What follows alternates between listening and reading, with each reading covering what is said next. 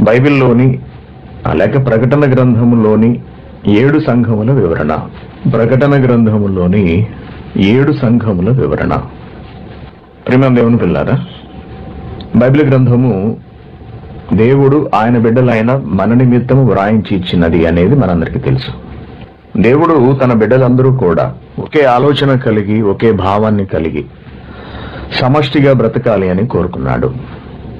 అప్పటి నుండి ఇప్పటి వరకు అనగా ప్రారంభపు రోజుల నుండి ఇప్పటి వరకు కూడా దేవుడు ఇదే ఆలోచనతో ఉన్నాడు. ఆయన నమ్మిన మనుషులందరూ కూడా ఒకటిగా ఉండాలి అని ఒక సమూహముగా ఉండాలి అని ఒక సంఘముగా ఏర్పడాలి అని ఆయన ఆకాంక్షించాడు. దానిని నెరవేర్చాడు కూడా ఈ భూమి మీద.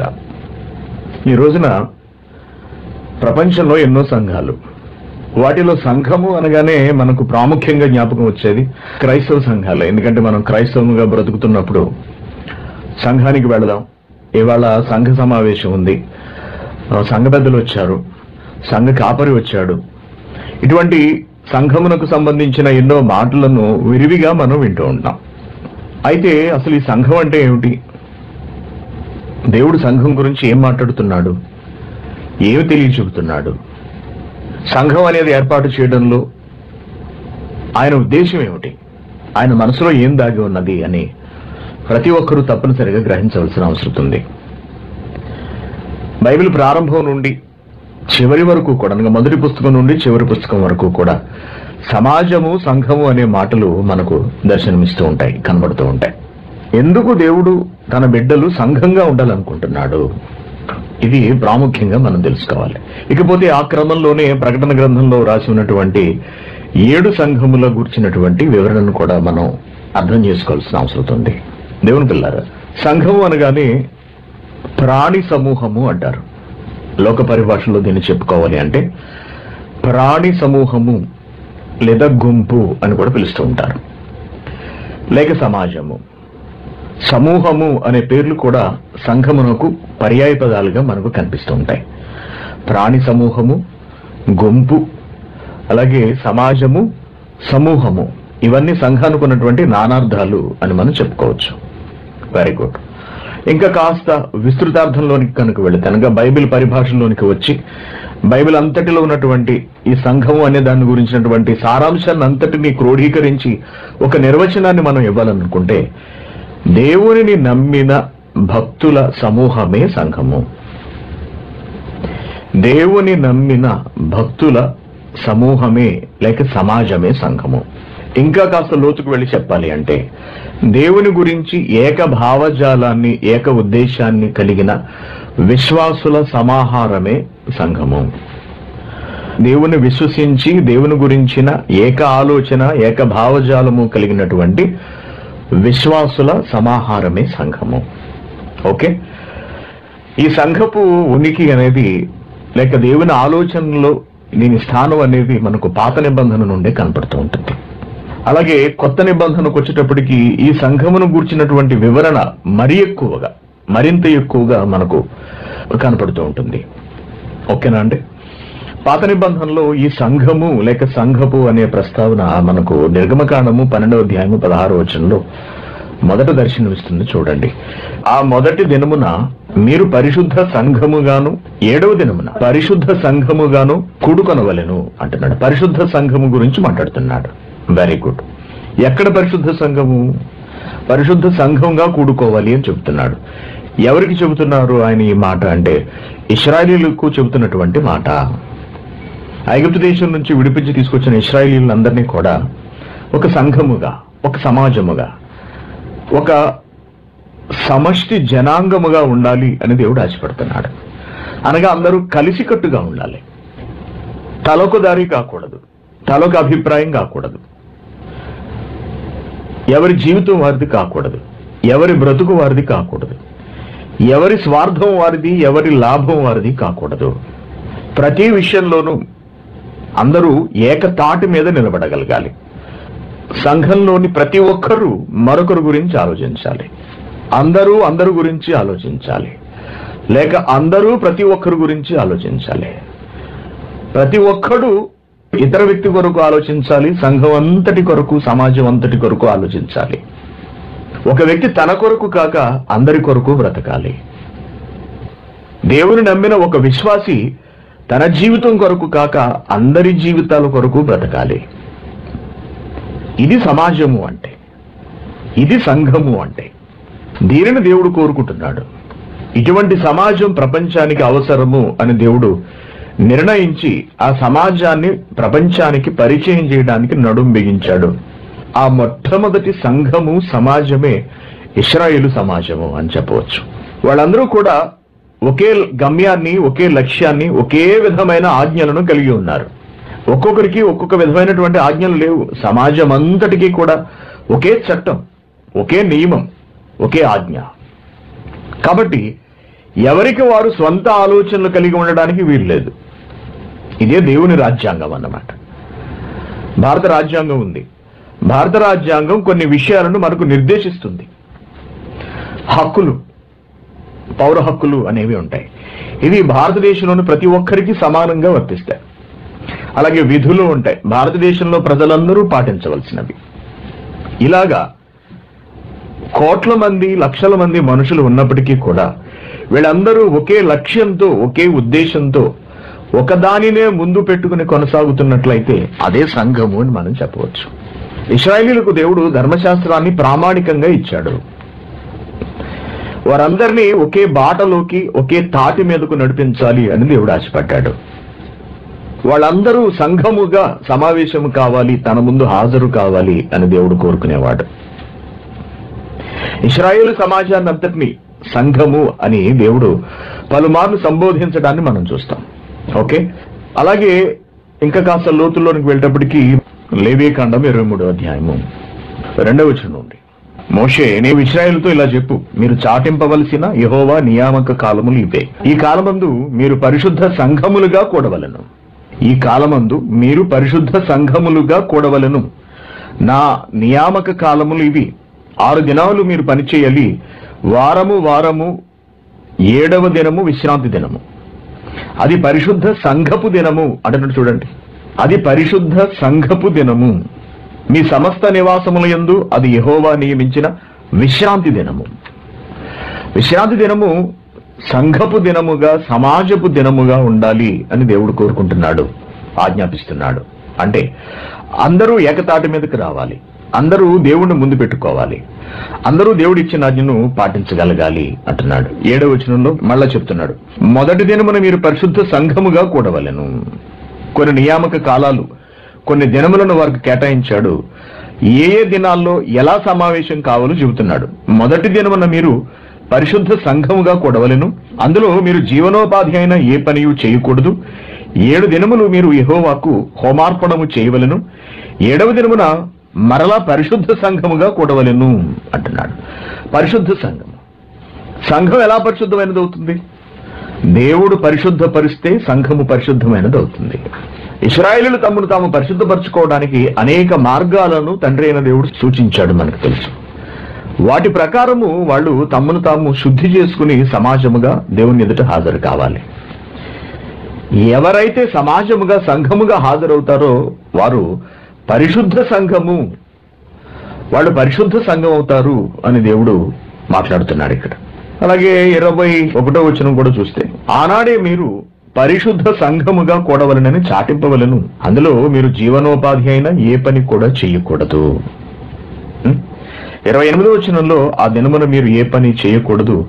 మీ దేవుడైన యహోవా సన్నిధిని మీరు మీ నిమిత్తం ప్రాయశ్చిత్తము చేసుకున్నటకై అది ప్రాయశ్చిత్తార్థ దినము. ఇరవై ఏడవ వచనంలో ఈ ఏడవ నెల పదియవ దినమున పాపము నిమిత్తమైన ప్రాయశ్చిత్తార్థ దినము అందులో మీరు పరిశుద్ధ సంఘముగా కూడవలెను. ఇలా పాత నిబంధన కాలంలో ఇస్రాయేల్ సమూహాన్ని ఆ జనాంగాన్ని అంతటినీ కూడా దేవుడు సమాజము సంఘముగా పిలవడం జరిగింది. దీని వెనక ఉద్దేశం ఏమిటి? కారణం ఏమిటి? ప్రజలు అలా వదిలేయకుండా దేవుడు ఎందుకు సమాజంగా ఒక కట్టడిలో వారిని ఉంచాలి అని ఆశపడుతున్నాడు? ఇది ప్రధానమైన విషయం. ఎందుకంటే సంఘముగా ఎందుకు ఉండాలి? ఎవరికి వాళ్ళు వ్యక్తిగతంగా ఎందుకు ఉండకూడదు? ఈ సంఘాల గురించి దేవుడు ఏం మాట్లాడుతున్నాడు? ఈరోజు మనం కూడా ఒక సంఘముగా ఉన్నాము ఒక సమూహముగా. దేవుని ప్రజగా. ఒక జనాంగంగా మనం బ్రతుకుతున్నాం. ప్రపంచవ్యాప్తంగా ఇంచుమించు మూడు వందల యాభై కోట్ల మంది క్రైస్తవ సమాజము ఒక జనాంగముగా ఉన్నది. ఒక సంఘముగా. బైబిల్ అనే ఒక రాజ్యాంగాన్ని దేవుడిచ్చిన ఒక చట్టాన్ని కలిగి అతిపెద్ద సంఘముగా ఈ రోజున క్రైస్తవ్యం కనపడుతోంది. ఏ ఇలా సంఘంగా చేయటం వెనుకున్నటువంటి దేవుని ఆలోచన ఏమిటి? ఏమి నేర్పించాలనుకుంటున్నాడు సంఘం ద్వారా ప్రపంచానికి?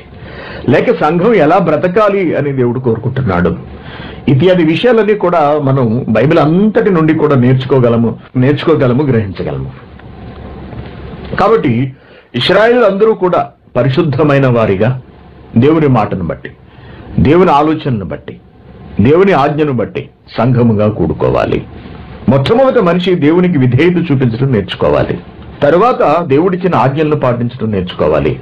తర్వాత మిగిలిన సమాజం కొరకు ఆలోచించడాన్ని గమనించాలి. ఇకపోతే కొత్త నిబంధనకు వచ్చేటప్పటికి కూడా యేసుక్రీస్తు గారి నోట ఈ సంఘపు మాట మనకు కనపడుతుంది చూడండి. మత్తి సువార్త పదహారో అధ్యాయం పద్దెనిమిది వచ్చినాము తాను ఏం చేయబోతున్నాడో పేతురు గారికి చెబుతున్నటువంటి లేక అక్కడ ఉన్నటువంటి శిష్యులకు చెబుతున్నటువంటి మాట. పదహారో అధ్యాయము పద్దెనిమిది వచ్చినాము మరియు నువ్వు పేతురువు పేతురుని శబ్దమునకు రాయని అర్థము అంటున్నాడు. ఈ బండ మీద నా సంఘము అంటున్నాడు. నా సంఘము. పాత నిబంధన కాలంలో తండ్రి అయిన దేవుడు ప్రస్తావించిన సంఘము అనే మాట మనకు కనిపిస్తే క్రొత్త నిబంధన కాలంలో యేసుక్రీస్తు గారు నా సంఘము అని మాట్లాడుతున్నారు. అది క్రీస్తు సంఘం అయినా తండ్రిదే అవుతుంది అనే సంగతి మనకు తెలుసు. ఆత్మ సంఘము అని చెప్పినదైనా సరే అది తండ్రి అయిన దేవునిది అవుతుంది అనే సంగతి మనకు తెలుసు. ఎందుకంటే ఆలోచన నిర్ణయము అన్ని కూడా తండ్రి. అమలుపరచడం అనేది క్రీస్తు మరియు పరిశుద్ధాత్మల బాధ్యతగా మనం చూస్తాం. వెరీ గుడ్ ఇక్కడ కూడా యేసుక్రీస్తు గారు మీరు సంఘంగానే ఉండాలి. ఒక సంఘాన్ని నేను స్థాపించబోతున్నాను. బండ మీద నేను దాన్ని స్థాపించబోతున్నాను. దాని ఎదుట పాతాళలోక ద్వారములు పాతాళలోక ద్వారములు దాని ఎదుట నిలబడలేవు అంటున్నాడు యేసుక్రీస్తు గారు. కాబట్టి క్రీస్తు నోట వెలువడినటువంటి ఈ సంఘపు మాట అంత తేలిగ్గా కొట్టి పారేయడానికి వీలు లేనిది అని మనం గ్రహించాలి. ఓకే? క్రొత్త నిబంధన కాలంలో కూడా మనుషులందరూ కలసికట్టుగా సమష్టిగానే బ్రతకాలి అని దేవుడు కోరుకుంటున్నాడు. సంఘంగా బ్రతకడం అంటే మనలో చాలా మందికి ఇష్టం ఉండదండి. ప్రతి ఒక్కరూ స్వతంత్రాన్ని ఇండివిజువాలిటీని కోరుకుంటూ ఉంటారు. అంటే దేవుని వాక్యమునకు బైబిల్నకు లోబడి బ్రతుకుతూనే ఎవరికి వారు స్వంతంగా స్వనిర్ణయాలతో సంఘపు అధికారము క్రింద కాకుండా స్వేచ్ఛగా జీవించాలి అని ఆశపడుతూ ఉంటారు. బైబిల్ని ప్రామాణికంగా తీసుకుని అంటే సంఘముతో పని లేకుండా ఇంట్లో కూర్చుని బైబిల్ చదువుకుంటూ కాలాన్ని వెళ్ళదీస్తున్నటువంటి క్రైస్తవులు కూడా మనలో చాలా మంది ఉంటారు. ఇది సరి అయినదేనా? ఒకవేళ ఎవరిళ్ళలో వాళ్ళు ఉండి బైబిల్ను ముందు పెట్టుకుని దానిని బట్టే నేను దేవుని సంఘము అని ఎవరికి వారు తృప్తిపరుచుకుంటే సమర్థించుకుంటే అది చెల్లుబాటు అవుతుందా? లేక సంఘములో సభ్యులుగా ఉండి సంఘం ద్వారా వస్తున్నటువంటి ఆజ్ఞలను విని ఆ సంఘములో ఒకరిగా బ్రతకాల? ఈ విషయాన్ని క్రైస్తవులు అంతగా పట్టించుకోరు. కాబట్టి ఎక్కడా లేని విధంగానండి క్రైస్తవ సంఘాలు ఎక్కడికక్కడ ఎప్పటికప్పుడు విడిపోతూ ఉంటాయి. ఒక సంఘం ప్రారంభమైందనుకోండి. కొంతమంది కలిశారు సమావేశమయ్యారు దేవుని పనులు జరిగించడం మొదలుపెట్టారు. కొంతకాలానికి వీళ్ళ మధ్యలో భేదాభిప్రాయాలు భిన్నాభిప్రాయాలు వస్తే వెంటనే కొంతమంది పక్కకు వెళ్ళిపోయి మరొక సంఘాన్నే పెట్టేస్తుంటారు ఏకంగా మరొక సంఘాన్ని పెట్టేస్తుంటారు. మరొకరు మరొక సంఘాన్ని పెట్టినప్పుడు ఇహ సంఘము అనే మాటకి విలువ ఎక్కడుంది? దేవుని ఆలోచనలో సంఘము అనే పదానికి ఇక విలువ ఎక్కడుంటుంది? సంఘం అంటే ఏమిటి? నువ్వు కలిసికట్టుగా ఉండడము. సమష్టిగా ఉండడము. గమనించండి సంఘము అంటే ఎవరికి వారికే వ్యక్తిగతమైన జీవితాలు ఉంటాయి కుటుంబాలు ఉంటాయి ఉద్యోగాలు ఉంటాయి వ్యవహారాలు ఉంటాయి అన్నీ ఉంటాయి. సంఘంలోని వ్యక్తుల మధ్యలో ఉన్నటువంటి కుటుంబాలలో పెళ్ళిళ్ళు బిడ్డలు వారి చదువులు వారి ఉద్యోగాలు వారి ఇతరత్ర కార్యక్రమాలు అన్నీ కూడా ఉంటాయి. అయితే ఎవరు ఎటువంటి జీవితాన్ని గడుపు గడుపుతున్నప్పటికీ కూడా ఒక సమూహముగా ఒక సమాజముగా ఒక సంఘముగా తప్పనిసరిగా కలిసి బ్రతకవలసిన అవసరత ఉన్నది. ఆలోచించండి. అనగా ఒకే ఆలోచన కలిగి ఉండాలి. ఒకే గమ్యాన్ని ఒకే లక్ష్యాన్ని కలిగి ఉండాలి. అది సంఘం అంటే. ఇప్పుడు దీనిలోంచి కొంతమంది పక్కకు వెళ్ళి మేము కూడా సంఘముగా ఉంటాము అని అనుకుంటే అక్కడ సంఘము విభజించబడుతోంది తప్పించి సంఘము సంఘముగా ఉండట్లేదు అని గ్రహించాలి ప్రతి ఒక్కళ్ళు. సంఘం అంటేనే సమిష్టిగా అని అర్థం వస్తున్నప్పుడు కొందరు విడిపోవడం అంటే ఆ ఐక్యతను ఆ సమూహమును విభజించడం కాదా? దేవుని ఉద్దేశాన్ని నిర్వీర్యపరచడం కాదా? దేవుని ఆలోచనలను తిరస్కరించడం కాదా? బలహీనపరచడం కాదా? ఆలోచించండి. అందుకే మానవులలో ఐక్యతను వారిలో ఏక భావజాలాన్ని ఒకే ఆలోచనను సంఘముగా ఒకరి మధ్యలో ఒకరికి ప్రేమలు కలిగించటం నిమిత్తము దేవుడు అందరినీ కూడా కలిసి బ్రతకమన్నాడు. సంఘముగా మీరందరూ నా ముందు హాజరు కావాలి అన్నాడు. ఒక కొత్త వ్యవస్థకు దేవుడు పునాది వేశాడండి పాత నిబంధన నుండి. కొత్త నిబంధనలో అది మరింత బలపడింది. అంటే ప్రపంచ ప్రజలందరూ కూడా తనను విశ్వసించిన వాళ్ళందరూ కూడా ఒకే కుటుంబంగా ఉండాలి అన్నది దేవుని ఆలోచన అని మనం ఇక్కడ అర్థం చేసుకోవచ్చు. కుటుంబంలో కలహాలు వచ్చాయనుకోండి కుటుంబం నుంచి వెళ్ళిపోతుంటారు. అలాగే సంఘంలో కలహాలు వచ్చాయనుకోండి సంఘాల నుండి వెళ్ళిపోతూ ఉంటారు విడిపోతూ ఉంటారు. అలాగే సంఘానికి నచ్చితే వస్తారు లేకపోతే లేదు. ప్రతిరోజు వీడి ఇంటికి వెళ్తాడు. రాత్రి అయ్యేటప్పటికి ఇంటికి వెళ్తాడు కుటుంబం దగ్గరికి చేరుకుంటాడు. కానీ సంఘం సమావేశం అయినప్పుడు ఎప్పుడు సమావేశం పెడితే అప్పుడు సంఘానికి చేరుకుంటాడా? చేరుకోడు. అంటే దాని అర్థం ఏమిటి? సంఘం కన్నా కుటుంబం చాలా గొప్పది అన్నది అతని ఉద్దేశం. సంఘం మనకి నచ్చితే వెళ్తాము లేకపోతే లేదు. కానీ కుటుంబం దగ్గరికి అలా కాదు కదా. కుటుంబంలో భార్య ఉంటుంది కురు- కుటుంబంలో బిడ్డలు ఉంటారు లేక భర్త ఉంటాడు బంధువులు ఉంటారు. కాబట్టి తప్పనిసరిగా కుటుంబం దగ్గరికి వెళ్ళాలని మనం అనుకుంటూ ఉంటాం. అది రాత్రి అయ్యేటప్పటికి కావచ్చు లేక ఏదైనా ఊరెళ్ళినప్పుడు తిరిగి మళ్ళీ కుటుంబం దగ్గరికి రావడం కావచ్చు లేక విదేశాలకు వెళ్ళినా తిరిగి కుటుంబం దగ్గరికి రావడం కావచ్చు లేకపోతే ఏదైనా గొడవలు పడి వెళ్ళిపోయినా తిరిగి కుటుంబం దగ్గరికి తిరిగి రావడం కావచ్చు ఏదన్నా కావచ్చు మొత్తానికి. కుటుంబం దగ్గరికి వెళ్ళాలనుకుంటాడు. కుటుంబ విషయంలో ఏకత్వం చూపిస్తున్నటువంటి సంఘటిత భావనను వ్యక్తపరుస్తున్నటువంటి ఒక వ్యక్తి సంఘం దగ్గరికి వచ్చినప్పటికి మాత్రం తనకు వెళ్ళాలనిపిస్తే వెళతాడు లేకపోతే లేదు. చూసారంటే ఒక కుటుంబంలో తండ్రికి ఇచ్చే స్థానం కన్నా తక్కువ స్థానాన్ని కుటుంబంలో ఉన్న ఆత్మలకు తండ్రికి ఇస్తున్నాడు చూడండి. సంఘములోని ఆత్మల ఆత్మలకు తండ్రి అయిన దేవునికి ఇస్తున్నాడు చూడండి. చాలా తక్కువ స్థానాన్ని. విడ్డూరం కదా ఇది? విచిత్రం కదా ఇది? మనకు మూడుంటే ఉంటే సంఘానికి వెళతాం. అనగా సంఘముగా సమాజముగా కూడుకోవడానికి వెళతాం. లేకపోతే మనం వెళ్ళం. మన మూడ్తో సంబంధం లేకుండా మన ఇంటికి వెళతాం. మన కుటుంబం దగ్గరికి వెళతాం. భార్య బిడ్డల దగ్గరికి వెళతాం. చూసారా ఎంత తేడా ఉందో? పక్షపాతం కాదా ఇది? ఎందుకు ఇలా తయారయ్యాడు మనిషి? లేక క్రైస్తవుడు అని మనం ఆలోచిస్తే సంఘపు విలువ తెలియకపోవటము. సంఘంలో ఎవరితోనో పడట్లేదు అనుకోండి కొంతమంది సంఘానికి రావడం మానేచేస్తారు సంఘ నాయకుడు నచ్చలేదు అనుకోండి మరికొంతమంది సంఘానికి రావడం మానేచేస్తారు సంఘంలో పాట పాడడానికి అవకాశం ఇవ్వకపోతే సంఘానికి రావడం మానేస్తారు. సంఘంలో సాక్ష్యానికి అవకాశం ఇవ్వకపోతే రావటం మానేస్తారు. వారి కొరకు ప్రార్థించకపోతే రావటం మానేస్తారు. గొడవలతో రావటం మానేసేస్తారు. హ్మ్. ఇందుక దేవుడు సంఘము అనే అంత చక్కటి పేరు పెట్టింది. మనం ఎలా తయారవుతామనా? ఏమిటో దేవుడు ఎంత సమష్టిగా క్రైస్తవులందరూ ఉండాలని ఆశపడ్డాడో దాని అంతటికి వ్యతిరేకంగా క్రైస్తవులు ముక్కలు ముక్కలు ముక్కలు ముక్కలు ముక్కలుగా విడిపోతుంటారు. సంఘం నుండి ఇంకో పిల్ల సంఘం ముట్టుకొస్తుంది అంటే కొంతమంది విడిపోయి వెళ్ళిపోతారు. మళ్ళీ ఆ సంఘం రెండు ముక్కలు అవుతుంది. మళ్ళీ దాని నుంచి ఇంకో కొంతమంది పక్కకు తప్పుకుంటారు. అలా ఈ రోజున పరిస్థితి ఎలా అయిపోయిందంటే ప్రతి ఇంటికి ఒక సంఘం అయిపోయింది. కుటుంబం నుండి మొదలై సంఘముగా చేర్చబడట్లేదు. గమనించండి. కుటుంబం నుండి విశ్వాసులు భక్తులు మొదలై సంఘముగా ఏర్పడట్లేదు సంఘముగా చేర్చబడట్లేదు. సంఘమైన వాళ్ళు ముక్కలు ముక్కలైపోతూ చిన్న చిన్న గుంపులుగా మారిపోతూ చివరికి కుటుంబాలుగా మిగిలిపోతున్నారు. కారణం సంఘపు విలువ దేవుని మనసులో సంఘమునుకున్నటువంటి చోటు స్థానము. వీటిని వేటిని కూడా క్రైస్తవులు గ్రహించలేకపోవడము తెలుసుకోలేకపోవడమే.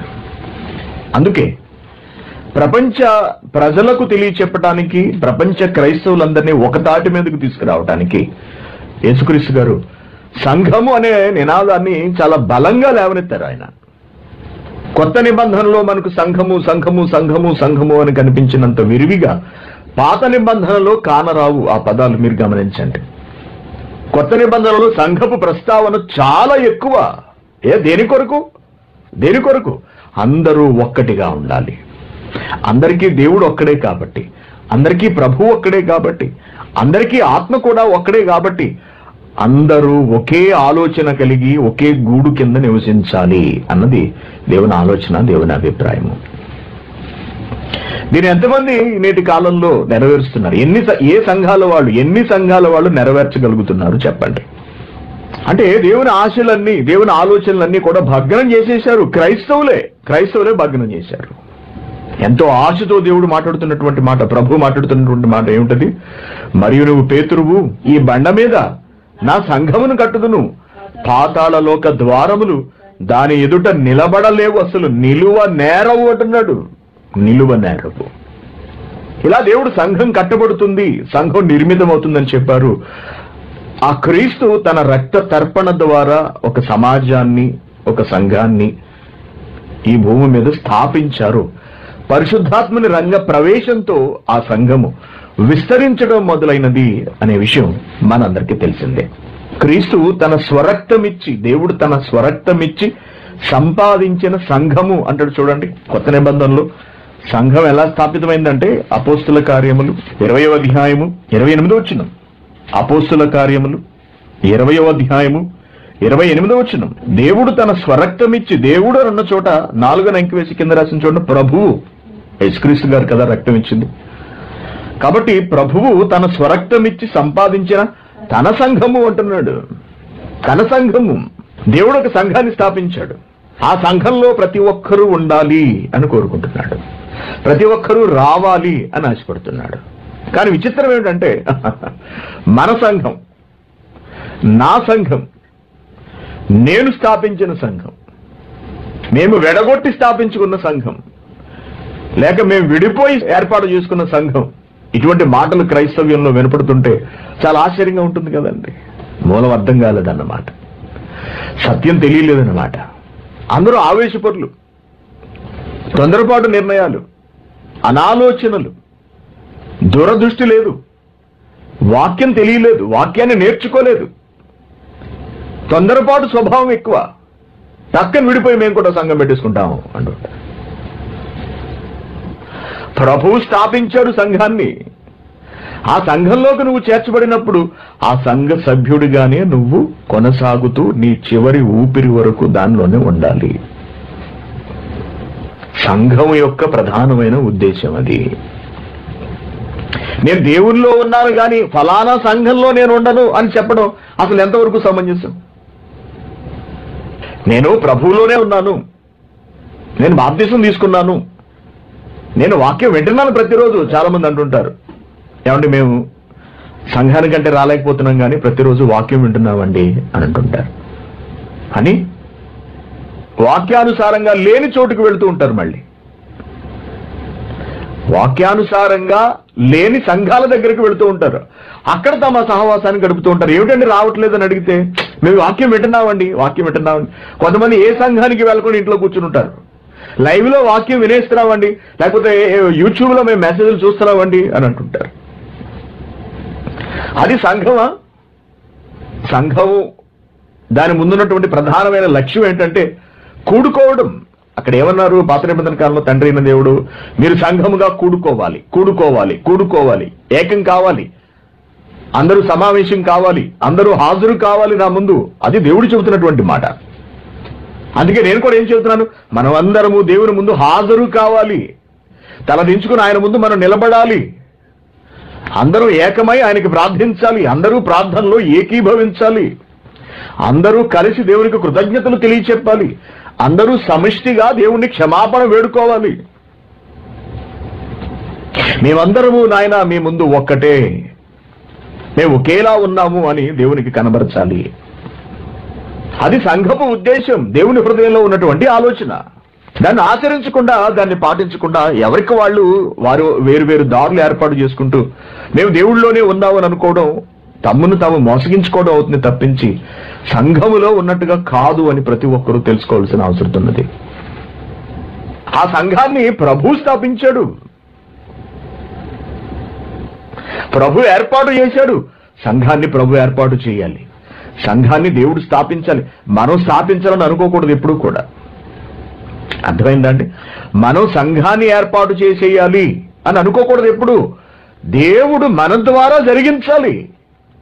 మనం అనుకుని తయారు చేయకూడదు. పది మందిని పోగేసి మనం కూడా ఒక సంఘంగా నిలబడిపోదాం. మనము సంఘం అని బోర్డు పెట్టుకుందాం. అని అనుకోకూడదు. ఆ పనిని దేవుడు మనచ్చే మన ప్రమేయం లేకుండానే తాను ఏర్పాటు చేసుకుని జరిగించగలగాలి. అది అక్కడ మనం ఆలోచించవలసింది.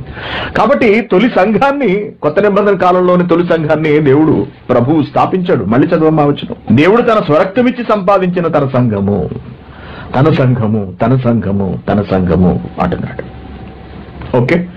ఇలాగా క్రీస్తు ద్వారా స్థాపితమైన సంఘము పరిశుద్ధాత్మ గారి ద్వారా నానాటికి విస్తరించి వర్ధిల్లింది క్షేమాభివృద్ధి నొందింది. తొమ్మిదో అధ్యాయం ముప్పై ఒకటి వచ్చిన చూడండి అపోస్తుల కార్యముల్లోనే. కావున యూదయ గలిలయ సమరయ దేశముల ఎందంతటా సంఘము ప్రభు స్థాపించిన సంఘము. పరిశుద్ధాత్మ గారు నాయకులై నడిపిస్తున్నటువంటి సంఘము క్షేమాభివృద్ధి నొందుచు అన్నాడు. క్షేమాభివృద్ధి నొందుచు అని ఒకటి నంకివేసి కింద ఏం రాశారు? కట్టబడుచు అనే పదం రాసింది చూడండి కట్టబడుచు. కావున యూదయ గలిలయ సమరయ దేశములు ఎందంతటా సంఘము క్షేమాభివృద్ధి నొందుచు సమాధానము కలిగి ఉండును. సమాధానము కలిగి ఉండెను. మరియు ప్రభునందు భయమును పరిశుద్ధాత్మ ఆదరణయు కలిగి నడుచుకొనుచు ఆ సంఘము విస్తరించుచుండెను. అన్నాడు చూడండి. సంఘం విస్తరించాలి. సంఘం ఎలా విస్తరించాలి? ఎలా విస్తరించాలి? ప్రభునందు భయము కలిగి విస్తరిస్తూ ఉండాలి. అలాగే పరిశుద్ధాత్మ ఆదరణ కలిగి నడుచుకోవడం ద్వారా విస్తరిస్తూ ఉండాలి. ప్రవర్తనను బట్టి సంఘం విస్తరిస్తూ ఉండాలి అన్నాడు. విస్తరించుచుండెను నాటి కాలంలో అలా విస్తరించింది. అలా విస్తరించింది. దేవుని పిల్లారా సంఘం విస్తరిస్తుంది. బాగుంది. మరి సంఘంలో ఎవరు ఉండాలి సంఘంలో ఎవరుంటారు? అసలు సంఘము అంటే ఎవరు? ఏకభావజాలాన్ని కలిగిన వ్యక్తుల సమూహం అని మనం చెప్పుకుంటున్నాం. వెరీ గుడ్ బైబిల్ గ్రంథంలోకి వెళ్ళేటప్పటికీ ఈ సంఘం అంటే ఏమిటో మరికొంత స్పష్టత మనకు కనిపిస్తుంది. కొరింథీలకు రాసిన మొదటి పత్రిక మొదటి అధ్యాయము. రెండవ వచ్చిన కొరింధులోనున్న దేవుని సంఘమునకు అంటే సంఘం అంటే ఏంటో చెప్తున్నాడు చూడండి. అనగా. సంఘము అనగా.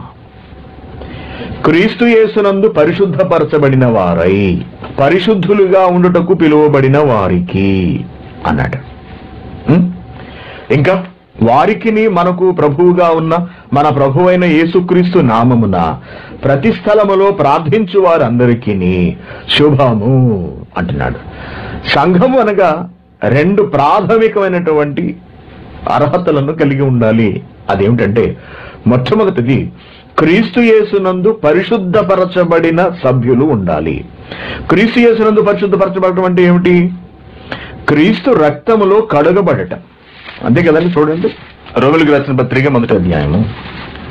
మొదటి వచ్చినాం యేసుక్రీస్తు దాసుడును అపోస్తుడుగా ఉండుటకు పిలువబడిన వాడు దేవుని సువార్త నిమిత్తము ప్రత్యేకించబడిన వాడునైనా పౌలు రోమాలో ఉన్న దేవుని ప్రియులందరికీ అనగా పరిశుద్ధులుగా ఉండుటకు పిలువబడిన వారందరికీ శుభమని చెప్పి వ్రాయినది అంటున్నాడు. పరిశుద్ధులుగా ఉండుటకు పిలువబడిన వారందరికీ శుభమని చెప్పి వ్రాయినది.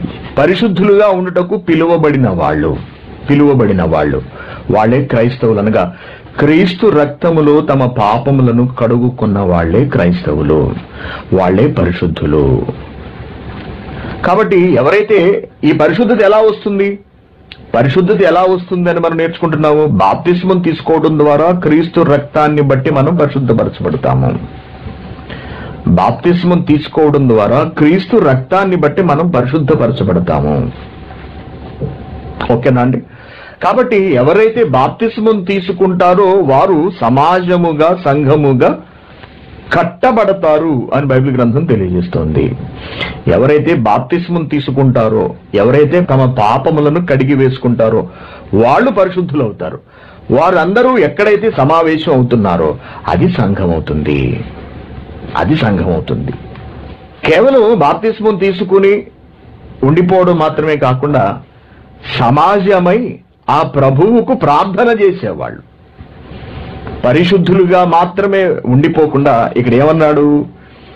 ముందు వచనంలో మనం చూసాము క్రీస్తు యేసునందు పరిశుద్ధపరచబడిన వారై పరిశుద్ధులుగా ఉండుటకు పిలువబడిన వారు అన్నాడు. అపోసుల కార్యం తొమ్మిదో అధ్యాయం ముప్పై ఒకటో వచనంలో ఏమంటున్నాడు? సంఘం ఎలా ఉండాలంటున్నాడు?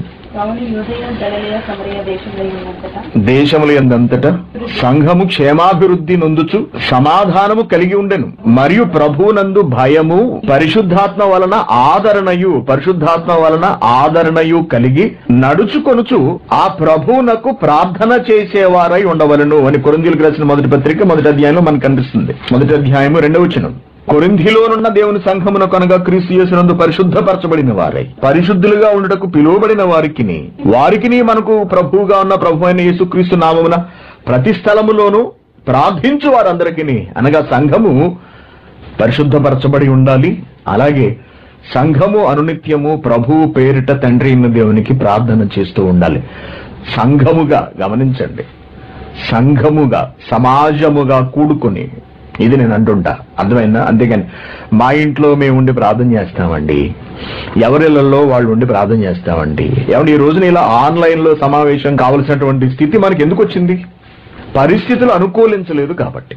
లేకపోతే వారంలో ఇంచుమించు ఐదు తరగతులు కోవైట్ దేశంలో జరుపుకునే మనం సమూహముగా ఒకరినొకరు కలుసుకుని మాట్లాడుకుని దేవుని ప్రేమను పంచుకుని ఆతిథ్యం ఇచ్చి అనగా ప్రభు సముఖమునందు ప్రభు పేరుతో భోజనాలు చేసి మనం అందరం ప్రేమాప్యాయతలను పంచుకుంటూ ఉండేవాళ్ళం. అయితే పరిస్థితులు తారుమారు అయ్యేటప్పటికీ ఇదిగో ఇలా పరోక్షంగా సమావేశమై వారంలో కేవలం ఒకరోజు మాత్రమే కూడుకుంటూ ప్రతిదినము ఎవరి ఇళ్ళలో వారుండి ప్రభు పేరిట ప్రార్థించవలసిన అగత్యం ఏర్పడింది. కానీ వాస్తవానికి సంఘం ఏం చేయాలి? సమావేశం అవ్వాలి సమాజముగా కూడుకుని ప్రభువుకి ప్రార్థించాలి. అది సంఘ కార్యక్రమాలలోని సంఘ లక్షణాలలోని అతి ప్రాముఖ్యమైనది. సంఘ లక్ష్యాలలో ప్రాముఖ్యమైనది. గమనించండి. దేవుని మనం ఎక్కడ సమావేశం అయ్యామన్నది కాదు ముఖ్యం. మనం సమావేశమై సంఘముగా దేవుని ఎదుట మనం నిలబడ్డామా లేదా? సమాజముగా మనం దేవునికి ప్రార్థించగలుగుతున్నామా లేదా అన్నది ప్రధానమైన ఉద్దేశము. ఆలోచించండి. కాబట్టి ప్రభువునందు పరిశుద్ధపరచబడాలి అంటే బాప్తిస్మం తీసుకోవాలి. తీసుకుని సంఘంలోకి చేర్చబడాలి. ఆ సంఘంగా ఏర్పడి ప్రార్థన చేస్తూ ఉండాలి. అప్పుడు ఆ సంఘము దేవుని భయము కలిగి పరిశుద్ధాత్మ ఆదరణతో నానాటికి విస్తరిస్తూ ఉంటుంది. పదహారో అధ్యాయం ఐదో వచ్చిన అపోస్తల కార్యములు. గనుక సంఘములు అంటున్నాడు చూసారా అండి? సంఘములు విశ్వాసమందు స్థిరపడి అనుదినము లెక్కకు విస్తరించిపోతున్నా లెక్క పెడదాం అనుకుంటుంటే విస్తరించిపోతున్నాయట. అనుదినము లెక్కకు విస్తరించుచుండెను విస్తరించుచుండెను. సంఘము విశ్వాసమందు స్థిరపడాలి. అచంచలమైన విశ్వాసం సంఘముగా కలిగి ఉండాలి. అనగా సంఘంలో సభ్యులందరూ కూడా దేవుని పట్ల గొప్పదైన విశ్వాసాన్ని కనబరచాలి. అది సంఘం అవుతుంది. విశ్వాసాన్ని కనబరచడం అంటే ఏమిటి? ఆ ప్రభువు యేసుక్రీస్తు దేవుని కుమారుడు ఆయన తిరిగి లేచాడని నేను నమ్ముతున్నాను అని విశ్వసించడం మాత్రమేనా? అదేనా సంఘం విషయంలో జరగవలసింది? సంఘముగా సమాజముగా ఉంటేనే అలా మన విశ్వాస భక్తి జీవితాన్ని కొనసాగిస్తేనే మనం నిత్య రాజ్యంలోనికి చేర్చబడతాము అనే ఒక బలమైన వాదాన్ని బలమైన విషయాన్ని ప్రతి ఒక్కరూ నమ్మగలగాలి విశ్వసించగలగాలి. అది చెబుతున్నాడు ఇక్కడ. ఏమంటున్నాడు? సంఘములు విశ్వాసమందు స్థిరపరచబడి అనుదినము లెక్కకు విస్తరించుచుండను. విశ్వాస సహితముగా ఉండాలి సంఘం విశ్వాసముతో పనులు చేస్తూ వెళ్ళగలగాలి. విశ్వాసముతో అడుగు ముందుకు వేయగలగాలి. దేవుని కుమారుని పట్ల అచంచల విశ్వాసాన్ని కనబరచాలి. అచంచల విశ్వాసం. అచంచల విశ్వాసం. దేవుని పట్ల ఉన్నటువంటి నమ్మకము దేవుని కొరకు అడుగు ముందుకు వేద్దాం. ఆ అడుగు ముందుకు వేసినప్పుడు ఏదన్నా జరగవచ్చు మనం తలపెట్టిన ప్రతిదీ ఎట్టి పరిస్థితుల్లోనూ ప్రభువును విశ్వసిస్తున్నాం కాబట్టి ఇది విజయవంతమై జరిగి తీరుతుంది అని నమ్మడం మాత్రమే కాదు విశ్వాసం అంటే. ఒకవేళ మనం అనుకున్నది జరగకపోయినా మనం జరుప తలపెట్టిన ఆ కార్యం వల్ల మనకు ఇబ్బందులు ఎదురైనా సరే నో ప్రాబ్లం. మనం దేవుని చెంతకు చేరు అనగా చివరికి మరణం సంభవించినా సరే దేవుని చెంతకు చేరుకుంటాం. లేక ఒకవేళ మన జీవితము మన భవిష్యత్తు పాడైనా పర్వాలేదు ప్రభు కొరకు మనం ఈ త్యాగం చేశాము అని మనం గొప్ప సంతోషంతో ఉంటాం. అది విశ్వాసం అంటే కేవలం ఒక పని జరుగుతుందని మాత్రమే నమ్మడం కాదు. చాలా మంది అదే విశ్వాసం అనుకుంటూ ఉంటారు. కాదండి. దాని వలన ఎదురయ్యే ఇబ్బందులను కూడా సంతోషంతో నేను స్వీకరించాలి అనే భావన ఉంటుంది చూశారు. అది విశ్వాసం అంటే. ఆ పనులను జరిగించే క్రమంలో నా జీవితం ఏమైనా పర్వాలేదు చివరికి నా ప్రాణం పోయినా పర్వాలేదు అని నమ్మడం ఉంది చూశారు. ఆ ధైర్యంతో అడుగు ముందుకు వేయడం ఉంది చూశారు. అది విశ్వాసం అంటే. అంతేగాని జరుగుతుందా జరగదా అని సంశయించడం కాదు విశ్వాసం. ఏం జరిగినా అది నా ప్రభువు నిమిత్తమే నా ప్రభువు కొరకే. అది నాకు సంతోషమే. ఏం జరిగినా సంతోషమే. అది విజయవంతమైన సంతోషమే. ఒకవేళ అది విఫలమై నేను సమస్యల్లోనికి వెళ్ళి నేను ఇబ్బందులు బారిన పడి నేను అవమానాలు పొంది నా నా మీద నిందలు మోపబడినా కూడా అది నాకు సంతోషమే. అది విశ్వాసం అంటే. ఒకవేళ ఏదన్నా జరిగి సంఘం అంతా ఇబ్బందులకు వెళ్ళిందా? దేవునికి స్తోత్రం. ఏ ఆ మాత్రం అవమానంపబడడానికి బ్రతుకు అస్తవ్యస్తం చేసుకోవడానికి ప్రభువును బట్టి మనం తగమా ఎప్పుడూ ప్రభు వల్ల మనకు మేలులే జరగాల. ఎప్పుడూ విజయాలే రావాలా? మనం ఎప్పుడూ ఇబ్బంది పడకూడదా? ఒకవేళ ఇబ్బంది పడినా అది ఎవరి పనిలో? దేవుని పనిలోనే కదా. దేవుని పనిలోనే కదా. కాబట్టి దేవుడి మీద భారం వేసి ముందుకు వెళదాం. విజయవంతం చేసినా లేక ఇబ్బందిని అనుగ్రహించిన దేవునికి స్తోత్రము. విజయవంతమైతే ఆనందంతో దేవుని కృతజ్ఞతలు చెల్లిద్దాం. విజయవంతం కాక ఇబ్బందుల్లోకి వెళితే అప్పుడు కూడా ప్రభువునందు మరింత విశ్వాసంతో ప్రభువును బట్టి అవమానింపబడుట సంతోషమని భావించి అడుగు ముందుకు వేద్దాం సంతోషిద్దాం. ప్రభువుకు అప్పుడు కూడా స్తోత్రము ఘనత చెల్లిద్దాము వందనాలు చెల్లిద్దాము అనే ఉద్దేశంతోనే అడుగు ముందుకు వేస్తాను. విశ్వాసము. అది సంఘానికి ఉండవలసింది ఆ సిద్ధపాటు సంఘానికి ఉండాలి. ఆ సిద్ధపాటు సంఘానికి ఉండాలి. విశ్వాసము అంటే అది. కాబట్టి ప్రేమ దేవుని పిల్లారా సంఘాలు ఇటువంటి విశ్వాసాన్ని కలిగి నాడు లెక్కకు మిక్కిలిగా విస్తరించను విస్తరించను అంటున్నాడు. విస్తరించను. ఇంకా రోమిలకు రాసిన పత్రిక పదహారో అధ్యాయం పదహారో వచనం కనుక మనం చూస్తే పవిత్రమైన ముద్దు పెట్టుకుని ఒకరినొకడు వందనములు చేయుడి క్రీస్తు సంఘములన్నీయు అన్నాడు. నా సంఘ సురేష్ సంఘం కాదు. కువైట్లో సురేష్కి సంఘం లేదు. క్రీస్తుకున్నటువంటి సంఘంలో సురేష్ ఉన్నాడు. లేక క్రీస్తు తాను నిర్మించదలిచిన సంఘానికి సురేష్ నాయకత్వం వహించి నడిపించాడు. ఆ భాగ్యాన్ని దేవుడు సురేష్కి అనుగ్రహించాడు. అది దేవుని వలన దేవుని దయతో దేవుని సంకల్పాన్ని బట్టి జరిగినదే తప్పించి నా కష్టంతోనూ లేకపోతే నా తెలివితేటలతోనూ నా డబ్బుతోనూ నా పట్టుదలతోనూ జరిగినది కాదు. దేవుడు జరిగించాడు. ఒక వ్యక్తిని నిలబెట్టి బాగా ఆలోచించండి. వ్యక్తిని నిలబెట్టి దేవుడు జరిగిస్తాడు ఎప్పుడు కూడా. ఆ వ్యక్తి ఎటువంటి వాడు ఎంతటి వాడు అన్నది దేవుడి ఇష్టం అది దేవుడి నిర్ణయం. మోషే ఉన్నాడు. ఇస్రాయిలీని విడిపించి తీసుకొచ్చాడు. ఐగుప్తు దేశం నుండి. అహరోను ఉన్నాడు అక్కడ. అహరోను కూడా ఉన్నాడు. కానీ ఎవరిని వెళ్ళమన్నాడు? ఎవరిని నాయకత్వం వహించమన్నాడు దేవుడు? మోషేను. మోషే భౌతికంగా అనగా మాటను బట్టి అంత శక్తివంతమైన వాడు కాడు. నోటి మాంద్యం కలిగిన వాడును నాలుక మాంద్యం కలిగిన వాడును అంటే మనకు తెలుసు. అయినప్పటికీ కూడా మోషేనే పంపించాడు. ఎందుకంటే మోషే శక్తి సామర్థ్యాలు దేవుడికి తెలుసు కాబట్టి. గనుక మోషే గొప్పతనం వల్ల వాళ్ళు రాలేదు బయటికి. దేవుని గొప్పతనం వల్ల ఇస్రాయేలీలు బయటకు వచ్చారు. కానీ దాన్ని నడిపించే బాధ్యతలు ఎవరికి అప్పచెప్పాడు దేవుడు? మోషేకి అప్పచెప్పాడు. గమనించండి. క్రీస్తు సంఘములు అంటున్నాడు. సంఘము క్రీస్తు వలన స్థాపించబడినది. ఆ ఉద్దేశాన్ని ఆ భావాన్ని కలిగినటువంటి ప్రతి సంఘము కూడా క్రీస్తు సంఘమే అవుతుంది. క్రీస్తు నిర్మించిన ప్రతి సంఘము కూడా క్రీస్తు సంఘమే అవుతుంది. మానవులు కట్టుకున్న సంఘాలు క్రీస్తు సంఘాలు కాలేవు తెలుసుకోండి ఎప్పటికీ కూడా. మానవ నిర్మిత సంఘాలు క్రీస్తు సంఘాలు కాలేవు. సంఘాన్ని దేవుడు నిర్మించాలి. ఎందుకంటే ఆ సంఘానికి శిరస్సు క్రీస్తు ఉండాలి అంటున్నాడు. సంఘానికి శిరస్సు ఎఫ్సీలకు రాసిన పత్రిక మొదటి అధ్యాయం ఇరవై రెండు వచ్చిన చూడండి. మరియు సమస్తమును ఆయన పాదముల క్రింద ఉంచి సమస్తము పైని ఆయనను సంఘమునకు శిరస్సుగా నియమించను. తండ్రి తండ్రి అయిన దేవుడు ఏం చేశాడంటే తండ్రి అయిన దేవుడు ఏం చేశాడంటే పై వచనంలో చెబుతున్నాడు. ఇరవై వచనం ఆయన ఆ బలాతిశయము చేత క్రీస్తును మృతులలో నుండి లేపి సమస్తమైన ఆధిపత్యము కంటేను అధికారము కంటేను శక్తి కంటేను ప్రభుత్వము కంటేను ఈ యుగమునందు మాత్రమే గాక రాబో యుగమునందును పేరు పొందిన ప్రతి నామము కంటేను ఎంతో హెచ్చుగా పరలోకమందు ఆయనను తన కుడిపార్శ్వమున కూర్చుండబెట్టుకుని ఉన్నాడు యేసుక్రీస్తు గారిని. తండ్రి అయిన దేవుడు కూర్చోబెట్టుకున్నట్ట. మరియు సమస్తమును ఆయన పాదముల క్రింద ఉంచి సమస్తము పైని సమస్తము అంటే? సమస్తము అంటే ఏమిటా సమస్తము?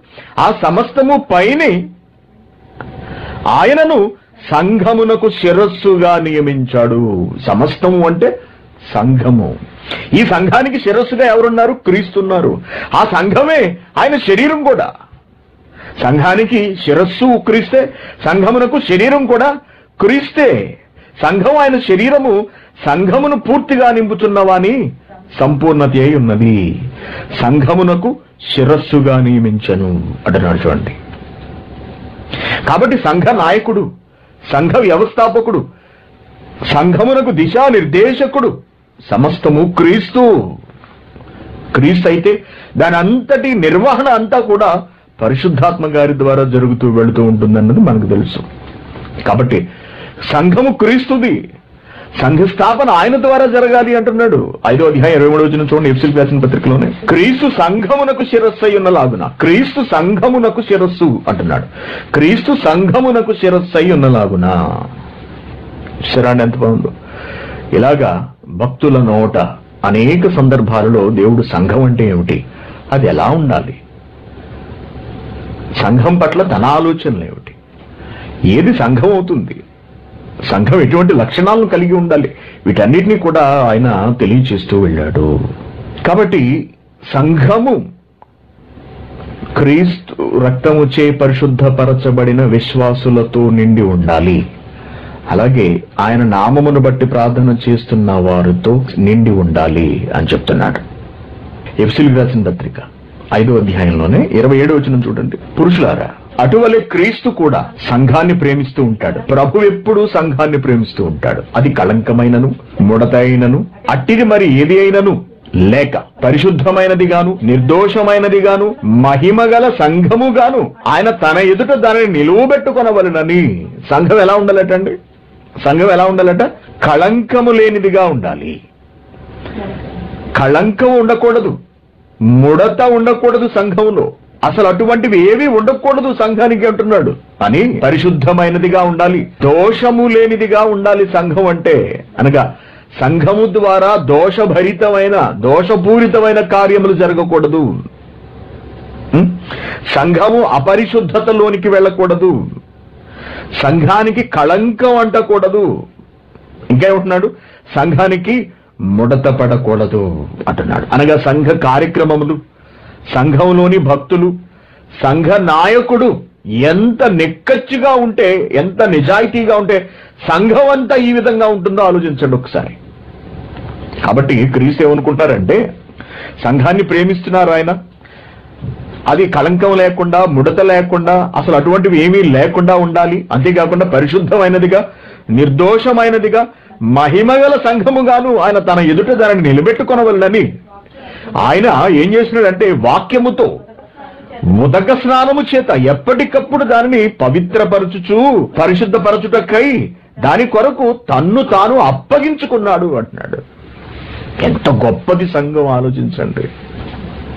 మనలను సంఘముగా చూడ్డానికండి ఇంతకీ ఈ తాపత్రయం అంతా దేని కొరకంటే మనలను సంఘముగా చూడటం కొరకు సంఘముగా ఉంచటం కొరకు యేసుక్రీస్తు గారు ఎంత కష్టపడ్డారు. తన్ను తాను అప్పగించుకున్నాడు. మరి నువ్వేంటి చిటుక్కు చీవ చిటుక్కుమంటే సంఘానికి రావటం మానేసేస్తావు?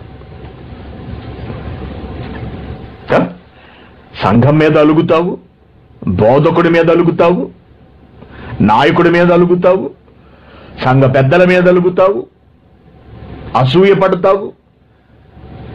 దేవుడు ఏర్పరిచిన వారిని సంఘంలో ఉన్న వారిని దూషిస్తావు హేళన చేస్తావు చిన్నగా చేసి మాట్లాడుతావు చెప్పుడు మాటలు చెబుతూ ఉంటావు కల్పితాలు చెబుతూ ఉంటావు నిందలు వేస్తుంటావు సంఘంలో వారిని మాయ మాటలచ్చే విభజిస్తూ ఉంటావు. ఇదెక్కడి న్యాయం? అటువంటి వాడు సంఘ సభ్యుడవుతాడా? ఆలోచించండి. ప్రభు ప్రతి ఒక్కరిని సంఘముగా నిలిపి ఉంచడం కొరకు సంఘాన్ని పరిశుద్ధంగా ఉంచడం కొరకు తన్ను తాను అప్పగించుకొని ఆయన ప్రాణం పెట్టి ఆయన రక్తం ద్వారా సంఘాన్ని పరిశుద్ధపరుస్తూ ఉంటే ఆ సంఘాన్ని మలినపరచడానికి అపవిత్రపరచడానికి మనమెవరు అసలు?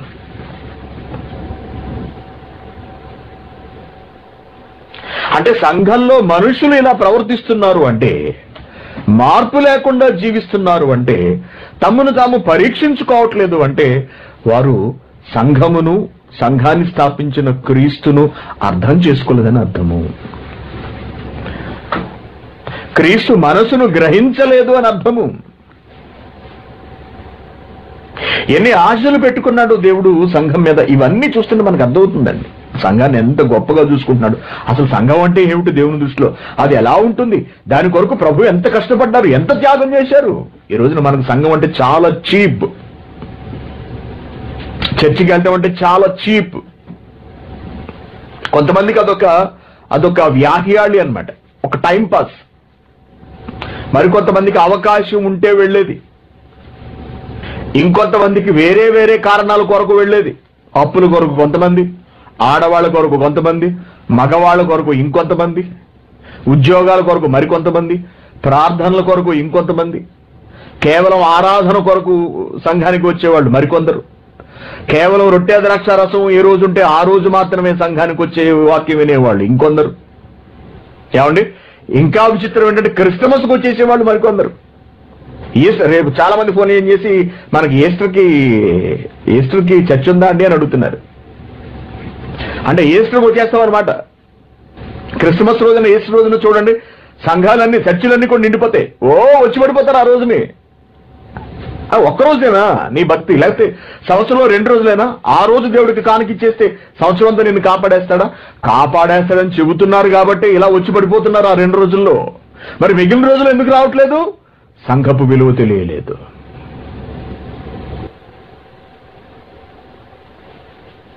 సంఘపు గొప్పదనం అర్థం కాలేదు. సంఘ కార్యక్రమాల్లో పాల్గొనాలి అనే ఆలోచన లేదు. ఎంత కష్టపడ్డాడు ప్రభు సంఘం కొరకు? మన కొరకండి. మనల్ని ఒక తాటి మీదకు తీసుకురావడానికి చెప్పాను కదా ఇందాక నేను. మనలను సమష్టిగా ఉంచడానికి. మనలను ఒకే ఒకే ఒకే లక్ష్యంతో నడిపించడానికి. మనలో ఐకమత్యాన్ని నిలిపి ఉంచడానికి ఎంత అప్పగించుకున్నాడు మహానుభావుడు ఎంత త్యాగం చేశాడు. కాబట్టి ప్రేమైన దేవుని పిల్లారా ఇది సంఘం పట్ల దేవునుకున్నటువంటి అభిప్రాయాలలో ఇవి సంఘం పట్ల దేవునికున్నటువంటి అభిప్రాయాలలో కొన్ని మాత్రమే. ఇదంతా నేను ఉపోద్ఘాతంగా ఎందుకు చెప్పానంటే ప్రకటన గ్రంథంలోని ఏడు సంఘముల వివరణ మనకు అర్థం కావాలి అంటే ఏ సంఘాలుగా ఎందుకు పిలవాలి? అసలు ఆ ఎపిసిలోను స్ఫురణలోను లౌదకి వీటన్నిటిని కూడా సంఘాలుగా ఎందుకు పిలవాలి? ఎవరికి వాళ్ళు విడిగా ఉండొచ్చు కదా? క్రీస్తు సంఘం క్రిందే ఎందుకు బ్రతకాలి? ఎందుకు బ్రతకాలి? అది తెలుసుకుంటే తప్ప మనం ఈ ఏడు సంఘాల వివరణను గమనించలేము. కాబట్టి దేవుని పిల్లరా మనమందరము ఆయన వాక్యం క్రిందకు రావాలి అని దేవుడు ఆశపడుతున్నాడు. మనమందరము ఏక ఆలోచన కలిగి ఉండాలి ఏక భావాన్ని కలిగి ఒకే తాత్పర్యాన్ని కలిగి అంటాడు చూడండి ఫిలిపిల్ రాసిన పత్రిక రెండో అధ్యాయం. మొదటి వచ్చిన నుండి. కావున క్రీస్తునందు ఏ హెచ్చరిక అయినను? ప్రేమ వలన ఆదరణ అయినను ఆత్మయందు ఏ సహవాసమైనను ఏ దయారసమైనను వాత్సల్యమైనను ఉన్న ఎడల మీరు ఏక మనస్కులగునట్లుగా ఒకే మనసు అందరికీ ఒకే మనసు ఎలా వస్తుంది? ఒకే ఆజ్ఞను బట్టి వస్తుంది. ఒకే వాక్యాన్ని బట్టి రావాలి ఏక మనస్సు అనేది. అది సంఘంలో ఉండాలి. అలా ఒకే వాక్యాన్ని బట్టి ఏర్పడినదే సంఘం అంటే. ఆ సంఘంలో ఉన్న వాళ్ళందరూ ఒకే మనస్సును కలిగి ఉండాలట. ఏక మనస్కులగునట్లుగా ఏక ప్రేమ కలిగి ఏక భావము గలవారిగా ఉండి అంటాడు చూసారంటే ఒకే భావం ఉండాలి అందరికీ కూడా. మీ గమ్యం ఏమిటి? మీ లక్ష్యం ఏమిటి? అసలు మీరు ఏం చేద్దాం అనుకుంటున్నారు అని అడిగితే ఒక్కొక్కడు ఒక్కొక్క స్టోరీ చెప్తాడు మనకి. మీ బిడ్డలు ఏం చేద్దాం అనుకుంటున్నారు అని అడిగితే ఒక్కొక్కరు ఒక్కొక్క అభిప్రాయాన్ని ఎలా చెబుతారో. అలాగే సంఘంలో వారి వారి బ్రతుకుల మీద ఒక్కొక్కరికి ఒక్కొక్క వ్యక్తిగతమైనటువంటి అభిప్రాయం ఉంటుందండి. వారి వ్యక్తిగత జీవితాల మీద. సంఘముగా ఏకాభిప్రాయాన్ని కలిగి ఉండరు. చివరికి సంఘపు పనుల్లో కూడా ఏకాభిప్రాయాన్ని కలిగి ఉండరు. ఎంత విడూరం చూడండి. కానీ ఇక్కడ ఏముంటాడంటే అందరూ ఒకే ప్రేమ కలిగి ఏకభావము గలవారిగా ఉండి ఒక్కదాని అందే మనసుంచుచు నా సంతోషము సంపూర్ణం చేయండి ఫిలిప్పీలారా అని పౌలు గారు బ్రతిమలాడుతున్నాడు. అంటే సంఘం ఎలా ఉండాలి అని భక్తుల ద్వారా దేవుడు కోరుకుంటున్నాడు కానీ సంఘాల పరిస్థితి ఎలా ఉన్నది అన్నది మనకి వచనం ద్వారా అర్థమైపోతుంది. నాటి నుండి నేటి వరకు ఇదే తీరు ఇదే పోకడ. ఆలోచించండి. కాబట్టి సంఘము ఏకభావము ఈ ఏకభావం ఎవరిది? దేవునిది. దేవుడు ఏ భావాన్ని కలిగి ఉన్నాడో ప్రతి సంఘ సభ్యుడు అదే భావాన్ని కలిగి ఉండాలి. సంఘ సభ్యులలో ఏ ప్రేమనైతే దేవుడు ఉంచాడో ఏ ప్రేమనైతే బైబిల్ ద్వారా నేర్పిస్తున్నాడో అదే ప్రేమను ప్రతి సభ్యుడు కలిగి ఉండాలి సంఘం అంతా కలిగి ఉండాలి. ఏక భావం ఉండాలి ఏక ప్రేమ కలిగి ఉండాలి అలాగే ఏక మనస్కులై ఉండాలి ఒక్కదాని అందే మనసు ఉంచాలి అంటున్నాడు. ఇది సంఘం ఉండవలసింది. మరి ఇలా ఉంటుందా సంఘము? ఇలా ఉన్న సంఘాలు ఉన్నాయా ఏక మనస్సు ఏకభావము కలిగి దేవుని యందు ఒకే గురి కలిగినటువంటి సంఘం ఉందా? లేక దారి తప్పిన సంఘములు ఏవైనా ఉన్నవా? ఒకవేళ ఇక్కడ చెప్పబడినటువంటి విషయాలన్నీ కూడా నేటి సంఘాల్లో ఉన్నట్టయితే అనగా ఏక మనస్సు లేకపోవటం ఏక తాత్పర్యం లేకపోవటం ఏక ఉద్దేశం లేకపోవటం ఏక ప్రేమ లేకపోవటం ఒకే మాట లేకపోవడం ఐక్యత లేకపోవడం ఇవన్నీ కూడా నేడు సంఘాల్లో ఉన్నట్టయితే కనుక ఆ సంఘాలన్నీ కూడా దేవుని వాక్యమును బట్టి తమ్మును తాము సరిదిద్దుకోవాలి. ఆ విషయాలను తెలియ చెప్పడానికే దేవుడు ప్రకటన గ్రంథంలో కొన్ని సంఘాలను తీసుకొని వాటిలోని తప్పొప్పులను లేవనెత్తి చూపుతూ వాటిని సరిదిద్దే ప్రయత్నం చేశాడు. అవే ప్రకటన గ్రంథంలో చెప్పబడిన ఏడు సంఘములు. అర్థమైంది కదండి? కాబట్టి ఈ ఏడు సంఘముల గురించి ఏం మాట్లాడాడు? వాటిని చదువుతూ సంఘముగా ఉన్న మనం ఏమి నేర్చుకోవాలి? ఏమి సరిదిద్దుకోవాలి? వేడిని అవలంబించాలి వేటిని విడిచిపెట్టాలి అనే సంగతులను అనే విషయాలను మనం రేపు నేర్చుకుందాం. సిలబస్లోని ఒక పాఠాన్ని మనం నిన్నటి నుండి మొదలు పెట్టాము. అదే ప్రకటన గ్రంథంలోని ఏడు సంఘముల వివరణ. ప్రకటన గ్రంథంలోని ఏడు సంఘముల వివరణ. నిన్న కొంత భాగాన్ని మనం పరిశీలించాము. అసలు సంఘం అంటే ఏమిటి? సంఘాన్ని స్థాపించడం వెనుక దేవుని మనసులో ఉన్నటువంటి ఆలోచన ఏమిటి అనే కొన్ని మాటలను మనం పరిశీలించాం. మిగిలిన పాఠ్య భాగాన్ని మనం ఈ రోజు కొనసాగిద్దాం. దేవుని పిల్లారా ఏడు సంఘములను గుర్చినటువంటి వివరణలో అసలు సంఘం అంటే ఏమిటో అది ఎందుకు ప్రారంభించబడిందో దేవుడు సంఘాన్నే ఎందుకు ఏర్పాటు చేశాడో మనం నిన్న ఆలోచించాం. దేవుడు ఒక పట్టణాన్ని స్థాపిస్తాను ఒక నగరాన్ని నేను నెలకొల్పుతున్నాను అది భూమి మీద ఒక ప్రాంతమునకు పరిమితమై ఉంటుంది ఇది ఒక భాషకే పరిమితమై ఉంటుంది అని ఎక్కడా చెప్పలేదు దేవుడు. ఒక సంఘాన్ని స్థాపిస్తాను అన్నాడు. సంఘం అనగా నిన్న మనం పరిశీలించాము సంఘం అంటే ప్రాణి సమూహము అలాగే ఒక గుంపు ఒక సమాజము అని మనం తెలుసుకున్నాం. వెరీ గుడ్ ఏ సంఘాన్ని ఎందుకు స్థాపించాలనుకున్నాడు దేవుడు? సంఘం అనేది దేవుని మనసుకు ప్రతిబింబము. తనను విశ్వసించిన తనను అనుసరిస్తున్న ప్రజలు బ్రతకవలసినటువంటి ఒక జీవన విధానము సంఘము.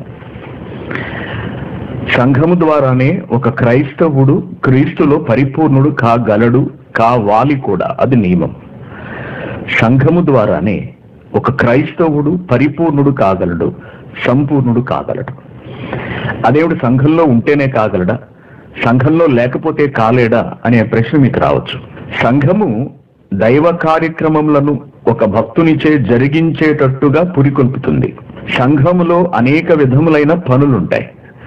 సంఘములో అనేక విధములైన కార్యక్రమములు ఉంటాయి వీటన్నిటిలోనూ ప్రతి భక్తుడు పాల్గొని తన కష్టార్జితాన్ని తన ఆలోచనలను తనకున్నటువంటి తెలివితేటలను దేవుడు తనకు ప్రసాదించేటువంటి ప్రత్యేక స్థితిగతులను ఉపయోగించవలసిన అవసరత ఏర్పడుతుంది. ఆ వ్యక్తి సంఘంలో లేడనుకోండి. పరిపూర్ణుడు కాలేడు. కారణం ఏమిటంటే సంఘం ద్వారా వస్తున్నటువంటి ఆజ్ఞలను స్వీకరించలేడు. తదననుగుణంగా బ్రతకలేడు ప్రవర్తించలేడు. ఇక పరిపూర్ణుడు ఎలా కాగలడు? చాలా మంది ఇంట్లో కూర్చుని వాక్యం నేర్చేసుకుంటూ ఉంటారు. వెరీ గుడ్ వాక్యం నేర్చుకోవడం మంచిదే. కానీ చాలా మంది సంఘమునకు హాజరు కారు. సంఘముగా సమావేశం కారు. ఇది చాలా తప్పు పద్ధతి. చాలా మందికి తెలియదు ఈ విషయం. మేము వాక్యంలోనే ఉన్నాము కదా అని భ్రమపడుతూ ఉంటారు అంతే. వచ్చే అవకాశం ఉన్నా కూడా రాని వాళ్ళు చాలా మంది ఉంటారు. సంఘానికి హాజరయ్యే అవకాశం ఉన్నా సమాజముగా కూడుకోమని దేవుడు చెప్పిన ఆ మాటను తమ స్వంత అవసరాల నిమిత్తము ప్రక్కకు నెట్టి పక్కన పెట్టేసి తమ సంపాదన తాము చూసుకునే వాళ్ళు కూడా ఉంటారు. వీళ్ళు. దేవుని వాక్యాన్ని ఎరిగి ఉండి కూడా ఉద్దేశపూర్వకంగా దాన్ని అతిక్రమిస్తున్న వాళ్ళు. వీరికి సంఘపు విలువ తెలియదు వీరికి సంఘపు విలువ తెలియదు సమాజముగా కూడుకోవడం వల్ల కలిగే ప్రయోజనాలు ఏమిటో తెలియదు ఆలోచించండి. మనం సమాజంగా ఉండడాన్ని బట్టి దైవ కార్యక్రమాలను నిర్వర్తించాలి అనే నిర్ణయాలు తీసుకుంటున్నాం. సంఘానికి అందరూ వస్తున్నారు. చక్కగా అందరూ హాజరవుతున్నారు కాబట్టి పరిస్థితులన్నీ కూడా బాగుండడాన్ని బట్టి లేఖనాల పరిశోధన సదస్సులు జరిగించాలి అనే నిర్ణయం నేను తీసుకుంటాను. దానికి అంగీకరించిన ప్రతి ఒక్కరు కూడా తమకు అప్పగించినటువంటి బాధ్యతలు లేదా తాము చేయగలిగిన పనులు చేసుకుంటూ వెళుతూ ఉంటారు. కొందరు ట్రాన్స్పోర్ట్లు మరికొందరు వంట పనులు మరికొందరు ఏర్పాట్లన్నీ చూడాలి మరికొందరు ధన సహాయము. ఇలా ఎవరు చేయగలిగే పని వాళ్ళు చేసుకుంటూ వెళుతూ ఉంటారు. అలాగే సంఘానికి వస్తూ వాక్యాన్ని నేర్చుకుంటూ ఉంటారు. సహోదర ప్రేమ కలిగి ఉంటారు. సహోదర ప్రేమను కనబరచగలిగే వారై ఉంటారు. కేవలం సహోదర ప్రేమను కలిగి ఉండడం మాత్రమే కాదు దాన్ని కనబరుస్తూ ఉండాలి. దేవుని పట్ల ప్రేమను కలిగి ఉండడమే కాదు దానిని చేతల్లో చూపిస్తూ వెళుతూ ఉండాలి.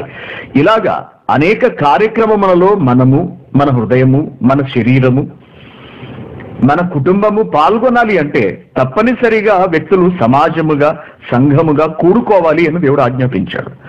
పరిస్థితులు బాగోనప్పుడు మరీ ఎక్కువగా కూడుకోమని దేవుడు చెప్పాడు. మనం చూసాం కొత్త నిబంధనలో. పరిస్థితులు దిగజారుతున్నప్పుడు మానవుల మధ్యలో ప్రేమ సత్సంబంధాలు అనేవి నశించిపోతున్నప్పుడు సమాజం అస్తవ్యస్తమైన పరిస్థితుల్లోనికి వెళ్ళిపోతున్నప్పుడు మరి ఎక్కువగా కూడుకోండి అంటున్నాడు. కారణం ఏంటంటే మరి ఎక్కువగా ఒకరినొకరు బలపరుచుకుంటూ మరి ఎక్కువగా దేవుని బాటలు బట్టి ధైర్యం తెచ్చుకుంటూ మరి ఎక్కువగా దేవుని పనులలో పాల్గొవడానికి సమాజంగా కూడుకోవడము సంఘముగా సమావేశం కావటము చాలా చాలా అవసరమని దేవుని హితబోధ హితవాక్యము. అయితే దీన్ని పట్టించుకుంటున్న వాళ్ళు దీన్ని చెవును పెడుతున్న వాళ్ళు దీన్ని అనుసరిస్తున్న వాళ్ళు చాలా తక్కువ మంది. ఇంట్లో కూర్చొని మొబైల్ ఆన్ చేసేసి మేము వాక్యాన్ని వినేస్తున్నాం కదా. లేకపోతే యూట్యూబ్లో ఏదైనా ఒక మెసేజ్ వస్తే అది వినేసి మేము దేవుళ్ళలోనే ఉంటున్నాం కదా అని అనుకుంటున్నారు.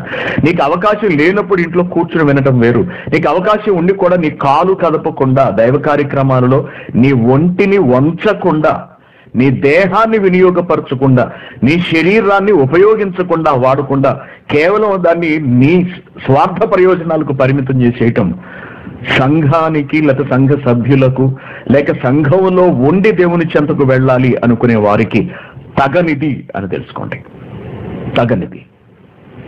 కాబట్టి అందరూ ఏక మనస్సు కలిగి ఏక భావజాలాన్ని కలిగి ఏక అభిప్రాయాన్ని కలిగి ఒకే లక్ష్యంతో పనిచేయాలి అంటే సంఘం ఉండాలి అందరూ సమాజముగా ఉండాలి అనగా అందరూ ఒకే కుటుంబంగా ఐక్యతతో ఉండాలి అని దేవుడు ఆలోచన. అందుకే దేవుడు దేశము అని కాకుండా సంఘము అనే ఒక ఒక వ్యవస్థకు ఆయన మొగ్గు చూపాడు ఎక్కువగా.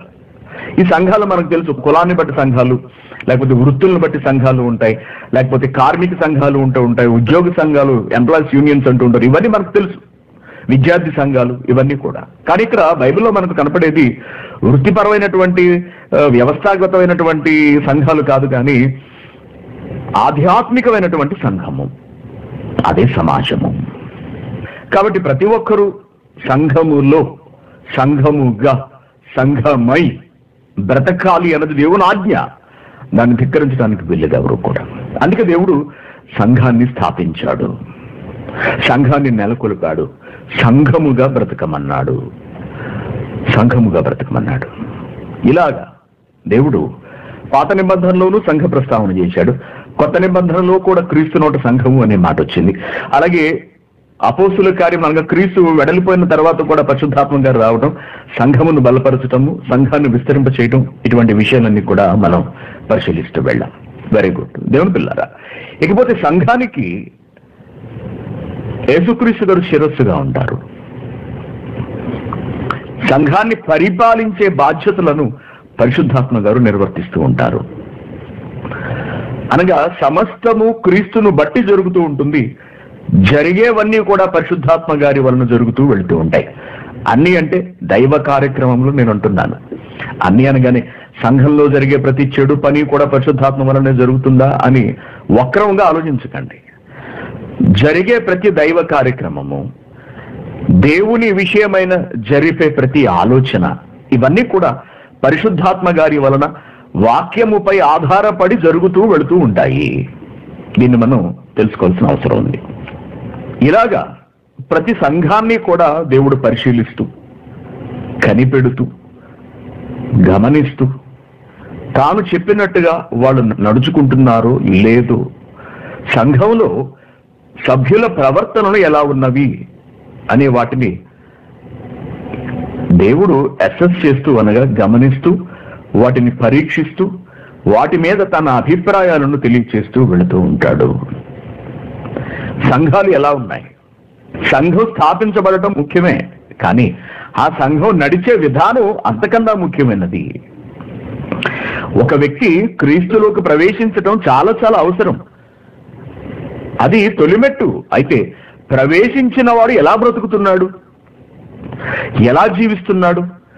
ఇటువంటి మనుషులను విశ్వాసులను కలిగినటువంటి సంఘాలు ఆ సంఘంలో చెప్పబడేటటువంటి బోధలు ఆ బోధనలు అనుసరించి నడుచుకునేటటువంటి భక్తులు వారి ప్రవర్తనలు వారి ప్రవర్తన ఫలితాలు ఈ ఫలితాలు దేవునికి అనుకూలంగా ఉన్నవా లేవా?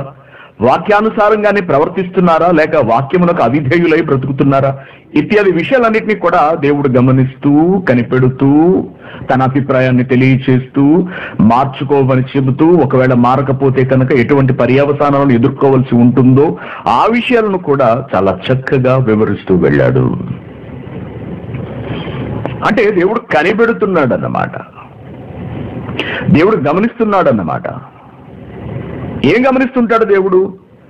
సంఘాన్ని కనిపెడుతుంటాడు దేవుడు. సంఘాన్ని కనిపెట్టడం అంటే ఏమిటి? సంఘంలోని వ్యక్తులను వారు నడుచుకోవలసిన విధానములు ఎలా ఉన్నవో లేవో అని ఆయన గమనిస్తూ ఉంటాడు. తిమోతికి రాసిన పత్రిక మూడో అధ్యాయము పదిహేను వచనం. ఆయనను నేను ఆలస్యము చేసిన ఎడల దేవుని మందిరములో అనగా జీవము కలిగిన దేవుని సంఘములో సంఘము జీవాన్ని కలిగి ఉంటుంది ఉండాలి కూడా. సంఘము జీవాన్ని కలిగి ఉంటుంది ఉండాలి. అలా జీవాన్ని కలిగి ఉన్నదా లేదా? సంఘము జీవాన్ని కలిగి ఉండాలి అంటే ఏం చెయ్యాలి ఎలా ఉండాలి? ఎలా కొనసాగుతూ ఉంటే ఆ సంఘము జీవము కలిగిన సంఘముగా మనం చెప్పవచ్చు నిర్ణయించవచ్చు. ఏమంటున్నాడు ఇక్కడ పౌలు గారు తిమోతి గారితో? సంఘము జీవము గలదిగా ఉండాలి. సంఘము జీవము గలదిగా ఉండాలి అంటే ఆ సంఘంలో ఉన్న వాళ్ళు వాక్యానుసారముగా జీవిస్తున్న వాళ్ళు కాదు తెలుసుకోగలగాలి. ఇక్కడ ఏముంటున్నాడు? దేవుని మందిరములో అనగా జీవము గల దేవుని సంఘములో జనులు ఎలాగూ ప్రవర్తింపవలెనో జనులు ఎలాగూ ప్రవర్తింపవలనో అది నీకు తెలియవలనని ఈ సంగతులన్నీ నీకు రాస్తున్నాను అనగా ఒక సంఘంలో భక్తులు ఎలా ప్రవర్తించాలి ఎలా ప్రవర్తించకూడదు. ఈ విషయాలను నీకు తెలియాలి అంటున్నాడు. ఇలా దేవుడు ప్రారంభం నుండి కూడా క్రీస్తును తర్వాత అపోస్తులను పరిశుద్ధాత్మ గారి సహాయంతో సమాజంలోనికి పంపించి అనేక సంఘాలను అనేక ప్రాంతములలో నిర్మించాడు ఏర్పాటు చేశాడు. చాలా సంఘాలు మనకు తెలుసు. దశోనిక సంఘము కొలసి సంఘము కొరింది సంఘము ఫిలిప్పి సంఘము ఇంకా చాలా సంఘాలు మనకు బైబిల్లో కనిపిస్తూ ఉంటాయి. ఈ సంఘాలన్నిటినీ కూడా దేవుడు అధ్యయనం చేస్తున్నాడు. గమనిస్తున్నాడు కనిపెడుతున్నాడు. అలా ఆయన కనిపెడుతుండగా కొన్ని సంఘాలలో కొన్ని రకాలైన లోపాలు ఆయనకు కనిపించాయి. వాటిని సరిదిద్దుకోమని చెప్పడం మొదలుపెట్టాడు. సరిదిద్దుకోకపోతే ఎటువంటి ఫలితాలు ఉంటాయో పర్యవసానాలు ఎంత తీవ్రంగా ఉంటాయో అది కూడా మహానుభావుడు తెలియజేశాడు. అవే ప్రకటన గ్రంథంలో చెప్పబడినటువంటి ఏడు సంఘములు. ఆ ఏడింటిలో ఉన్నటువంటి మొదటి సంఘాన్ని మనం అధ్యయనం చేయటం నిన్న ప్రారంభించాము. ఓకేనా?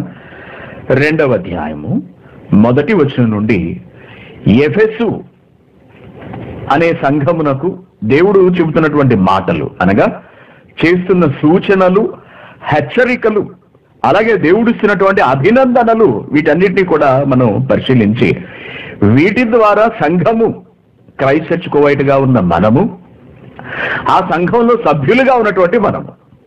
యావత్ సంఘము మరియు సంఘ సభ్యులు. ఎలా ఉండాలి అన్నది మనం నేర్చుకునే ప్రయత్నం చేద్దాం. అప్పటికి ఉన్నటువంటి ఏడు సంఘాలలో జరుగుతున్నటువంటి లోటుపాట్లను దేవుడు వివరించడం జరిగింది.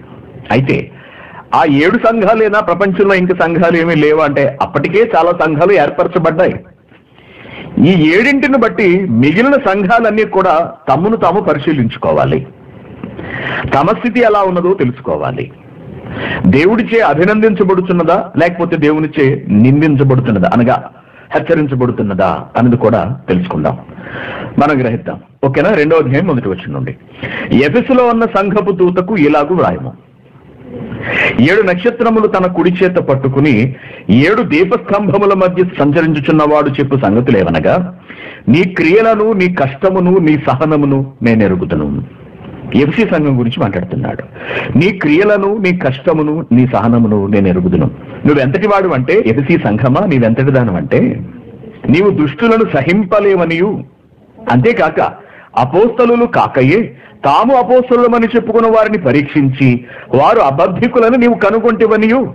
నీవు సహనము కలిగి నా నిమిత్తము భారము భరించి అలయలేదనియు. నేను ఎరుగుదును అంటున్నాడు. ఎంత మంచి కితాబిస్తున్నాడంటే దేవుడు ఎఫ్సి సంఘం గురించి. ఎఫ్సి సంఘ సభ్యుల గురించి. ఆ సంఘం అనుభవించినటువంటి శ్రమల గురించి. ఆ సంఘం పడినటువంటి కష్టాల గురించి. వాక్యంలో నిలబడి ఉండడాని గురించి. ఏమంటున్నాడు? మళ్ళీ చదివితే నీ క్రియలు నీ కష్టము నా కొరకైనటువంటి నీ సహనము నేను చూస్తున్నాను. నాకు తెలుసు. నువ్వెంత మంచి మనస్సు కలిగిన సంఘానివంటే దుష్టులను దుష్టత్వాన్ని నువ్వు సహింపలేవు. అంతేకాకుండా ఎవరు ఎటువంటి వారో ఎవరి సామర్థ్యం ఏమిటో ఎవరు నిజమైన వారో ఎవరు అబద్ధికులో నువ్వు కనిపెట్టగలవు. అంతటి శక్తి సామర్థ్యాలు వాక్య సంబంధమైన వివేచన నీకు ఉన్నవి అంటున్నాడు. ఏమంటున్నాడు?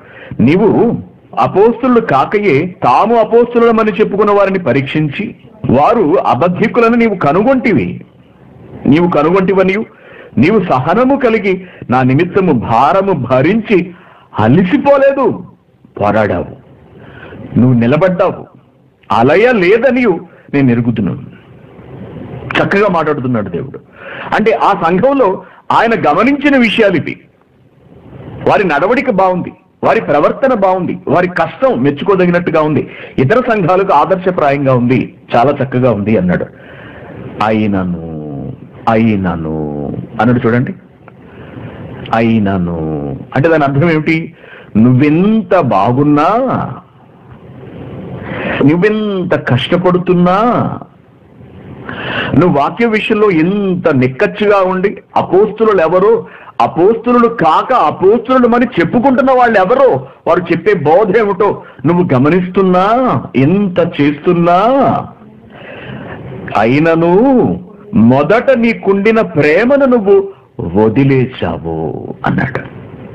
మొదట నీకుండిన ప్రేమను నీవు వదిలితివి వదిలేశావు. మొదటి ప్రేమను వదిలేశావు నువ్వు. మొదట నువ్వు చూపించిన ప్రేమను వదిలేశావు.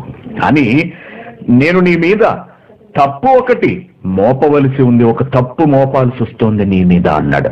ఒక తప్పు మోపవలసి వస్తుంది. ఒకటే కదా? ఒకటే కదండి. ఒకటే మోపాలా? అన్ని బాగున్నాయి కదా. ఒకటైనా పదైనా తప్పు తప్పేదే ఉంది దృష్టిలో. అందుకే నీ మీద నేరం మోపుతున్నాను. ఒక తప్పు మోపుతున్నాను.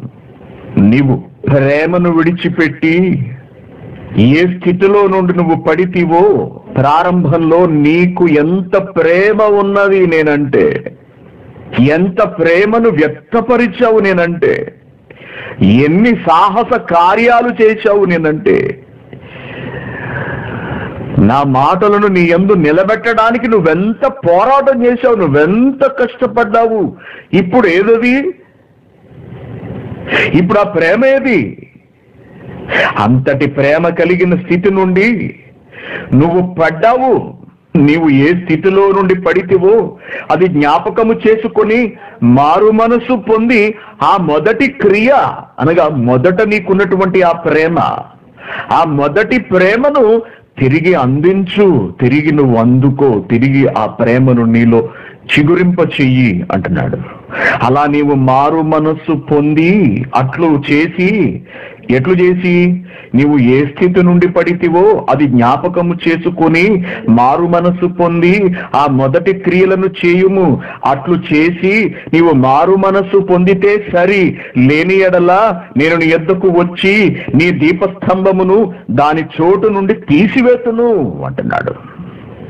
నీ దీపస్తంభాన్ని తీసేస్తాను అంటున్నాడు. దీపస్తంభం ఏమిటి? దాన్ని తీసేయడం ఏమిటి?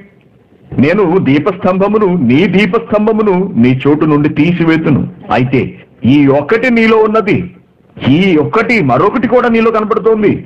నీవు నీ కొలాయుతల క్రియలను నీవు ద్వేషించుచున్నావు. నేను కూడా వీటిని ద్వేషించుచున్నాను. ఇదొక మంచిది నీలో కనిపిస్తోంది. అదేమిటంటే ఇంకొకటి మంచిది నీలో ఉన్నది నీ కొలాయితుల క్రియలను నీవు ద్వేషించుచున్నావు. నేను కూడా వీటిని ద్వేషించుచున్నాను. చెవి గలవాడు ఆత్మ సంఘములతో చెబుతున్న మాటలు ఇవి అంటున్నాడు చూడండి. చెవి గలవాడు ఆత్మ సంఘములతో చెబుతున్న మాట వినుగాక నేను చెప్పిన వీటిని అనుసరించి సరిదిద్దుకుని ఆ లోపాలను కనుక జయిస్తే అలా జయించు వానికి దేవుని పరదేశులో ఉన్న జీవవృక్ష ఫలములను భుజింపనిత్తును. అని ఎఫ్సి సంఘాన్ని గురించిన తన అభిప్రాయమును తన అసెస్మెంట్ను దేవుడు తెలియజేశాడు. చూశారండి ఎలా ఉందో? అంటే దేవుడు సంఘములను కనిపెడుతుంటాడా? దేవుడు సంఘములను గమనిస్తూ ఉంటాడా? గమనిస్తూ ఉంటాడండి. ఎందుకు గమనించడు? సంఘం అంటే మరి ఆయన ఇల్లు కదా. ఆయన మందిరము కదా. తన జనులందరూ కూడి ఉన్నటువంటి ఒక ఒక సమూహము కదా అది. దానిలో తన జనుల ప్రవర్తన ఎలా ఉన్నది? ఆయన దేవుడు కదా. అంతకు మించి తండ్రి కదా. తెలుసుకుంటూ ఉంటాడు. కనిపెడుతూ ఉంటాడు. ఒక తండ్రి తన కుమార్తెకు పెళ్ళి చేస్తాడు. లేదా కొడుకుకు పెళ్ళి చేస్తాడు. పెళ్ళి చేసిన తర్వాత ఒక నెలకు రెండు నెలలకు మూడు నెలలకు సంవత్సరానికి. తండ్రి అడుగుతూ ఉంటాడు ఏరా నాన్న ఎలా ఉంది పరిస్థితి? కాపురం ఎలా సాగుతోంది? అమ్మాయి ఎలా ఉంటుంది? అంతా సవ్యంగానే ఉన్నదా? ఏమైనా ఇబ్బంది పడుతున్నారా? అడుగుతూ ఉంటాడు దూరంగా ఉంటున్నట్టయితే. అలాగే ఒక తండ్రి తన కుమార్తెను కూడా అడుగుతూ ఉంటాడు ఏమ్మా ఆయన ఎలా ఉంటున్నాడు? నీతో బాగానే ఉంటున్నాడా? గొడవలు ఏమైనా పడుతున్నారా? ఏమన్నా అవసరమా? ఇవన్నీ కూడా తండ్రి ఎంక్వైరీ చేస్తూ ఉంటాడు ప్రశ్నిస్తూ ఉంటాడు. వెరీ గుడ్ ఇక తండ్రి దగ్గరే ఉన్నాడు అనుకోండి. తండ్రి దగ్గరే ఉన్నాడు. ఆ తండ్రి దగ్గరే ఉంటే కనిపెడుతూ ఉంటాడు అన్ని చూస్తుంటాడు. అన్ని చూస్తుంటాడు. చూస్తున్నప్పుడు తన కొడుకులో లోపం కనిపించింది. తన కొడుకు చెబుతాడు నాన్న బాగుంది నువ్వు నీ కాళ్ళ మీద నువ్వు నిలబడ్డావు. వివాహం చేసుకున్నావు. చాలా సంతోషం. అయితే నీలో కాపురము చేయడం భార్యతో కలిసి బ్రతకడం అనే విషయంలో ఇంకా ఈ పరిపక్వత నీకు అవసరం. నీలో ఇంకా లోపాలు కనపడుతున్నాయి. నువ్వు రాత్రులు లేటుగా వస్తున్నావు. ఒక్కొక్కసారి తాగి వస్తున్నావు. మీ అమ్మ నేను ముసలాలు అయిపోయాం పిల్ల ఇంట్లో ఒక్కతే అనగా మీ భార్య ఇంట్లో ఒక్కతే ఉంటుంది. పోనీ చంటి బిడ్డను పెట్టుకున్నది అనుకున్నాను చంటి బిడ్డను పెట్టుకుని ఉన్నది. ఏమైనా అవసరమైతే ఎవరు తీసుకొస్తారు? నువ్వు ఆలస్యంగా తాగి వస్తున్నావు. పిల్ల ఇబ్బంది పడుతోంది. తప్పు నువ్వు ఆ పని చేయకూడదు. మార్చుకో నీ పద్ధతి అని తండ్రి చెప్తాడు. లేక తల్లి చెబుతుంది. అలాగే తల్లిదండ్రులు ఇంటి దగ్గరే ఉంటున్నారు. కాపురం ఎలా జరుగుతుందో గమనిస్తూ ఉంటారు. కూతురు దగ్గరే ఉన్నారు అనుకుందాం కూతురు భర్తను సరిగా చూడట్లేదు. భార్యడు పొద్దెక్కిన తర్వాత లేస్తుంది. ఆయనకు ఉదయం ఆఫీస్కి వెళ్ళేటప్పటికి టిఫిన్ ఉండట్లేదు. ఖాళీ కడుపుతో వెళుతున్నాడు. మధ్యాహ్నం హోటల్లో ఎక్కడో తింటున్నాడు.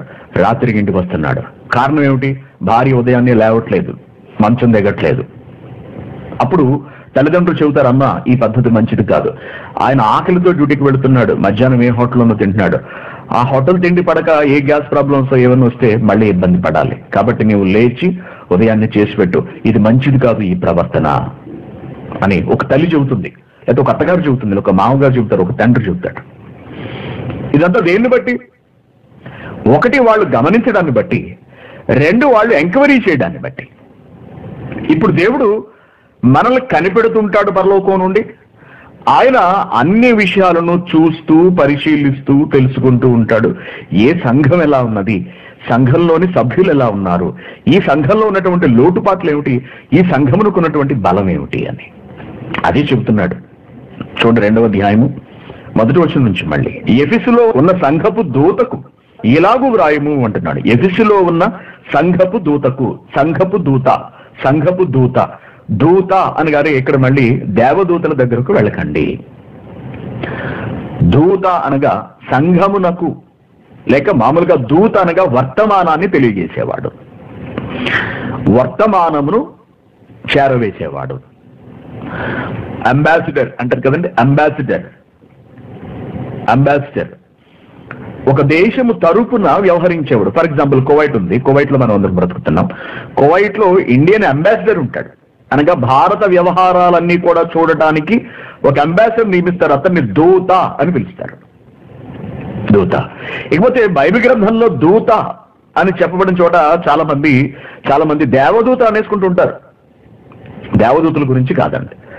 సంఘపు దూతల గురించి మాట్లాడుతున్నాడు. చూడండి కొరిందులు గ్రసం రెండో పత్రిక ఎనిమిదో అధ్యాయం ఇరవై మూడో వచ్చిన తీతు తీతు వచ్చాడు. లేకపోతే తీతను అడగని చెప్తాడు. తీతను అడగటం ఏంటి? తీతు రావడం ఏంటి? అసలు తీతెవడు అని అడిగిన ఎడల అతడు నా పాలివాడు పౌలు చెప్తున్నాడు నా పాలివాడు మీ విషయంలో నా జత పనివాడునై ఉన్నాడనియు. మన సహోదరులు ఎవరని అడిగిన ఎడల తీతుతో పాటు సహోదరులు కూడా వచ్చారు. లేకపోతే మన సహోదరులు అడిగారు. మన సహోదరులు ఎవరని అడిగిన ఎడల వారు సంఘముల దూతలు అంటున్నాడు చూడండి సంఘముల దూతలు అని ఇక్కడ ఒకటి నంకివేసి కింద అపోస్తలులను అంటున్నాడు. అపోస్తులు అపోస్తులు అంటే ఎవరు? అపోస్తులు అనే పదానికి ఉన్నటువంటి అర్థం ఏమిటి? అపోస్తలు అనగా పంపబడిన వారు అని అర్థము. అపోస్తలు అనగా పంపబడిన వారు ఇక్కడ ఎస్సీ సంఘం దగ్గరకు వచ్చేటప్పటికి సంఘాన్ని పరిపాలించటానికి దేవునిచే పంపబడిన వారు లేదా దేవునిచే ఎంపిక చేయబడిన వారు అనగా సంఘమును కాస్తున్నవారు. వాళ్ళకి తెలియవలసిన విషయములు కొన్ని ఉన్నవి అంటున్నాడు. కాబట్టి దూతలు అనగానే కేవలం దేవదూతలు అని మాత్రమే అనుకోకండి. దేవునికి సేవ చేస్తున్నప్పుడు దేవదూతలు వర్తమానాన్ని ఆత్మలుగా అనగా సేవకులైన ఆత్మలుగా వాళ్ళు తీసుకొచ్చినప్పుడు వాళ్ళు దేవదూతలు. ఓకేనా అండి సాతానుతో పోరాడినప్పుడు వాళ్ళు దేవదూతలు. కేవలం వాళ్ళు మాత్రమే దూతలు కాదు మానవులలో కూడా దూతలు ఉన్నారు దూత అనగా తరుపున నిలబడి చెప్పేవాడు వర్తమానాన్ని సమాచారాన్ని చేరవేసేవాడు అని అర్థము. ఓకేనా అండి కాబట్టి దూతలు అనగానే దేవదూతల దగ్గరికి వెళ్ళకండి. వెరీ గుడ్ ఇప్పుడు ఇక్కడ ఏమంటున్నాడు? ఎఫిసులో ఉన్న సంఘపు దూతకు ఇలాగూ వ్రాయము. ఏడు నక్షత్రములు తన కుడి చేత పట్టుకుని ఏడు నక్షత్రములు తన కుడి చేత పట్టుకుని ఏడు దీప స్తంభముల మధ్య సంచరించు వాడు చెప్పు సంగతులేవనగా ఏడు నక్షత్రములు అంటున్నాడు. నక్షత్రములను చేతితో పట్టుకోవడం ఏమిటి?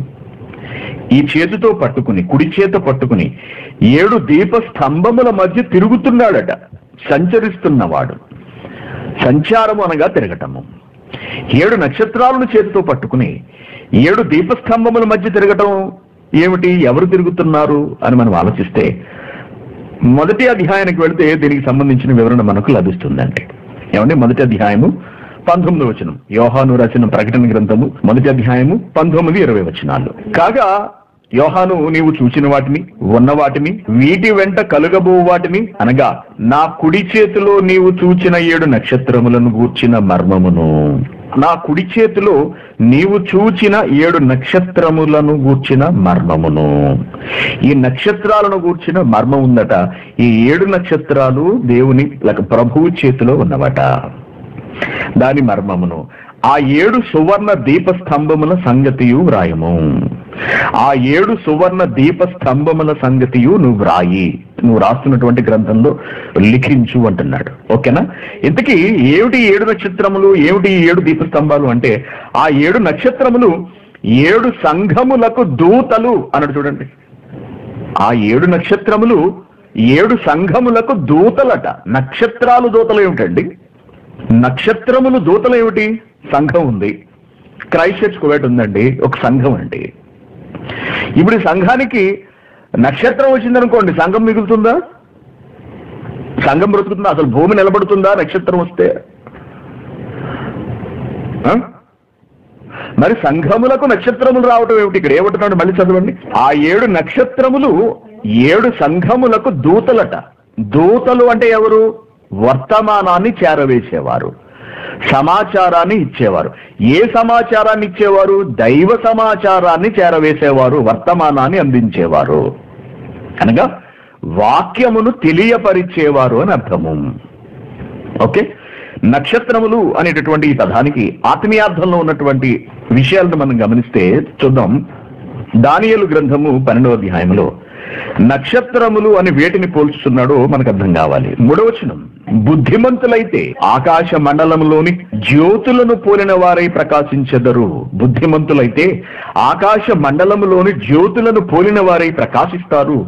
నీతి మార్గమును అనుసరించి నడుచుకొనున్నట్లు ఎందరూ అనేకులను త్రిప్పుదురో వారు నక్షత్రముల వలె నిరంతరము ప్రకాశించెదరు అంటున్నాడు.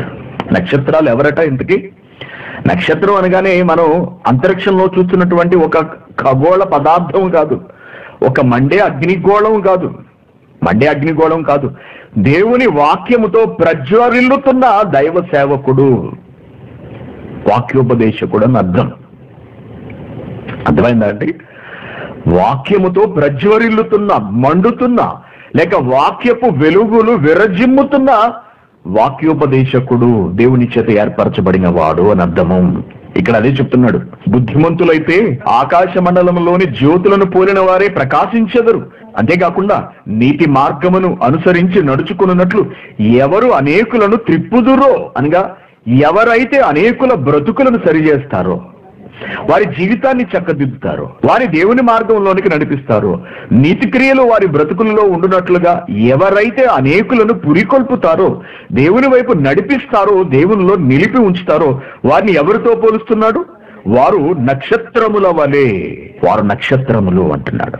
వెరీ గుడ్ ఇప్పుడు ఇక్కడ ప్రకటన గ్రంథము పంతొమ్మిదో అధ్యాయము ఇరవై వచనంలో ఆ ఏడు సువర్ణ దీపస్తంభములు ఏడు నక్షత్రములు ఏమిటని మనం ఆలోచిస్తుంటే ఆ ఏడు నక్షత్రములు ఏడు సంఘములకు నియమింపబడిన దూతలు అనగా సంఘాన్ని సంస్కరిస్తున్న వాళ్ళు సంఘమునకు దేవుని వాక్యమును అందిస్తున్న వాళ్ళు. ఓకేనా అండి?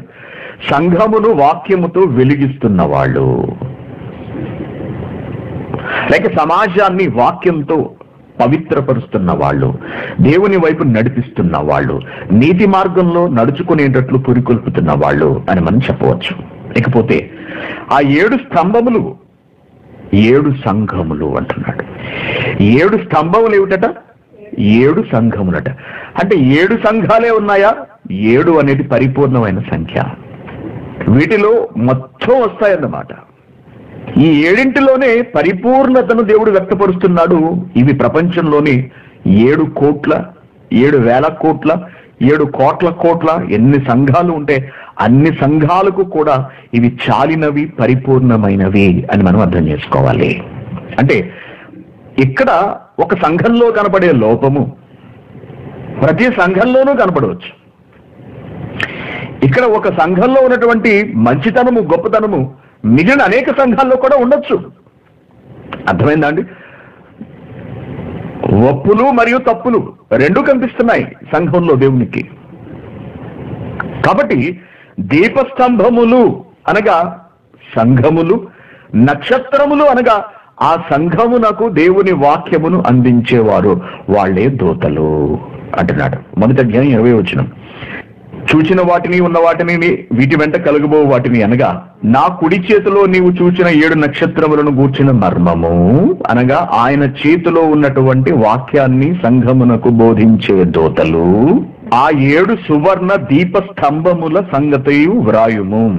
ఆ ఏడు నక్షత్రములు ఏడు సంఘములకు దూతలు. వాక్యాన్ని ప్రకటించేవారు. ఆ ఏడు దీప స్తంభములు స్తంభములు ఏడు సంఘములు అంటున్నాడు. ఏడు సంఘములు. సంఘములు అనగా దీపస్తంభము. ఆ దీపస్తంభము మీద ఉన్నటువంటి వెలుగు నక్షత్రము. ఆలోచించండి. ఇప్పుడు ఏం చేస్తున్నట్ట ఏం చేస్తున్నట్ట ఈయన? రెండవ అధ్యాయం ఒకటి వచ్చిన ఎఫిసిలో ఉన్న సంఘం దగ్గరకు వచ్చాడు. ఎఫెసులో ఉన్న సంఘము. అంటే ఈయన ప్రతి సంఘాన్ని చూస్తూ తిరుగుతున్నాడు అన్నమాట సంచరిస్తున్నాడు అన్నమాట ఈయన సంఘాల మధ్యలో. ఏమంటున్నాడు ఇప్పుడు? ఆ ఎఫిసి దగ్గరకు వచ్చాడు. ఎఫిసి ఎఫిసులో ఉన్న సంఘపు దూతకు ఇలాగు వ్రాయి.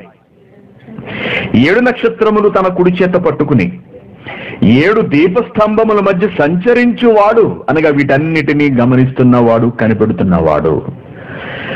కొన్ని విషయాలు చెబుతున్నాడు.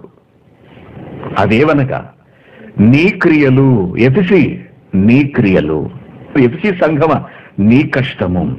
ఎఫిసి సంఘమ నీ సహనము నాకు తెలుసు. నువ్వు దుష్టులను సహింపలేవు. అంతేకాకుండా అపోస్తులు కాకయే తాము అపోస్తులమని చెప్పుకుని వారిని పరీక్షించి వారు అబద్ధికులని నీవు కనుగొంటివి. అంతేకాకుండా నీవు సహనము కలిగి నా నామము నిమిత్తము భారము భరించి అలిసిపోలేదని నేను ఎరుగుదును అంటున్నాడు. ఎఫ్సి సంఘము. ఎఫ్సి సంఘము. ఎఫ్సి సంఘము. దేవునిచే విలువైన అభినందనలు అందుకుంటున్నటువంటి సంఘము. వెరీ గుడ్ ఇప్పుడు ఈ ఎఫ్సి సంఘం దగ్గరకు మనం వెళదాం ఒకసారి. ఎఫిసి సంఘంలోని పరిస్థితులు ఎలా ఉన్నవో మనం గమనిద్దాం. ఎఫిసి సంఘం ప్రారంభంలో ఎలా ఉన్నది? రోజులు గడిచే కొద్దీ ఎలా ఉన్నది? మరిన్ని రోజులు గడిచే కొద్దీ ఎలా మార్పు చెందినది? ఒకనాడు ఈ సంఘం గురించి ఎంతో గొప్పగా కితాబిచ్చినటువంటి దేవుడు రాను రాను ఎటువంటి నేరాలు దాని మీద మోపాడు ఎందుకు మోపవలసి వచ్చింది? మనం తెలుసుకోవడం నేర్చుకోవడం చాలా చాలా అవసరం. కారణం ఏమిటంటే సంఘములో రెండు ప్రాముఖ్యమైన సంగతులు ఉంటాయి. లేకపోతే రెండు వర్గాలకు చెందిన మనుషులు ఉంటారు. వారిలో ఒకరు వాక్యాన్ని బోధించేవారు మరొకరు వాక్యాన్ని వింటూ అనుసరించేటటువంటి విశ్వాసులు. సంఘంలో వాక్యోపదేశకులు ఎలా ఉన్నారు? ఏం చెబుతున్నారు? సంఘంలో వాక్యాన్ని వింటున్నటువంటి విశ్వాసులు ఎలా ఉన్నారు? ఎలా బ్రతుకుతున్నారు? ఈ రెండు విషయాలను కూడా గమనించవలసిన అవసరం ఉన్నది. దేవుని పిల్లారా అందుకే మనం ఒకసారి ఎఫ్సి సంఘం దగ్గరికి వెళదాం. ఈ ఎఫ్సి సంఘపు ప్రారంభము దాని మనుగడ దాని పురోగతి ఎలా జరిగింది? క్రమక్రమంగా దేవునిచ్చే చీవాట్లు తినే స్థితికి ఎలా దిగజారింది అన్నది మనం పరిశీలిద్దాం ఒకసారి. అపోస్తుల కార్యముల దగ్గరికి మనం వెళ్ళాలి. ఓకేనా? అపోస్తుల కార్యములు పంతొమ్మిదవ అధ్యాయము. మొదటి వచ్చినాం అపోల్లో కొరింధిలోనున్నప్పుడు జరిగినది ఏమనగా అపోల్లో అనే భక్తుడు విశ్వాసి లేక వాక్యోపదేశకుడు కొరింధి అనే పట్టణానికి వెళ్ళినప్పుడు పౌలు పైన కొన్ని ప్రదేశాలు చెప్పాడు. ఆ ప్రదేశాలలో సంచరించి ఎఫెసునకు వచ్చి అన్నాడు. ఎఫెసునకు వచ్చి కొందరు శిష్యులను చూచి మీరు విశ్వసించినప్పుడు పరిశుద్ధాత్మను పొందితిరా అనే ప్రశ్న అడిగాడు. అక్కడ కొందరు శిష్యులు ఉన్నారు ఎఫెసులో కొందరు శిష్యులు ఉన్నారు. ఈ శిష్యులు ఎలా వచ్చారు? శిష్యులు అంటే ఎవరో మనకు తెలుసు. ప్రభువుని నమ్మిన వాళ్ళు దేవుని అనుసరిస్తున్న వాళ్ళు. శిష్యులు అక్కడికి ఎలా వచ్చారు అని మనం ఆలోచిస్తే గతంలో ఒకసారి పౌలు అక్కడ బస చేసి అక్కడ ఉండి అనగా ఎఫెసు పట్టణాల్లో ఉండి మరొక ప్రాంతానికి వెళ్ళాడు. ఓకేనా? ఈలోపు అక్కడ ఒక సంఘటన జరిగింది. ఒక భక్తుడు అక్కడికి వచ్చాడు. అదేమిటి? పైనుండి. పద్దెనిమిదో అధ్యాయం ఇరవై నాలుగు వచ్చినము అలెగ్జాంద్రియా వాడైన అపోల్లో అని ఒక యూదుడు ఎఫెసునకు వచ్చాను. ఎఫెసునకు వచ్చాను. అతడు విద్వాంసుడును లేఖనముల యందు ప్రవీణుడునై ఉండెను.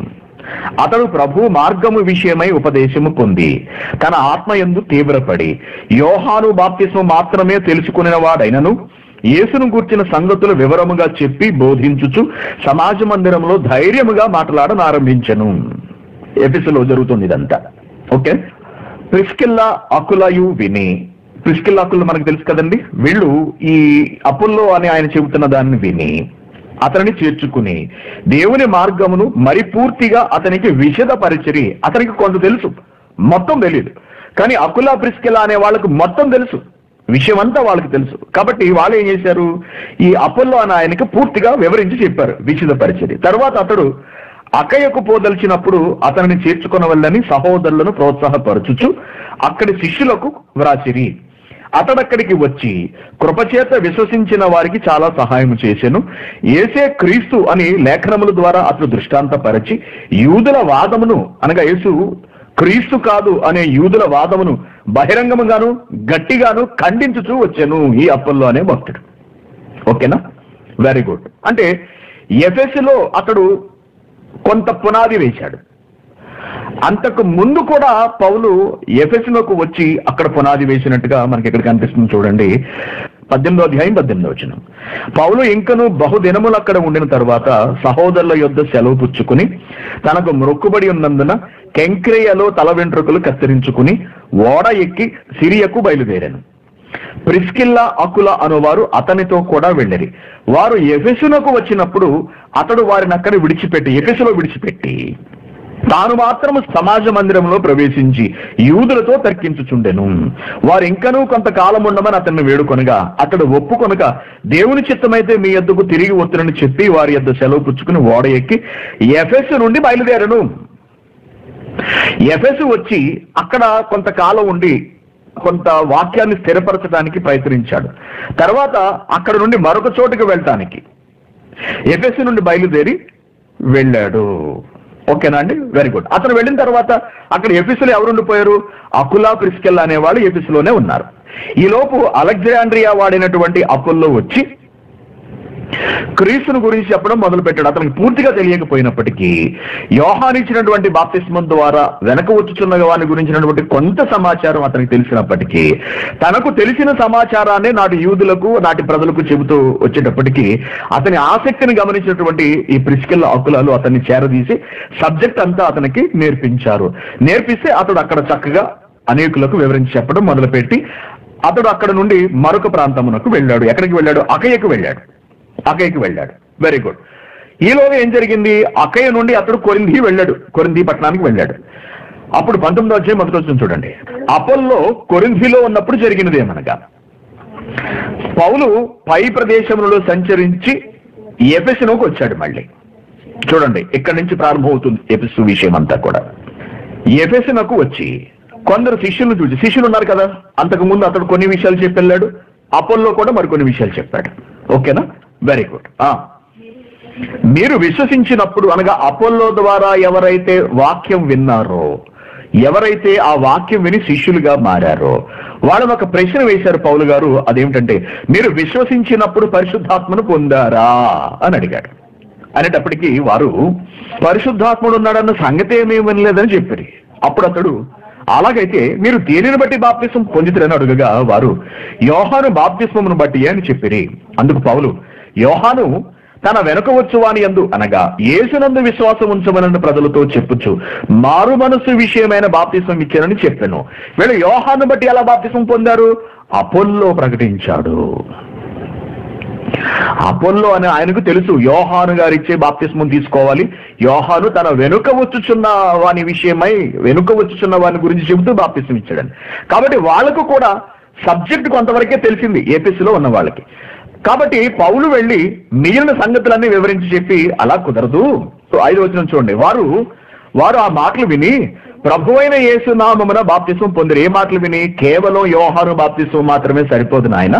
మీరు యేసు నామంలోనూ తండ్రి నామంలోనూ పరిశుద్ధాత్మ నామంలోనూ కూడా బాప్తిస్వం పొందాలి అని చెప్పేటప్పటికీ పౌలు చెప్పినట్టుగానే వారు బాప్తిస్వం పొందారు. తర్వాత ఆ సంఘమునకు లభించిన మహాభాగ్యం ఏమిటంటే తరువాత పౌలు వారి మీద చేతులుంచగా పరిశుద్ధాత్మ వారి మీదకి వచ్చెను.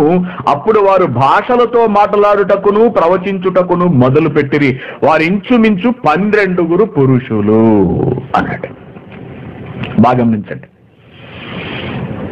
దేవుడు తన వాక్యాన్ని పంపించిన ప్రతి చోటకు ప్రతి సంఘానికి ప్రత్యేకతను ప్రసాదించలేదు. అనేక చోట్ల మనుషులు మారు మనసు పొందారు. కానీ ప్రతి ఒక్కరి మీద చేతులుంచి ప్రార్థించటము వారికి కొన్ని ప్రత్యేక శక్తులను ప్రసాదించటము వారిని మరింత దగ్గరగా దేవునికి దగ్గరగా చేయటము వంటివి అన్ని సందర్భాలలోనూ అన్ని సంఘాల విషయంలోనూ జరగలేదు. ఎఫిసి సంఘ విషయంలో జరిగిందండి. పౌలు గారు వారి తల మీద చేతులుంచి ప్రార్థించేటప్పటికీ భాషలు మాట్లాడగలిగే అంతటి పరిశుద్ధాత్మ వారు పొందుకున్నారు. ప్రవచించగలిగేటంతటి పరిశుద్ధాత్మ శక్తిని ప్రభావం అనగా ఆ ప్రత్యేకతను వారు పొందుకున్నారు. ఏమండి? అంతటి ప్రత్యేకతను వాళ్ళు పొందుకున్నారు అంటే ఇక్కడ మనం గమనించవలసింది ఏమిటంటే వారికి దేవుని అంటే అనంతమైన ప్రేమ. దేవుడంటే వల్లమాలిన ప్రేమ. మాటలలో చెప్పలేనంతటి ప్రేమ కాబట్టి వారి ప్రేమను గమనించి దేవుడు వారికి ప్రత్యేకంగా ఆ భాగ్యాన్ని అనుగ్రహించాడు. అర్థమవుతుంది కదా ఎఫిసి? ఎఫిసి ఎలా దేవునిచే ప్రశంసించబడింది? దానికి కారణం ఏమిటి? మనకు తెలియాలి. వారి భక్తిని చూసి వారి ఆసక్తిని చూసి వారి ప్రేమను చూసి దేవుడు వారికి ఆ గొప్ప భాగ్యాన్ని ప్రసాదించాడు. వెరీ గుడ్ ఇంకా కిందకు వచ్చినప్పటికి ఎనిమిదో వచ్చిన తర్వాత అతడు సమాజ మందిరంలోనికి వెళ్ళి ప్రసంగించుచు దేవుని రాజ్యమును గురించి తర్కించుచు ఒప్పించుచు ధైర్యముగా మాట్లాడుచు మూడు నెలలు గడిపాడు. ఎక్కడ? ఎప్సిలోనే అయితే కొందరు కఠినపరచబడిన వారై ఒప్పుకొనక జనసమూహం ఎదుట ఈ మార్గమును దూషించుచున్నందున అతడు వారిని విడిచి శిష్యులను ప్రత్యేకపరుచుకుని ప్రతిదినము తురన్ను అను ఒకని పాఠశాలలో తర్కించుచూ వచ్చను. తర్కించుచూ వచ్చాను. ప్రత్యేకంగా చెప్పడం క్లాసెస్ తీసుకోవడం అనే దానిని మొదలు పెట్టాడు పౌలు గారు. అనగా శిష్యులను బలపరుస్తున్నాడు శిష్యులను దృఢపరుస్తున్నాడు పౌలు గారు. అంతేకాకుండా ఏం జరిగిందట? రెండేళ్ళ వరకు ఇలాగును జరిగను గనుక రెండేళ్ళ వరకు వాళ్ళకి స్పెషల్ ట్రైనింగ్ ఇస్తూ వాళ్ళని సమాజంలోనికి పంపించి వాక్యం వారి ద్వారా చెప్పించడం మొదలు పెట్టాడు కాబట్టి ఏం జరిగిందట? యూదులేమి గ్రీసు దేశస్థులేమి ఆశయలో కాపురమున్న వారందరూ ప్రభు వాక్యాన్ని విన్నారు. ఎంత బాగుందో చూడండి. ఎంత బాగుందో చూడండి. పౌలు మాట్లాడుతుంటే గొడవలు వచ్చేస్తున్నాయి అందరూ వచ్చి మీద పడిపోతున్నారు అడ్డగించేస్తున్నారని చెప్పి కొంతమందిని కూర్చోబెట్టి వాళ్ళకి ట్రైనింగ్ ఇచ్చి వాళ్ళ ద్వారా చెప్పించడం మొదలు పెట్టాడు ఎవరైతే తన శిష్యులుగా ఏర్పాటు చేసుకున్నాడో వాళ్ళ అద్భుత ఫలితాలు సాధించారట మొత్తం ఆసియా అంతటా అనగా ఆ ప్రాంతం అంతా కూడా ఆ ప్రాంతంలో ఎవరెవరట? యూదులు గ్రీసు దేశస్థులు ఆసియాలో కాపురమున్న వారందరూ ప్రభు వాక్యాన్ని విన్నారు. అంతేకాకుండా ఒక పక్కన దేవుడు ఏం చేస్తున్నాడు? దేవుడు పౌలు చేత విశేషమైన అద్భుతములను చేయించను. అతని శరీరంలోకి తగిలిన చేతి గుడ్డలైనను నడికట్లైనను రోగులు ఎందుకు తెచ్చినప్పుడు రోగములు వారిని విడిచెను దయ్యములు కూడా వదిలిపోయెను. ఎంత గొప్ప భాగ్యాన్ని పొందుకున్నటువంటి పట్టణం ఎఫ్సి పట్టణం ఆ సంఘము ఎఫ్సి సంఘము. ఆలోచించండి. అటు సువార్త ప్రకటన ద్వారా ఆత్మరక్షణ ఇటు పౌలు ద్వారా జరుగుతున్నటువంటి అద్భుత కార్యములు తద్వారా బాగుపడుతున్నటువంటి ప్రజలు ఎంత వరం లభించిందో చూడండి ఎపిసి పట్టణానికి ఎపిసి సంఘానికి. అయితే అప్పుడు దేశ సంచారులు దేశ సంచారులను మాంత్రికులునైన కొందరు యుధులు పౌలు ప్రకటించు యేసు తోడు మిమ్మల్ని ఉచ్చాటం చేయుచున్నానను మాట చెప్పి దయ్యములు పట్టిన వారి మీద ప్రభు అయిన యేసు నామను ఉచ్చరించుటకు పూనుకునిరి. యూదులైన స్కెవయను ఒక ప్రధాన యాజకుని కుమారులు ఏడుగురు అలాగూ చేయుచుండరి. అందుకు ఆ దయ్యము నేను యేసుని గుర్తెరుగుదును పౌలు కూడా ఎవరో నాకు తెలుసు కానీ మీరెవరని అడుగగా ఆ దయ్యం పట్టినవాడు ఎగిరి వారి మీద పడి వారిలో ఇద్దరిని లొంగ తీసి గెలిచను. అందుచేత వారు దిగంబరులై గాయము తగిలి ఆ ఇంట నుండి పారిపోయిరి. ఈ సంగతి ఎఫెసులో కాపరమున్న సమస్తమైన యూదులకును గ్రీసు దేశస్థులకును తెలియవచ్చినప్పుడు వారందరికీ భయము కలిగను గనుక ప్రభువైన యేసు నామము ఘనపరచబడను. ప్రభువైన యేసు నామము ఘనపరచబడును. విశ్వసించిన వారు అనేకులు వచ్చి తాము చేసిన వాటిని తెలియజేసి ఒప్పుకున్నారు. ఒప్పుకున్నారట. మరియు మాంత్రిక విద్య అభ్యసించిన వారు అనేకులు తమ పుస్తకాలు తెచ్చి అందరి ఎదుట వాటిని కాల్చివేసిరి. వారు లెక్క చూడగా వాటి వేల యాభై వేల వెండి రూకలాయను. ఎంత ప్రభావముతో అన్నట్టు చూసారా అండి? ఎంత ప్రభావముతో ప్రభు వాక్యము ప్రబలమై ఎఫెస్సులో ఎఫెస్సులో వ్యాపించను. అంత విశిష్టమైన ఉత్కృష్టమైన ఉద్ధృతమైన సువార్త ప్రకటన కార్యక్రమములు అద్భుతములను కళ్ళారా చూసినటువంటి సంఘము పట్టణము ఏపిసు పట్టణము ఏపిసు సంఘము. విలువైన కార్యములు సువార్త ప్రకటన జరిగించినటువంటి సంఘము ఏపిసు సంఘము. ఇలాగు జరిగిన తరువాత ఇరవై ఒకటి వచ్చిన పౌలు మాసిదోనియకు అకయా దేశముల మార్గమున వచ్చి ఎరుషలేమునకు వెళ్ళవలనని మనసులో ఉద్దేశించి ఇక వెళ్ళటం మంచిది ఇక్కడి నుంచి చాలా చేశాను కదా అనుకున్నాడు. ఎక్కడికి వెళదాం? ఎలా వెళదాం అని ప్లాన్ చేసుకుంటున్నాడట. అక్కడ నుండి వెళ్ళిన తర్వాత రోమా కూడా చూడవలనని అనుకున్నాడు అనుకుంటున్నాడు. అప్పుడు తనకు పరిచర్య చేయు వారితో తిమోతి ఎరస్టు అను వారినిద్దరిని మాసిదోనియకు పంపి తాను ఆసియా ప్రాంతంలో కొంతకాలం నిలిచాడనగా ఎఫెస్సులో నిలిచాడు. ఓకేనా? ఆ కాలమందు క్రీస్తు మార్గమును గూర్చి చాలా అల్లరి కలిగాను. ఎఫిసి పట్టణం ఎఫిసి సంఘము ఎఫిసి ప్రజలు ఎఫిసి జనాంగము. ఇటువంటి వారు అన్నది మనం ఇక్కడ గమనించాలి. ఓకేనా? ఎలా అంటే దేమేత్రి అని ఒక కంసాలి అర్తనీదేవి అనే ఒక దేవతకు వెండి గుళ్ళను చేయించటం వలన ఆ పని వారికి మిగుల లాభము కలుగు చేయించుండెను. అతను వారిని అట్టి పని చేయు ఇతరులను గుంపు కూర్చి. అయ్యలారా ఈ పని వలన ఏమిటా పని? విగ్రహాలను తయారు చేయటం. ఓకేనా? వెండి గుళ్ళను తయారు చేయటం. వెండి గుడులు అనగా మనకు తెలుసు గుళ్ళు అంటే ఎలా ఉంటాయో. దానిలో విగ్రహాలు ఎలా ఉంటాయో మనకు తెలుసు. వెండితో తయారు చేస్తున్నారట. అతడు కంసాలివాడు. ఆ పట్టణంలో ఉన్న వాళ్ళందరూ కూడా ఈ ఈ దేవతను ఈ దేవిని అతిమీ దేవి అనే ఆవిని పూజించడం వల్ల ప్రతి ఒక్కళ్ళు గుళ్ళు కట్టించడాలు ఆ విగ్రహాన్ని తయారు చేయించుకోవడాలు వెండితోటి ఇవన్నీ జరుగుతున్నాయి. ఎప్పుడైతే విగ్రహాలు తయారు చేయించుకుంటున్నారో ఆ విగ్రహం చేసిన వాడికి డబ్బులు వస్తాయి కదా మరి బాగా. వాడి వ్యాపారం బాగా జరుగుతుంటుంది కదా. అయితే ఈ పౌలు వెళ్ళడం వల్ల విగ్రహారాధికులలో అనేకులు క్రైస్తవులుగా మారిపోవడం మొదలుపెట్టారు. పౌలు విగ్రహములు ఒట్టివని చెప్పడము. మానవుల చేతితో తయారు చేయబడినవి దేవుళ్ళు దేవతలు కావు అని వివరించడం మొదలుపెట్టిన తర్వాత ఆ పట్టణంలో చాలా మార్పు వచ్చేసింది. దాంతో విగ్రహారాధికులు తగ్గారు. ఎప్పుడైతే విగ్రహారాధికులు తగ్గారో వారి వ్యాపారం ఎవరి వ్యాపారం? డెమేత్రి అనేవాడి వ్యాపారం కూడా బాగా తగ్గిందటండి. దాంతో వాడు ఏం చేశాడంటే ఇలా చూస్తూ ఊరుకుంటే లాభం లేదు. ఈ పౌలు అనేవాడు మొత్తం ఎఫిసీనే కాదు ఆసియా అంతటా కూడా మార్చేసేలా ఉన్నాడు. ఇలా అయితే మనం నోటికడ కూడు పడిపోతుంది కాబట్టి ఏమైనా సరే మనం దీన్ని ఆపాలి అని ప్లాన్ చేసి వాడు ఏం చేశాడట? ఇరవై ఐదు వచ్చిన అతడు వారిని అట్టి పని చేయి ఇతరులను గుంపు కూర్చి అయ్యలారా ఈ పని వలన మనకు జీవనము బహుబాగగా జరుగుతున్నదని మీకు తెలియదు. అయితే అంటే ఇలా జరుగుతున్న కాలంలో అయితే చేతులతో చేయబడినవి దేవతలు కావని ఈ పౌలు చెప్పి ఈ పౌలు బయలుదేరాడు కదా?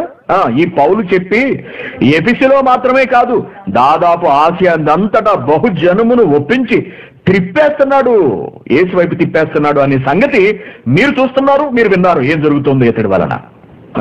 మరియు ఈ మన వృత్తి ఎందు లక్ష్యము తప్పిపోవడే కాక మహాదేవి అయిన అత్యమే దేవి యొక్క గుడి కూడా తృణీకరింపబడి ఆసియానంతటను భూలోకమందును పూజింపబడుతున్న ఈమె యొక్క గొప్పతనము తొలగిపోవునని భయము తోచుచున్నదని వారితో చెప్పాను. సెంటిమెంట్తో కొడుతున్నాడు. చూసారంటే రాజకీయం అన్నమాట. మతాన్ని లేవనెత్తుతున్నాడు. దేవుడిని లేవనెత్తుతున్నాడు గమనించండి. ఇది మనకు ఎక్కడైనా ఈ సందర్భం చూస్తుంటే మనకేమనిపిస్తుందండి? ఈ రోజు భారతదేశంలో జరుగుతున్నటువంటి పరిస్థితులు. భారతదేశంలో. ఓట్లు పడాలా? మతాన్ని లేవనెత్తు. ఓట్లు రాలిపోవాలా? మతం పేరుతో అందరినీ సమీకరించాయి. మన మతం కాని వాడిని పక్కకు నెట్టించు. వాడు ఓటు మనకు వస్తే ఎంత రాకపోతే ఎంత. మన మతం వాళ్ళందరూ ఓటేస్తే సరిపోతుంది. ప్రతిరోజు మీరు పేపర్ చూస్తారు కదండి? ఇంక నేను చెప్పాల్సిన అవసరం లేదు. అంటే ఓట్ల కోసం ప్రజలను ఏం చేస్తున్నారు? దేవుళ్ళ పేరుతో మతాల పేరుతో విభజిస్తున్నారు. విభజించి ఓట్లు లాక్కునే ప్రయత్నం చేస్తున్నారు. ఇది రాజకీయం. రాజకీయం. రాజకీయాలకు దేవుణ్ణి వాడుకోవడం. మతం అనేది ఒక ఒక భయంకరమైన భయంకరమైనటువంటి అది ఒక వ్యసనం తెలుసా అండి? మతం అనేది ఒక పిచ్చి. మతం అనేది ఒక ఉద్రేకం. ఆ మత ఉద్రేకంలో మత ఛాందసవాదంలో మనిషి ఏం చేస్తుంటాడో తనకే తెలియదు వివేచనను కోల్పోతాడు. వాళ్ళు నమ్ముకున్న దేవుడు పేరు పలకమని ఎంత మందిని కొట్టారో ఇటీవల కాలంలో మనకు తెలుసు. పలక లేదని కొట్టి చంపేసిన వాళ్ళు కూడా ఉన్నారు వాళ్ళ దేవుడి పేరును పలకాలి అని. బైబిల్ గ్రంథాన్ని పట్టుకుని కాలుస్తూ వాళ్ళ దేవుడి పేరును గట్టిగా అరిచిన ఆ మాటలు మనం విన్నాం. మతం. దేవుడు మతోన్మాదము మతోన్మాదము. దేవుడు గురించి ఆలోచించనివ్వదు. నిన్ను మూర్ఖుణ్ణి చేసేస్తుంది. అజ్ఞానిని చేసేస్తుంది. కాబట్టి దేవుని పిల్లరా దేవుళ్ళను దేవుడి సెంటిమెంట్ను మనుషులు తమ స్వార్థ ప్రయోజనాలకు వాడుకోవడం అనేది రెండు వేల ఏళ్ళ క్రితమే ఉంది. చివరికి యేసుక్రీస్తు గారిని చంపడానికి కూడా యూద మత పెద్దలు ప్రధాన యాజకులు ఈ శాస్త్రులు పరిచయలు వీళ్ళందరూ కూడా మతాన్ని అడ్డు పెట్టుకున్నారు దేవుణ్ణి అడ్డు పెట్టుకుని క్రీస్తుని చంపేశారు తెలుసా మీకు? దేవుణ్ణి అడ్డు పెట్టుకుని ధర్మశాస్త్రంకి వ్యతిరేకంగా మాట్లాడుతున్నాడు. మోష ఇచ్చిన ధర్మశాస్త్రంకి వ్యతిరేకంగా మాట్లాడుతున్నాడు యేసుక్రీస్తు అని. ఈ దేవాలయాన్ని పడగొట్టి మూడు దినాల్లో కడతానని చెప్పాడు అనేటప్పటికి యూదుల ఆగ్రహావేశాలతో ఊగిపోయారంతే ఇక్కడ దేమేత్రి అనేవాడు ఏం చేస్తున్నాడు? దేమేత్రి ఏం చేస్తున్నాడండి? దేవుడిని లాక్కొచ్చాడు వాడు వ్యాపారంలోకి. ప్రజలను ఎలా రెచ్చగొట్టాలో ఆలోచించాడు. రెచ్చగొట్టాడు మొత్తానికి. ఏమంటున్నాడు? ఇరవై ఏడు వచ్చిన. మరియు ఈ మన వృత్తి ఎందు లక్ష్యము తప్పిపోడియే గాక మహాదేవి అయిన అతిమే దేవి యొక్క గుడి కూడా తృణీకరింపబడి ఆసియా అంతటను భూలోకమందును పూజింపబడుచున్న ఈమె యొక్క గొప్పతనము తొలగిపోవునని భయము తోచుచున్నదని వారితో చెప్పాను. మన వ్యాపారం పోవడం దాన్ని పక్కన పెడితే అది మనం దాని గురించి పెద్ద పట్టించుకోకర్లేదు కానీ మన దేవి దేవతల గౌరవం ప్రతిష్ట ఏమైపోతుంది? మీరందరూ ఆలోచించండి అనేటప్పటికీ వాళ్ళు విని రౌద్రముతో నిండిన వారే అంత ఎక్కేసింది వాళ్ళకి. పట్టేసింది మత పిచ్చి పట్టేసింది. మత మౌఢ్యం వచ్చేసింది చూసారా అండి? రౌద్రముతో నిండుకొనిన వారై. ఎఫెసీయుల అత్తమే దేవి మహాదేవి అని కేకలు వేసిరి. ఎఫెసీయుల అత్తమీ దేవి మహాదేవి ఎఫెసీయుల అత్తమీ దేవి మహాదేవి అని కేకలు వేశారట.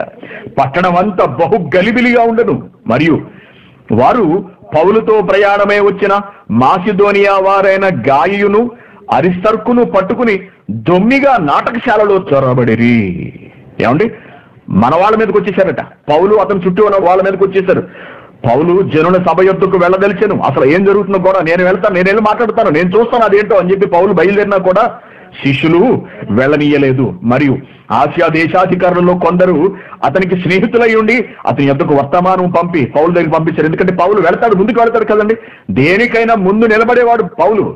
వెనుక దీయనివాడు నాయకుడు కదండి అతడు. నాయకత్వ లక్షణాలు మెండుగా ఉన్నవాడు. దేనికైనా సరే మొదట తన ప్రాణమే పెట్టాలనుకునేవాడు. అందుకే డేరింగ్గా వెళ్ళి అసలు వాళ్ళతో మాట్లాడదాం అనుకుంటే శిష్యులు ఆఫ్ చేశారు. అంతేకాకుండా ఎఫీసులో ఉన్నటువంటి కొందరు ఫ్రెండ్స్ పెద్దవాళ్ళు ఆఫీసర్లు కొంతమంది పౌలు కబురు పెట్టారంట. ఏమని? నీవు నాటకశాలలోనికి పొర్రపాటును కూడా వెళ్ళక సుమా అక్కడ పరిస్థితులు బాగాలేదు పట్టణం అంతా గలిబిలిగా ఉంది. ఉద్రిక్త పరిస్థితులు నెలకొని ఉన్నాయి. వన్ ఫార్టీ ఫోర్ సెక్షన్ పెడుతున్నాం. కనిపిస్తే కాల్చివేత ఉత్తర్వులు రావచ్చు. కాబట్టి నువ్వు అక్కడికి వెళితే నీ ప్రాణాలకు ప్రమాదం వాటిల్లవచ్చు కాబట్టి నువ్వు అక్కడికి వెళ్ళవద్దు అని కబురు పెట్టారట. ఆ సభ గలిబిలిగా ఉండను గనుక కొందరు ఇలాగున కొందరు అలాగున కేకలు వేసిరి. అసలు తాము ఎందుకు నిమిత్తము కూడుకున్నారో చాలా మందికి తెలియనే తెలియదు. చూసారండి ఒక గొడవ జరుగుతున్నప్పుడు కొంతమంది గుమ్ము కొడతారు. ఆ గుంపును చూసి ఎక్కడో దూరాన్ని ఉన్నవాడు ఒకడు పరిగెత్తుకుని అక్కడికి వెళ్తాడు. చివర ఉన్న వాడికి ఆకలి వచ్చిన వాడికి అసలు గొడవ ఏంటో కూడా తెలియదు ఆ లోపల వస్తున్నటువంటి ఆ లోపల నుంచి వినిపిస్తున్నటువంటి మాటలను బట్టి జనాలు తోచేసుకోవడం బట్టి వీడు కూడా ఉద్రేకపడిపోతుంటాడు. ఏమైంది ఏమైంది ఏమైంది అని పక్కన అడుగుతుంటాడు. వీడు కూడా ఊగిపోతుంటాడు వీడికి సబ్జెక్టులు తెలియదు అసలు అక్కడ ఏం జరుగుతుందో కూడా తెలియదు అందరూ కేకలేస్తారు అనుకోండి ఇది అన్యాయం ఇది అన్యాయం అరుస్తుంటే అక్కడ వాడు కూడా ఏదో జరిగిపోయింది ఇది అన్యాయం ఇలా జరగకూడదని వీడు కూడా ఇక్కడ జరుగుతుంటాడు అలా చాలా మంది వచ్చారంట చాలా మంది సమావేశం అయ్యారంట అసలు ఎందుకు వచ్చారో ఎందుకు సమావేశమయ్యారో చివరన్న వాళ్ళకి సరిగా మ్యాటరే తెలియదు సబ్జెక్టే తెలియదంట అసలు. అప్పుడు యూదులు అలెగ్జాంద్రుని ముందుకు తోయగా కొందరు సమూహంలో నుండి అతను ఎదురుకు తెచ్చిరి. అలెగ్జాంద్రు సైగ చేసి జనులతో సమాధానం చెప్పుకున్న వల్లని ఉండెను. జనమంతా కోపంతో ఊగిపోతుంటే అలెగ్జాండర్ ముందుకు గెంటారంట అలాగో ఇదిగో వాళ్ళలో వాడే వీడు కూడా అని. గెలినప్పటికీ అలెగ్జాండర్ చెబుదాం సమాధానం చెబుదామని ట్రై చేస్తుంటే అయితే అతడు యూదులని ఈ ఎఫ్సీలు తెలుసుకున్నప్పుడు అందరూ ఏక శబ్దముతో రెండు గంటల సేపు ఎబిసీయుల అత్తమే దేవి మహాదేవి అని నినాదాలు ఇస్తూ కేకలేశారట. రెండు గంటలు నాన్ స్టాప్గా కొట్టారట. ఉద్రేకం అన్నమాట చూసారండి మత పిచ్చి మత మౌఢ్యం. ఉద్రేకం అలా ఉంటుంది. రెండు గంటల సేపు కేకలు వేశారట. అంతటి కరణము సమూహమును సముదాయించి ఎఫ్సీలరా ఎఫ్సీల పట్టణము అష్టమి మహాదేవికిని ద్విపతి యొద్ద నుండి పడిన మూర్తికిని పాలకురాలై ఉన్నదన్న సంగతి తెలియని వాడెవడు ఈ సంగతులు నిరాక్షేపమైనవి గనుక మీరు శాంతము కలిగి ఏదియో ఆతురపడి చేయకుండుట ఆవశ్యకము. మీరు తొందరపడిపోకండి. మన దేవు గురించి తెలియంది ఎవరికి చెప్పండి? ఆమె గొప్పతనం ఎవరికి తెలియదు అందరికీ తెలుసు. మీరు ఏమి తొందరపడ్డారా? త్వరపడి యాక్షన్లోకి దిగిపోయారా? పరిస్థితి చేయి దాటిందా? ఇక తర్వాత మనం ఏమీ చేయలేం. ఓకేనా? ఏమంటున్నాడు? మీరు ఈ మనుషులను తీసుకొచ్చారు కదా? వీరు గుడి దోచిన వారు కాదు మన దేవతను దూషింపనూ లేదు. దేమేత్రికిని అతనితో కూడానున్న కంసాలులకును ఎవరి మీదనైనాను వ్యవహారం మీదైనాను ఉన్న ఎడల న్యాయ సభలు జరుగుతున్నాయి ఏమండి కరణం గారు వచ్చారు కదా? కరణం గారు మ్యాటర్ ఏంటని ఎంక్వైరీ చేశాడు. ఎంక్వైరీ చేసేప్పటికి ఈ దేమేత్రి అనేవాడే పొల్ల పెట్టి అందరినీ రెచ్చగొట్టాడు అనే సంగతి అర్థమైంది. అందరినీ రప్పించేశాడు అని. అందరూ గుమికూడిపోయారు తోసేసుకుంటున్నారు ఒకడికొకడు. చెప్పులు దిగబడిపోతాను ఎక్కడికక్కడ. ఏ క్షణాన ఎవడు కలబడిపోతాడో అర్థం కావట్లేదు. అంత వేడిగా ఉంది వాతావరణం. దీని అంతటికి కారుకుడు ఎవడంటే ఆ కన్నింగ వేధమైన దేమేత్రి. ఒకవేళ వాడికి వాడి కంసాలులకు ఏమైనా వాళ్ళకి వాళ్ళకి గొడవలు ఉంటే వాళ్ళు ఏం చేస్తారట? కోర్టులు ఉన్నాయి న్యాయాధిపతులు ఉన్నారు ఆ- జడ్జిలు ఉన్నారు ఆఫీసర్స్ ఉన్నారు. వారు ఒకరితో ఒకరు వ్యాజ్యం ఆడొచ్చు. వాళ్ళు ఏమైనా ఉంటే న్యాయాధిపతుల దగ్గర చూసుకోండి. కోర్టుకి వెళ్ళండి మీకు ఏమైనా ఉంటే? అయితే మీరు ఇతర సంగతులను గురించి ఏమైనాను విచారణ చేయవలని అని ఉంటే అది క్రమమైన సభలో పరిష్కారం అవుతుంది. మీరు పోలీస్ స్టేషన్కి వెళ్ళండి. అక్కడ ఒక ఇరు పక్షాలు కూర్చుని మాట్లాడుకోండి. ఇతరత్ర గొడవలు ఏమైనా ఉంటాయి కంసాలోడితో గొడవలు ఏమైనా ఉన్నాయా? గుళ్ళు గురించి ఏమైనా గొడవలు ఉన్నాయా? వాళ్ళు న్యాయాధిపతి దగ్గరికి వెళ్తారు. ఇతరత్ర ప్రాబ్లమ్స్ ఏమైనా ఉంటే కనుక మీరు అందరూ కూర్చుని పోలీస్ స్టేషన్కి వెళ్ళో లేకపోతే పెద్ద మనుషుల దగ్గరికి వెళ్ళో ఎక్కడికైనా వెళ్ళి కూర్చుని క్రమమైన సభలో పరిష్కారం అవుతుంది. మనము ఈ గలిబిలను గూర్చి చెప్పదగిన కారణమేమీ లేనందున నేడు జరిగిన అల్లని గూర్చి మనలను విచారణలోనికి తీసుకొస్తారేమో అని భయమవుతున్నది. ఇట్లు గుంపు కూడినందుకు తగిన కారణము చెప్పజాలమని వారితో అనను. అతడు ఇలాగూ చెప్పి సభను ముగించాడు. మనం ఇలా గ్యాదర్ అయ్యాం కదా? ఇలా గొడవ అవుతోంది అనే సంగతి కనుక పోలీసులకు తెలిసిన కలెక్టర్కు తెలిసినా ఎస్పీకి తెలిసినా మొత్తం అందరినీ లోపలేస్తాడు. అప్పుడు కారణం ఏమిటంటే మనం చెప్పలేం. కారణం ఎవరు? అదేమేత్రి అనేవాడు కారణం. చిక్కుకునేది ఎవరు? మీరందరూ చిక్కుకుంటారు. వాళ్ళకి వాళ్ళకి గొడవలు ఉంటే కోర్టుకి వెళ్తారు పోలీస్ స్టేషన్కి వెళ్తారు. మీరు ఎందుకు అనవసరంగా మధ్యలో బుక్ అయ్యి అరెస్ట్ అవ్వాలి? కాబట్టి నా మాట విని మీరు ఎక్కడితో ఆఫ్ చేసి మీరు వెళ్ళండి. ఇది పెద్ద మ్యాటర్ ఏం కాదు. వాడు ఇదంతా కావాలని చేశాడు అని చెప్పాడు. అలా చెప్పేటప్పటికి విషయం అంతా సొద్దుమణికి అతడు ఇలాగూ చెప్పి సభను క్లోజ్ చేశాడటండి ఎస్ఎస్సి పట్టణము. ఎఫ్సి పట్టణము. వాక్యము కొరకు సంఘము పోరాడిన తీరు చూశారండి మీరు ఇక్కడ. ఎంత బలంగా నిలబడ్డారో చూసారా వాళ్ళు ఇక్కడ? ఎంత బలంగా నిలబడ్డారు చూసారా అండి? కారణం ఏమిటి? దేవుడి మీద ఉన్న అనంతమైన ప్రేమ. ప్రాణాలకు తెగించేటంతటి ప్రాణాలు ఇచ్చేటంతటి ప్రేమ. చచ్చిపోవడానికి సిద్ధపడినంతటి ప్రేమ ఏపీసీ సంఘం కలిగి ఉంది. ఆ ప్రాంతాన్ని ప్రాంతాన్ని మార్చేశారని ఏపీసీ నుండి వెళ్ళిన వాళ్ళంటే మీరు ఆలోచించండి ఇప్పుడు. అలా పవర్ఫుల్ వెపన్స్గా తయారు చేశాడు పౌలు ఆ పన్నెండు మందిని. అంత పవర్ఫుల్గా తయారు చేశాడు. కాబట్టి దేవుని పిల్లారా ఇంత ప్రేమను కనబరిచిన సంఘం అపోల్లో మాట విన్నది పౌలు మాట విన్నది. పౌలు మాట విని వెంటనే బాప్తిస్మలు తీసుకున్నారు. వాళ్ళు సందేహించలేదు వాళ్ళు అనుమానించలేదు. తర్వాత పౌలు ఇచ్చినటువంటి గొప్ప వరాన్ని వాళ్ళు పొందుకున్నారు. వాక్యాన్ని నేర్చుకున్నారు. అనేక ప్రాంతంలోకి వెళ్ళి సువార్తను ప్రకటించారు. చుట్టుపక్కల ప్రాంతాలన్నింటినీ కూడా వాక్యంతో నింపేశారు. అంతేకాకుండా ఏపీసీ సంఘము మరియు ఏపీసీ పట్టణము పౌలు ద్వారా గొప్ప మేలును పొందింది. ఆ ప్రాంత ప్రజలందరూ కూడా పౌలు మీద వారి శిష్యుల మీద తిరగబడితే వాళ్ళందరూ గ్రొమ్ము ఎదురొడ్డి నిలబడ్డారు. దేవుని కొరకు ప్రభు కొరకు వాక్యం కొరకు.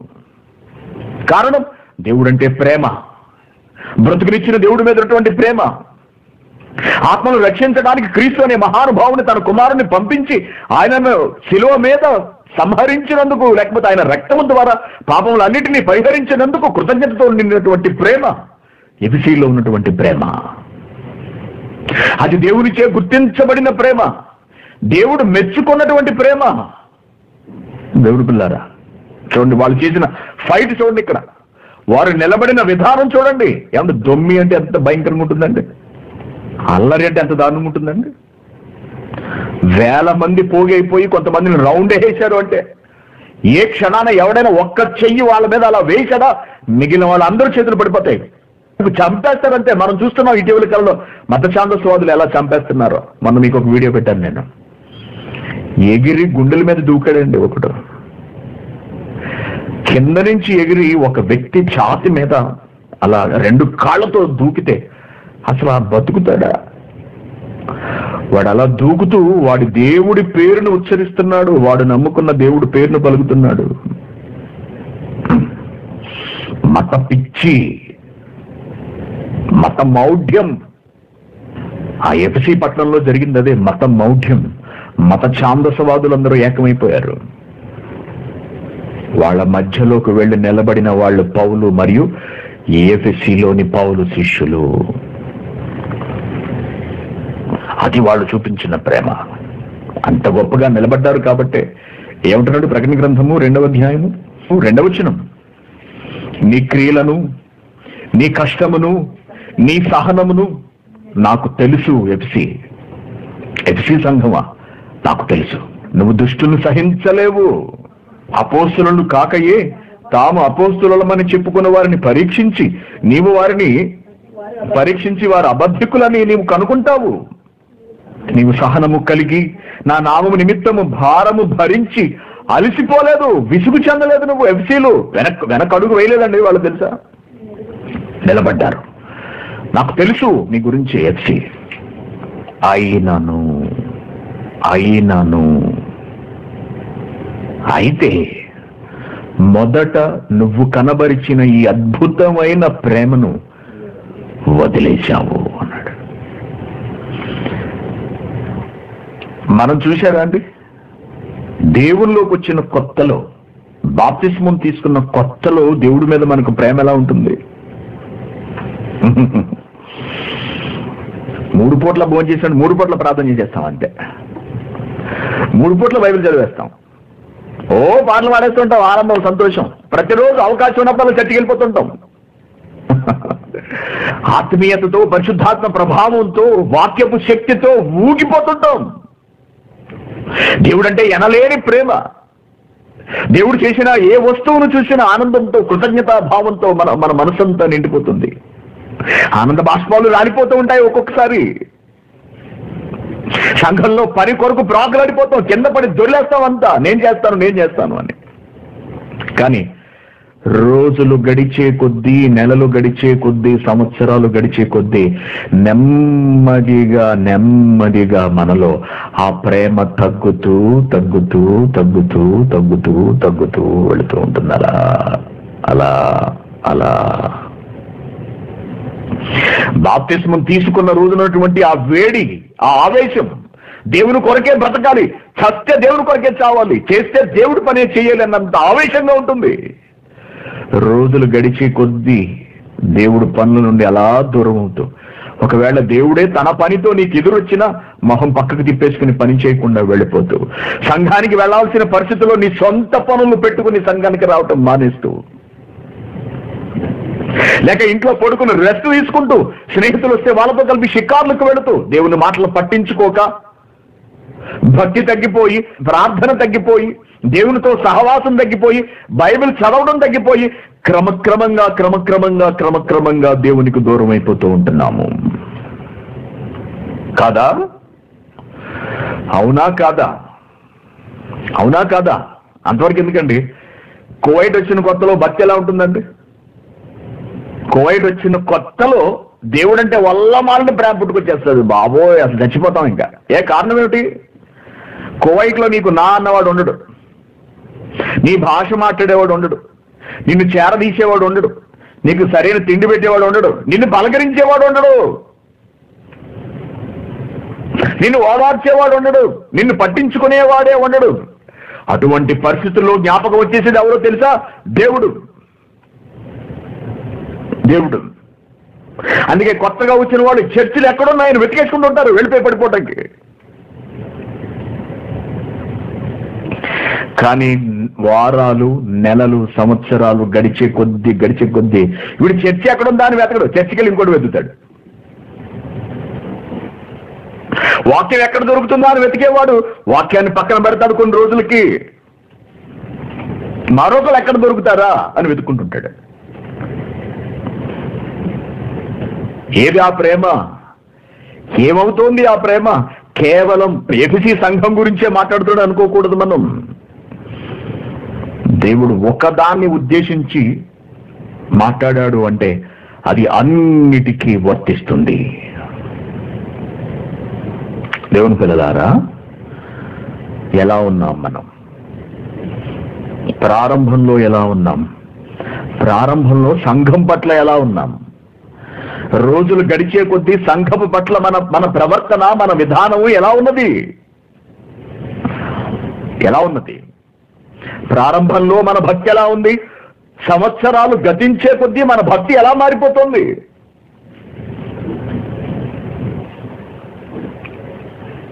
ఏమిటి ఎఫ్సి పట్టణంలో దేవుడికి కనపడినటువంటి లోపం? ప్రేమను వదిలేశారట. ఏమిటా ప్రేమను వదిలేయటం? మనలో ఆ ప్రేమ ప్రారంభపు తొలి ప్రేమ ఫస్ట్ లవ్ ఆనాటి ప్రేమ నిలిచి ఉన్నదా? మనలో కూడా దేవుని ప్రేమ తగ్గిపోయిందా తొలగిపోయిందా? తర్వాత క్లాస్లో ఆలోచిద్దాం మరి. చాలా పెద్ద పాఠం అండి ఇదంతా కూడా. కాబట్టి మిమ్మల్ని మీరు పరీక్షించుకోండి. మిమ్మల్ని మీరు విమర్శించుకోండి. ఏమైపోతోంది మీకు దేవుని మీద ప్రేమ? ప్రేమ తగ్గిపోయిందా? ప్రేమ తగ్గిపోతుందా రోజు రోజుకి? సమాజముగా కూడుకోవడానికి బద్దకిస్తున్నారా? అలసత్వమా? ఎందుకు రాలేరు రెండుకి? ఇదే ప్రేమ తగ్గిపోవటం అంటే. మొదటి ప్రేమ పోవడం అంటే ఇదే. బాప్తిస్మాలు తీసుకున్న కొత్తలో ఎలా ఉన్నారు? సంఘానికి వచ్చిన కొత్తలో ఎలా ఉన్నారు? వాక్యాలు వింటున్న తొలి నాళలో మీ ప్రవర్తన ఎలా ఉంది? ఈ రోజున ఎలా ఉంది? దేవుడు కనిపెడుతున్నాడు ప్రతిదీ కూడా. జాగ్రత్త జాగ్రత్త. సంఘం సంఘ సభ్యులారా సంఘంలోని ప్రతి ఒక్కరికి చెబుతున్నాను జాగ్రత్త. కిందకి వెళితే గుండెలు పగిలిపోతాయి దేవుడు మాట్లాడే మాటలు. మన సంఘం పెట్టినప్పటి నుంచి చెప్తున్నాను ఎప్పటి నుండి? ఇంచుమించు పది సంవత్సరాల నుంచి చెప్తున్న మాట. అందరూ సమయానికి రండి త్వరగా రండి. ఎక్కువసేపు మనం దైవ కార్యక్రమాల్లో పాల్గొందాం అంటే ఒక్కళ్ళు ఎంతమంది? మహాయకు ఒక ఐదుగురు వస్తారేమో సమయానికి. అంతే. మరి మిగిలిన వాళ్ళు ఎందుకు రారు? వీళ్ళు మాత్రం ఎందుకు రాగలుగుతున్నారు? శ్రద్ధ లేదు ప్రేమ లేదు. మొదటి ప్రేమ పోయింది దేవుడి ప్రేమ కూడా చచ్చిపోతుంది జాగ్రత్త మన పట్ల. మన ప్రేమ తగ్గితే ఆయన ప్రేమ కూడా తగ్గిపోతుంది. మిగిలిన విషయాల తర్వాత క్లాస్లో మాట్లాడుకుందాం. బైబిల్ గ్రంథం నుండి అమూల్యమైన సంగతులను పాఠాల రూపంలో మనం నేర్చుకుంటున్నాం. ప్రకటన గ్రంథంలో చెప్పబడిన ఏడు సంఘముల వివరణ. మొదటి సంఘాన్ని గురించినటువంటి వివరణను మనం ప్రారంభించాము. యోహాను రాసిన ప్రకటన గ్రంథము రెండవ అధ్యాయము మొదటి వచనం నుండి. రెండవ అధ్యాయం మొదటి వచనం నుండి. ఎఫెసులో ఉన్న సంఘపు దూతకు ఇలాగూ రాయము. ఎఫెసులో ఉన్న సంఘపు దూతకు ఇలాగూ రాయము. సంఘపు దూత అంటే ఎవరో మనకు తెలుసు. సంఘం తరపున రాయబారి లేక సంఘం తరపున కార్యకలాపాలను జరిగించే వ్యక్తి లేక సంఘానికి వాక్యం అందించేవాడు. అంటే సంఘపు దూత అంటే ఎవరో కాదు. వాక్యోపదేశకుడే అని మనం ఇక్కడ అర్థం చేసుకోవచ్చు. కాబట్టి ఏమంటున్నాడంటే ఎఫెసులో ఉన్నటువంటి సంఘపు దూతకు ఎలాగూ రాయము. ఏడు నక్షత్రములు తన కుడి చేత పట్టుకుని ఏడు దీపస్తంభముల మధ్య సంచరించేవాడు చెప్పు సంగతులేమనగా ఏడు నక్షత్రములను తన కుడి చేత పట్టుకుని ఏడు దీపస్తంభముల మధ్య సంచరించేవాడు. ఏమిటి నక్షత్రము ఏమిటి దీపస్తంభం అని మనం చూసినప్పుడు పై వచనంలో అనగా ఇరవై వచనంలో దానికి సంబంధించిన వివరణ మనకు కనిపిస్తూ ఉంటుంది. కాగా నీవు చూచిన వాటిని ఉన్న వాటిని వీటి వెంట కలగబో వాటిని అనగా నా కుడి చేతిలో నీవు చూచిన ఏడు నక్షత్రములను వచ్చిన మర్మమును ఆ ఏడు సువర్ణ దీపస్తంభముల సంగతియు రాయి యోహాను. ఆ ఏడు నక్షత్రములు ఏమిటో అని నువ్వు అనుకుంటున్నావేమో? ఆ ఏడు నక్షత్రములు ఏడు సంఘములకు దూతలు అన్నట్టు చూడండి. ఏడు నక్షత్రములు ఏడు సంఘములకు దూతలు అన్నాడు. అనగా ఆ సంఘాన్ని నడిపించే వాళ్ళు కావచ్చు. ఆ సంఘం కొరకు పరిశుద్ధాత్మ గారు ఏర్పాటు చేసిన వాళ్ళు నిర్ణయించిన వాళ్ళు కావచ్చు. వాక్యోపదేశకులు అన్నమాట ఓకేనా? ఆ ఏడు నక్షత్రములు ఆ, ఏడు సంఘములకు దూతలైతే ఆ ఏడు దీపస్తంభములు ఏడు సంఘాలు అంటున్నాడు. ఏడు సంఘాలు. కాబట్టి ఎఫిసిలో ఉన్న సంఘపు దూతకు అనగా ఎఫిసి సంఘాన్ని నడిపిస్తున్నటువంటి వ్యక్తికి చెబుతున్నటువంటి మాట ఏమిటంటే ఏడు నక్షత్రములు తన కుడి చేత పట్టుకుని ఏడు దీపస్తంభముల మధ్య సంచరించేవాడు చెప్పు సంగతులు లేదనగా. ఏడు నక్షత్రములు తన కుడి చేత పట్టుకుని ఏడు దీపస్తంభముల మధ్య సంచరించేవాడు చెప్పు సంగతులు లేవనగా ఎఫ్సీలతో మాట్లాడుతున్నాడు. ఎఫ్సీలకు రాసి పెట్టమంటున్నాడు ఈ సంగతిని. నీ క్రియలను నీ కష్టమును నీ సహనమును నేను ఎరుగుదును నాకు తెలుసు అంటున్నాడు. నువ్వు నా నిమిత్తం ఎంత కష్టపడ్డావో ఎంత సహనాన్ని కనబరిచావో. నేను చూశాను నీ కష్టం ఏంటో నా కళ్ళారా నేను చూశాను నాకు అర్థమవుతోంది. నువ్వు దుష్టులను సహింపలేవా నీవు? నీదెంత మంచి సంకల్పం అంటే నీదెంతటి దృఢ నిశ్చయం అంటే నీవు దుష్టులను సహింపలేవనియు దుష్టుడున్నా పర్వాలేదులే ఏం కాదు అని అనుకునే రకం కాదట ఎఫ్సి సంఘము. నీవు దుష్టులను సహింపలేవనియు అపోస్తులు కాకయే తాము అపోస్తులమని చెప్పుకున్న వారిని పరీక్షించి వారు అబద్ధికులని నీవు కనుగొంటివనియు. నీవు సహనము కలిగి నా నామము నిమిత్తము భారము భరించి అలయలేదనియు. నేను ఎరుగుదును అంటున్నాడు. దేవుడు చెబుతున్నమాట ఎఫ్సి సంఘంలో ఉన్నటువంటి కొన్ని గొప్ప లక్షణాలు ఆయన ఇక్కడ వివరిస్తున్నాడు. అదేమిటంటే వాటిలో మొదటిది నీ కష్టాన్ని నేను చూశాను నేను అర్థం చేసుకున్నాను. దీన్ని బట్టే నువ్వెంత గొప్ప సంఘానివో నాకు అర్థమవుతోంది అని ప్రభువు కితాబిస్తున్నాడు. నీ క్రియలను నీ కష్టమును నీ సహనమును నేను ఎరుగుదను. ఎంత ఓపికతో వాళ్ళు సువార్తను ప్రకటించారో మనకు తెలుసు. ఎఫ్సి పట్టణంలో ఉన్న వాళ్ళు పౌలు అక్కడికి వెళ్ళటం అక్కడి సంఘానికి పునాది వేయటం తర్వాత అక్కడ నుండి తన ప్రయాణంలో మరొక చోటికి వెళ్ళటం. ఈలోపు మరొక భక్తుడు అక్కడికి రావటం. అతడు మరికొంత జ్ఞానాన్ని అక్కడున్న వారికి తెలియచెప్పడం మరలా పౌలు గారు వెనుకకు రావడం వెనుకకు వచ్చి ఈసారి మరింత ఉధృతంగా దేవుని వాక్యాన్ని వారికి వివరించి చెప్పడం ఇదంతా కూడా మనం అపోస్తుల కార్యాల్లో చూస్తాం. అపోల్లో అనేక యూదుడు వాక్యాన్ని ప్రకటించాడు.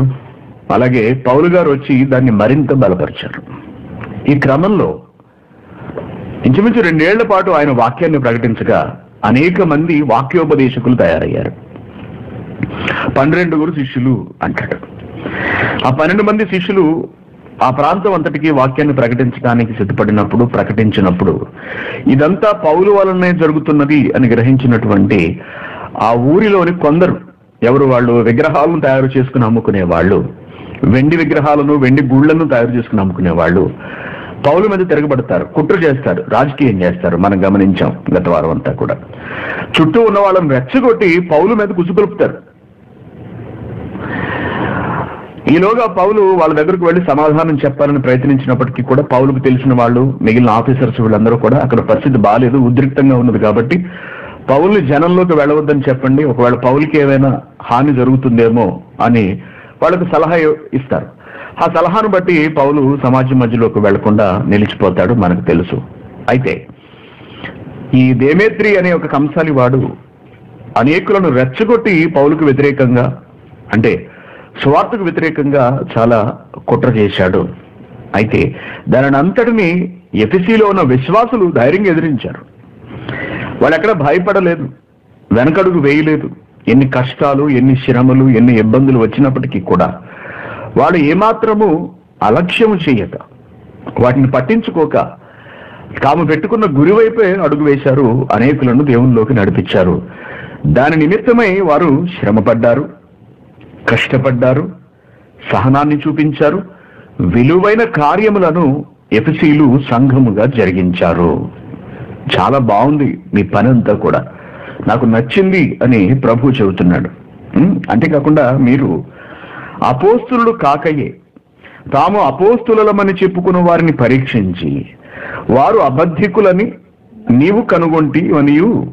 నీవు సహనము కలిగి నా నామము నిమిత్తము భారము భరించి అయినప్పటికీ కూడా అలిసిపోలేదనియు నేను ఎరుగుదును అంటున్నాడు. అపోస్తులు కాకయే తాము అపోస్తులలోను అని చెప్పుకునే కొందరు మోసగాళ్ళైనటువంటి బోధకులు. లేదా పేరు ప్రఖ్యాతుల కొరకు ప్రాకులాడేవారు ప్రజలలో మన్ననలు పొందాలి అని తాపత్రయపడేవాళ్ళు. దాని నిమిత్తము విషయాన్ని వక్రీకరించి చెప్పేవాళ్ళు నీ దగ్గరకు వచ్చారు. నీ దగ్గరకు వచ్చినప్పుడు నువ్వు దాన్ని అంగీకరించలేదు. వాళ్ళ అపోస్తులలో కాదో నువ్వు తెలుసుకున్నావు. అపోస్తలు వాక్యం చెబితేనే నువ్వు విన్నావు. ఇది నీ గొప్పతనము అని ఎఫ్సి సంఘంతో మాట్లాడుతున్నాడు ప్రభు. ఎఫ్సీల గురించి చెబుతున్నాడు. ఏమనట? అపోస్తలు కాకయే తాము అపోస్తలమని చెప్పుకున్న వారిని. ఎందుకంటే అపోస్తలు ఎవరో ఖండితంగా తెలుసు నాటి సమాజానికి. పన్నెండు మంది శిష్యులు అపోస్తులుగా ఉన్నారు. అలాగే వారు ఎవరి తల మీద అయితే చేతులుంచి ప్రార్థన చేశారో వారు అపోస్తులుగా అనగా సంఘంచే నిర్ణయింపబడిన వాళ్ళుగా పంపబడిన వాళ్ళుగా వారు పనిని జరిగించారు. అయితే అయితే వీరిలో చేరిన వారు కాక మరికొంతమంది అపోస్తలకు కలిగిన ప్రత్యేకతను సొంతం చేసుకోవటానికి ప్రజలలో గుర్తింపు గౌరవాలు ధనార్జనను చేసుకోవటానికి వాక్యాన్ని వక్రీకరించి చెప్పడం అనేకులను తమ వాక్యంతో సమ్మతిపరచడం వంటివి వాళ్ళు చేసుకుంటూ వెళ్ళారు.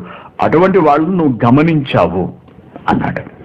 అటువంటి వారిని నువ్వు కనిపెట్టావు. అటువంటి వారిని నువ్వు కనిపెట్టావు. అని ఇంకా కొన్ని కిందకు వచ్చినప్పటికీ ఏమంటున్నాడంటే నువ్వెంత గొప్ప పోరాటం చేసినప్పటికీ కూడా ఎంత గొప్ప పోరాటం చేసినప్పటికీ కూడా నీలో ఒక తప్పు కనపడుతోంది అంటున్నాడు. ప్రతి సంఘమునకు వర్తించే మాటలండి ఇవి. ప్రతి సంఘమునకు. ఎందుకంటే ప్రపంచంలో ఉన్న ప్రతి సంఘం గురించి దేవుడు మాట్లాడలేడు కదా. కాబట్టి కొన్ని సంఘాలను దేవుడు ఎంపిక చేసుకున్నాడు. అవి ఏడు సంఘాలు. అనగా ఈ ఏడింటిలో ఏ సుగుణాలైతే ఉన్నవో అవి అనేక సంఘాలలో ఉండొచ్చు. ఈ ఏడింటిలో ఏ దుర్గుణాలైతే ఉన్నవో అవి అన్ని సంఘాల్లోనూ ఉండొచ్చు. కాబట్టి ఈ లక్షణాలను ఎవరైతే కలిగి ఉన్నారో చెడ్డ లక్షణాలు వారు వాటిని సరి చేసుకుని తమ భక్తి జీవితాన్ని తిరిగి కొనసాగించాలి. కాబట్టి ఈ ఏడింటిని తీసుకుని దేవుడు వివరించి చెప్పడం మొదలుపెట్టాడన్నమాట. కాబట్టి మన సంఘానికి కూడా ఈ మాటలు అవసరం. ప్రతి సంఘమునకు ఈ మాటలు అవసరము. ఏమండి? అనగా ప్రభు కనిపెడుతున్నారు. ప్రభు ప్రతి సంఘాన్ని పరిశీలిస్తున్నారు. సంఘంలో పరిస్థితులు ఎలా ఉన్నవి? సంఘంలో ఎటువంటి బోధ ఉన్నది? సంఘంలో మనుషులు ఎలా చలామణి అవుతున్నారు? సంఘపు కార్యక్రమములు ఏ విధంగా ఉన్నవి? సంఘమునకు సహనం ఎలా ఉన్నది? శ్రమలు ఎదురైనప్పుడు సంఘం ఎలా స్పందిస్తుంది? వీటన్నిటినీ కూడా ప్రభు చూస్తూ కనిపెడుతూ తగిన సలహాలు సూచనలు ఇస్తూ అనగా తమ భక్తిని మరింత మెరుగుపరుచుకోవడానికి ఆయన సూచనలు చేస్తూ ఏ ఏ విషయాలలో సంఘం బలహీనంగా ఉందో దానిని అంతటినీ కూడా బలపరుచుకోమని ఆయన వారికి హితబోధ చేస్తున్నాడు. అదే ఇక్కడ మాట్లాడుతున్నాడు. ఎఫ్సి సంఘంలో ఆయన గమనించిన గొప్ప సంగతులు ఉన్నాయి వాటిని చెప్పాడు. వాటితో పాటు ఆ సంఘంలో ఉన్నటువంటి ఒక బలహీనతను కూడా చెబుతున్నాడు అదేమిటంటే నీ మీద తప్పు ఒకటి మోపవలసి వస్తుంది మోపవలసి ఉన్నది. ఒకటే కదా. ముందు చాలా మంచి ఉన్నాయని చెప్పాడు కదా. ఏ ఒక్క విషయంలో మోపాలా? చూసి చూడనట్టుగా వదిలేయచ్చు కదా అంటే కుదరదండి. తప్పు తప్పే. నేరం నేరమే. దోషం దోషమే. నీ మీద ఒక తప్పు ఒకటి మోపాల్సి వస్తుంది. నీవు ఏ స్థితిలో నుండి పడితివో అది జ్ఞాపకము చేసుకొని మారు మనస్సు పొంది ఆ మొదటి క్రియను చేయుము అంటున్నాడు. దేని గురించి చెబుతున్నాడు ఇదంతా కూడా? నాలుగొచ్చును ఆయనను మొదట నీకుండిన ప్రేమను నీవు వదిలితివని నేను నీ మీద తప్పు ఒకటి మోపవలసి ఉన్నది. నువ్వు ప్రేమను విడిచిపెట్టావు. మొదట నీకుండిన ప్రేమను అంటున్నాడు చూసారండి మొదటి ప్రేమ. తొలి ప్రేమ. లేక ప్రారంభంలో కనబరిచిన ప్రేమ సంఘం ఏర్పడిన తొలినాళ్ళలో వాక్యం విన్న తొలి రోజులలో ప్రతి భక్తుని నుండి వ్యక్తమైనటువంటి గొప్ప ప్రేమ దేవుని పట్ల కనబరిచినటువంటి ప్రేమ. ఈ ప్రేమను నువ్వు వదిలేశావు. ప్రేమను వదిలేశావు. అని నీవు ఏ స్థితిలో నుండి పడితివో ఏమిటది ప్రేమను విడిచిపెట్టడం? అది జ్ఞాపకం చేసుకుని ఒక్కసారి మారు మనసు పొంది ఆ మొదటి క్రియ ఆ ప్రేమకు సంబంధించిన క్రియను నువ్వు చెయ్యి అలా చేసి నీవు మారు మనస్సు పొందితే సరి. మారు మనస్సు పొందితేనే సరి. లేకపోతే కనుక నేను నీ ఎద్దుకు వచ్చి నీ దీపస్తంభమును దాని చోటు నుండి తీసివేతును అన్నాడు. దీపస్తంభము అంటే? దీపస్తంభం అంటే ఏమిటి? పైన చెప్పాడు మనకి కదా మొదటి అధ్యాయ వచ్చిన చివరి లైన్ చూడండి. ఆ ఏడు దీపస్తంభములు ఏడు సంఘములు అంటున్నాడు. ఎఫ్సీలతో చెబుతున్నటువంటి మాట ఏమిటంటే మీరు నా పట్ల చాలా ప్రేమను కనబరిచారు చాలా కష్టపడ్డారు చాలా పనులు చేశారు చాలా సంతోషం. అయితే ప్రారంభంలో మీరు చూపించినటువంటి ప్రేమ అది క్రమక్రమంగా తగ్గిపోతూ వచ్చింది. దీనిని నువ్వు తెలుసుకుని నువ్వు ఎక్కడి నుంచి పడ్డావో దాన్ని ఒకసారి నువ్వు పరిశీలించుకుని తిరిగి ఆ పూర్వస్థితికి కనుక నువ్వు రాకపోతే తిరిగి నీ కార్యములను గనుక నువ్వు ప్రారంభించకపోతే నీ దీపస్తంభమును అనగా నీ సంఘాన్ని తీసేస్తాను అనడంతో ఒకటే మాట. ఎంత భయంకరంగా ఉందో చూడండి. అంటే సంఘంలో లోపాలు ఉంటే వాటిని తక్షణమే సరి చేసుకోవాలన్నమాట. లేకపోతే దేవుడు ఆ సంఘాన్నే ఉంచడన్నమాట. విడ్డూరంగా ఉంది కదండి.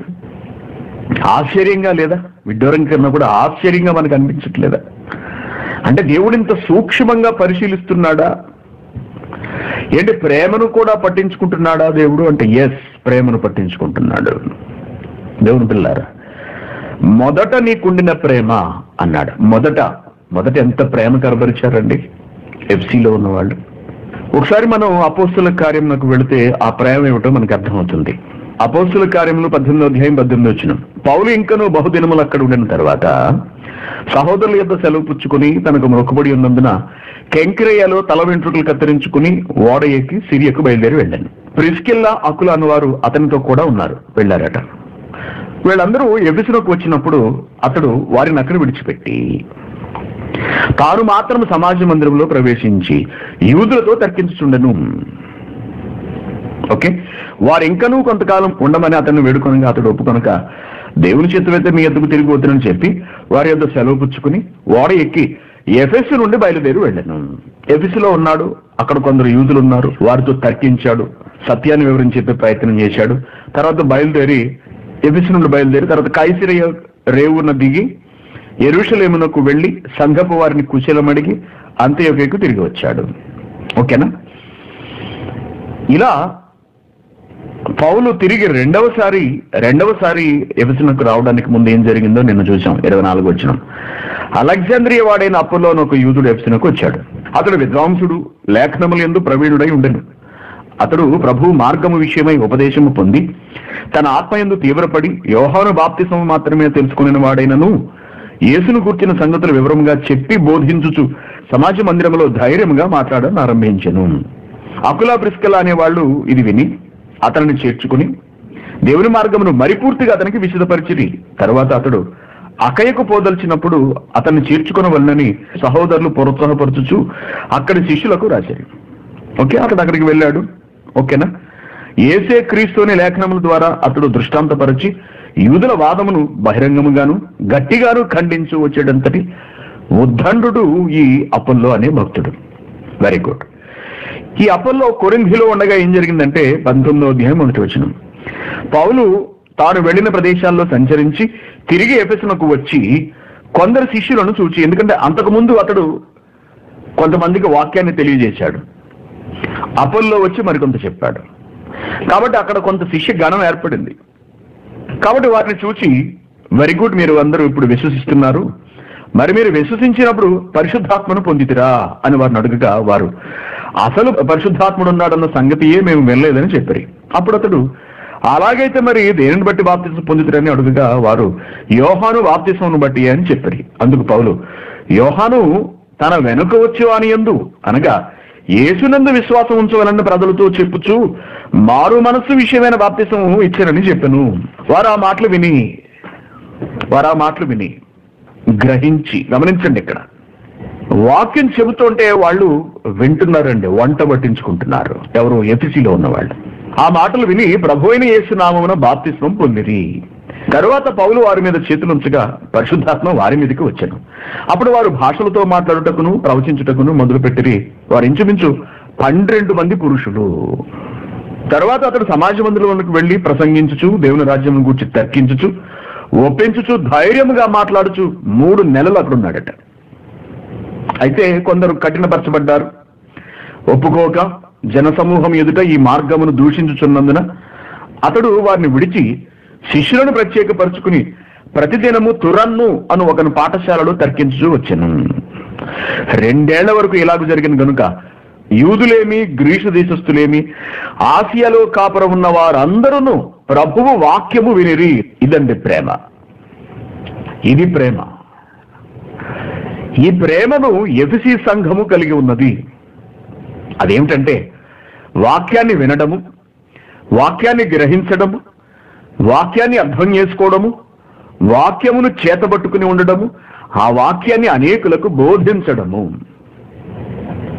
వాక్యాన్ని బోధించడం అనగా వాక్య విషయమైనటువంటి పరిపూర్ణమైన పట్టుదలను కలిగి ఉండటము. దీనినే ప్రేమ అని చెప్పవచ్చు. అనగా ప్రభు మార్గమును విశదపరచాలి. అనేకులను ఈ మార్గంలోనికి చేర్చాలి తీసుకురావాలి. అనేకుల ఆత్మను రక్షించాలి వాక్యాన్ని ప్రకటించాలి అనే పట్టుదల ఎఫెసిలో ఉన్న వారిలో మనకు చాలా ప్రస్ఫుటంగా కనిపిస్తుంది ఇక్కడ.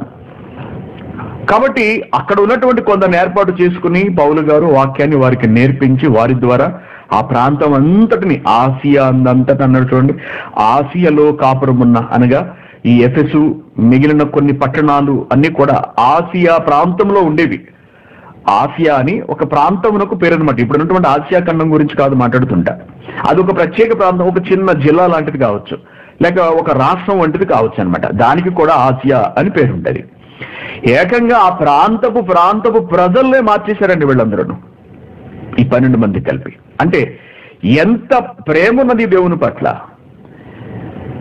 దేవుని పరి పట్ల ఎంత ఆసక్తి ఉన్నది ఎంత ప్రేమను వాళ్ళు వ్యక్తపరిచారు. దేవుని పిల్లారు సకల ప్రేమలలోకి గొప్ప దేవుడో తెలుసా అండి? వాక్యము నిమిత్తమైనటువంటి ప్రేమ. ప్రేమ చాలా గొప్పది.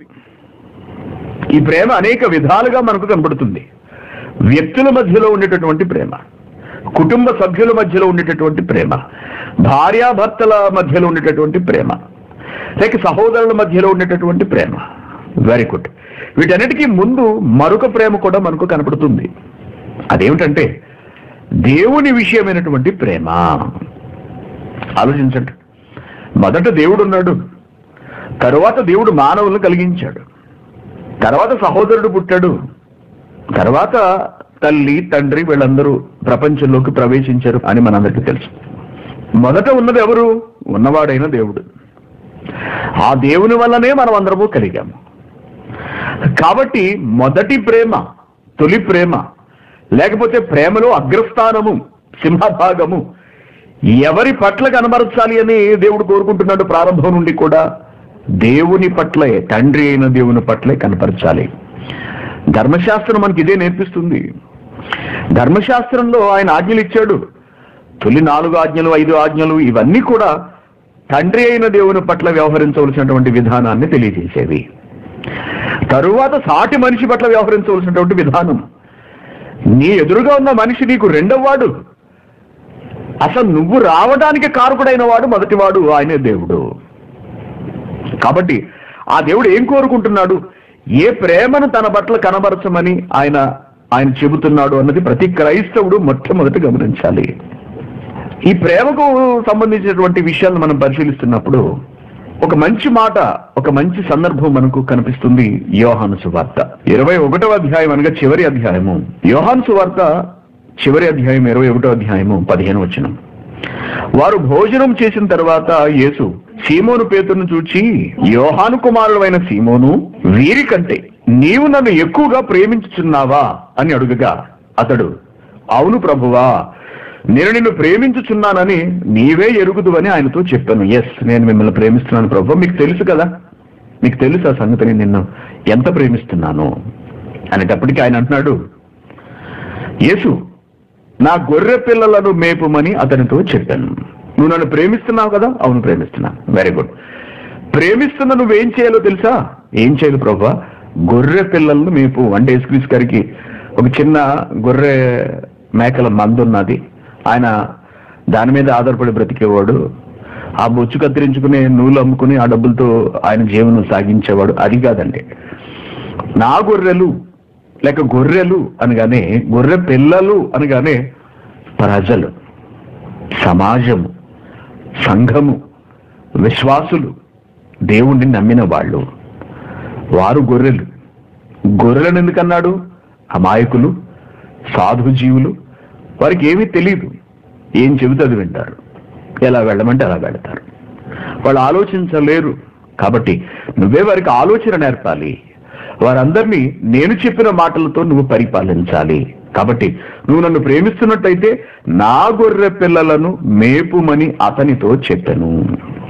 మరలా ఆయన యోహాను అయిన సీమోను నన్ను ప్రేమించుచున్నావా? అని రెండో మారు రెండవసారి అతను అడుగుగా అతడు అవును ప్రభువా నేను నిన్ను ప్రేమిస్తున్నానని నీకు తెలుసు కదా నీకే తెలుసు కావాలని అడుగుతున్నావు నువ్వు నన్ను అసలు నేనేమంటాను అని. అని ఆయనతో అనగా ఆయన అంటున్నాడు నా గొర్రెలను కాయి అయితే నన్ను ప్రేమిస్తున్నట్టయితే నా గొర్రెలను కాయి అన్నాడు. మూడవసారి ఆయన అనగా ప్రభువు యోహాను కుమారుడైన సీమోను ఏడు నన్ను ప్రేమించుచున్నావా నిజంగానే అని అతన్ని అడుగుగా నన్ను ప్రేమించుచున్నావా అని మూడవసారి తను అడిగినందుకు పేతురు వ్యసనపడి బాధపడిపోయి తనలో తాను ప్రభువా మీకు అన్ని విషయాలు తెలుసు కదండి మీరు సమస్తమును ఎరిగినవారు. నిన్ను ప్రేమించుచున్న నిన్ను ప్రేమించుచున్నానని నీవే ఎరుగుదు అని ఆయనతో చెప్పాను యేసు. అయితే నా గొర్రెలను మేపు నా గొర్రెలను మేపు అనగా నా ప్రజలను పాలించు. వారికి అన్నీ పెట్టు అని ఇక్కడ యేసుక్రీస్ గారు మాట్లాడడాన్ని మనం చూస్తున్నాం. అంటే ఇక్కడ ప్రేమ అనగానే మనకి మనకి ఏం కనపడుతుంది? మనకి ఏమర్థం అవుతుంది ప్రేమ అనగానే? ఏమండి? ఇక్కడ మనకి ఏం కనిపిస్తుంది? వ్యక్తుల మధ్యలో ఉండేటటువంటి ప్రేమ గురించి కాదు ఇక్కడ మాట్లాడుతుంటా.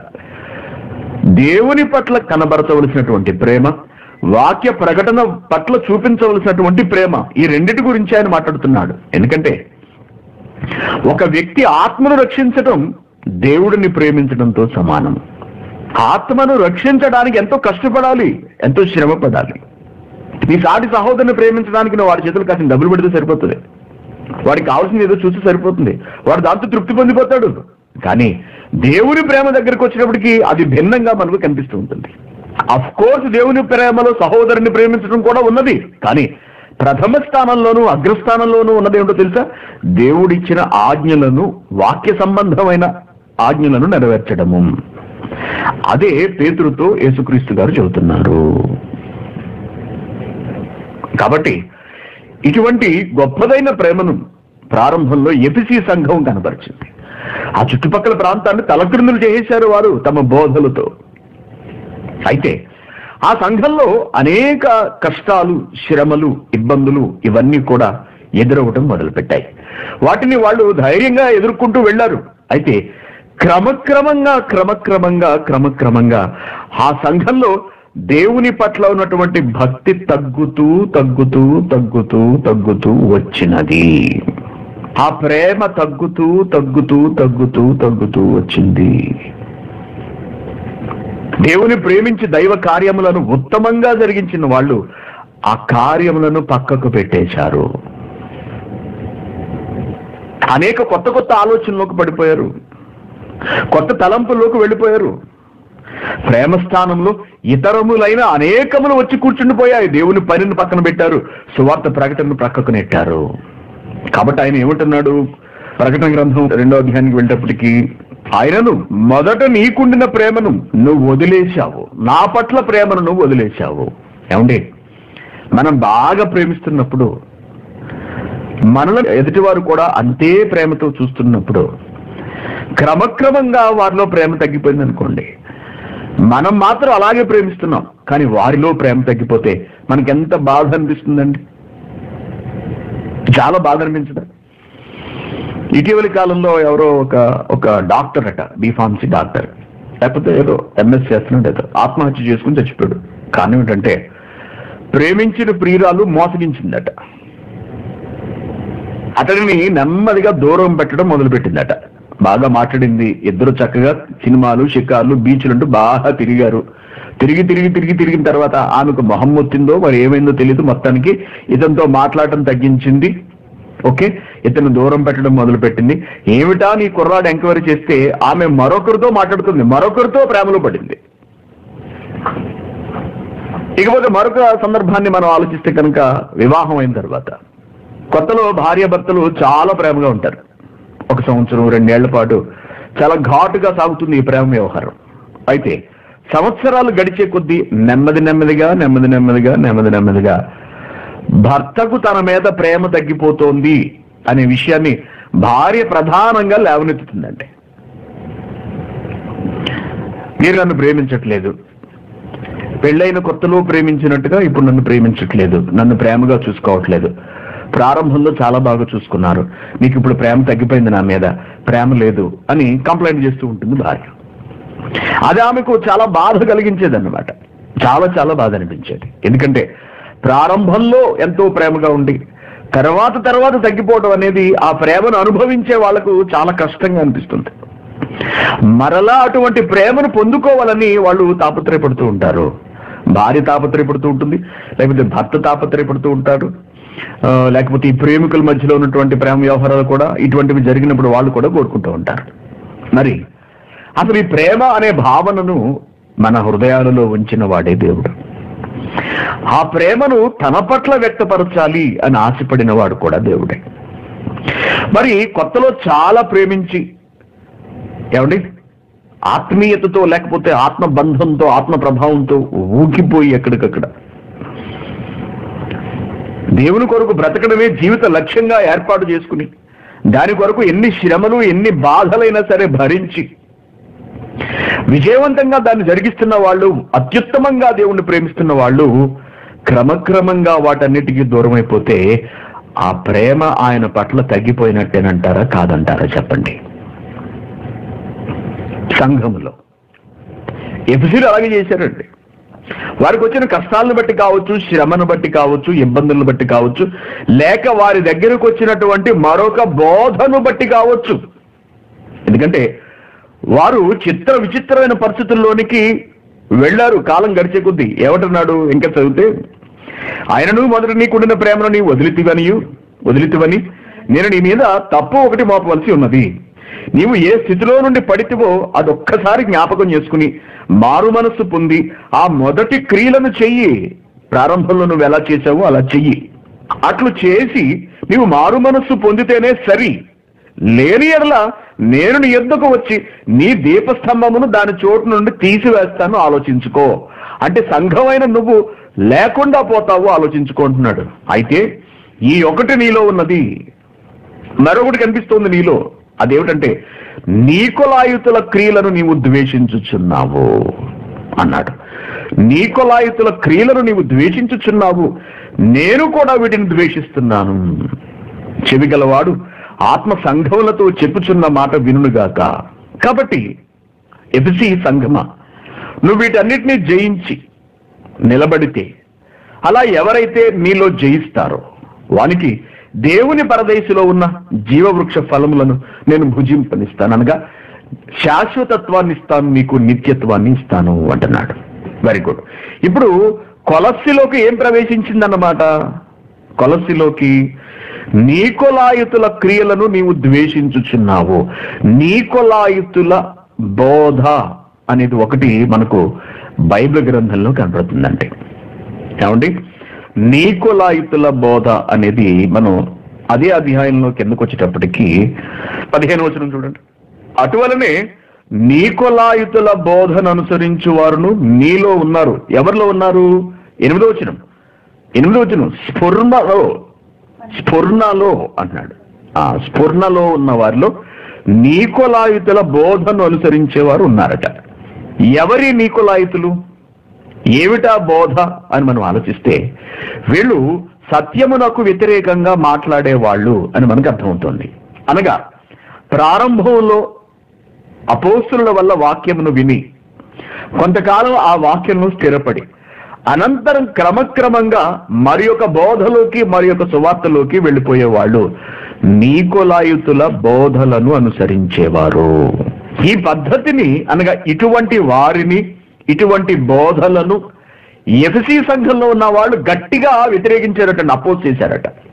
వీళ్ళు ఎటువంటి వారట? నీకోలాయితుల బోధ అంటే ఎలా ఉంటుందని మనం చెప్పవచ్చు? పద్నాలుగు వచ్చిన అయినను. నేను నీ మీద కొన్ని తప్పిదములు మోపవలసి ఉన్నది. ఇది స్ఫుర్ణ అనే తర్వాత సంఘంలో సంఘపు వివరణలో మనకు వస్తుంది. అయితే జస్ట్ నీకోలాయితుల బోధ అంటే ఎలా ఉంటుందో అర్థం కావడం వరకు చెప్తున్నాను. నేను నీ మీద కొన్ని తప్పిదాలు మోపవలసి ఉన్నది. అవేవనగా విగ్రహములకు బలి ఇచ్చిన వాటిని తిరున్నట్లు జారత్వము చేయునట్లు ఇస్రాయిలీలకు ఉరియొడ్డమని బాలాకునకు నేర్పిన బిలాము బోధను అనుసరించే వారు నీలో ఉన్నారు. అలాగే అంటే అటువంటి బోధ లాంటిదే నీకులాయుతుల బోధను అనుసరించే వారును నీలో ఉన్నారు. రెండు వర్గాల వారు ఉన్నారు. అంటున్నాడు. దేవుని పిల్లలారా ఈ నీకోలాయితుల బోధ అంటే ఏమిటి అని మనం ఆలోచిస్తే అసలు ఈ నీకోలాయతు ఎవరు ఆ బోధ ఏమిటి అన్నది మనం తెలుసుకోవాల్సి ఉంటుంది. ఈ నీకోలాయితు అనే దాని మీద చరిత్రను బట్టి భిన్న అభిప్రాయాలు మనకు కనిపిస్తూ ఉంటాయి. అనగా ఒకనాడు దేవుని వలన ఏర్పరచబడి పరిశుద్ధాత్మను పొందుకుని వాక్య ప్రకటనలో బలంగా ఉన్న వాళ్ళే క్రమక్రమంగా ఆత్మ సంబంధమైన బోధను విడిచిపెట్టి శరీర సంబంధమైన బోధనలోనికి దిగిపోయారు అని కొన్ని కొన్ని సందర్భాలను బట్టి మనం అర్థం చేసుకోవచ్చు. చూద్దాం. ఈ నీకొలాయితు అనే మాట మనకు బైబిల్లో ఎక్కడైనా కనబడుతుందేమో పరిశీలించే ప్రయత్నం చేద్దాము. ఓకేనా? ఇది ఒక వాదం అన్నమాట. ఇది ఒక వివరణ కొంత వివరణ దీని మీద మనకు. అపోస్తుల కార్యములు ఆరో అధ్యాయము మొదటి నుండి ఆరో వచ్చినాలు ఆ దినములలో శిష్యుల సంఖ్య విస్తరించుచున్నప్పుడు అనుదిన పరిచర్యలో తమలోని విధవరాండ్రం చిన్న చూపు చూచిరని హెబ్రీల మీద గ్రీకు భాష మాట్లాడు యూదులు సనగసాగిరి అప్పుడు పన్నెడుగురు అపోస్తులు తమ యుద్ధకు శిష్యుల సమూహం పిలిచి మేము దేవుని వాక్యాన్ని బోధించడం మాని ఆహారంను పంచిపెట్టడం యుద్ధం కాదు. కాబట్టి సహోదరులారా మీరేం చేస్తారంటే ఆత్మతోనూ జ్ఞానంతోనూ నిండుకొని మంచి పేరు పొందిన ఏడుగురు మనుషులను మీలో ఏర్పరచుకోండి. మేము వారికి పనిని నియమింతుము.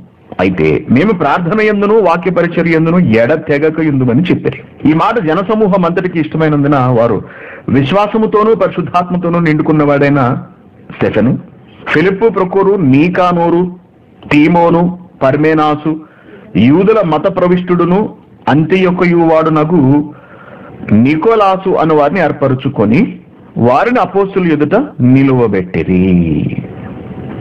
ఏమండి? ఇక్కడ వీళ్ళలో ఈ పేరుకి అనగా నీకోలాయితుల బోధ అని చెప్పడానికి ఈ నీకానోరు అనే పేరును చూసారా నీకానోరు. నీకానోరు. అనే ఈ ఈ భక్తుడు కాలక్రమంలో కాలక్రమంలో తన తన భక్తిని విడిచిపెట్టి మరొక బోధ వైపు మరలిపోయి మరొక బోధ వైపు మరలిపోయి ఆ బోధను భుజాన వేసుకుని తిరిగి మనుషులలో అనేకులను ఆ బోధ వైపు మళ్ళించాడు అనే ఒక చారిత్రాత్మకమైనటువంటి చరిత్రలో అనగా బైబిల్ కాదు కానీ బైబిల్ కాదు కానీ చరిత్రకారులు చెప్పినటువంటి ఒక అభిప్రాయం ఇది. ఒక అభిప్రాయం. నీకానూరు అనేది నీకానూరు. ఇతడి నుండే ఈ నికోలాయుతుల బోధ అనేది వచ్చింది అని కొంతమంది చెబుతున్నారు. కొందరు చరిత్రకారులు చెబుతున్నారు. అనగా ఆనాటి పరిస్థితులను బట్టి అధ్యయనం చేసి వ్రాసిన వాళ్ళు అనమాట ఓకేనా? దీనిని రూఢిపరచడానికి మరొక వచనం కూడా మనకు కనిపిస్తుంది. అపోస్తుల కార్యములు పదిహేను అధ్యాయంలోనే ఇరవై నాలుగు నుండి.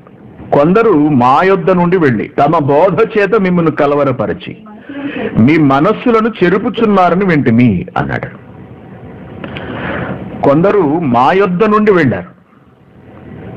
అనగా అపోస్తుల నుండి వెళ్ళారు. శిష్యుల దగ్గర నుండే వెళ్ళారు. కొందరు మా యొద్ద నుండి వెళ్ళి తమ బోధ మేము చెప్పిన బోధ కాదు. మేము నేర్పించిన బోధ కాదు. వారి బోధ. వారికంటూ ఒక బోధను ఏర్పాటు చేసేసుకున్నారు. మా నుంచి వచ్చిన వాళ్ళే వాళ్ళు. కానీ బోధను మార్చారు. బోధ మారడానికి వీల్లేదండి ఎప్పుడు కూడా గమనించండి. దేవుడిచ్చినటువంటి బోధ దాని ఉద్దేశము దాని సారాంశము ఎన్ని లక్షల మంది ఎన్ని కోట్ల మంది ప్రకటించినా అది మారడానికి ఆ ఉద్దేశం మారడానికి వీలు లేదు. అలా కనుక భావాలను ఎవరైనా మార్చి ప్రకటిస్తే అది మరి ఒక సువార్త. జ్ఞాపకం ఉంచుకోండి ప్రతి ఒక్కళ్ళు. మరి యొక్క సువార్త. ఇటువంటి వాళ్ళు కొందరు బయలుదేరి మరి యొక్క సువార్తను ప్రకటించడం మొదలుపెట్టారు. గలతీలకు ఉత్తరం రాస్తూ కూడా పౌలు గారు ఇదే సంగతిని లేవనెత్తారు మనకు తెలుసు. ఏమిటది?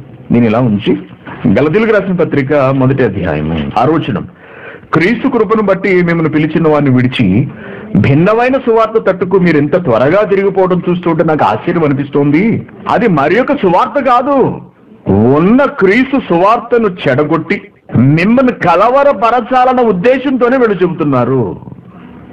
అనగా క్రీస్తు సువార్తను చెడగొట్టడమే ఈ మరి యొక్క సువార్త యొక్క ఉద్దేశము లక్ష్యము. మేము మీకు ప్రకటించిన సువార్త గాక మరి యొక్క సువార్తను మేమైనను పరలోకం నుండి వచ్చిన ఒక దూతయనుడు మీకు ప్రకటించిన ఎడల వాడు శాపగ్రస్తుడవుతాడు. మేము ఇదివరకు చెప్పిన ప్రకారం మరలా చెప్పుచున్నాము మీరు అంగీకరించిన సువార్త గాక. అని చూసారా అండి? మీరు అంగీకరించిన సువార్త గాక మరి ఒకటి ఎవడైనను మీకు ప్రకటించిన ఎడల.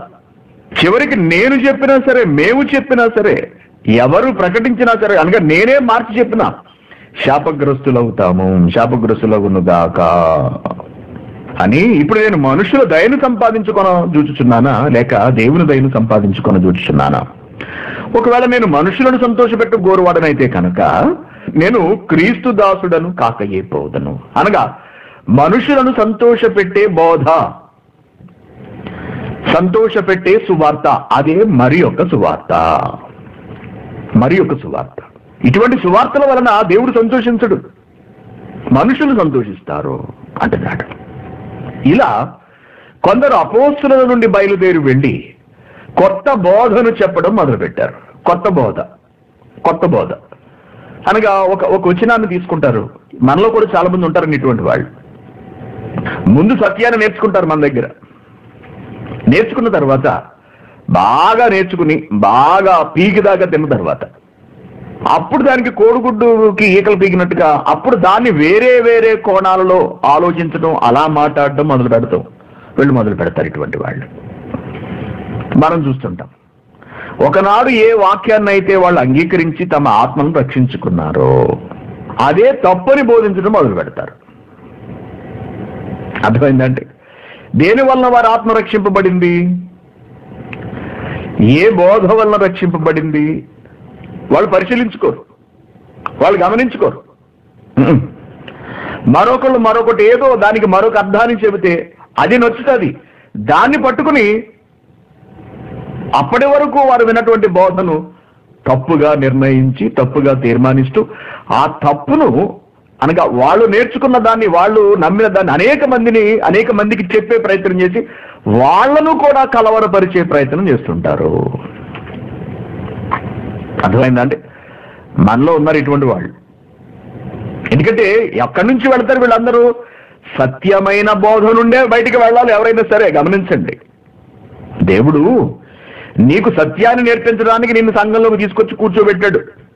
అక్కడ చక్కగా నువ్వు నేర్చుకున్నావు.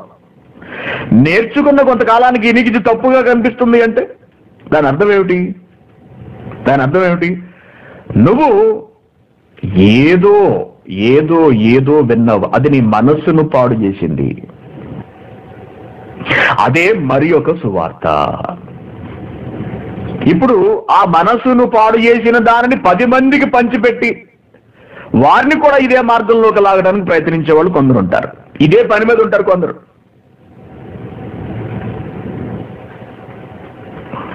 మరి ఒక సువార్త.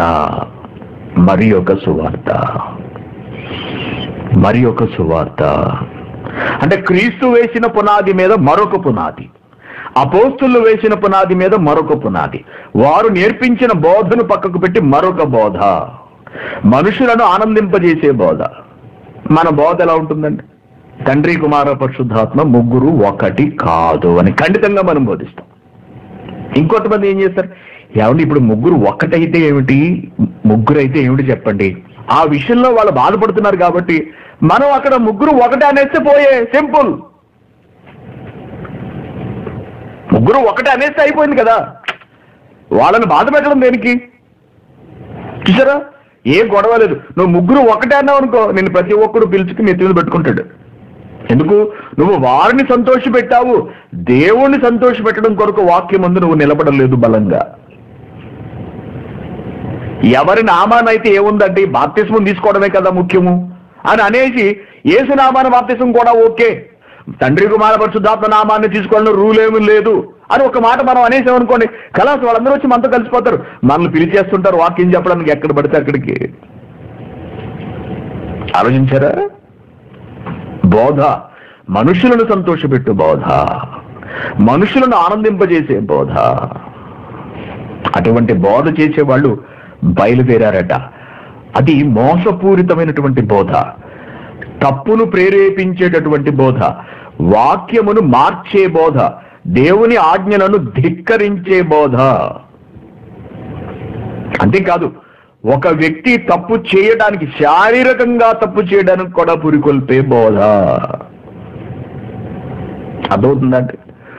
అలాగా నీకోలాయితులు అనేవాళ్ళు ఒక కొత్త బోధను నాటి సమాజంలోనికి తీసుకువచ్చారు. ఎఫ్సీలు చాలా పోరాటం చేశారండి. మన పోరాటం ఎంతండి? మహా అయితే వాక్యం నేర్చుకున్న వాళ్ళు ఒక రెండు మూడేళ్ళు తినగా ఉంటున్నారేమో. రెండు మూడేళ్ళు తర్వాత వేరే బోధలోకి వెళ్ళిపోతున్నారు. అంటే స్థిరత్వం లేదు. నిలిచి ఆలోచించడం చేత కాదు. ఒక ఒక ఒక వచనానికి మరొకరు ఎవరైనా ఒక అర్థాన్ని ఒక కొత్త అర్థాన్ని చెప్పారనుకో అక్కడ పడిపోతాడు అంతే వీడు ఇక్కడ. అది ఎంతవరకు సహేతుకం? అది వాక్యానుసారమా? కాదా? మిగిలిన వచనాలతో అనుకూలిస్తుందా? వ్యతిరేకిస్తుందా? ఏ సందర్భంలో ఏ ఉద్దేశంతో దేవుడు మాట్లాడు? ఇహ ఇవేవి పట్టించుకోడు వాళ్ళు చెప్పింది నచ్చింది కాబట్టి ఇంతవరకు మనం విన్నదంతా తప్పన్నమాట అని ఒక నిర్ణయానికి వచ్చేస్తారు. అలా నిర్ణయానికి వచ్చి కొంతమంది పోయారు. అటువంటి నిర్ణయానికి వచ్చి కొంతమంది పోయారు. అలా పోతూనే ఉంటారండి సంఘంలోంచి. అలా పోతూనే ఉంటారు పోతూనే ఉంటారు. అటువంటి వారి దగ్గర నుండి సంఘాన్నే తీసేస్తానన్నాడు దేవుడు. అటువంటి వారి దగ్గర నుండి సంఘాన్ని తీసేస్తా అన్నాడు దేవుడు. సంఘమునే తీసేస్తాట వారి దగ్గర నుండి సంఘాన్ని తీసేస్తాడు. గమనించండి వారి దగ్గర నుండి సంఘాన్ని తీసేస్తాడు. అనగా సంఘ సభ్యుడు కానేరడు అటువంటి వాడు. సంఘ సభ్యుడు కాకపోతే సంఘంలో లేకపోతే ఇంకెక్కడ ఉంటావు మరి నువ్వు? అంటే దేవుడు రాజ్యమునకు దేవుడు నిన్ను అంగీకరించడు అన్నమాట అటువంటి బోధ చేసేవాడు అటువంటి బోధను వినేవాడు ఆ బోధను అనుసరించేవాడు. అటువంటి బోధ ఎఫ్సీల దగ్గరకు వచ్చింది. అయితే వాళ్ళు దాన్ని ఎదిరించారు. అదే చెబుతున్నాడు ప్రకటన గ్రంథంలో.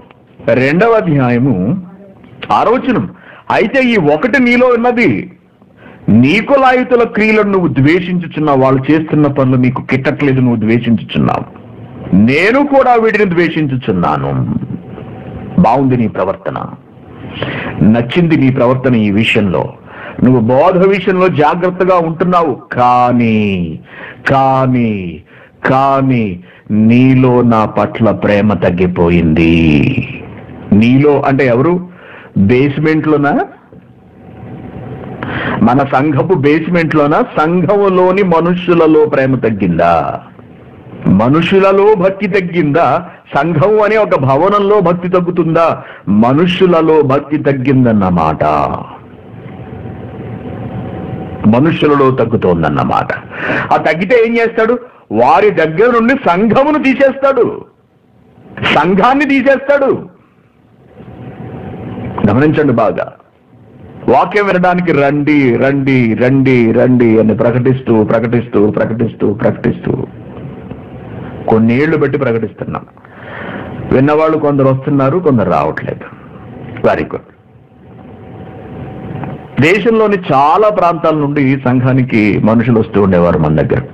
రావడం వాక్యం వినడం బాప్తిస్మం తీసుకోవడం దైవ కార్యక్రమాలలో పాల్గొనడం దేవుని కొరకు పనిచేయటం. కొందరు క్రమక్రమంగా క్రమక్రమంగా క్రమక్రమంగా రావడం మానేయటం తగ్గించుకోవడం మానేసేయటం మానే అనగా వీలైతే రావటం లేకపోతే లేదు. సెమినార్లకు కనిపించటం లేకపోతే ఏదైనా ఇతరత్ర కార్యక్రమాలప్పుడు కనిపించటం. రెగ్యులారిటీ క్రమం అనేది తగ్గుతుంది. కొత్తలో వాక్యం విని ఎంతో ఆవేశంతో బాప్తిస్మం తీసుకుని సంఘంలోకి ప్రవేశించావు. కొంతకాలం సంఘంలో నిలకడగా ఉన్నావు. సంఘంలో నాడు ఎటువంటి బోధ అందజేయబడిందో నేటికి అదే తరహా బోధ అందచేయబడుతుంది ఆత్మ రక్షించు బోధ ఆత్మలను బలపరుచు బోధ. మరి ప్రారంభంలో అంత ఆవేశంగా వచ్చిన వాడు క్రమక్రమంగా ఎలా దిగజారిపోతూ వెళ్ళిపోయాడు ఎందుకు వెళ్ళిపోయాడు? అతనిలో ప్రేమ తగ్గిపోతోంది దేవుని పట్ల వాక్యము పట్ల దేవుని పనుల పట్ల. ఎప్పుడైతే నీలో ప్రేమ తగ్గిందో నువ్వు సంఘానికి దూరం అవుతావు జ్ఞాపకం ఉంచుకో బాగా జ్ఞాపకం ఉంచుకోండి సంగతిని సంఘానికి దూరం అయిపోతావు నువ్వు. సంఘానికి నువ్వు దూరమయ్యావంటే క్రీస్తుకు నువ్వు దూరం అయినట్టే లెక్క. కారణం ఏంటో తెలుసా? సంఘమునకు శిరస్సు క్రీస్తు శరీరము క్రీస్తు. సంఘము ఆత్మచే నడిపించబడుతుంది. సంఘము పరిశుద్ధాత్మ గారిచే నడిపించబడుతుంది వాక్యం అందించబడుతుంది. అనేక ఆత్మలు రక్షింపబడుతూ ఉంటాయి ఎప్పుడు కూడా సంఘంలో. నువ్వు కూడా అలా రక్షింపబడినప్పుడు ఎల్లప్పుడూ సంఘము తనగా శిరస్సుతో అతకబడి ఉండాలి సంఘముతో అంటుకట్టబడి ఉండాలి. అంతే తప్పించి నీకు వీలు కుదిరినప్పుడు రావటం నీకు నీకు బద్ధకం వేసినప్పుడు మానేసేయటం నీకు నచ్చితే రావటం లేకపోతే మానేసేయటం నీకు నచ్చే వాక్యం ఉంటే రావటం లేకపోతే ఆగిపోవటం. ఇలా క్రమక్రమంగా క్రమక్రమంగా చాలా మంది చాలా మంది అవకాశం ఉండి కూడా రాకుండా అవకాశం ఉండి కూడా రాకుండా నిర్లక్ష్యం చూపిస్తున్నారు అంటే వారిలో మొదట ఉన్న ప్రేమ నశించిపోయింది. జ్ఞాపకం ఉంచుకోండి.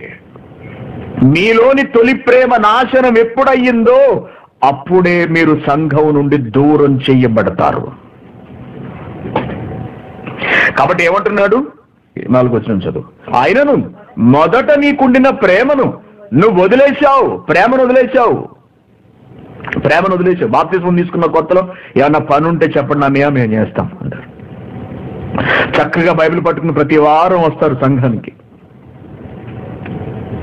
అలా కొన్ని నెలలు కొనసాగుతుంది. నెలలు గడిచే కొద్దీ ఒక విధమైనటువంటి నిర్లిప్త నిరుత్సాహము లోకాన్ని చూడటం లోకాన్ని ప్రేమించటం లోకం వైపు వెళ్ళిపోవడం చిక్కుబడిపోవడం పాపంలో దానిని వదిలించుకుని బయటికి రాలేకపోవడం దాన్ని ఎదిరించలేకపోవడం దాన్ని జయించలేకపోవడం పాపంలో బంధింపబడి ఉండిపోవడము.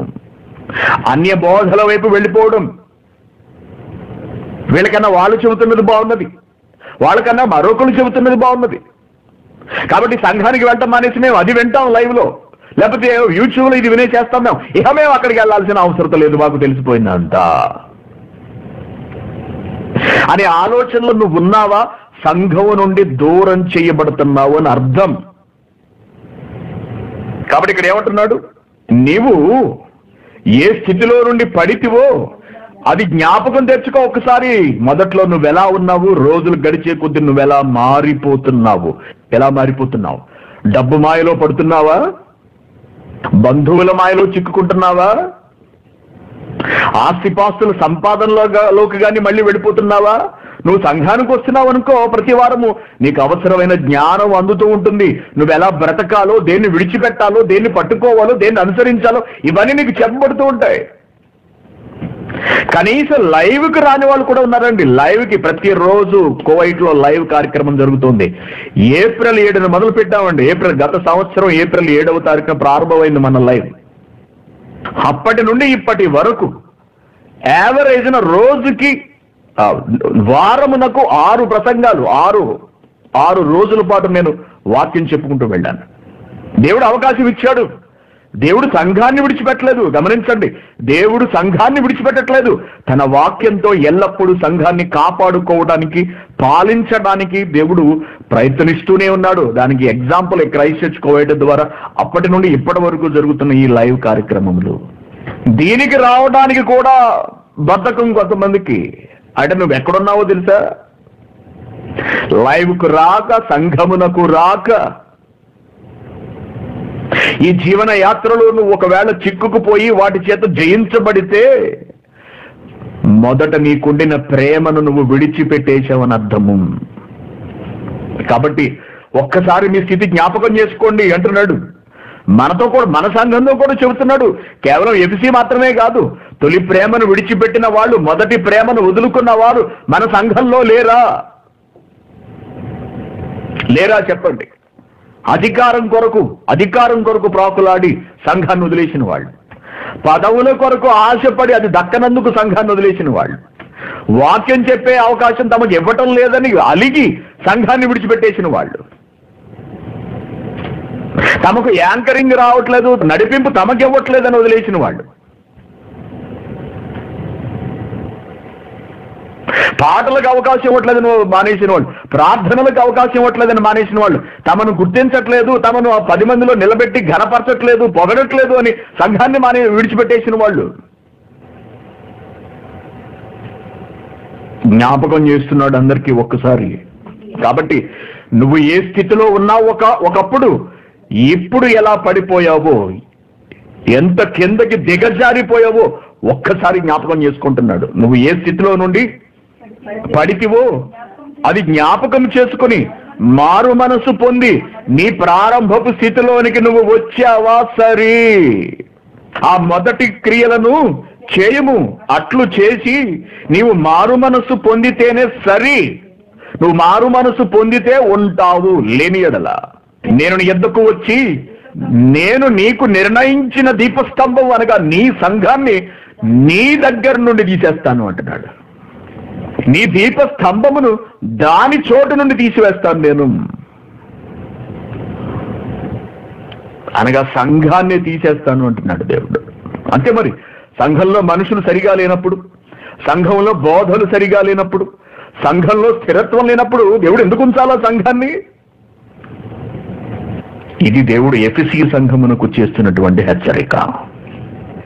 తొలి ప్రేమ మనలో ఉన్నదా?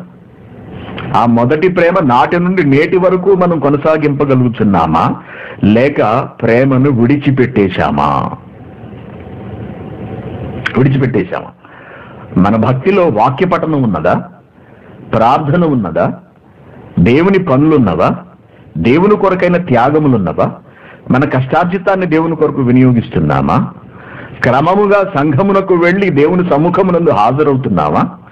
ఆయన నుండి వచ్చే ఆజ్ఞలు వింటున్నామా? లేక విడిచిపెట్టేశామా? అవకాశం ఉండి కూడా మనం సంఘానికి రావట్లేదా? దేవునికి కృతజ్ఞతలు చెప్పే పనిని మనం పూర్తిగా విస్మరించేశామా? అంటే ప్రారంభంలో ఉన్న నీ స్థితి ఇప్పటి స్థితితో పోల్చి చూస్తే మొత్తం కింద పడిపోయిందన్నమాట బాప్తిస్మం తీసుకున్నావన్న ఒక్క పేరు మాత్రమే నీకు మిగిలిందన్నమాట నీకు పనులేమీ లేవన్నమాట ఇక. అంటే నీకు సంఘం అర్థం అన్నమాట? ఇది నీ క్రియల వల్ల నువ్వు చెప్పదలుచుకున్నది ఏమిటంటే నాకు సంఘం అక్కర్లేదు అని చెప్తున్నావు కలాస్ నీకు సంఘం అక్కర్లేకపోతే నీకిచ్చిన సంఘాన్ని దేవుడు నీ యొద్ద నుండి తీసివేస్తాడు. ఇది పరిస్థితి. ఇది పరిస్థితి. కాబట్టి ప్రియమైన దేవుని పిల్లలారా మీరు ఎక్కడున్నారు మీరు ఎలా ఉన్నారు? మీరు కొత్తలో ఎలా ఉన్నారు? ఇప్పుడు ఎలా ఉన్నారు? అవకాశం దొరికినప్పుడల్లా సంఘము ద్వారా కార్యక్రమాలు జరిగించడానికి ఎంత కృషి చేశామో మీకు తెలుసు. లేఖనాల పరిశోధన సదస్సులు.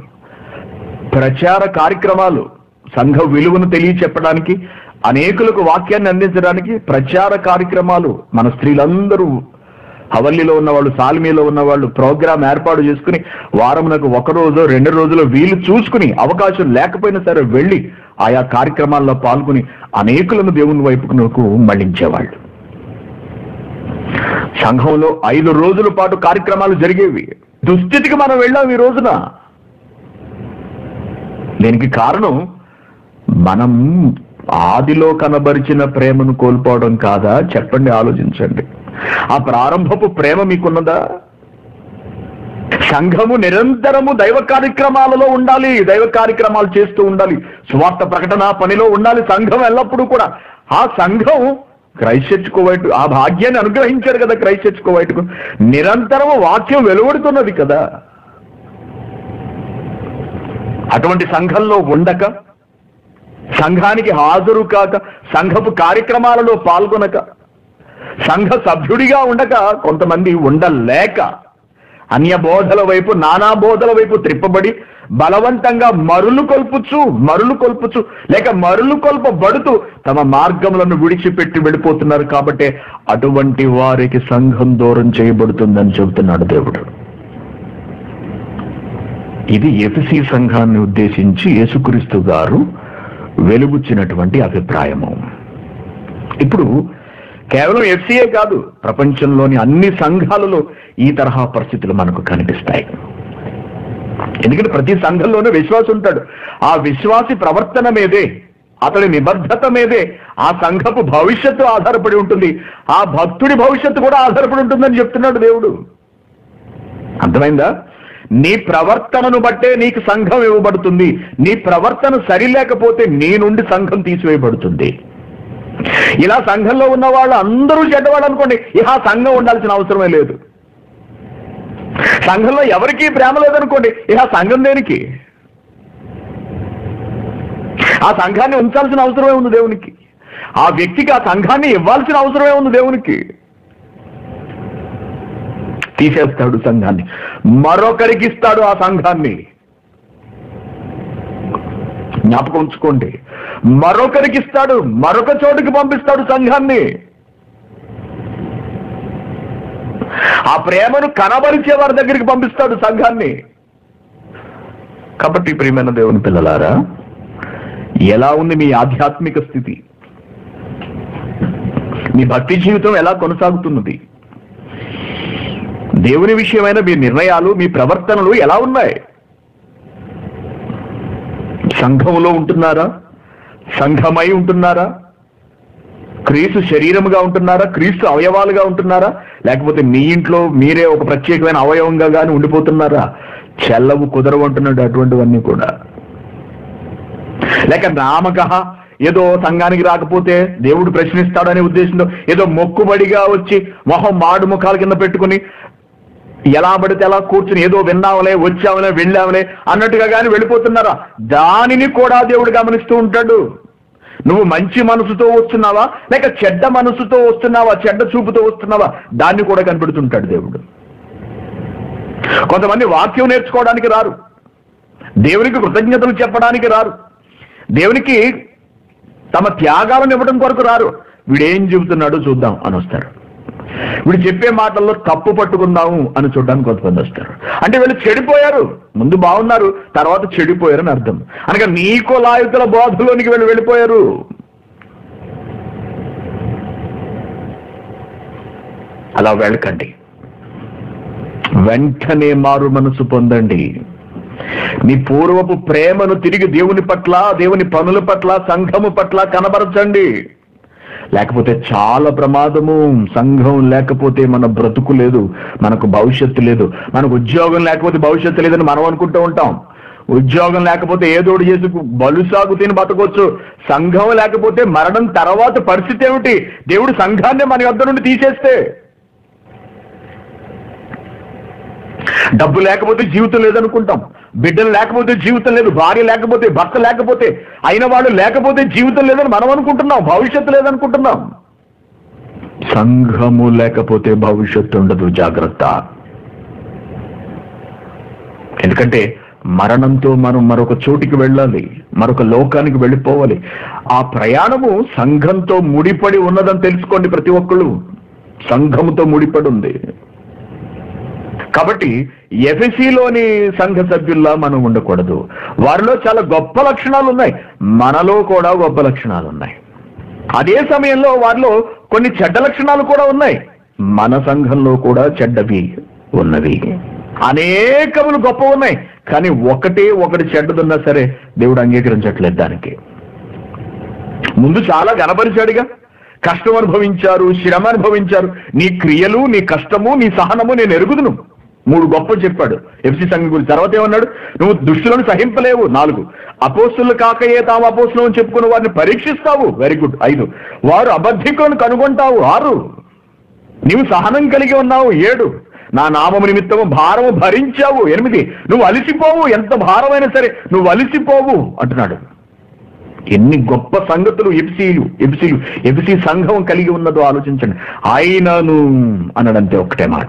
ఎన్ని ఉన్నప్పటికీ కూడా ఏదో కడివెడు పాలలో ఒక్క ఒక్క విషం చొక్కేస్తే ఆ, పాలన్నీ విషమైపోతాయి అంటారు చూసారా అండి? అలాగా. ఆ సంఘం కలిగి ఉన్నటువంటి గొప్ప పనులు గొప్ప సంగతులు అన్నీ కూడా గొప్ప విషయాలన్నీ కూడా ఈ ప్రేమను కోల్పోవడం వలనే అవన్నీ కూడా లెక్కల్లో లేకుండా పోయాయి. కాబట్టి ప్రేమ దేవుని పిల్లారా మీరు ప్రేమను కనుక కోల్పోయారా? తొలినాటి మొదటి ప్రేమను కనుక మీరు దేవుని పని పట్ల దేవుని పట్ల వాక్యము పట్ల మీరు విసర్జించారా? దేవుడు విడిచిపెట్టడు జాగ్రత్త. హెచ్చరిస్తున్నాడు. కాబట్టి మనం మారు మనసు పొందాలి. ఈ రోజే మారు మనసు పొందాలి. మిమ్మల్ని మీరు పరీక్షించుకోండి. మిమ్మల్ని మీరు విమర్శించుకోండి. దేనిని బట్టి నువ్వు రక్షింపబడ్డావు? నీ ఆత్మ రక్షింపబడింది. ఈ రోజు నువ్వు దేని కొరకు ప్రాకులాడుతున్నావు? దేని కొరకు పని చేస్తున్నావు నువ్వు?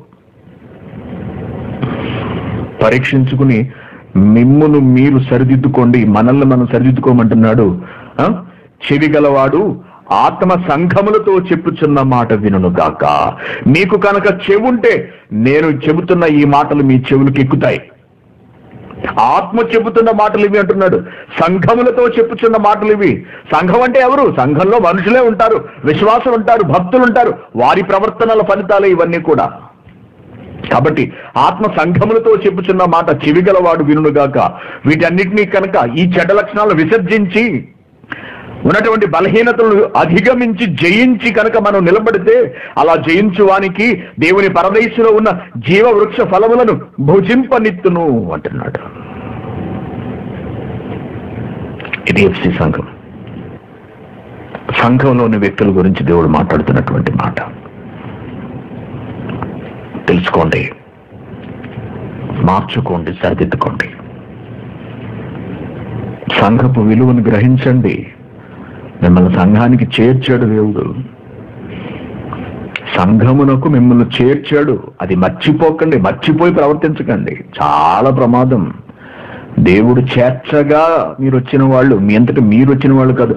వాక్యంతో దేవుడు మిమ్మల్ని తీసుకొచ్చాడు.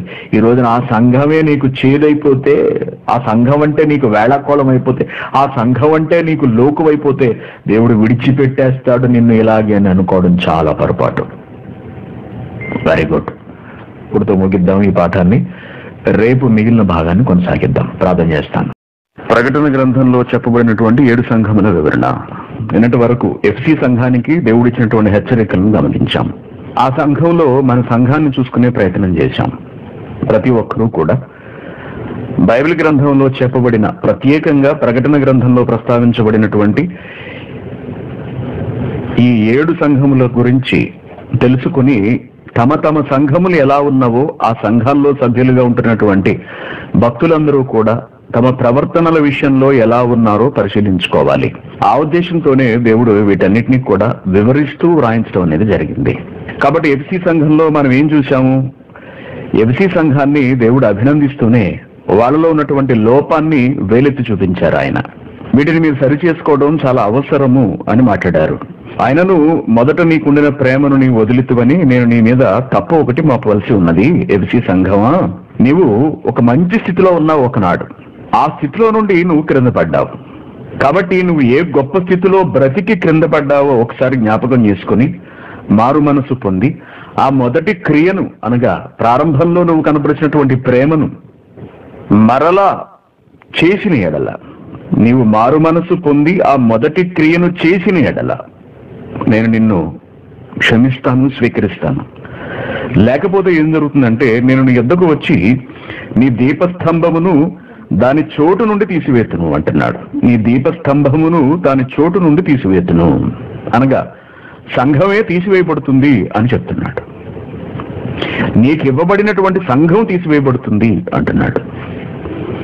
ఎఫ్ఎస్సి అనే సంఘము తీసివేయబడుతుంది అని దేవుడు ముందుగానే చెప్పాడు. ఆ క్రమంలోనే వాళ్ళు మాట వినకపోయేటప్పటికీ అనగా అప్పటికి ఉన్నవాళ్ళు తదనంతరం వచ్చిన వాళ్ళు దేవుని పట్టించుకోకపోయేటప్పటికీ ఆ ఎఫ్ఎస్సి సంఘం అనేది లేకుండా పోయింది. ఈ రోజు చరిత్రలో లేదండి. కాబట్టి సంఘాలు దేవుని మాట వినాలి. దేవుడు కనిపెడుతున్నాడు. సంఘముల మధ్యలో దేవుడు సంచరిస్తున్నాడు. ఆయన సంచరిస్తున్నాడు అనే విషయాన్ని మనం గమనించాలి. ఆయన మన ప్రవర్తనలను కనిపెడుతున్నాడు అన్నదాన్ని మనం తెలుసుకోవాలి మనసును పెట్టాలి. మనలో ఎటువంటి మార్పులు వచ్చుచున్నావో వస్తున్నావో ప్రారంభంలో తొలినాళ్ళలో మనం ఎలా ఉన్నామో రాబోయే రోజుల్లో క్రమక్రమంగా ఎలా మారిపోతున్నామో మనం గమనించాలి. బాప్తిస్మం తీసుకున్న కొత్తలో ఎక్కువసేపు ప్రార్థన. తర్వాత క్రమక్రమంగా ప్రార్థన సమయం తగ్గిపోతుంటుంది. బాప్తిస్మం తీసుకున్న కొత్తలో బైబిల్ పఠనం చాలా ఎక్కువగా ఉంటుంది. రాను రాను ఆ సమయం కూడా తగ్గిపోతుంది. బాప్తిస్మం తీసుకున్న కొత్త రోజుల్లో కొత్తలో ప్రతి వారము లేకపోతే వారంలో ఎప్పుడుంటే అప్పుడు వారంలో ఎప్పుడు సంఘం పెడితే వాక్యం వినిపిస్తే అప్పుడు సంఘానికి వెళ్ళి వాక్యం వినటం. రాను రాను ఆ భక్తి ఆ శ్రద్ధ ఆ ఆసక్తి ఇవన్నీ కూడా తగ్గుతూ వెళ్ళిపోతూ ఉంటున్నాయి. వీటన్నిటినీ కూడా ఎఫ్సి సంఘంలో దేవుడు చాలా స్పష్టంగా గమనించాడు. ఎఫ్సి సంఘంలోనే కాదు మన సంఘము మిగిలిన సంఘాలు. ఇలా ప్రతి సంఘపు పరిస్థితి కూడా ఇలాగే ఉన్నది. ఎఫ్సీలకు ఒకరికి చెప్పాడు అంటే ప్రపంచంలో ప్రతి సంఘానికి చెప్పినట్టే లెక్క అని మనం అర్థం చేసుకోవాలి. ఇలా దేవుడు మనలో మార్పును ఆకాంక్షిస్తూ కొన్ని సంఘాలను ఉదాహరణలుగా తీసుకుని వాటిలోని మంచి చెడులను చెబుతూ వెళుతున్నాడు. కాబట్టి మనం మారు మనసు పొందాలి. మనం ఎంత వాక్యంలో నిక్కచ్చిగా ఉన్నా సరే వాక్య ప్రకటనలో మనం ఎంత గొప్పగా ఉన్నా సరే వాక్యానుసారము కాని బోధలను మనం ఎంత ఖండిస్తున్నా సరే ఎంత ఖండిస్తున్నా సరే మనం మాత్రం వాక్యానుసారంగా బ్రతకకపోతే ఆ తొలి ప్రేమను మనలో నిలుపుకుని ఉంచకపోతే ఆ ప్రేమను మనం దేవునికి అందించకపోతే దేవుడు ఎట్టి పరిస్థితుల్లోనూ క్షమించడు అనే సంగతి మనకి ఇక్కడ చాలా స్పష్టంగా తేటతెల్లమైపోతుంది.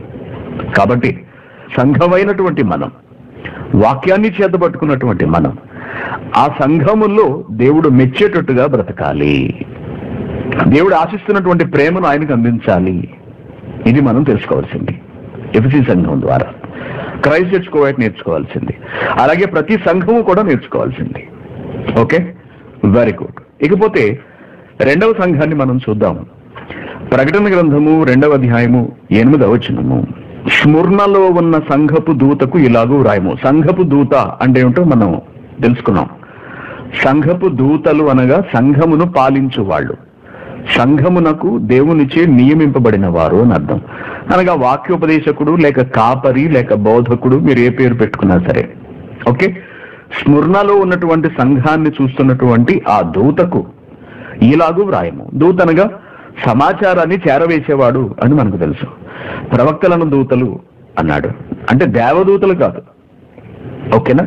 అలాగే భక్తులందరినీ కూడా భక్తులలో కొందరిని కొన్ని సందర్భాల్లో దూతలు అనగా దేవుడు చెప్పిన మాటలను సమాజానికి అందించేవారు అని. దూతలు వార్తాహారులు అని మనం అంటూ ఉంటాం దూతలను. వార్తాహారులు అనగా వార్తను మోసుకెళ్ళి అందజేసేవారు. కాబట్టి ఇప్పుడు ఈ స్మరణలో ఉన్నటువంటి ఈ సంఘపు దూతకు ఇలా రాస్తున్నాడు దేవుడు. ఇలా రాయి నువ్వు యోహాను అని చెబుతున్నాడు. ఏమంటున్నాడు ఆయన? మొదటి వాడును కడపటి వాడునై ఉండి మృతుడై మరలా బ్రతికిన వాడు చెప్పు సంగతులేవనగా నీ శ్రమయు నీ దరిద్రతను నేను ఎరుగుతును. నువ్వు చాలా శ్రమ పడ్డావు ఆ శ్రమ వల్ల నువ్వు దారిద్ర్యాన్ని అనుభవించావు. ఆయనను నీవు ధనవంతుడివే. ఒక సంఘం గురించి దేవుడిస్తున్న కితాబు ఎంత బాగుందో చూడండి. అయినా కూడా నీవు ధనవంతుడవే. తాము యూదులమని చెప్పుకొనుచు యూదులు కాక సాతాను సమాజపు వారి వలన నీకు కలుగు దూషణ నేను ఎరుగుదును అంటున్నాడు. అందుకే నీకు కలుగుతున్నటువంటి అవమానాలు నాకు తెలుసు నేను చూస్తున్నాను. నీవు పొందబోవు శ్రమలకు భయపడకు అంటున్నాడు. ఇంతవరకు జరిగింది నేను చూశాను. ఇక్కడితో అయిపోతున్నవి. ఇహ అనుభవించిన శ్రమ సరిపోతుంది అని ఒకవేళ నువ్వు అనుకుంటున్నావేమో. స్మరణ సంఘము కాదు. ఇంకా నీకు శ్రమలు రాబోచున్నవి అంటున్నాడు. నీవు పొందబోవు శ్రమలకు భయపడుకుము. ఇదిగో మీరు శోధింపబడునట్లు అపవాది మీలో కొందరిని చెరలు వేయించబోతున్నాడు. ఇంకా ఉన్నాయి మీకు శ్రమలు. పది దినములు మీకు శ్రమ కలుగును. మరణము వరకు నమ్మకముగా ఉండము అంటున్నాడు. మరణము వరకు మరణం అన్న చోట రెండు అంకి వేసి కింద ప్రాణాపాయము వచ్చినను అనగా నీ ప్రాణం పోయే పరిస్థితి వచ్చినను. నమ్మకముగా ఉండుము. నేను నీకు జీవ కిరీటం ఇస్తాను కాబట్టి సంఘములతో సంఘములతో అన్నట్టు చూడండి. అంటే ఈ మాటలన్నీ కేవలం స్మరణ అనే ఒక్క సంఘానికి మాత్రమే కాదా? కాదట. అన్ని సంఘములతోనూ మాట్లాడుతున్నాడు. పైన ఎపిసిలో ఎపిసిలో చెప్పబడినవి కేవలం ఎపిసి సంఘానికి మాత్రమే పరిమితమైనవా? కాదు. అన్ని సంఘములకు వర్తించేవి. కాబట్టి ఇక్కడ ఏమంటున్నాడంటే సంఘములతో ఒక వ్యక్తి కాదు. ఆత్మ చెప్పుచున్న మాట చెవి గలవాడు వినుగాక చెవి చెవి గలవాడు. చెవులున్న ప్రతివాడు వినాలి అంటున్నాడు. అని నేను ఈ మాటలు చెప్పాను కదా వీటి ప్రకారం నడుచుకుని శ్రమను జయించువానికి రెండవ మరణము వలన ఏ హానియు చెందడు? జయించువాడు రెండవ మరణము వలన ఏ హానియు చెందడు? అన్నాడు. చాలా తక్కువ వచనాలు ఎనిమిది నుండి పదకొండు వచనాలు అనగా ఎనిమిది తొమ్మిది పది పదకొండు. నాలుగు వచనాలు మాత్రమే ఈ సంఘాన్ని గురించి దేవుడు రాయడాన్ని మనం చూస్తున్నాం. ఎఫ్సి సంఘానికి చాలా హెచ్చరికలు దేవుడు చేశాడు. చాలా హెచ్చరికలు ఇచ్చాడు దేవుడు. కానీ ఇది స్మరణ సంఘానికి వచ్చేటప్పటికీ స్మరణకు దగ్గరికి వచ్చేటప్పటికి అభినందనలు జాగ్రత్తలు వాటి ఫలితంగా తాను ఇవ్వబోయేటటువంటి ఒక గొప్ప స్థితిని మాత్రమే ఆయన చెబుతున్నాడు. అంటే ఈ సంఘపు స్థితి ఎలా ఉన్నదో మనం అర్థం చేసుకోవాలి. దేవుని వలన విమర్శింపబడే స్థితిలో స్మరణ లేదు అన్నది మొట్టమొదట మనం తెలుసుకోవాల్సినటువంటి విషయము. ఈ స్మరణ అనే పదానికి బోళము లేక చేదు శ్రమల వాసన అనే అర్థాలు కూడా మనకు కనిపిస్తూ ఉంటాయి. ఓకేనా? బోళము. స్మరణ అనగా బోళము లేక చేదు అని కూడా ఒక అర్థం ఉంది. శ్రమల వాసన అని కూడా కొన్ని సందర్భాల్లో దీన్ని పిలుస్తూ ఉంటారు. అయితే గమనించండి నేను ఈ సంఘపు చరిత్రలను మనం మాట్లాడుకోవట్లేదు. అర్థమైందండి సంఘపు చరిత్ర కాదు సంఘంలో ఎటువంటి పరిస్థితులు ఉన్నాయి అది మాత్రమే మనం చూస్తున్నాం. ఆ సంఘాన్ని ఉద్దేశించి దేవుడు మిగిలిన అన్ని సంఘాలకు ఏం చెబుతున్నాడు అన్నదే మనం ఇక్కడ గమనించవలసినటువంటి ప్రధానమైన విషయం. సంఘ చరిత్ర వేరు. కాబట్టి ప్రతి ఒక్కరు మనం ఉన్న స్థితి ఎలా ఉన్నదో తెలుసుకోవాలి. సంఘంలో మన పరిస్థితి ఎలా ఉన్నది? సంఘపు పరిస్థితి ఎలా ఉన్నది? గమనించగలగాలి. కాబట్టి ఇక్కడ మళ్ళీ మనం ఎనిమిదో వచనం చూస్తే స్మరణలో ఉన్న సంఘపు దూతకు ఇలాగూ వ్రాయము. మొదటి వాడును కడపటి వాడునై ఉండి మొదటి వాడును కడపటి వాడునై ఉండి అనగా ప్రారంభకుడు ప్రారంభముగా ఉన్నవాడు. ఓకేనా అంటే? ఆ, కడపటి వాడునై అనగా సమస్తమునకు చివరి వాడు అయ్యుండి మొదటి వాడు అనగా యేసుక్రీస్తు గారు మొదటి అనగా మొదటి వాడు తర్వాత ఏమొచ్చింది? కడపటి వాడు అనగా చివరి విషయాలను అనగా ముగింపు చేసేవాడు అంటున్నాడు. మొదటి వాడును కడపటి వాడునయ్యుండి మృతుడై అనగా మరణించి మరలా బ్రతికిన వాడు చెప్పు సంగతులేవనగా అంటున్నాడు. అంటే ఈ విషయాలన్నింటిని బట్టి మాట్లాడుతున్నది ఎవరు అని మరొకసారి మనకు అర్థమవుతుంది. యేసుక్రీస్తు గారు. ఏ ఎఫ్సీలతో మాట్లాడుతున్నప్పుడు ఈ పదప్రయోగం చేయకుండా స్ఫుర్ణలో ఉన్న వాళ్ళతో ఎందుకు యేసుక్రీస్తు గారు ఈ మాట మాట్లాడుతున్నారు? నేను మొదటి వాడను కడపటి వాడనై ఉండి మృతుడై మరలా బ్రతికిన వాడు చెప్పు సంగతులేమనగా నేను మొదటి వాడను కడపటి వాడను మరణించాను. ఎందుకు మరణించాను? మరలా బ్రతకటం కొరకు. అయితే మరణిస్తే జీవితం ఉందన్నమాట. ఉంది. మరణం తర్వాత మరలా బ్రతకొచ్చు అన్నమాట బ్రతకవచ్చు.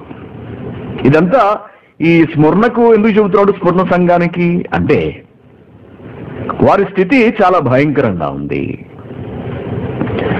సంఘపు పరిస్థితి ఎలా ఉందంటే చాలా దారుణంగా ఉందంటే. ఏమిటా దారుణము? చదవండి. నీ శ్రమ? అన్నాడు. శ్రమలు. సంఘంలో శ్రమలు. సంఘానికి శ్రమలు అంటున్నాడు. శ్రమల సంఘం అన్నమాట. శ్రమలు అనుభవించిన సంఘం అన్నమాట. శ్రమలు అనుభవిస్తున్న సంఘం అన్నమాట. నీ శ్రమ నీకు కలిగిన దరిద్రత అంటున్నాడు. నాకు తెలుసు అంటున్నాడు. శ్రమ. శ్రమ గురించి మనం ఆలోచిద్దాం అక్కడ సంఘానికి శ్రమ వచ్చిందట. సంఘంలో ఎవరికైనా ఒకరికి శ్రమ వస్తేనే ఆ సంఘంలో పక్కవాడు నిలబడ్డక శ్రమ వచ్చిన వాడిని చూసి శ్రమ కలిగిన వాడిని చూసి పక్కవాడు పడిపోతాడు ఇక అంతా అయిపోయింది ఫినిష్ మన సంఘానికి ఎప్పుడైనా శ్రమ వచ్చిందా? లేక ఎవరైనా శ్రమ అనుభవించారా? క్రైస్ట్ చర్చ్ కోవాడికి ఎప్పుడన్నా శ్రమ వచ్చిందా? ఎవరైనా శ్రమ అనుభవించారా? నన్ను పక్కన పెట్టండి. మిగిలిన వాళ్ళ గురించి నేను మాట్లాడుతున్నాను. బాగా ఆలోచించండి. మన సంఘంలో ఒకరికి శ్రమ వచ్చింది. ఆ శ్రమ వలన కొంతమంది కదిలింపబడి దేవుని పనికి దూరం అయ్యారు ఎవరికి వచ్చింది శ్రమ? మన సంఘంలోని నాగేంద్ర అనే ఒక సహోదరుడికి శ్రమ వచ్చింది. ఏమిటా శ్రమ? నిర్నిమిత్తముగా అనగా ఏ కారణము లేకుండా ఒక నేరాన్ని మోపి నాగేంద్ర తమ్ముడు మీద అనగా టాక్సీలో కారులో మనుషులు ఎక్కించుకుని టాక్సీ నడుపుతున్నాడు అనే ఒక ఒక ఫిర్యాదును పోలీసులే చేసి స్వయంగా అరెస్ట్ చేశారు. ఫార్టీ ఎయిట్ అవర్స్ నలభై ఎనిమిది గంటలు జైల్లో ఉంచారు. పోలీస్ స్టేషన్లో ఉంచారు నాగేంద్ర. నలభై ఎనిమిది గంటల తర్వాత తమ్ముడు నాగేంద్ర బయటకు వచ్చాడు. ఎవరి కొరకు వెళ్ళారు వీళ్ళందరూ? మాల్యా సెమినార్ నిమిత్తమై పాంపులెట్లు పంచిపెట్టడానికి వెళ్ళారు. అక్కడ పాంపులెట్లు పంచిపెడుతూ మధ్యలో కాస్త విశ్రాంతి తీసుకుంటూ అందరూ మన సహోదరి అందరూ కూడా కలిపి కారులో కూర్చుని టీంలు అవుతున్నారండి కొంతమంది బయట నిలబడి ఉన్నారు కొంతమంది కారులో కూర్చుని ఉన్నారు. వాడు ఎక్కడి నుంచో చూసి ఒక పోలీస్ వాడు రావటము మన వాళ్ళు ఎంత చెప్పినా వినకుండా కేసు బుక్ చేయటము. మిగిలిన వాళ్ళందరి బతాకాలు చెక్ చేసి వదిలేసి నాగేంద్ర మీద మాత్రం కేసు ఫైల్ చేయడాన్ని మనం చూసాం చాలా బాధ అనిపించింది. చాలా వేదన పడ్డాం. పైకి మాట్లాడకపోయినా నేను కూడా. లోపల చాలా ఆవేదనకు గురయ్యాను నేను. అంటే ప్రశ్నతో ఆవేదన కాదు అరే ఇలా జరిగింది ఏమిటి అని. ఎందుకంటే కువైట్లో ఉన్నటువంటి రూల్ ఏంటంటే చాలా మందికి తెలిసే ఉంటుంది. ప్రైవేట్ కార్ సొంత కారు ఉన్న వాళ్ళు దాన్ని ట్యాక్సీలా గనుక వాడితే అనగా పరిచయం లేని వారిని కానీ బంధువులు కాని వారిని కానీ తమ కుటుంబం కాని వారిని కానీ కారు ఎక్కించుకుని తిప్పితే ఎక్కువ మందిని ఎక్కించుకుంటే ఆ సందర్భంలో కనుక దొరికితే పోలీసులకు లేకపోతే అలా అలా టాక్సీగా నడిపితే అరెస్ట్ చేసి మొదటిసారి జైల్లో పెడతారు నలభై ఎనిమిది గంటలు. రెండవసారి కూడా అదే కేసులో కనుక దొరికితే రెండవసారి దేశం నుంచి బహిష్కరిస్తారు అనగా పంపించేస్తారు డిపోర్ట్ చేస్తారు సాఫర్ చేస్తారు. మరి మంచి పని నిమిత్తము వెళ్ళాడు నాగేంద్ర. అలాగే సహోదరి మండలందరూ కూడా ఆ రోజు అక్కడ దేవుని పనిలో ఉన్నారు. దేవుని పనిలో ఉండగా శ్రమ వచ్చింది. ఇప్పుడు నాగేందర్ నలభై ఎనిమిది గంటలు జైల్లో ఉంచారు అనగా పోలీస్ స్టేషన్లో ఉంచారు. అక్కడ అతని చేతిలో పాంపులెట్లు ఉన్నాయి. ఆ పాంపులెట్లు జైల్లో ఉన్న వాళ్ళకి మన వాళ్ళందరికీ పంచిపెట్టి అక్కడ కూడా వాకింగ్ చెప్పాడట అది విని ఆశ్చర్యపోయాను నేను. సాధారణంగా పోలీస్ స్టేషన్కి వెళ్తే మనసంతా కుంగిపోతుంది ఒకసారిగా. దిగాలు పడిపోతాం. ఏంటి ఇలా అయిపోయింది? వెంటనే ప్రశ్న వచ్చేస్తుంది. నేను ఎవరు పని చేస్తున్నాను? దేవుడు పని చేస్తున్నాను. ఎవరి కొరకు నేను వచ్చాను? నా దేవుని కొరకు నేను వచ్చాను. మరి నేను దేవుని పని మీద బయటకు వచ్చినప్పుడు నా దేవుడు నన్ను కాపాడాలి కదా? ఈ శ్రమ నాకు రావడం ఏంటి? పైగా లేని నింద నా మీద ఎందుకు పడింది? నేను టాక్సీ నడపట్లేదు. ఎందుకు నేను ఈ బాధ అనుభవించాలి? రేపొద్దు నా ఇంటి దగ్గర తెలిస్తే నాకు అవమానం. నేను ఇది తప్పు చేశాను అనుకుంటారు అలాగే సంఘంలో వాళ్ళు కూడా నా గురించి ఏమనుకుంటారు? అపార్థం చేసుకునే అవకాశం ఉంది. అలాగే నా దగ్గర పని చేసేవాళ్ళు అతడు ఒక చోట ఉద్యోగం చేస్తున్నాడు. శనివారం డ్యూటీకి వెళ్ళాలి. శుక్రవారం పట్టుకున్నారు. శుక్రవారం శనివారం కూడా అతను లోపల ఉంచారు ఆదివారం మధ్యాహ్నం అనుకుంటూ విడిచిపెట్టారు. డ్యూటీలో ఏం చెప్పాలి? కంపెనీకి ఏం చెప్పాలి? తెలిస్తే నేను ఏదో తప్పు చేశాను అనుకుంటారు కదా. మరి నేను దేవుని పని మీద ఉన్నప్పుడు దేవుడు నన్ను కాపాడాలి కదా? అని అనుకుంటారు ఎవరైనా సరే సహజంగా. ఎవరైనా సరే అనుకుంటారు. ఇకపోతే నాగేంద్రకు కలిగినటువంటి ఈ దుస్థితి చూసి ఈ శ్రమను చూసి చాలా మంది తర్వాత తమ కార్లలో సంఘానికి తీసుకురావడాన్ని సంఘం నుండి జనాలను వారి వారి ఇళ్ళకు తీసుకువెళ్ళడాన్ని తగ్గించేశారు బాగా. అంటే భయపడ్డారు. శ్రమకు భయపడ్డారు. శ్రమకు భయపడ్డారు. ఇప్పుడు బాగా ఆలోచించండి. యేసుక్రీస్తు గారు స్మరణ సంఘంతో మాట్లాడుతూ ఏమంటున్నారంటే మొదటి వాడను కడపటి వాడునై ఉండి మృతుడనైతిని ఎలా మృతులయ్యారు యేసుక్రీస్తు వారు? ఘోరమైన శ్రమలు. ఎవరి కొరకు శ్రమలు? దేవుని పని కొరకు శ్రమలు. ఆత్మల రక్షణ కొరకు శ్రమలు. ప్రజలను పాపముల నుండి విడిపించడానికి శ్రమలు. స్మరణ సంఘమా? మీరే కాదు నేను కూడా శ్రమ పడ్డాను వాళ్ళకి ధైర్యాన్ని ఇస్తున్నాడు. వాళ్ళకి భరోసా కల్పిస్తున్నాడు. శ్రమపడి మరణించాను కాబట్టి నేనేమయ్యాను? మరలా బ్రతికాను నేను. మీరు శ్రమ అనుభవిస్తున్నారు. మీరు ప్రాణాపాయాన్ని తెచ్చుకుంటున్నారు. మీరు మరణం వరకు వెళుతున్నారు. లేక మీరు నా పనిలో మరణించారు. నా కొరకు మరణించారు. నా కొరకు వేదనను అనుభవించారు. నో ప్రాబ్లం మీరు మరలా బ్రతుకుతారు మీరు చేసిన త్యాగాన్ని బట్టి అంటున్నాడు. నాగేంద్రకు కలిగిన శ్రమ అది అతనికి ఎంతో లాభాన్ని చేకూర్చిపెట్టింది ప్రయోజనాన్ని చేకూర్చిపెట్టింది. ప్రభువు నిమిత్తము జైలుకు వెళ్ళాడు.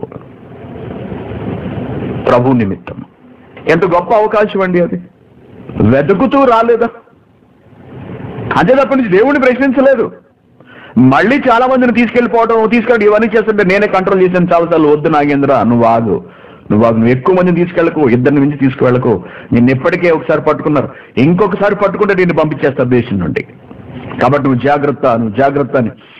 ఎప్పటికప్పుడు నేను నాగేంద్రను కంట్రోల్ చేసి తక్కువ మందిని అతనిచే పంపించడానికి నేను ప్రయత్నిస్తున్నాను. అయినప్పటికీ కూడా అతడు కారు నిండా జనాలను ఎక్కించుకుని తీసుకువెళ్ళటము తీసుకురావటము. అంటే ఏమిటది? ఏమిటి దాని అర్థం ఏమిటి? ప్రభు కొరకు శ్రవను అనుభవించడానికి ఏమిటి ఏమి చేయటానికైనా సరే సిద్ధమే అనేటటువంటి ఒక ప్రేమ ఒక తెగింపు ఒక ధైర్యం అతనిలో కనిపిస్తుంది. ఎప్పుడూ కూడా ఎప్పుడు. అలాగే మన సంఘంలో చాలా మంది మహిళలు సహోదరి మహిళలు మనం సెమినార్ పెట్టినప్పుడు చాలా సాహసాలను కనబరుస్తూ ఉంటారండి. చాలా అంటే చాలా. రెసిడెన్స్ అక్రమాలు లేని వాళ్ళు సహితము ప్రచారానికి వెళ్ళడం. పోలీస్ స్టేషన్ ముందు నిలబడి పాంప్లెట్లు పంచిపెట్టడం. నేను ఎంత చెప్పినా వద్దు వద్దు వద్దు. మీరు వెళ్ళకండి ప్రమాదం అని చెబితే పర్వాలేదు అయ్య గారు పట్టుకుంటే ఇళ్ళకు వెళ్ళిపోతాం ఆనందంగా. ప్రభు పనిలో మాకు వచ్చే ఏం జరిగినా మాకు సంతోషమే. చివరికి రెసిడెన్సీలు ఉన్నవాళ్ళు అక్కమ్మలు ఉన్నవాళ్ళు కూడా ఎంతో ధైర్యంగా అంటే ఒకవేళ ఈ పని చేస్తున్నాం మమ్మల్ని పట్టుకుంటే రేపు మా భవిష్యత్తు ఏమిటి మా మీద మా కుటుంబం ఆధారపడి ఉన్నది లేకపోతే ఇలాగా నన్ను పట్టుకుని పంపించేశారు అని తెలిస్తే మా ఊళ్ళో తెలిస్తే అవమానం కదా నిందలు వేస్తారు కదా లేనిపోని మాట్లాడతారు కదా లేకపోతే మా భర్తలకు తెలిస్తే ప్రమాదం కదా మా బిడ్డలకు తెలిస్తే ప్రమాదం కదా అని ఎవరు ఆలోచించండి మన దాంట్లో. ఎవరు? పర్వాలేదు. పట్టుకుంటే ఆనందంగా వెళ్ళిపోతాం ప్రభు పనిలో అన్నవాళ్ళే తప్పించి ఎంతవరకు అమ్మ బాబోయ్ మే వెళ్ళము. అని ఆగిన వాళ్ళు చాలా చాలా చాలా చాలా తక్కువ వేళ్ళ మీద లెక్క పెట్టచ్చు. ఈ క్రమంలో ఒక సెమినార్కు సాల్మియాలో ప్రచారానికి వెళ్ళిన మన సహోదరి మండలను కొంతమందిని పోలీసులు అరెస్ట్ చేసి అకమా లేని వాళ్ళను డిపోర్ట్ చేశారు కూడా. కొన్ని సంఘటనలు జరిగాయి. పట్టుకున్నారు పంపించారు కొంతమంది అయినా సరే వాళ్ళేం వెనుకాడలేదు. వాళ్ళేం వెనుక తీయలేదు. ఇకపోతే ఈ కరోనా టైంలో కూడా కరోనా టైంలో బయట తిరగడానికి లేదు అనగా ఎవరింటికి వెళ్ళినా వాళ్ళు ఊరుకోరు. కొత్త వాళ్ళు వస్తే భయం కదా వాళ్ళకి కరోనా ఉన్నదో ఏమిటో అని.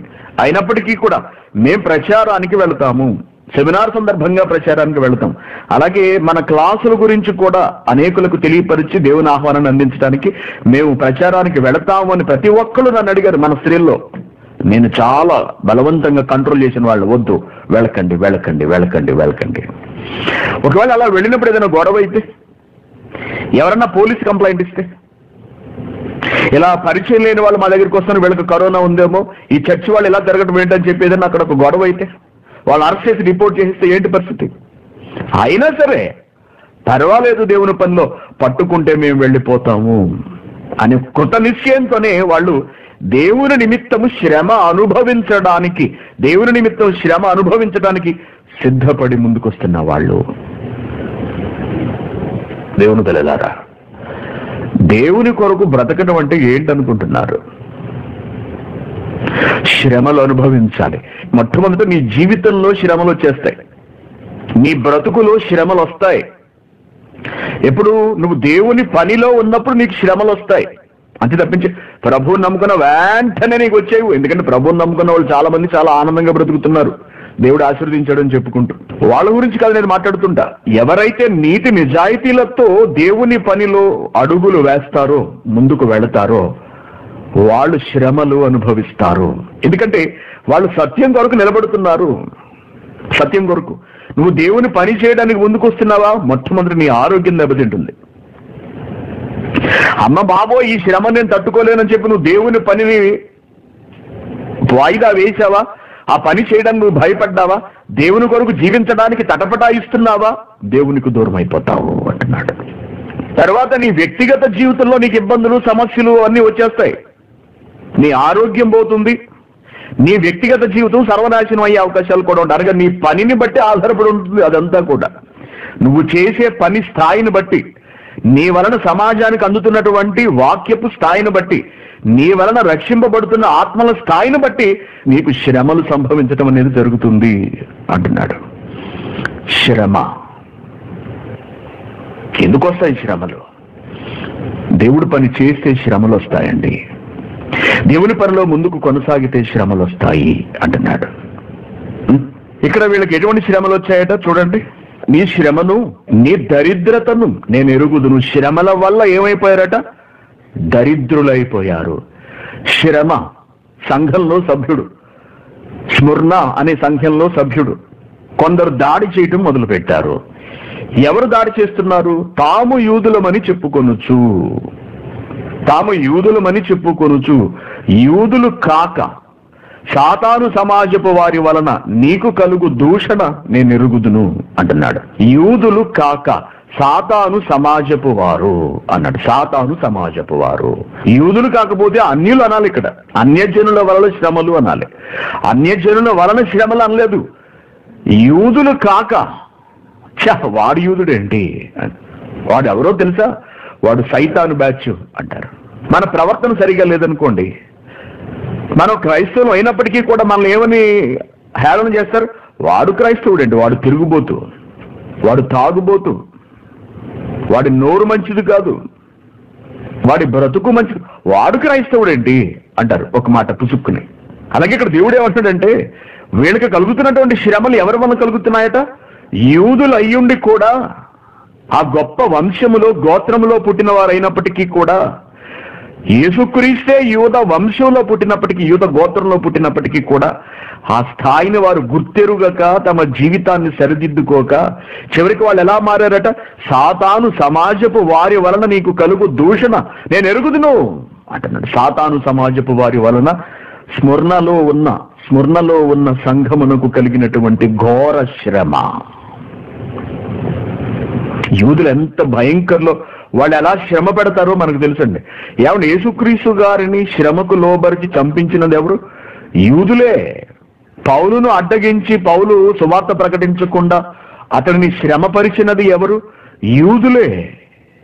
అలాగే అపోస్తులను కూడా ఇబ్బంది పెట్టి వాక్యాన్ని వెదజల్లనివ్వకుండా అడ్డుపడినది ఎవరు? బయట వాళ్ళు కాదు యూదులే. యూదులే. అటువంటి వారిని ఏమంటున్నాడు? సాతాను సమాజపు వారు అంటున్నాడు. మీరందరూ కూడా సంఘమునకు వెళ్ళి సంఘంలో మొదటి బెంచిలో ఫస్ట్ కుర్చీలో కూర్చున్నట్టుగా ఉండాలి. అర్థమైందా? ఒళ్ళు విరుచుకుంటూ బద్ధకంగా కూర్చుంటూ దిక్కులు చూస్తూ పక్క వాళ్ళతో వేళకోలలాడుతూ సరసాలాడుతూ ముద్దు చేస్తూ. అలాగ చేయటం అనేది అస్సలు మంచిది కాదు. దేవుడు మీకు ప్రసాదించిన ఈ రోజులో ఒక గంటే కదా మీరు వాక్యం వింటున్నారు? ఈ గంట మీద మీరు దృష్టి పెట్టండి. మీ సకల అవయవాలు మీ సర్వేంద్రియాలు కూడా కేంద్రీకరించండి వాక్యం మీద. లేకపోతే మీ వంట పట్టదు. అర్థమవుతుంది కదా? మీకు వంట పట్టదండి వాక్యం. మీ ఆత్మలోకి అది ప్రవేశించదు. మీలో మార్పు తీసుకురాదు. మిమ్మల్ని ఆత్మీయంగా అభివృద్ధి పరచదు. మిమ్మల్ని బలపరచదు. మిమ్మల్ని సరి చెయ్యదు. మీ హృదయంలోకి వెళ్ళదవి జ్ఞాపకం ఉంచుకోండి. మీరు పంపించాలి. మీరు అవకాశం ఇవ్వాలి. వాక్యం ఏం చేస్తుందట? వాక్యము సజీవమై బలము గలదై రెండంచుల ఎటువంటి ఖడ్గము కంటేను వాడిగా ఉండి ప్రాణాత్మలను కీళ్ళను విభజించినంత మట్టుకు వెళుతున్నది. నువ్వు అవకాశం ఇవ్వాలి కదా లోపలికి వెళ్ళటానికి. లేకపోతే ఎలా వెళుతుంది? నిన్ను ఎలా బాగు చేస్తుంది? నువ్వు ఎలా నేర్చుకుంటావు జ్ఞానాన్ని? నేర్చుకోకపోతే జ్ఞాన ప్రకారం నువ్వు ఎలా బ్రతకగలవు? ఆలోచించండి. ఒక టాబ్లెట్ వేసుకుంటేనే కదా నీ లోపలికి నువ్వు పంపిస్తేనే కదా అది నీ లోపలికి వెళ్ళి పనిచేసేది ఒక ఇంజెక్షన్ చేయించుకోవాలంటే సూది నీ లోపలికి గుచ్చాలి కదా అంటే నువ్వు అవకాశం ఇవ్వాలి కదా. ఒక సెలైన్ నీకు పెట్టాలి అంటే నువ్వు అవకాశం ఇవ్వాలి కదా నీ లోపు స్వీకరించాలి కదా దాన్ని. పారిపోతున్నావు అనుకో. నీ లోపలికి ఎలా వెళుతుంది అది?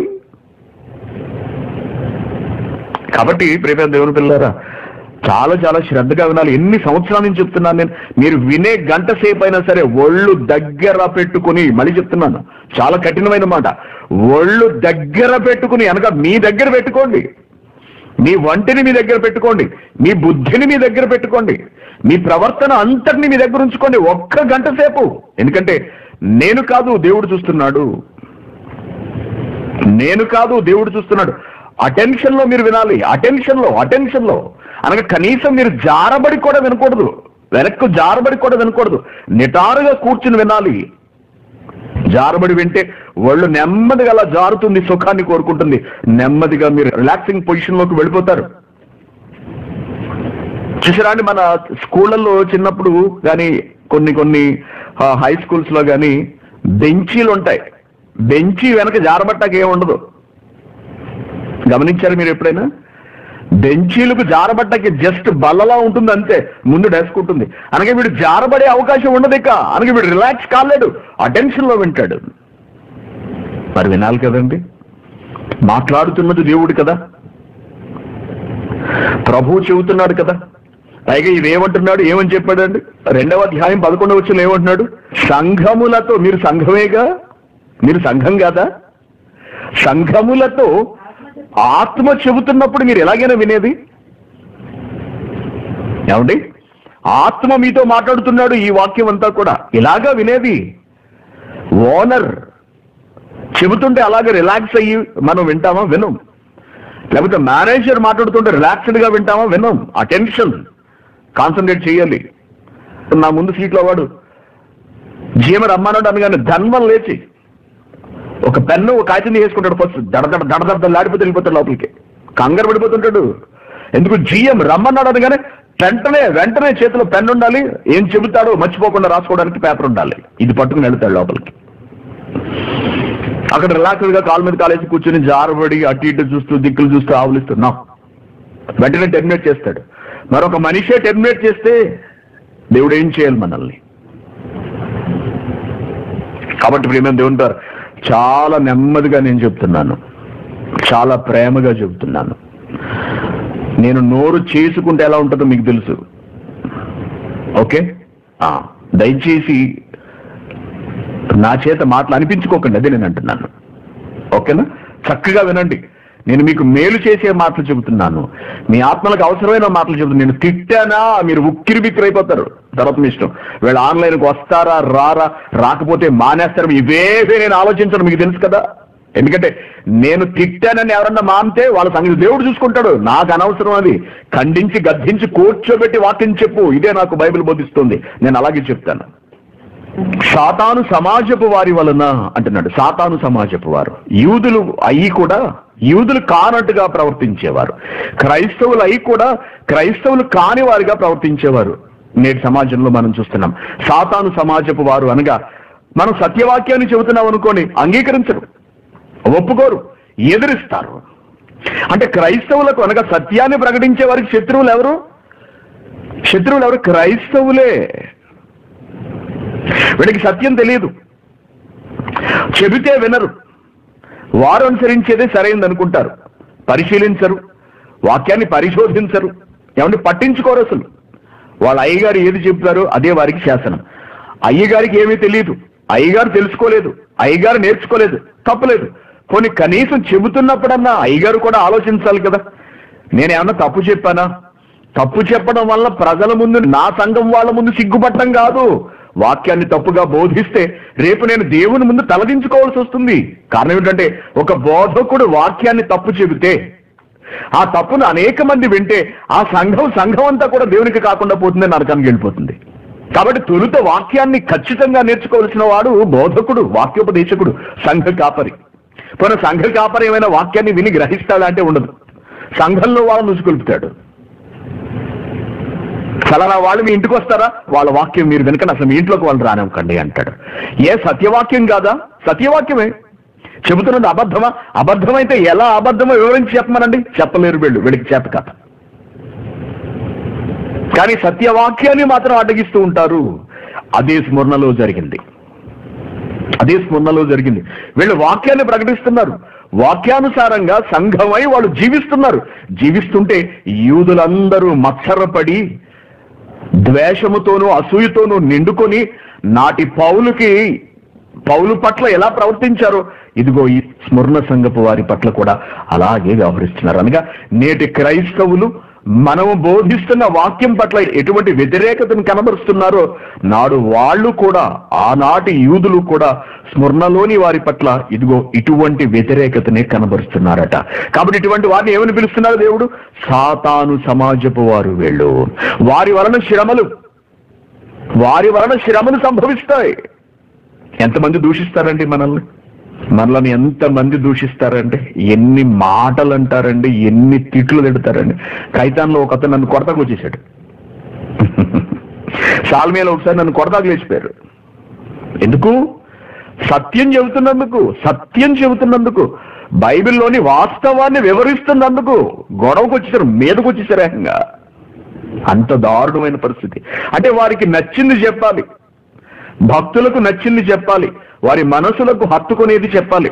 ఆ సంఘం ఏ బోధన అనుసరిస్తుందో దానినే చెప్పాలి తప్పించి దేవుడు ఏం చెబుతున్నాడు? అది ఎట్టి పరిస్థితుల్లోనూ చెప్పకూడదన్నమాట. ఇలా తయారైంది సమాజం ఇలా తయారైంది భక్త ప్రపంచం. అందుకే వారు దేవుని సమాజపు వారు కారు వారు ఇటువంటి వారు. వారు దేవుని సమాజపు వారు కారు. వారు ఏ సమాజపు వారట? సాతాను సమాజపు వారు. ఎవరైతే సత్యవాక్యాన్ని ఎదిరిస్తున్నారో ఎవరైతే తృణీకరిస్తారో ఎవరైతే తిరస్కరిస్తారో ఎవరైతే సువార్త వ్యాప్తికి అడ్డుపడతారో వాక్యానుసారంగా బ్రతుకుతున్న వారికి ఎవరైతే ఉద్దేశపూర్వకంగా శ్రమలు కల్పిస్తారో వాళ్ళే సాతాను సమాజపు వారు. వారి వలన స్మరణలో ఉన్న సంఘపు వారికి దారుణమైన శ్రమలు వచ్చాయట వీళ్ళు ఏం చేశారట? ఏం చేశారట? దోచుకున్నారన్నమాట. ఎందుకంటే వీళ్ళు దరిద్రులు అయ్యారట తొమ్మిదో వచ్చిన నీ శ్రమను దరిద్రతను అని ఎందుకన్నాడు అంత ప్రత్యేకంగా దరిద్రతను ఎందుకు లేవాల్సి వచ్చింది? వారు దరిద్రులు కాదు. కానీ ప్రభువు కొరకు దరిద్రులు అయ్యారన్నమాట. అర్థమవుతుందండి ప్రభువును నమ్ముకున్నందుకు దరిద్రులు అయ్యారు. కానీ మనం ప్రభువు నమ్ముకున్న తర్వాత మన మన దశ మారిపోద్దంతే. లాటరీ తగిలించినట్టే. ప్రభువుని నమ్ముకుంటే మనకి లాటరీ కొట్టేసినట్టే లెక్క. ఎందుకు? లాటరీ కొట్టేస్తామని అయ్యగారు చెబుతారు మనకి. దేవుడిని దీవించి ఆశీర్వదించి కాచి కాపాడును గాక అంటాడు ఒకటే మాట. నిన్ను దీవించబోతున్నాడు దేవుడు. నిన్ను ఆశీర్వదించబోతున్నాడు దేవుడు. నీకు ఫైనాన్షియల్ బ్రేక్ త్రూ ఇవ్వబోతున్నాడు దేవుడు అంటాడు. నీ జీవితం ఈ రాత్రికి రాత్రి మారిపోబోతుంది. నీ అకౌంట్లోకి డబ్బులు వచ్చి పడిపోతాయి చూసుకోండి అంటున్నాడు. ఎప్పుడన్నా నా అకౌంట్లోకి డబ్బులు వస్తాయేమో అని ఉన్న డబ్బులన్నీ పోవటమే తప్పించి ఎప్పుడన్నా అకౌంట్లోకి డబ్బులు వచ్చి పడతాయేమో అని చూస్తుంటానండి. ఎప్పుడు ఒక్క రూపాయి రాదండి. మరి వాళ్ళందరికీ ఎలా వచ్చేస్తున్నాయి డబ్బులు? మనకెందుకు రావట్లేదు? ఎంత విడ్డూరము ఎంత ఎంత విస్మయపరిచే బోధలండి నేటి సమాజంలో. అసలు ఎలా వింటున్నారు వినేవాళ్ళకు కూడా అసలు కొంచెం అన్న ఆలోచన ఉందా? ఏంటి ఇంత అజ్ఞానులు ఆ క్రైస్తవులు అనిపిస్తుంటుంది పైగా ఎవరి పేరును పెట్టుకున్నారు సాక్షాత్తు? క్రీస్తు పేరు పెట్టేసుకున్నారు క్రైస్తవుడు. అనగా క్రీస్తును ధరించుకున్నవాడు. క్రీస్తును ధరించుకున్నవాడు ఎవడో నీ అకౌంట్లోకి డబ్బులు వచ్చేస్తాయి అని చెబితే నమ్మేస్తారా అండి? అలా వచ్చేస్తాయా అండి? రావు. రావు. కానీ నేడు నమ్ముకుంటే వచ్చేస్తున్నాయి అంటున్నారు నమ్ముకుంటే దేవుడు ఆశీర్వదించాడు. ఉద్యోగం వచ్చేసింది. డబ్బులు వచ్చేసాయి. ఆస్తి కలిసి వచ్చింది. కోర్టులో కేసు గెలిచేసాం స్థలం కలిపేసుకున్నాం. స్థలాలను కొన్నాం. బిజినెస్ డెవలప్ అయిపోయింది. ఈ మధ్యకాలంలో సాక్ష్యాలు చూస్తుంటానండి. బిజినెస్ కొన్ని కోట్లు లాస్ వచ్చేసింది. అప్పుడు ఎవరో చెబితే ఫలానా అయ్యగారు సంఘానికి వెళ్ళటం మొదలు పెట్టారు అక్కడికి వెళ్ళినప్పటి నుండి తిరగబడిపోయింది మొత్తం. అంతే లాభాలు లాభాలు లాభాలు. ఎన్ని కోట్లయితే పోగొట్టుకున్నారో తిరిగి అన్ని కోట్లు సంపాదించుకున్నారు. అని వాళ్ళు వచ్చి స్టేజ్ మీద సాక్ష్యం చెబుతున్నారు. ఫైనాన్షియల్గా దేవుడు నిన్ను దీవించాడు లేకపోతే నన్ను దీవించాడు అని వాళ్ళు చెబుతున్నారు. అంటే దేవుడు నిన్ను ధనవంతుడు చేశాడు అన్నమాట ధనవంతుడు పరలోకానికి వెళతాడా? వెళ్ళడు. ధనవంతుడు పరలోక రాజ్యంలో ప్రవేశించడాన్ని దేవుడు ఖండితంగా చెబుతుంటే నిన్ను ఫైనాన్షియల్గా బ్లస్ చేశాడు నా వ్యాపారాన్ని అభివృద్ధి చేశాడు. ఎన్ని కోట్లు లాభంలోకి వెళ్ళిందని అసలు వీళ్ళు ఎలా చెబుతున్నారు? దాన్ని సమర్థిస్తూ ఈ బోధకులు స్టేజ్ మీదకి పిలిపించి ఎలా చెప్పిస్తున్నారు? మీరు ఆలోచించండి. కానీ ఇక్కడ ఏం జరిగిందట? స్మరణలోని వారికి ఏం జరిగిందట? ప్రభువుని నమ్ముకోవడం వల్ల వాళ్ళు దరిద్రులయ్యారు అన్నాడు. దరిద్రులయ్యారు దరిద్రులయ్యారు. అంటే యూదులు దోచుకున్నారు అనమాట వారి ధనాన్ని దోచేసుకున్నారు అన్నమాట వారిని నిరుపేదలు చేయించారన్నమాట. ఇది ఒక పార్శ్వం అయితే దేవుని పనిలో తమకున్నటువంటి చెర స్థిరాస్తులను అమ్మివేసి దేవుని పని జరిగించి వారు కడు బీదలుగా దరిద్రులుగా మారిపోయారన్నమాట మిగిలిపోయారన్నమాట. మిగిలిపోయారన్నమాట. ఎంత ఆశ్చర్యంగా చూశారండి శ్రమ అంటే ఎలా ఉంటుంది? ఇదిగో ఇలా కూడా ఉంటుంది. శ్రమని శారీరకంగా కలుగుతుంది లేక నేను శారీరకంగా బాధిస్తారు నిన్ను కొడతారు నిన్ను నిందిస్తారు. నీకున్న దానిని దోచుకుంటారు నీ మీద నిందలు వేస్తారు. సమాజంలో నిన్ను దోషిగా నించోబెడతారు. ఎప్పుడు? నువ్వు దేవుని పనులలోకి వెళుతున్నప్పుడు దేవుని కొరకు బ్రతకాలను నిర్ణయించుకున్నప్పుడు. అదే జరిగింది స్మరణ సంఘానికి. కాబట్టి ఏమంటున్నాడు? నీ శ్రమను నీ దరిద్రతను నాకు తెలుసు. నేను కూడా దరిద్రునేగా నేను కూడా అలాగే బ్రతికాను కదా. నా జీవితం కూడా అంతే కదా? మీకు తెలియందే ఉంది? అంటున్నాడు. మీకు తెలియందే ఉంది? కొరంధీలకు రాసిన రెండో పత్రిక. ఎనిమిదో అధ్యాయం తొమ్మిదో వచ్చిన చూడండి ఏం చెప్తున్నాడు? పౌలు ఏమంటున్నాడు చూడండి. మీరు మన ప్రభు అయిన యేసుక్రీస్తు కృపను ఎరుగుదురు కదా? ఆయన ధనవంతుడై ఉండి కూడా మీరు తన దారిద్ర్యము వలన ధనవంతులు కావాలనని మీ నిమిత్తం అనగా మన నిమిత్తం ఆయన ఏమయ్యాడట? దరిద్రుడయ్యాడట. దరిద్రుడనైనా నేను మొదటి వాడను కడపటి వాడను. అని ఏమంటున్నాడు? మృతుడనయ్యాను కానీ మరల బ్రతికాను. దేనివల్ల తెలుసా? నేను సమస్తమును నా తండ్రి కొరకు వినియోగించటం వల్ల. నాకంటూ ఏది కూడా సంపాదించుకోకపోవడం వలన. ఒక దరిద్రుడిగా నేను జీవించి భక్తుడిగా నేను బ్రతకడాన్ని బట్టి మరణించినప్పటికీ కూడా నేను తిరిగి మరలా బ్రతికిన వాడను అని చెబుతున్నాడు. అలాగే స్వర్ణ సంఘం వాళ్ళు కూడా ఏమయ్యారట? దరిద్రులుగా వారు మారిపోయారట. నేను కూడా దరిద్రుడిగానే బ్రతికాను. మీరు కూడా దరిద్రులుగానే బ్రతికారు. కాబట్టి మీకు భవిష్యత్తు ఉంది అంటున్నాడు దేవుడు. మీకు భవిష్యత్తు ఉన్నది. ఆ భవిష్యత్తు ఏమిటో తెలుసా? తిరిగి మీరు బ్రతకటము. మీకు మంచి భవిష్యత్తు రావటం. మీరు పరలోకానికి చేరుకోవటము అంటున్నాడు ఆయన. మళ్ళీ చదివితే నీ శ్రమయు నీ దరిద్రతను నేను ఎరుగుదును. అయినను నీవు ధనవంతుడివే అన్నాడు. ఏంటి దరిద్రులు ధనవంతులా? దరిద్రులు ధనవంతులా అండి. దేవుని కొరకు దరిద్రాన్ని అనుభవిస్తున్న వాళ్ళు ధనవంతులా? దరిద్రుడి దగ్గరకు ఎవరూ చేరరు. దరిద్రుని ఎవరూ పట్టించుకోరు. దరిద్రుడు తన బంధువులందరికీ అసహ్యుడు అని ఉంటుంది. పేదవాడు. ఏమంటే మనం పేదవారిగా ఉంటే మనల్ని ఎవరు పట్టించుకుంటారు చెప్పండి? చెప్పండి. ఈరోజు కోవిడ్లో పెద్ద పెద్ద సంఘాలు ఉన్నాయి ఆ సంఘాల వాళ్ళందరికీ కూడా మనల్ని చూస్తే చిన్న చూపు లోకువ. వీళ్ళు ఆఫ్టర్ ఆల్ నథింగ్ వీళ్ళు చిన్న సంఘం వీళ్ళది అనుకుంటుంటారు. కానీ మన పని ఎలా ఉంటుంది? దేవుని కొరకు వేల దినార్లు ఖర్చు పెడతాం. దేవుని కొరకు వేల దినార్లు ఒక సంవత్సరం వచ్చేటప్పటికి సెమినార్ల కొరకు వేల దినార్లు వేలు వేలు అనగా దేవుని కొరకు ఖర్చు పెట్టి ఆ దేవుని పనిలో మనం దరిద్రులం అవుతున్నాం. కోట్లు సంపాదిద్దాం లేకపోతే ఇప్పటికే. క్రోర్స్ కోట్లు నేను. కోట్లు సంపాదిద్దునండి కోట్లు. అందరూ వెళ్ళినట్టుగా నేను వెళితే అందరూ బోధించినట్టుగా కనుక నేను బోధిస్తే అందరూ మాయ చేసినట్టుగా కనుక నేను చేస్తే కోట్లు ఇప్పటికి ఎప్పుడో ఎప్పుడో సంపాదించేది ఈరోజు దేవుని పని చేయడానికి వెతుక్కోవాల్సి వస్తుంది. ఇండియా వెళ్ళి దేవుని పని చేయటం ఎలా అని ఆలోచించాల్సిన పరిస్థితి ఏర్పడింది. దిగులు ఏర్పడుతోంది. ఉచితంగా మనం సువార్తను ప్రకటించలేమా? ఈ సువార్త ప్రకటన వరవడిని మార్చలేమా? క్రైస్తవ్యం అంటే ఎలా ఉంటుందో క్రైస్తవుల బోధ ఎలా ఉంటుందో వారి ఔన్నత్యం ఎంత గొప్పదిగా ఉంటుందో వారి దాతృత్వం ఎలా ఉంటుందో నాటి అపోసులు సువార్తను ఎలా ప్రకటించారో ఆ విధానాన్ని తిరిగి ప్రపంచానికి చూపిస్తూ మనం సువార్తను ప్రకటించలేమా? అలా ప్రకటించాలి అంటే మన దగ్గర ఉండాలి ముందు. ఏది? వెతకవలసి వస్తుంది. ఎదురు చూడవలసి వస్తుంది. చేస్తాము కానీ అది చిన్నదిగానే మిగిలిపోకూడదు. అది విస్తరించాలి. పెద్ద స్థాయిలో సువార్త ప్రకటన జరగాలి అని అనుకుంటున్నాం. దేవుని కొరకు దరిద్రులుగా మిగలడానికే ఇష్టపడ్డాం తప్పించి ధనవంతులైపోవాలని కోరుకోలేదు. కాబట్టే కాబట్టి దేవుని కొరకు దరిద్రులుగా మిగిలిపోతున్న వారిని దేవుడు ఏమన్నాడు? మీరు ధనవంతుల క్రీస్తు దరిద్రుడు కానీ ఆయన ఆయన ధనవంతుడు అయ్యుండియు అనడం లేదా? ఆయన ధనవంతుడు అయ్యుండి దరిద్రుడుగా బ్రతికాడు. అలాగే మనము కూడా ఈ స్మరణ అనే సంఘం కూడా స్మరణ సంఘం కూడా క్రైస్ట్ కోవైట్ కూడా దేవుని పని నిమిత్తము ఎప్పుడు దారిద్ర్యతను అనుభవిస్తూనే ఉన్నది.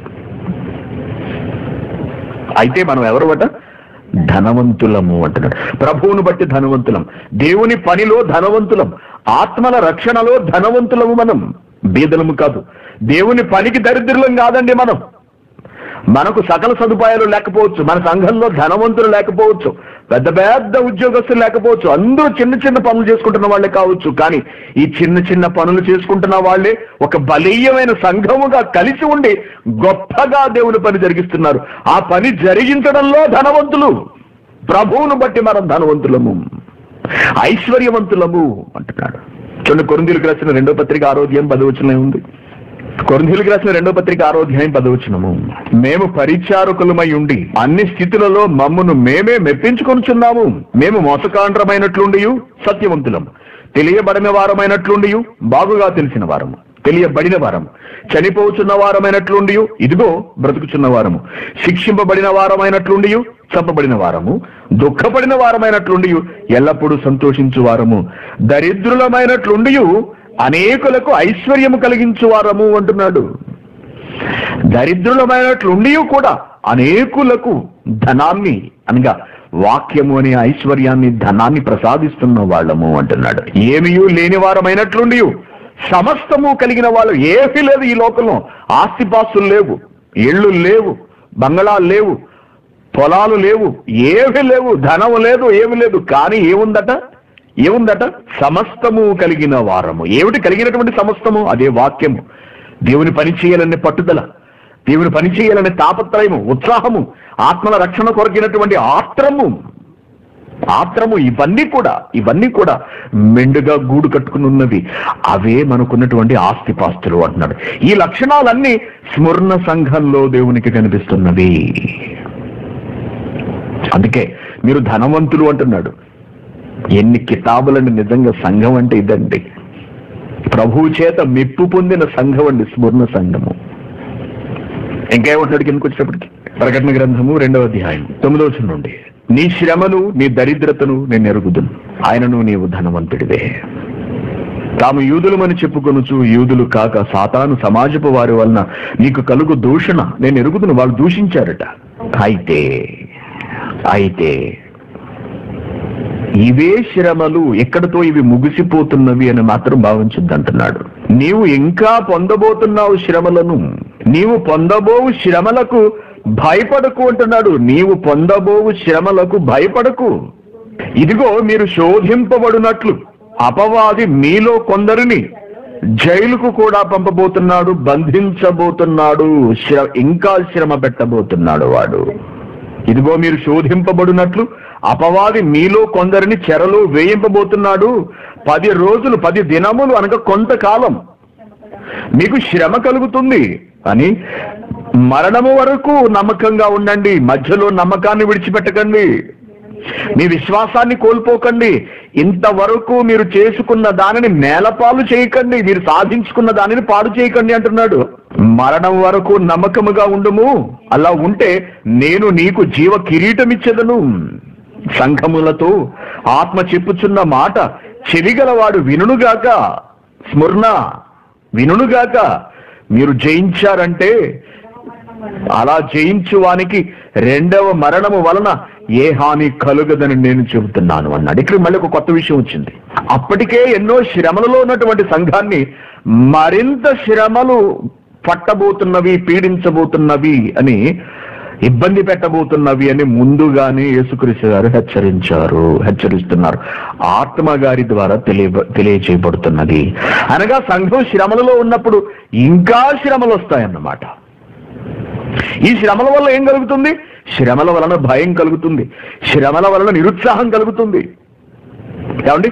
శ్రమల వలన విశ్వాసం సన్నగిల్లిపోతుంది ఏమిటి ఇలా ఒకదాని మీద ఒకటి ఒకదాని మీద ఒకటి ఒకదాని మీద ఒకటి ఇలా వచ్చి పడిపోతున్నాయి? ఇలా అయితే ఇంకెందుకండి బాబు సంఘంలో ఉండడం? ఇప్పుడు మనం ఇంతవరకు బహిరంగంగా సెమినార్లు పెట్టాం. పంతొమ్మిది సెమినార్లు పెట్టాం. చిన్ని చిన్ని లోపల పెట్టాం పెద్దవన్నీ బయట పెట్టాం. ఇంచుమించు పదిహేను సెమినార్ల వరకు బయట జరిగాయి. బయట జరిగాయి. బహిరంగంగా. ఒక్క సెమినార్ మీద పోలీసులు దాడి చేసి కొంతమందిని పట్టుకెళ్ళిపోయారు అనుకోండి. ఒక్క సెమినార్ మీద. ఎందుకంటే అనఫీషియల్ అనధికారికంగా మనం పెడుతున్నాం. కువైట్ దేశంలో ఇంచుమించు వెయ్యి మంది గ్యాదర్ అవడానికి పర్మిషన్స్ ఉండవు ఎక్కడ కూడా. మనం పెడుతున్నాం. పెట్టాం ఇంతవరకు పెట్టాం. ఏదో ఒక సెమినార్ మీద దాడి జరిగి పోలీసులు కొంతమందిని పట్టుకుపోతే నెక్స్ట్ సెమినార్ పెడితే అసలు ఎవరైనా వస్తారా? వస్తారా? ఎవరు రారు? ఎవరు రారు? అసలు మన సంఘం వాళ్ళే రారు ముందు. మన వాళ్ళే రారు బాబోయ్ మాకు వద్దండి బాబు. ఏదో దేవుడి దగ్గరికి వెళ్ళి పది నిమిషాలు కూర్చొని పాట పాడి ప్రార్థన చేసుకుని కానుక రమ్మంటే వచ్చేస్తాను తప్పించి. ఇలాగ పోలీసులు పట్టుకుపోతారంటే ఎందుకు? మేము రావండి మీకు దండం. మీ సంఘానికి దండం. అక్కడికి వెళ్ళిపోతాం. అక్కడ ఏ బాధ ఉండదు అంటారు.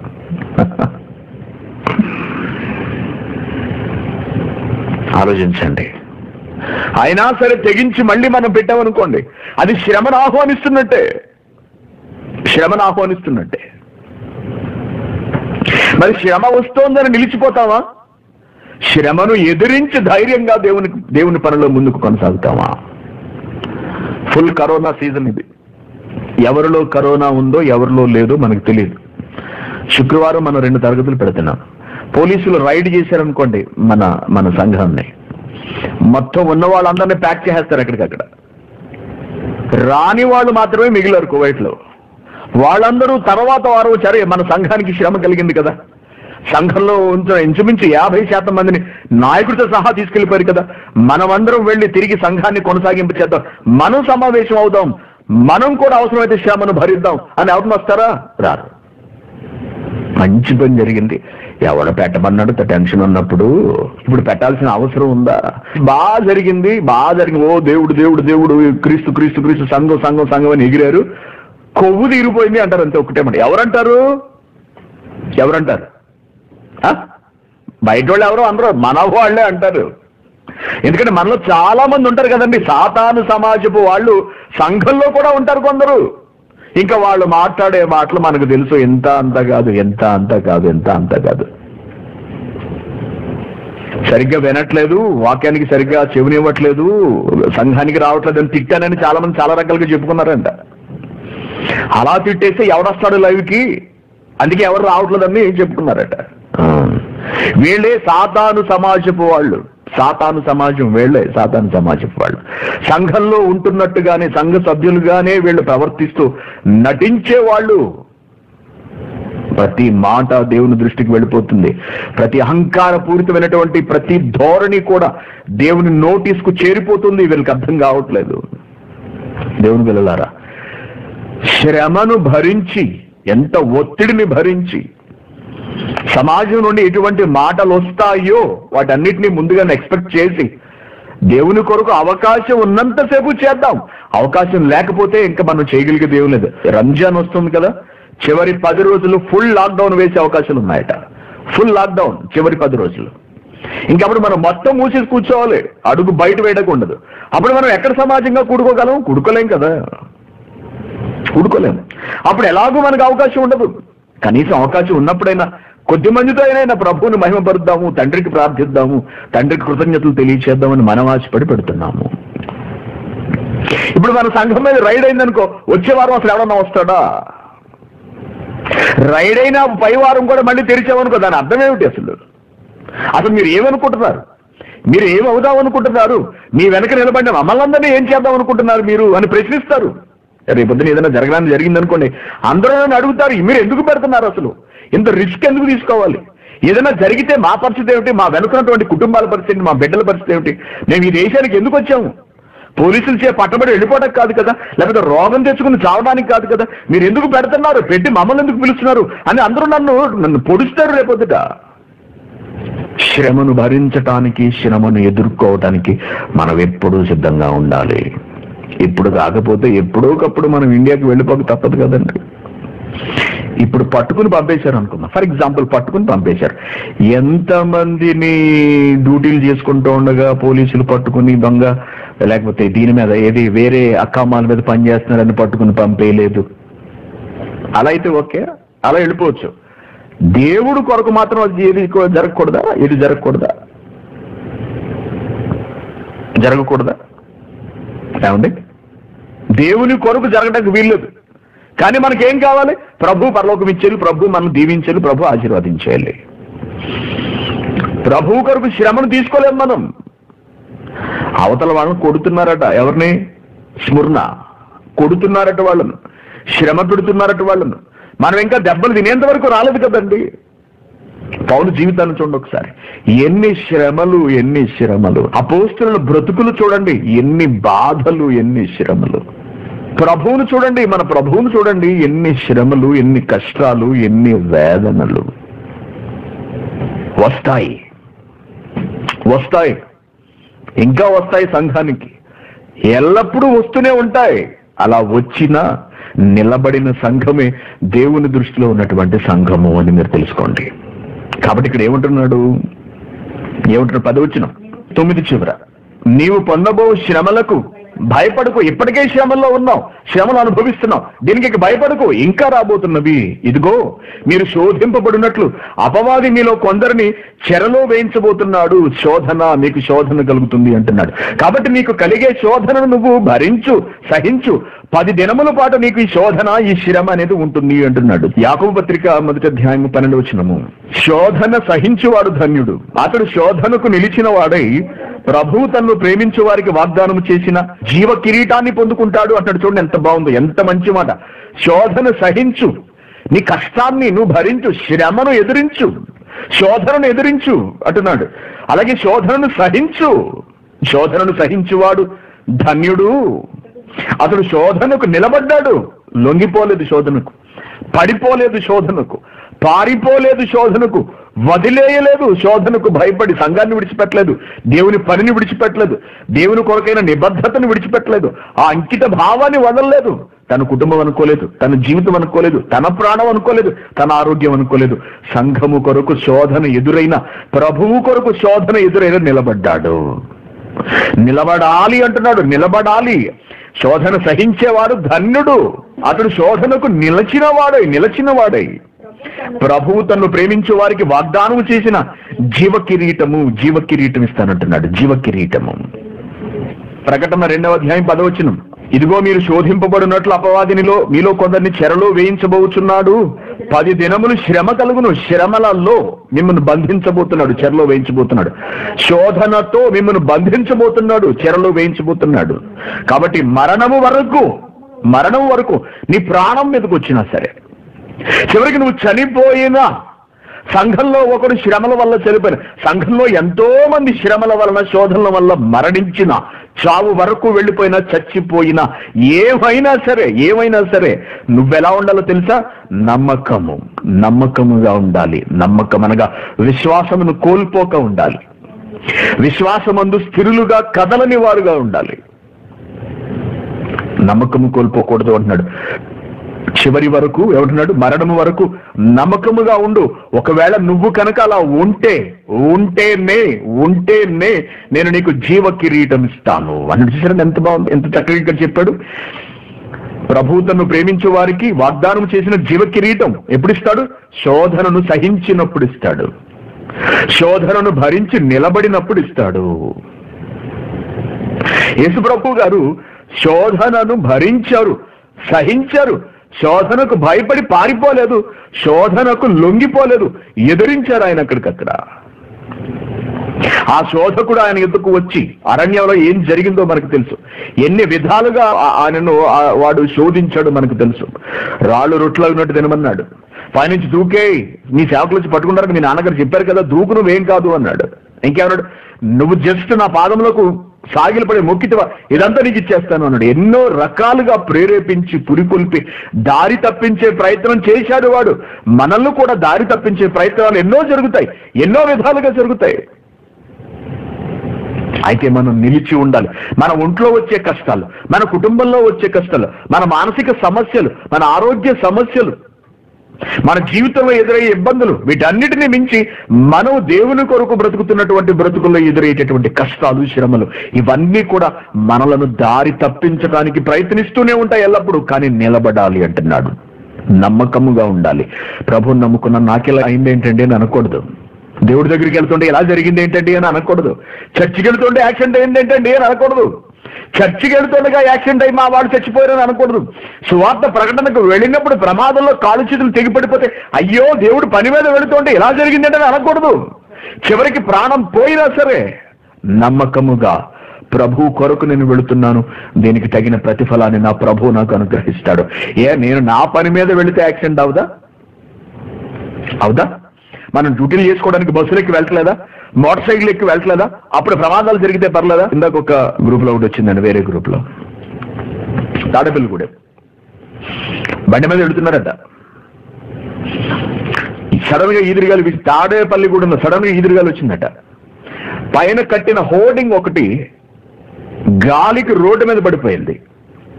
సరిగ్గా బండి నడుపుతున్న అతని మీద పడిందండి. మనిషి ముక్కలైపోయాడు అక్కడికక్కడ. చాలా బరువైన ఇనప రైలింగ్ అది. చితికిపోయింది ఎక్కడికక్కడ శరీరం. చితికిపోవడమే. వెనక కూర్చున్న ఆవిడ భార్య అనుకుంటా. ఆవిడ ఎక్కడికక్కడ మెలితిరిగిపోయింది ఆవిడ కూడా బతుకుతుందో లేదో తెలియదు. ఆకస్మికంగా మన సొంత పనుల్లో మరణాలు ప్రమాదాలు మనకు సంభవించట్లేదా? న్యూస్ చూడండి. ఎన్నో యాక్సిడెంట్లు. వీళ్ళందరూ దేవుని పని మీద వెళ్తున్న వాళ్ళేనా? అన్ని సొంత పనులు కాదా?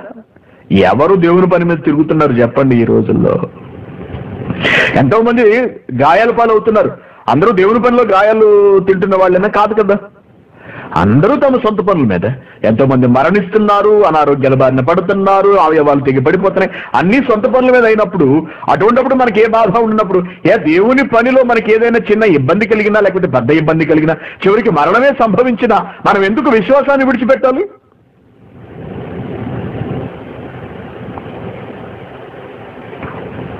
స్ఫుర్ణ సంఘం అలా లేదట స్మరణ అలా లేదటండి. స్మరణ ఎలా ఉందట? చాలా బలంగా ఉందట. కాబట్టి మీకు ఇంకా రాబోతున్నాయి. మీరు భరించారా? మీ సంఘం అంతా విశ్వాసం కలిగి నా పట్ల ఉన్నదా? ఎన్ని ఇబ్బందులు వచ్చినా నా పనిలో ముందుకు కొనసాగుతున్నదా? శోధనుడు సహించిందా భరించిందా? నేను మీకు జీవ కిరీటాన్ని ఇస్తానని ఆయన వాగ్దానం చేశాడు. కాబట్టి ఇటువంటి సంఘములతో ఆత్మ చెప్పుచున్న మాట చెవిగలవాడు వినుగాక నేను చెప్పిన ఈ మాటలన్నిటినీ విని గ్రహించి శోధనను జయించి దుష్టుని ఎదిరించి జయించిన వాడు రెండవ మరణము వలన ఏ హాని చెందడు అంటున్నాడు. ఏ హాని చెందడు. ఏ హాని రెండవ మరణం ఏమిటి మళ్ళీ? రెండవ మరణం అనగా ఏమిటి? రెండవ మరణము. దేవుని పిల్లారా రెండు విధాలుగా ఈ మొదటి మరణము రెండవ మరణం అనేది ఉంటుందని మనకు తెలుసు. మనం అందరం కూడా మామూలుగా మరణిస్తాము. అలాగే పాపముల విషయమై కూడా మనం మరణిస్తాము. మనం మామూలుగా కూడా మరణిస్తాం పాపముల విషయమై కూడా మనం చచ్చిపోతాం. ఎప్పుడు చేస్తాం మనం పాపముల విషయమై? బాప్తిస్మంలో చచ్చిపోతాము. ప్రభు ద్వారా తండ్రి అయిన దేవుడు మనలను తిరిగి బ్రతికిస్తాడు. ఓకే? ఇకపోతే రెండవ మరణముగా చెప్పబడేది మరొకటి ఉన్నది. చూద్దాం ప్రకటన గ్రంథము ఇరవయో అధ్యాయము ఆరో వచనము. మొదటి పునరుద్ధానములో పాలుగలవారు ధన్యులను పరిశుద్ధులై ఉంటారు. మొదటి పునరుద్ధానములో పాలుగలవారు ధన్యులను పరిశుద్ధులై ఉంటారు. ఇట్టి వారి మీద రెండవ మరణము అన్నాడు చూడండి. రెండవ మరణం. వెరీ గుడ్ మనం అందరం బాప్తిస్మం తీసుకుంటాం. బాప్తిస్మం తీసుకుని మనం మరణిస్తాము. పాపాల విషయంలో మనం మరణిస్తాము. ఓకే ఇది మొదటి మరణం అనుకుందాం. మనకి మామూలు మరణం కూడా సంభవిస్తుంది. బాప్తిస్మం తీసుకోకుండా మనం మరణించాము. అది మనకు మొదటి మరణం అవుతుంది. ఇకపోతే రెండవ మరణము అని ఇక్కడ ప్రస్తావిస్తున్నాడు. ఈ రెండవ మరణంలో ఏమి సంభవిస్తుంది? రెండవ మరణంలో ఏం సంభవిస్తుంది? ఇరవై ఒకటో అధ్యాయం ఎనిమిదో వచనం చూడండి.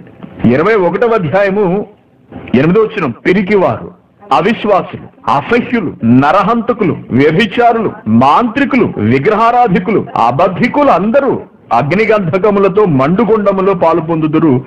ఇది రెండవ మరణం అంటున్నాడు. అనగా మరణించిన తరువాత మరణించిన తరువాత ఆత్మ అగ్నిగుండానికి వెళ్ళి నిత్యము బాధను అనుభవించటమే దేవుడు రెండవ మరణముగా పోల్చి చెబుతున్నాడు. రెండవ మరణం. అంటే ఇహ ఈ మరణం నిరంతర వేదనను కలిగించేది. అదే నిత్యాగ్ని దండన అని మనం చెప్పవచ్చు. వెరీ గుడ్ అయితే ఒక మనిషి జీవితంలో మామూలు మరణము రెండవ మరణము. అలాగే ఒక క్రైస్తవుడి జీవితంలో ఒక క్రైస్తవుని జీవితంలో ఆధ్యాత్మికంగా బ్రతకడానికి ఉపయోగపడే తొలి మరణము. అదే పాపముల విషయమైన మరణము. ఈ మరణము నుండి దేవుడు మనలను బ్రతికించాడు. పునరుద్ధానం చేశాడు. పునరుద్ధానం చేశాడు. చూడండి ఎపిసిల్కి రాసిన పత్రిక రెండవ అధ్యాయము. మొదటి వచ్చిన మీ అపరాధముల చేతను మీ పాపముల చేతను మీరు చచ్చారు. చచ్చిన వారై ఉండగా ప్రభు ఏం చేశారు? మనలను బాప్తిస్మం ద్వారా క్రీస్తుతో కూడా బ్రతికించాడు అన్నాడు. బ్రతికాం మనం. మరణించి బ్రతికాం అనగా ఇది మొదటి పునరుద్ధానం అయితే మొదటి పునరుద్ధానం అయితే.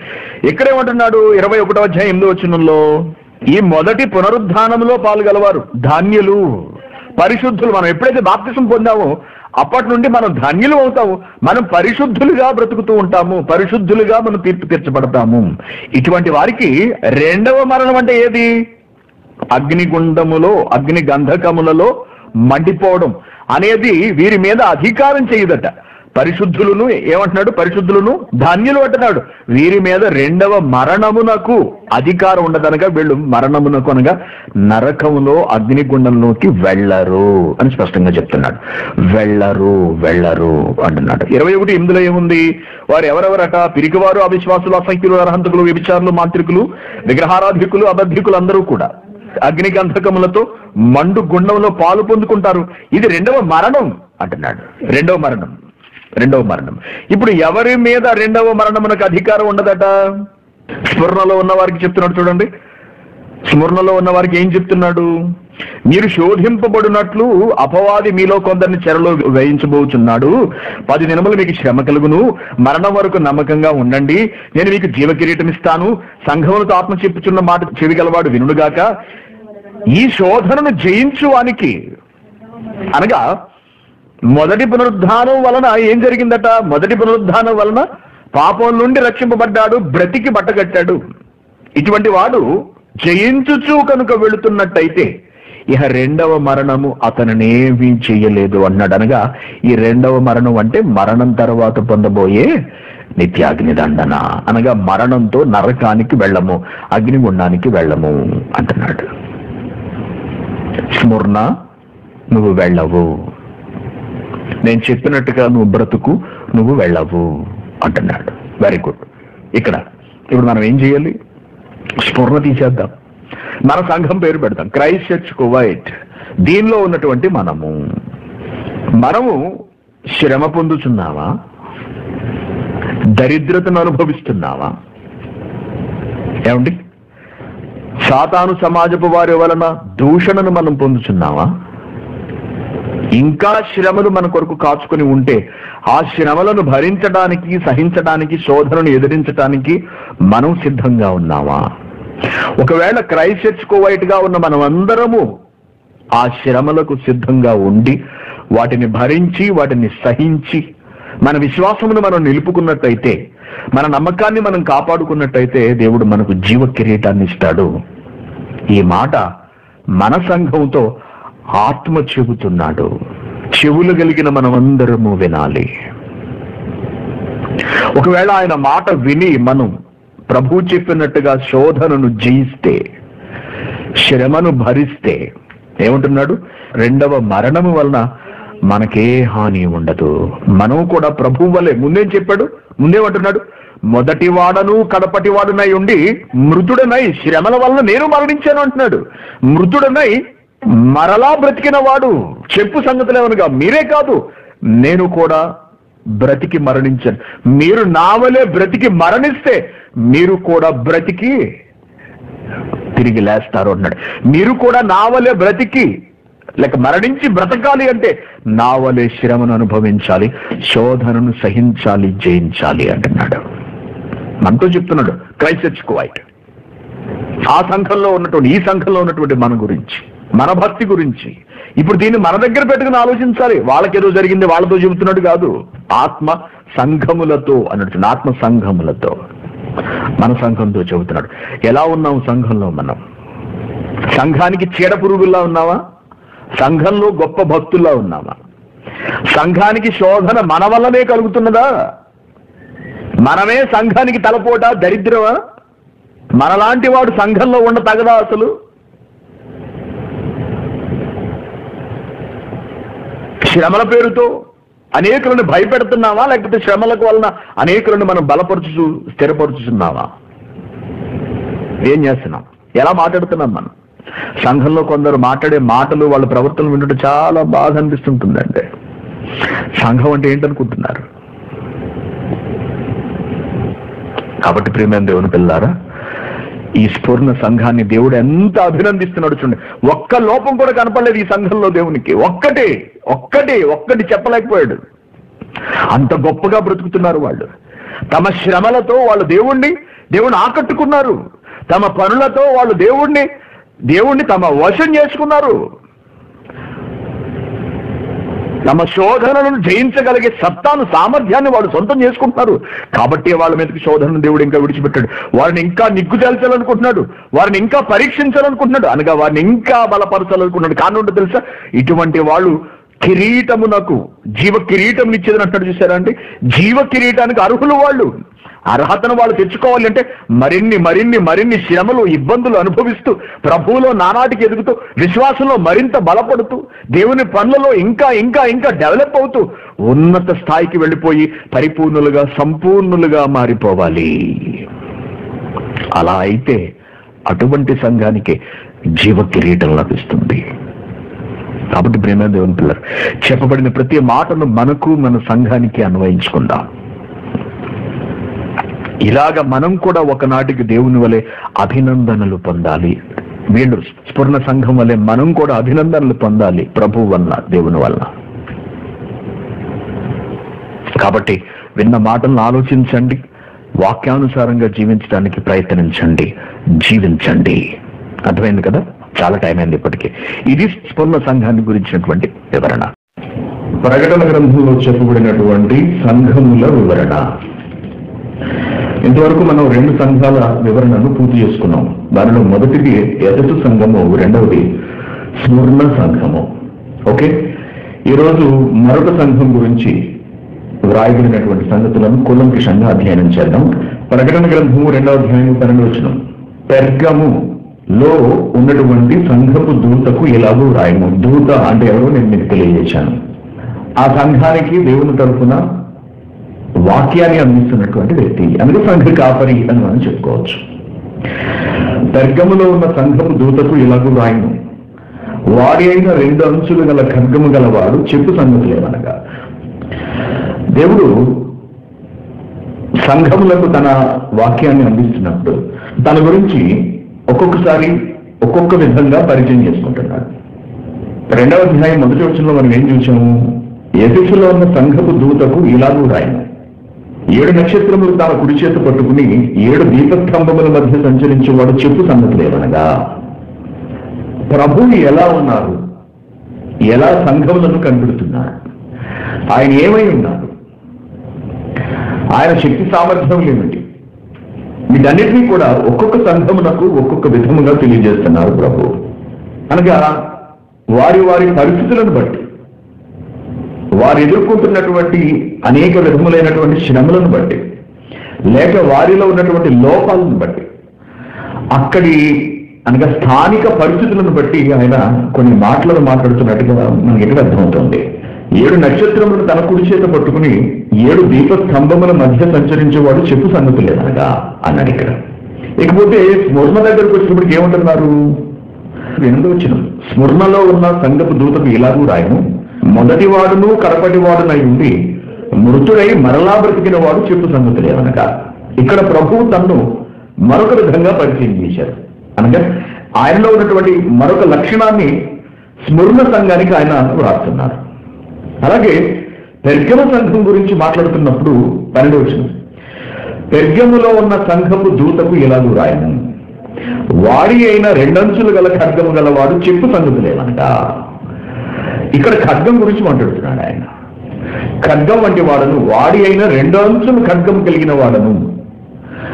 ఖడ్గము గలవాడు చెప్పు సంగతి లేవనగా సాతాను సింహాసనమున్న స్థలములో నీవు కాపురమున్నావని నేను ఎరుగుదును.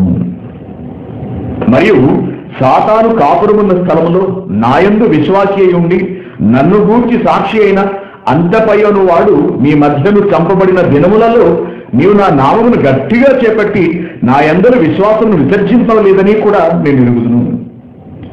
అయినను అయినప్పటికీ కూడా నేను నీ మీద కొన్ని తప్పిదములు మోపవలసి వస్తుంది. అదేమనగా విగ్రహములకు బలి ఇచ్చిన వాటిని తినునట్లును జారత్వము చేయునట్లును ఇస్రాయిలకు ఉరి ఉంటుమని బాలాసులకు నేర్పిన విలాము బోధను అనుసరించి వారు నీలో ఉన్నారు. అటువలే నీకులాయుతుల బోధన అనుసరించి వారును నీలో ఉన్నారు. కావున మారు మనస్సు పొందుము. లేకపోతే నేను నీ ఎత్తుకు త్వరగా వచ్చి నా నోట నుండి వచ్చు ఖడ్గము చేత వీరితో యుద్ధం చేసేదను అంటున్నాడు. వీరితో యుద్ధం చేసేదను. సంఘములతో ఆత్మ చెప్పుచున్న మాట చెవిగలవాడు వినుగాక. జయించు వానికి మరుగై ఉన్న మన్నాను భుజింపనెత్తును. అతనికి తెల్ల రాతినెత్తును ఆ రాతి మీద చెక్కబడిన క్రొత్త పేరును పొందిన వానికే గాని అది మరి ఎవరికి తెలియదు. అని ముగించారు దేవుడులారా సంఘములను దేవుడు గమనిస్తూ ఉంటాడు. సంఘముల మధ్యలో ఆయన సంచరిస్తున్నాడు. ఏ సంఘపు నడవడిక ఎలా ఉన్నదో ఆయన కనిపెడుతున్నాడు పరిశీలిస్తున్నాడు అని. ఈ మూడు రోజుల పాఠాలను బట్టి మనకు అర్థమవుతుంది.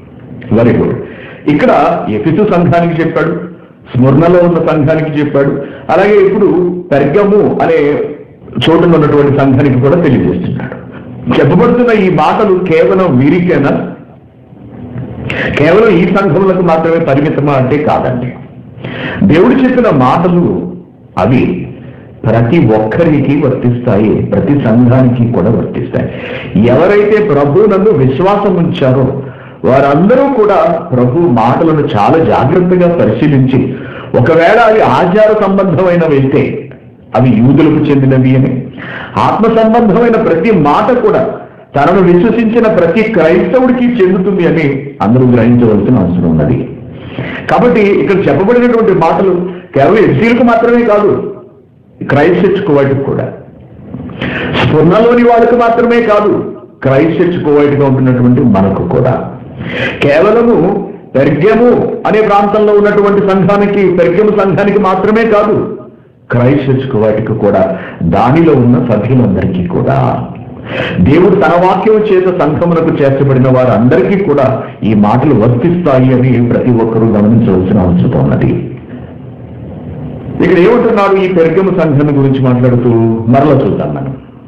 పెర్గములో ఉన్న సంఘపు దూతకు ఇలాగూ ఆయన వాడి అయిన రెండంచులు గల ఖడ్గము గల వాడు చెప్పు సంగతులు ఏమనగా? సాతాను సింహాసనమునన్న స్థలములో నీవు కాపురమున్నావని నేను ఎరుగుదును అంటున్నాడు.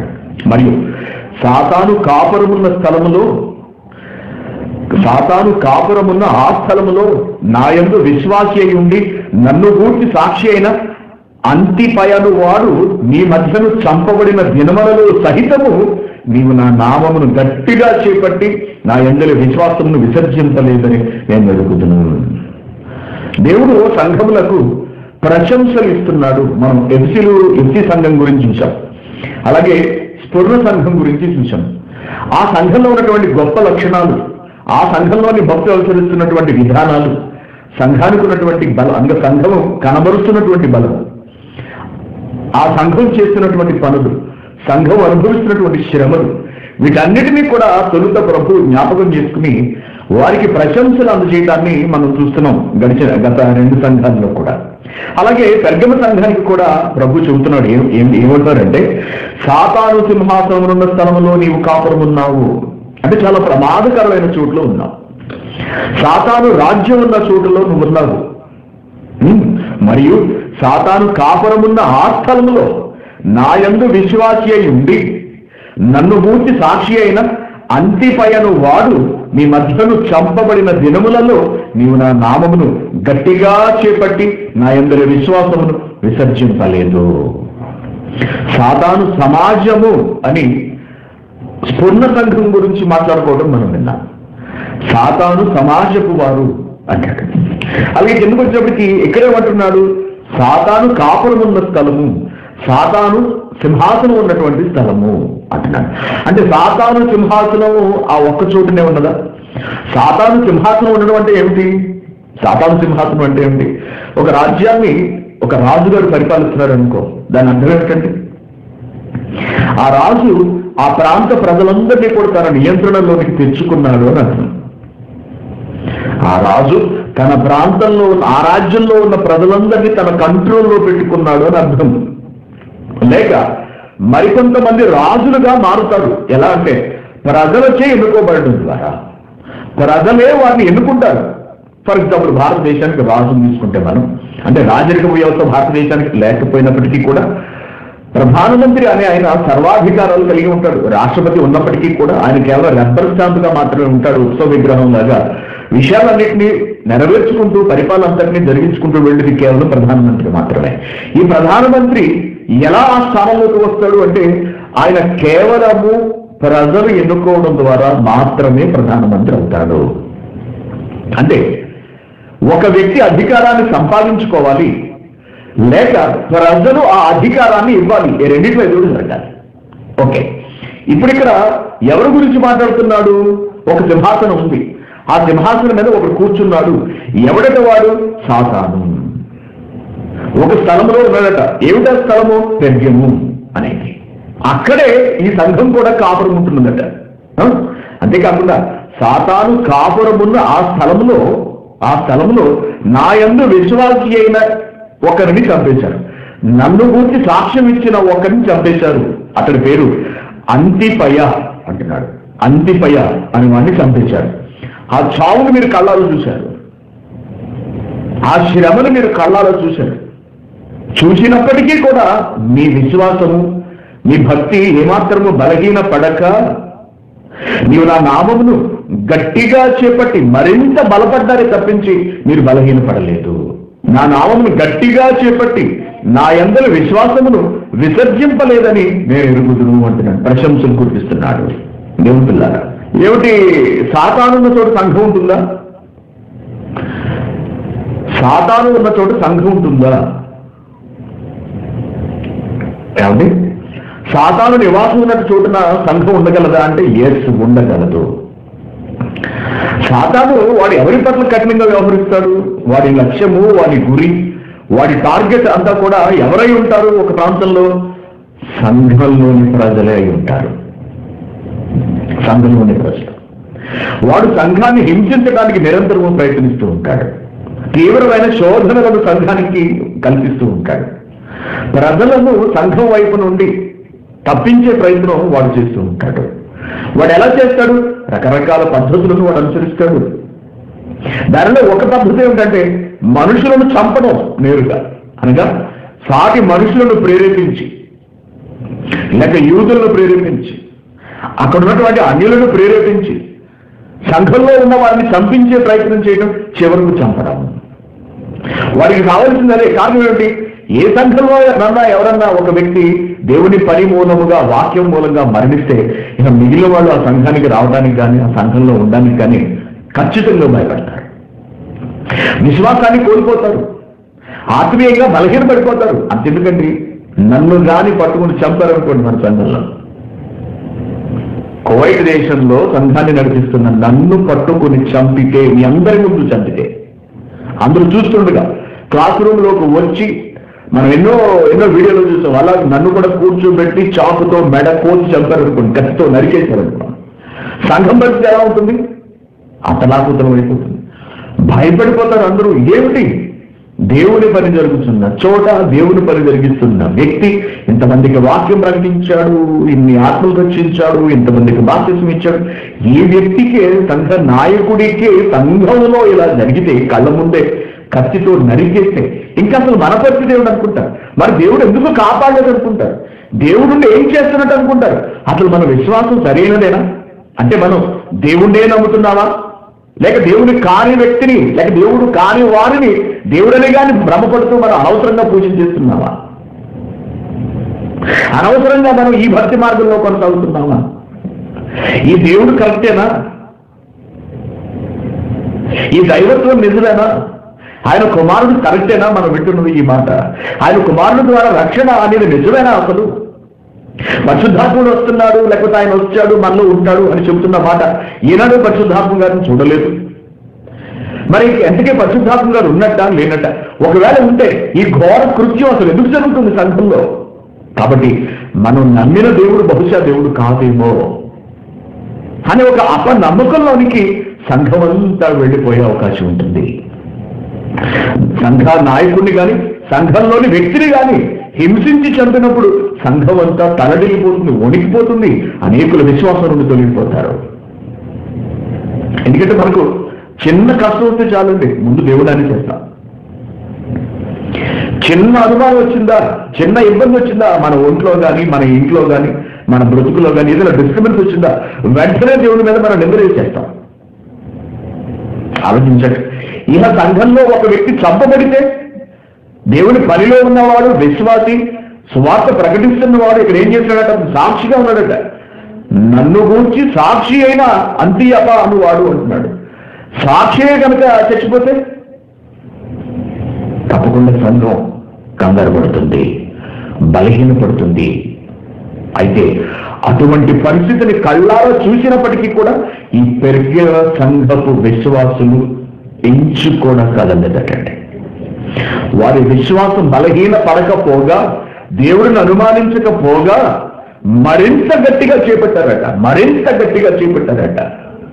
గట్టిగా చేపట్టి నా ఎందుల విశ్వాసమును విసర్జింపలేదని నేను ఎరుగుదును అంటున్నాడు. ఎంత మంచి కితాబు ఇచ్చాడు చూడండి అంటే సాతానుడు ఎన్ని కుట్రలు చేసినా సంఘమును చెదరగొట్టడానికి సంఘాన్ని బలహీనపరచడానికి ఎన్ని చెడ్డ మాటలు కల్పించినా అక్కడ ఉన్నటువంటి విశ్వాసులు తమ హృదయాలను బలహీనపరుచుకోక తమ విశ్వాసాన్ని బలహీనపరుచుకోక మరింత బలపరుచుకున్నారట చూడండి మీరు.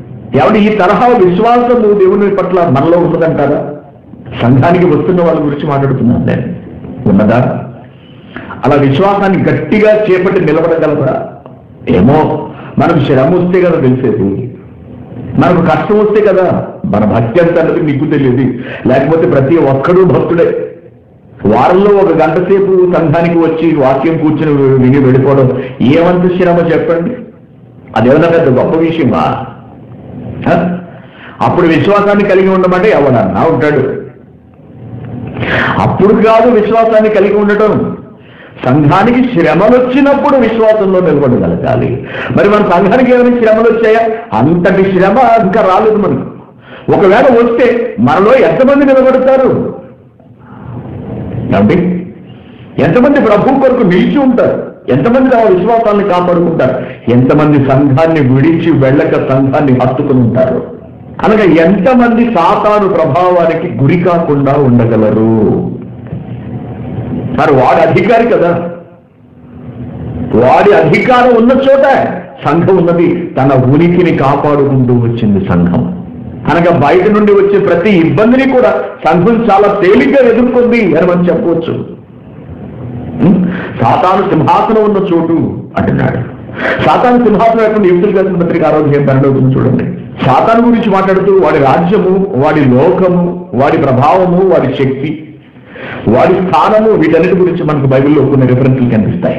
ఏలయనగా మనం పోరాడున్నది శరీరులతో కాదు గాని ప్రధానులతోనూ అధికారులతోనూ ప్రస్తుత అంధకార సంబంధులకు లోకనాథులతోనూ ఆకాశ మండలం నందున్న దురాత్మల సమూహముతోనూ పోరాటము అన్నాడు. ఆ పోరాటంలో పెర్గమ సంఘానికి శ్రమ వచ్చింది వ్యక్తి మరణించాడు. ఆ పోరాటంలో ఆ పోరాటంలో సంఘం మీద దారి జరిగింది. ఆ పోరాటంలో సంఘంలో ఉన్న అనేకులకు గాయాలయ్యాయి ఒక వ్యక్తి చనిపోయాడంటే ఆలోచించండి సంఘానికి ఎంతటి శ్రమ వచ్చిందో. వాడు మనుషులను పట్టి ఆవహించి సంఘములకు వ్యతిరేకముగా అనేకులను లేవదీస్తూ ఉంటాడు. అన్నిలను పురికొల్పుతూ ఉంటాడు. బయటి వాడిని రెచ్చగొడుతూ ఉంటాడు వాడు ఎప్పుడూ కూడా. సంఘం మీద దాడి చేయించడానికి వాడు నిరంతరము ప్రయత్నిస్తూ ఉంటాడు.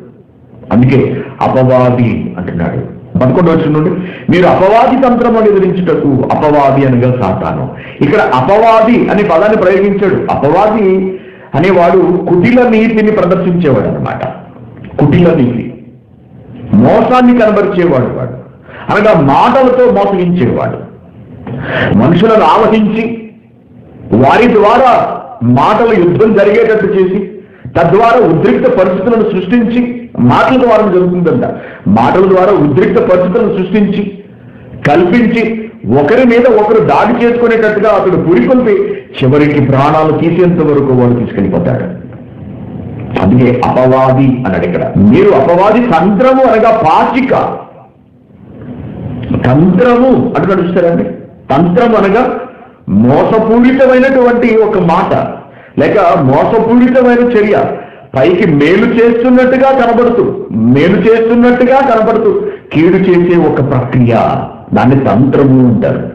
ఆ తంత్రాన్ని ఆ మాయని ఆ మోసాన్ని ఎదిరించడానికి శక్తిమంతులు అగునట్లు దేవుడిచ్చే సర్వాంగ కవచాన్ని ధరించుకోవాలి. ఎలా జరుగుతుందంటే వాడి తంత్రం ఎలా ఉంటుందంటే మనం పోరాడున్నది శరీరంతో కాదు కానీ ప్రధానులతోనూ అధికారులతోనూ ప్రస్తుత అంధకార సంబంధులకు లోకనాథులతోనూ ఆకాశ మండలం నందున్న దురాత్మల సమూహముతోనూ పోరాడుచున్నాము. అంటున్నారు.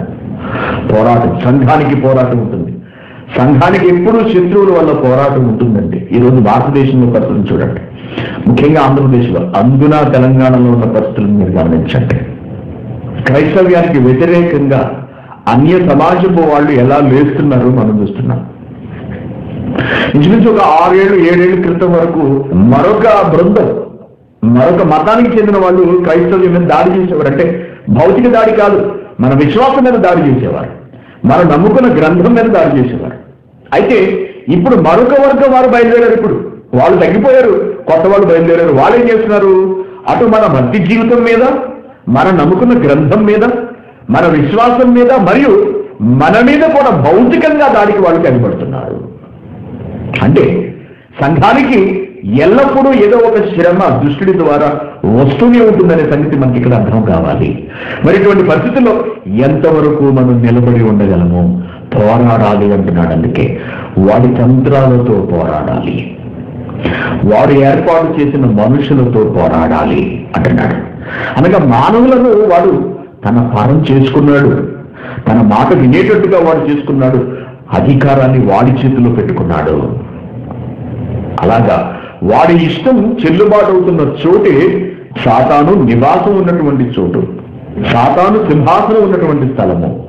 సాతాను కాపురం ఉన్నటువంటి స్థలము అన్నాడు అధికారం ఎవరిచ్చారు వీడికి? మనమే కట్టబెట్టారు మనుషులే ఇస్తారు ఇంకెవరు ఇస్తారు? మనుషులే ఇస్తారు.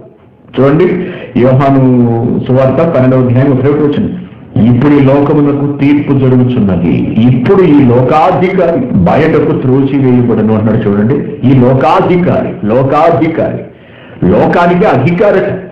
ఎవరిచ్చారు అధికారం? మానవులే ఇచ్చుకున్నారు అధికారాన్ని తనదనగా. ఓట్లు వేసి వాడిని గెలిపించుకుని అధికారిగా పెట్టుకున్నారు అన్నమాట ఒక ప్రధానమంత్రిని ఒక ముఖ్యమంత్రిని ఎన్నుకున్నట్టుగా.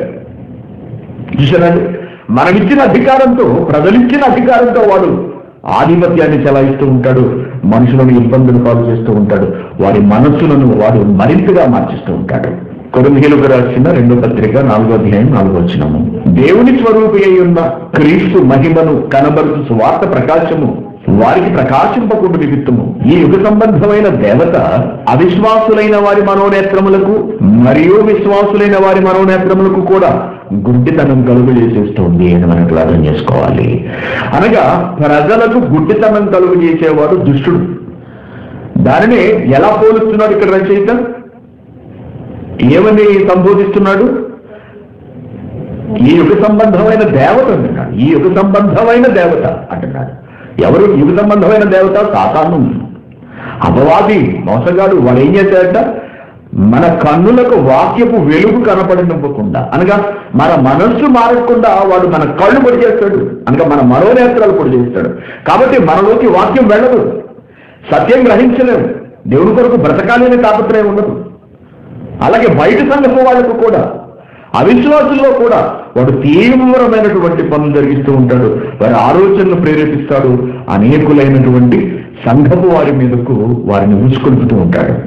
అందుకే సాతాను కాపురమున్న చోట్ల సాతాను సింహాసనమున్న చోట్ల పెద్యము అనే ప్రాంతములో ఉన్నటువంటి పరిస్థితులు అనమాట అండి ఇవన్నీ కూడా.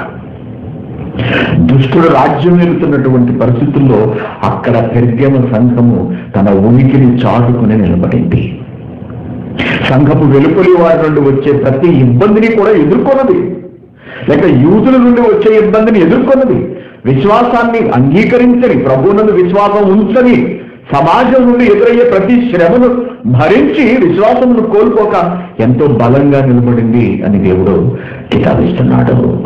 ఉం? ఎంత బాగా కాబట్టి సాతాను సింహాసనము ఎక్కడున్నట్టుగా మనకు అర్థమవుతుంది? భూమి మీదే ఉన్నది. మన దగ్గరే ఉంటుంది. మనం నివసిస్తున్న చోటునే ఉంటుంది. సాతాను ఎక్కడుంటే వాడి సింహాసనం అక్కడ ఉన్నట్టే లెక్క తెలుసుకోండి. సాతాను మన ఇంట్లో ఉన్నాడా? వాడికి మన సింహాసనం వేసి కూర్చోబెట్టినట్టు లెక్క. సాతాను మన సంఘంలో ఉన్నాడా? మనమే సంఘంలో వాడికి పీట వేసి చక్కగా డయాస్ మీద కూర్చోబెట్టినట్టు లెక్క. ఆలోచించండి. కాబట్టి ప్రియమైన దేవుని పిల్లారా ఎన్ని శ్రమలు సాతాను వలన ఎదురైనప్పటికీ కూడా భయంకరమైన ప్రాంతంలో పెరిగమ సంఘం ఉన్నప్పటికీ కూడా తన గొప్పదనాన్ని తన ఉనికిని నిలబెట్టుకుంటూ వెళ్ళింది. ఇది దేవుడు ఈ పెరిగమ సంఘానికి ఇస్తున్నటువంటి ప్రశంసలు అభినందనలు అంటున్నాడు అభినందన అయితే అయితే అభినందించిన దేవుడు దానిలో ఉన్న లోపాలను కూడా గమనించి వాటిని సరి చేసుకోవడానికి కొన్ని సూచనలు చేస్తున్నాడు. ఏమిటా లోపాలు? ఏమిటా తప్పిదాలు? అని మనం చూస్తే ఏమంటున్నాడు? ఇంత అద్భుతంగా మీరున్నప్పటికీ కూడా ఇంత బలంగా మీరు నిలబడినప్పటికీ కూడా మీ విశ్వాసాన్ని మీరు కోల్పోనప్పటికీ కూడా నేను నీ మీద కొన్ని తప్పిదములు అంటూ చూసారా అండి? కొన్ని తప్పిదములు మోపవలసి ఉన్నది నీలో కొన్ని లోపాలు ఉన్నాయి నీకు చెప్పాలి అవి. అవేవనగా విగ్రహములకు బలి ఇచ్చిన వాటిని తినునట్లును జారత్వము చేయునట్లును ఇస్రాయిలులకు ఉరియొద్దమని బాలాకునకు నేర్పిన బిలాము బోధను అనుసరించేవారు నీలో ఉన్నారు. అని ఇంకొక మాట అంటాడు కిందకొచ్చేప్పటికి అటువలనే నీకు లాయుతల బోధను అనుసరించే వారు నీలో ఉన్నారు. రెండు వర్గాలకు చెందిన ప్రజలు ఉన్నారటండి. ఎవరట వాళ్ళు? బిలాము బోధన అనుసరించేవారు నీకు లాయుతల బోధన అనుసరించేవారు.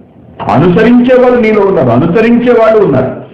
ఇటువంటి బోధల గురించి గతంలో మనం ఎక్కడ విన్నాము? ఎదశీలకు చెప్పినప్పుడు మనం విన్నాం. ఎఫ్సెల్ గురించి మాట్లాడుతూ ఆయన ఏమంటున్నాడు?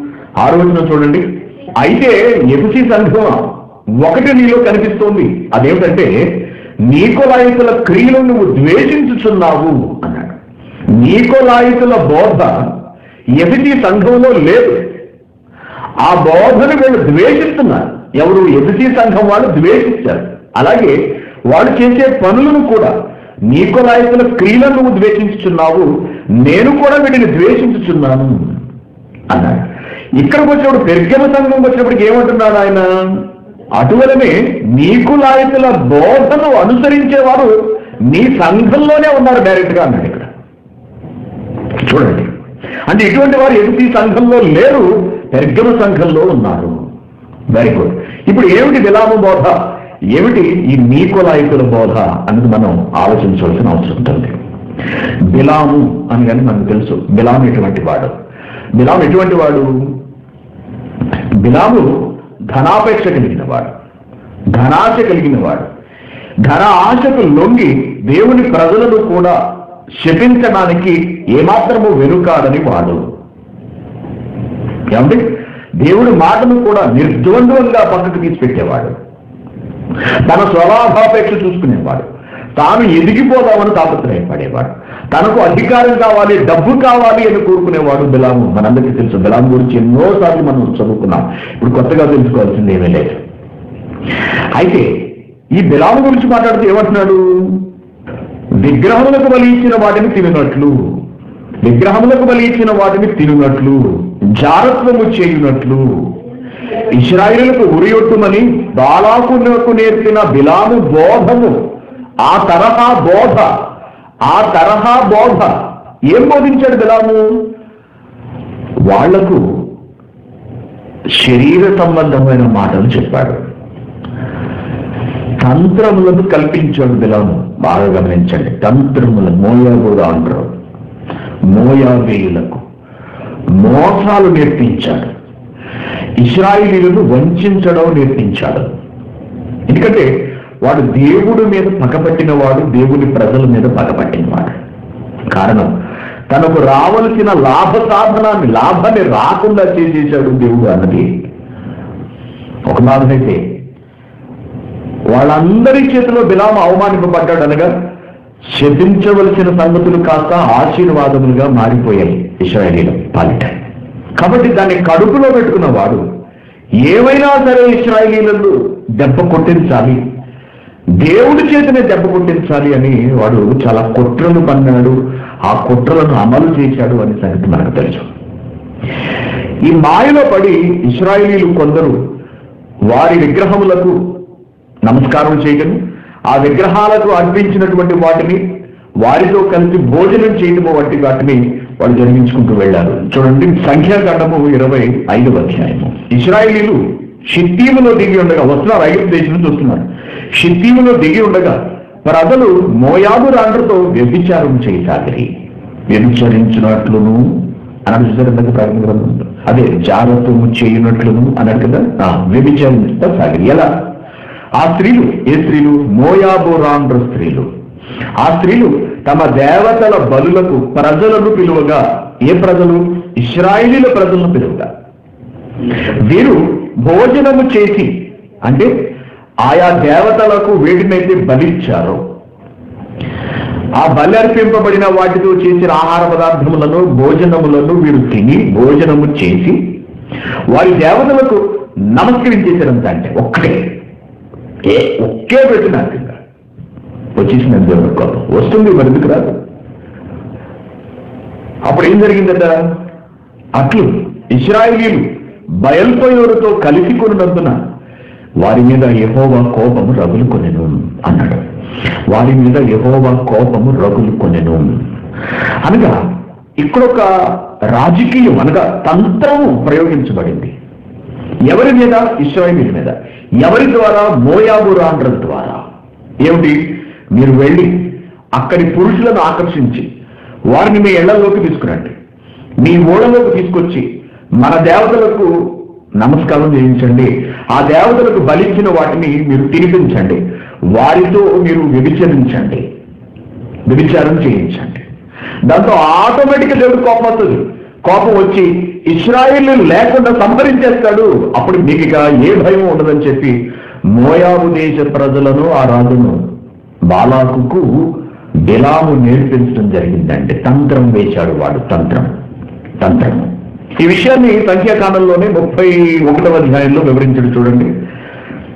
సంఖ్యాకాండము ముప్పై ఒకటో అధ్యాయము పదహారు వచనంలో ఇదిగో బిలాము మాటను బట్టి పెయోరు విషయంలో ఇస్రాయిలీల చేత యహోవా మీద తిరుగుబాటు చేయించిన వారు వీరు కాదా? యహోవా మీద తిరుగుబాటు. ఇస్రాయిలీల చేత యహోవా మీద తిరుగుబాటు చేయించిన వారు వీళ్ళే కదా ఈ మోయాబులే కదా.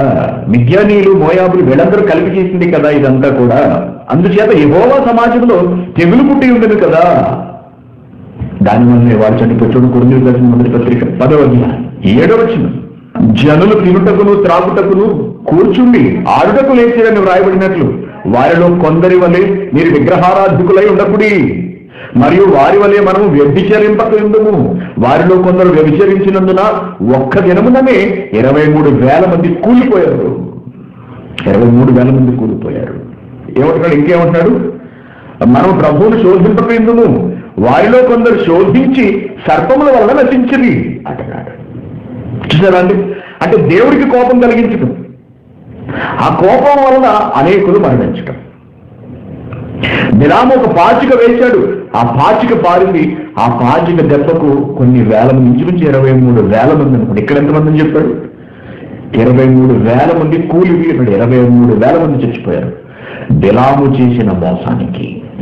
అంటే మోసపూరితమైన బోధ చేశాడు. మోసపూరితమైన బోధ. ధనాపేక్షతో నిండినటువంటి బౌద్ధ అదంతా కూడా అతడికి కావలసిన ధనం. ఈ రోజులు ఇటువంటి బిలాము బోధలు ఏవైనా ఉన్నవా? ధనాపేక్షలు కనబరిచే బోధలు ఏవైనా ఉన్నవా? ఏ సంఘంలోనైనా ఉన్నవా? ఏ సంఘంలో లేవు అది చెప్పండి ముందు. ఎందుకంటే బిలాము బోధ కలిగినటువంటి సంఘాలను లెక్క పెట్టాలంటే చాలా కష్టం. ఎందుకంటే తొంభై తొమ్మిది శాతం సంఘాలు ఇదే బోధలతో మునిగి ఉన్నాయి. ఏమిటా బోధ? ధనాపేక్షతో కూడినటువంటి బోధ. ధనాశతో కూడినటువంటి బోధ. బోధకుడు ధనాన్ని దృష్టిలో పెట్టుకుని వాక్యం చెబుతాడు. కానుకలను దృష్టిలో పెట్టుకుని వాక్యం చెబుతాడు. కానుకలు ఇచ్చేటట్టుగా వారిని రెచ్చగొడతాడు. దేవుడిని దీవిస్తాడు. నీ గుంపుడు విప్పు అంటాడు. దేవుడిని ఆశీర్వదిస్తాడు. నీ దశంభాగం ఇవ్వు అంటాడు. దేవుడిని దీవిస్తాడు. దేవుడిని ఆర్థికంగా పైకెత్తబోతున్నాడు ఈ రోజున. దేవుడిని నీ నీ స్థితి మార్చబోతున్నాడు. నీ గృహమును జీవించబోతున్నాడు. నీ పిండి పిసుకు తొట్టెకు ఎప్పుడు ఎప్పుడు ఆటంకం రాదు అంటాడు. నీ గిన్నె నిండి పొరులుతుంది అంటాడు. కారణం ప్రభు నిన్ను దీవించబోతున్నాడు ఆశీర్వదించబోతున్నాడు. ఇది నీ కొరకు ప్రభు దేవుడు ఏర్పాటు చేసిన దినము. ఆయన ఆకాశ వాకిట్లు విప్పి పట్టజాలంలో విస్తారమైన దీవెనలు నీకు కుమ్మరించబోతున్నాడు. కాబట్టి ప్రభునందు ప్రేమైన దేవుని బిడ్డలారా మీ గుప్పెళ్ళు విప్పండి. మీ దశమ భాగాలు సంఘంలో పెట్టి మందిరంలో పెట్టి దేవుడిని శోధించండి. దేవుడు అడగమన్నాడు కదా దేవుడు ఇచ్చి అడగమన్నాడు కదా. మీరు ఇచ్చి అడగండి ఇచ్చి అడగండి ఇచ్చి అడగండి. తగిలించి తగిలేసి చెప్పలేవు లాటరీ. తగిలేచ్చు మీకు. అడగండి. అడుగుడి మీకు ఇవ్వడను వెతకుడి మీకు దొరుకును తక్కుడి మీకు తీయబడిన. ఆయనే కదా అన్నాడు. మీరు ఇచ్చి అడగండి ఇచ్చి అడగండి ఇచ్చి అడగండి అని మలాఖీలో చెప్పబడినటువంటి రెఫరెన్స్ ఎత్తుకుని బోధిస్తూ బోధిస్తూ బోధిస్తూ బోధిస్తూ ఉంటారు. ఏం చెప్పాడు మలకీలో మలకి గ్రంథంలో ఏం చెప్పాడు చూడండి. మలకి గ్రంథము మూడో అధ్యాయం. ఎనిమిదో వచ్చినాం మానవుడు దేవుని యొక్క దొంగిలుగా ఏంటి మనిషి దేవుడి దగ్గర దొంగతనం చేసేటంత పెద్దోడు అయిపోయాడా? ఒకవేళ ఇది కనుక నిజమైతే ఇది జరుగుతుంది అనుకుంటే కనుక మీరు నా దగ్గర దొంగతనం చేశారు అంటాడు దేవుడు. ఇదేడు దేని విషయంలో మేము నేను దొంగతనం చేద్దామని మీరందరూ పదేవ భాగమును ప్రతిష్టార్పణములను ఇయ్యక దొంగిలి తిరిగి. నువ్వు దేవుడికి ఇస్తున్నావా? లేకపోతే నువ్వు దాచుకుంటున్నావా? నువ్వు నీ గుప్పిళ్ళు విప్పుతున్నావా లేక నువ్వు దాచుకుంటున్నావా? నీ పదవి వంతు దశభాగం నువ్వు ఇస్తున్నావా దేవుని మందిరం తీసుకొస్తున్నావా? నువ్వు దాచుకుంటున్నావా? నువ్వు దాచుకుంటే నువ్వు దేవుడి దృష్టిలో దొంగవి. నువ్వు దేవుని సొమ్మును దొంగిలిస్తున్నావు అంటడంతో ఒకటే మాట. అప్పుడు భయపడిపోయి భక్తులందరూ ఏం చేస్తారు? దశభాగములను కానుకలను పట్టుకెళ్ళి ఐదో చేతులు పెడతారు అంటే ఏ బోధ? బిలాము బోధ. దేవుని దేవుడికి ప్రేమతో కానుకలు ఇవ్వాలి. మనస్ఫూర్తిగా ఇవ్వాలి. సంతోషంతో ఇవ్వాలి. మీరు ఎంత ఇవ్వాలి అని ఖచ్చితంగా రూల్ పెట్టినది పాత నిబంధన కాలంలో కొత్త నిబంధనలో కాదు తెలుసుకోండి. అంటే ఇప్పుడు మనం ఉన్న రోజుల్లో పదవ భాగం అని లెక్కగట్టి దేవునికి ఇవ్వడం కాదు. నువ్వు ఒక్క రూపాయి ఇస్తావా? కోటి రూపాయలు ఇస్తావా? ఒక్క దినాలు ఇస్తావా? కోటి దినాలు ఇస్తావా? ప్రేమపూర్వకంగా ఆనందంతో సంతోషంతో దేవునికి ఇవ్వాలి. అది ఇప్పుడు దేవుడు కోరుకుంటున్నది. నువ్వెంత ఇచ్చావని చూడు అనగా అది ఎంత విలువైనదన్నది చూడడు ఎంత విలువైన మనస్సుతో ఎంత ప్రేమతో నువ్వు ఇస్తున్నావు అన్నది చూస్తాడు.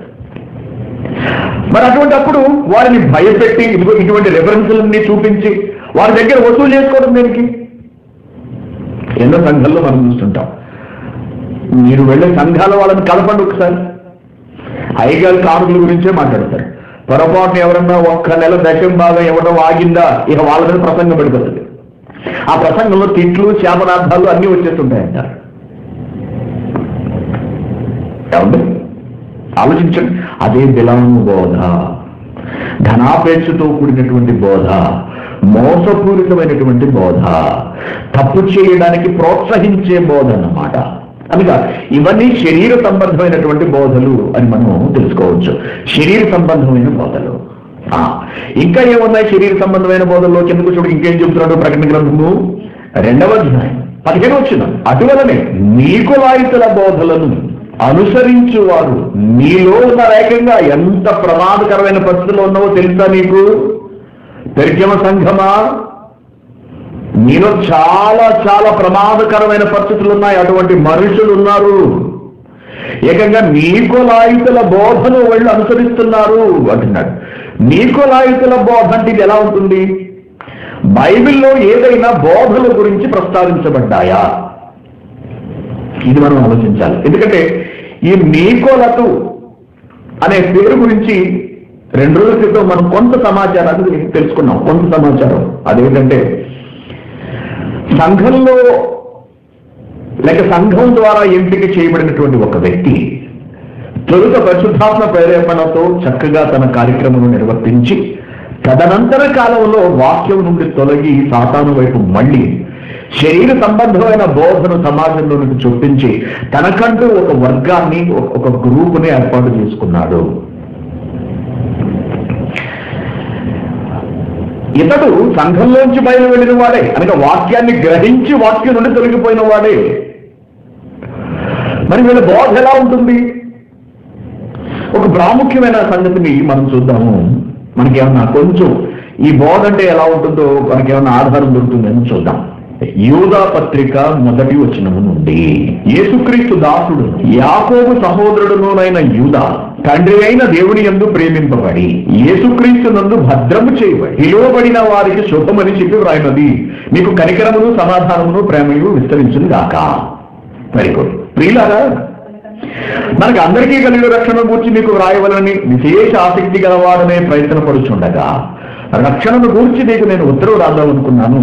అయితే పరిశుద్ధులైన మనందరికీ ఒక్కసారే అప్పగింపబడిన బోధ నిమిత్తము మీరు పోరాడవలనని మిమ్మల్ని వేడుకొనుచున్నాను అంటున్నాడు. చాలా జాగ్రత్త గమనించండి. ఒక బోధ విషయంలో మనం జాగ్రత్తగా ఉండాల్సి వస్తోంది అని ఇక్కడ మాట్లాడుతున్నాడు యుధ గారు. ఏమిటట? ఎలనగా కొందరు రహస్యముగా జరబడ్డారు వీళ్ళు బయట వాళ్ళు అనే దానికి మనకు తెలియదు. రహస్యముగా జొరబడ్డారు. జ్వరపడి ఏం చేస్తున్నారట? వారు భక్తిహీనుడిగా మారారు. సంఘంలో జొరబడ్డారు భక్తులుగా బ్రతికారు చలామణి అయ్యారు. ఓకేనా? తర్వాత వీరు భక్తిహీనులయ్యారు. వారు భక్తిహీనులై మన దేవుడి కృపను దేవుడు అనుగ్రహించినటువంటి కృపను కామాతురత్వమునకు దుర్వినియోగపరచుచు అన్న చూడండి. కామాతురత్వము కామాతురత్వమునకు దుర్వినియోగపరచుచు. మన అద్వితీయ నాథుడును ప్రభువునైన యేసుక్రీస్తును విసర్జించుచున్నారు విసర్జించుచున్నారు. ఈ తీర్పు పొందుటకు వారు పూర్వమందే సూచింపబడిన వారు అంటున్నాడు. ఒక కొత్త బోధ ప్రవేశించిందంట. అదేమిటట? కామాతురత్వమునకు సంబంధించినటువంటి బోధ. అనగా శరీర సంబంధమైన బోధ.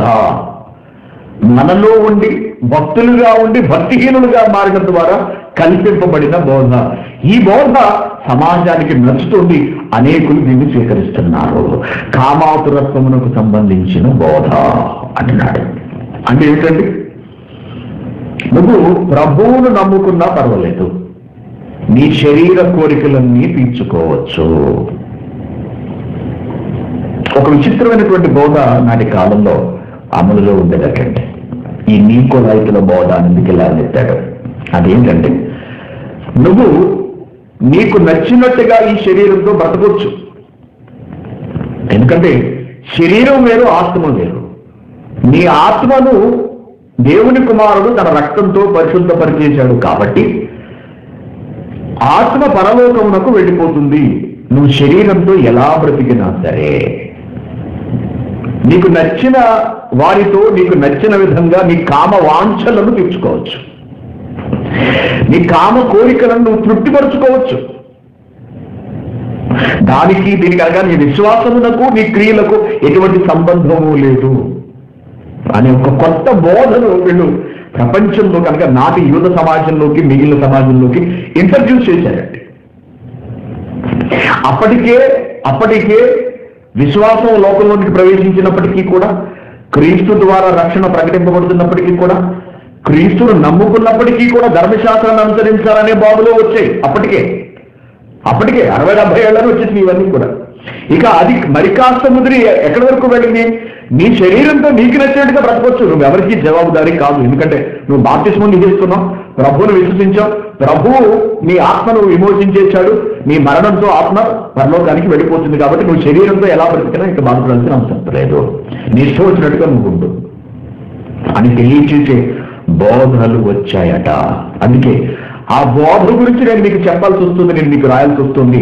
యాక్చువల్గా నేను రక్షణ గురించి మీకు చెబుతా ఉంటాను కానీ మీరు కూడా ఆ బోధకు ఎక్కడ ఆకర్షితులు అయిపోతారో అని నేను మీకు చెబుతున్నాను అంటున్నాడు. ఐదు వచ్చిన ఈ సంగతులన్నీ మీరు ముందుగానే ఎరిగి ఉన్న అనగా ఈ బోధ గురించిన సమాచారం మీ దగ్గరకు వచ్చినప్పటికీ కూడా నేను మీకు జ్ఞాపకం చేయకూరుతున్నది ఏమనగా ప్రభు ఐగుప్తుల నుండి ప్రజలను రక్షించినాను వారిలో నమ్మకపోయిన వారిని తరువాత నాశనం చేశాడు అనగా ఈ ఇటువంటి బోధన జోలికి వెళితే కనుక మనకు నిత్య నాశనము తప్పదు. ఆ బోధను అనుసరించి నడుచుకుంటే కనుక మనం నాశనం అయిపోక తప్పదు అంటున్నాడు. ఎలా అట మరియు తమ ప్రధానత్వం నిలుపు కనుక తమ నివాస స్థలమును విడిచిన దేవదూతులను మహాజనమును జరుగు తీర్పు వరకు కటిక చీకటిలో నిత్య పాశములతో ఆయన బంధించి భద్రం చేశాను. ఆ ప్రకారమే సుధమ కుమర్రాలను వాటి చుట్టుపక్కల ఉన్న పట్టణంలోనూ వీరువలే వ్యభిచారం చేయించు పరశ్రీరందున నిత్యాగ్రదానాన్ని అనుభవించు దృష్టాంతములుగా ఉంచబడింది అటువలనే వీరు కలలు కనుచు శరీరమును అపవిత్రపరుచుకొనచ్చు చూడండి. శరీరమును అపవిత్రపరుచుకొనుచు ప్రభుత్వాన్ని నిరాకరించుచు మహాత్ములను దూషించుచున్నారు ఈ బోధలో ఉన్నవాళ్ళు. అయితే ప్రధాన దూత అయిన మిఖాయిలు అపవాదితో వాదించు మోష యొక్క శరీరం గురించి దర్శించినప్పుడు దూషించి తీర్పు తీర్పు తెగింపగా ప్రభువుని దర్శించుడుగా కారణను వీరైతే తాము గ్రహింపని విషయమును గురించి దూషించి వారే వివేక శూన్యములకు మృగముల వలె వేటిని స్వాభావికముగా ఎరుగుదరో వాటి వలన తమ్మును తాము నాశనం చేసుకుంటున్నారు. అయ్యో వారికి శ్రమ. వారు కయ్యేను నడిచిన మార్గాన్ని నడిచారు. బహుమానము పొందవలనని విలాము నడిచిన తప్పు త్రోవలో ఆతురముగా పరిగెత్తారు. కోరహు చేసినట్టు నిర్భయముగా తిరస్కారము చేసి నశించరి అనగా కోరహులోని తిరస్కారము. బిలాములోని తాపత్రయము. బిలాములోని తాపత్రయము ధనాపేక్ష అనగా దురాశ అనమాట దురాశ పేరాశ ఇవన్నీ కనబడుతున్నాయటండి కయ్యను నడిచిన దుర్మార్గపు మార్గము. కయ్యను నడిచిన దుర్మార్గపు మార్గము. ఇవన్నీ ఈ బోధ చేస్తున్న వాళ్ళలో ఉన్నాయట. మీరు నిర్భయముగా మీతో సుభోజనము మీలో కూడా ఉన్నారు అంటున్నాడు. మీతో సుభోజనము చేయించు తమ్మును తాము నిర్భయముగా పోషించుకొనుచు మీ ప్రేమ విందులలో అనగా సంఘంలోనే మీ సంఘంలోనే దొంగ మెట్టనుగా ఉన్నారనగా వీళ్ళు కనపడరు. మీరు గాలి చేత ఇటు అటు కొట్టుకుని పోవు. నిర్జల మేఘములు గాను కాయలు రాలి ఫలములు లేక రెండు మార్లు చర్చి వేళ్ళతో బెల్లగింపబడిన చెట్లు గాను తమ అవమానమును నురుగు వెళ్ళగ్రొక్కువారై సముద్రము యొక్క ప్రచండమైన అలలుగాను మార్గము తప్పి తిరుగు చుక్కలుగాను ఉన్నారు. వారి కొరకు గాఢాంధకారము నిరంతరము భద్రము చేయబడి ఉన్నది. బోధ మారిందట. శరీర సంబంధమైన బోధ వచ్చిందంట. బోధ శరీర సంబంధమైన బోధ. అంటే నువ్వు పాపం చెయ్యి ఏమీ కాదు. ఎందుకంటే నువ్వు ప్రభువు నమ్ముకున్నావు కాబట్టి ప్రభు నిన్ను రక్షించేస్తాడు క్షమించేస్తాడు. నీ శరీరాన్ని నువ్వు అపవిత్రపరుచుకో. ఏది కాదు. నీకు నచ్చినట్టుగా తిరుగు. నీకు నచ్చిన సుఖాన్ని నువ్వు అనుభవించు. నీకు నచ్చిన వారితో నువ్వు వెళ్ళు ఏది కాదు. ఎందుకంటే ప్రభు నిన్ను క్షమించేస్తాడు. అని చెప్పే బోధలు బయలుదేరాలి అంటున్నాడు. నీకులాయుతుల బోధ అంటే ఇది. శరీర సంబంధమైన బోధ. ఆలోచించండి. ప్రియమందుని పిల్లారా ఇటువంటి వారు సంఘాలలో కనపడుతూ ఉంటారు. వారు తప్పు చేస్తూ ఇతరుల చేత కూడా అదే తప్పు చేయించడానికి ప్రోత్సహిస్తూ ఉంటారు. వారు తప్పు చేస్తూ వారు పాపము చేస్తూ సంఘంలోని వారిచే అదే పాపము చేయించడానికి ప్రోత్సహిస్తూ ఉంటారు. అది తప్పించి జరుగుతున్న తప్పును ఖండించి చెప్పరు. ఇటువంటి బోధకులు తమ్మును తాము సరిదిద్దుకోరు. సంఘాన్ని సరిదిద్దే ప్రయత్నం చేయరు. లోబడిపోతారు. శరీర క్రియలకు శరీర కోరికలకు లోబడిపోతారు. వాటిని పెంచుకుని బయటికి రాలేరు. అదే బోధ. ఈ బోధ నాటి సమాజంలో ఎంతో మందిని సర్వనాశనం చేసిందంటే ఎంతో మందిని. కుప్పకూలిపోయారు ఎందరూ తమ విశ్వాసాల నుండి. ఇటువంటి భయంకరమైన బోధ చేస్తున్న వాళ్ళు ఎక్కడున్నారు దాన్ని అనుసరించే వాళ్ళు ఎక్కడున్నారంట? అటువలనే నీకోలాయుతల బోధను అనుసరించే వారు నీలో ఉన్నారు బెర్గమా బెర్గము జాగ్రత్త అంటున్నాడు. ఆ బోధను అనుసరించేవాళ్ళు ఏమిటి సంఘంలో ఈ బోధను అనుసరించే వాళ్ళు కూడా ఉన్నారా? ఉంటారు. ఉంటారు. రెండు పనుల మీద కాలేసేవారు ఉంటారండి. దేవుడులారా మనం సత్యవాక్యాన్ని ప్రకటిస్తున్నాం. శరీరంతో ఎంత పరిశుద్ధంగా బ్రతకాలో మనం ఎప్పటికప్పుడు చెబుతూ ఉంటాం. నేను ఇలా మాట్లాడడాన్ని చాలా మంది వ్యతిరేకిస్తుంటారు కూడా. ఎప్పుడు చూసినా పాపాల గురించి మాట్లాడతాడు. ఎప్పుడు చూసినా ఈ వ్యభిచారాల గురించి ఈ తప్పుల గురించి మాట్లాడుతూ ఉంటాడు. ఈ మధ్యకాలంలో ఈ తరహా బోధ ఎక్కువైంది నన్ను విమర్శించేవాళ్ళు చాలా మంది ఉన్నారు. ఎస్ చెబుతాను కారణం ఏంటంటే ఈ తరహా పాపాలు ఎక్కువైపోయాయి కాబట్టి. నేత్రాలతో చేసే పాపం ఎక్కువైంది కాబట్టి చెప్పాలి. శరీరాలతో చేసే పాపాలు పెరిగిపోయాయి. కాబట్టి చెప్పాలి చెప్పకపోతే ఎవరు చెబుతారు? అంటే మీకు అందరికీ బాధ కలిగిస్తూ ఉంటాయి. మమ్మల్ని అంటున్నాడు. మమ్మల్ని గుచ్చిగుచ్చి మాట్లాడుతున్నాడు. ఏ ఒక్కరినో ఉద్దేశించి చెప్పవలసిన అవసరం లేదు. ఒకరు చేసిన తప్పు మరొకరి వలన జరగకూడదు. తప్పు చేస్తున్న వాళ్ళు తమ్మును తాము సరిదిద్దుకోవాలి. వాక్యం వింటున్న వాళ్ళు ఆ బలహీన స్థితిలోకి వెళ్ళే వాళ్ళు వాళ్ళు పడిపోకుండా తమ్మును తాము నిలబెట్టుకోగలగాలి తమ భక్తి జీవితాన్ని కాపాడుకోగలగాలి. అందుకే పాపం గురించి ఎక్కువ సార్లు మాట్లాడుకోవాల్సిన అవసరం ఉన్నది. ఎందుకంటే మనిషిని నాశనం చేస్తున్నది పాపమే కదండి.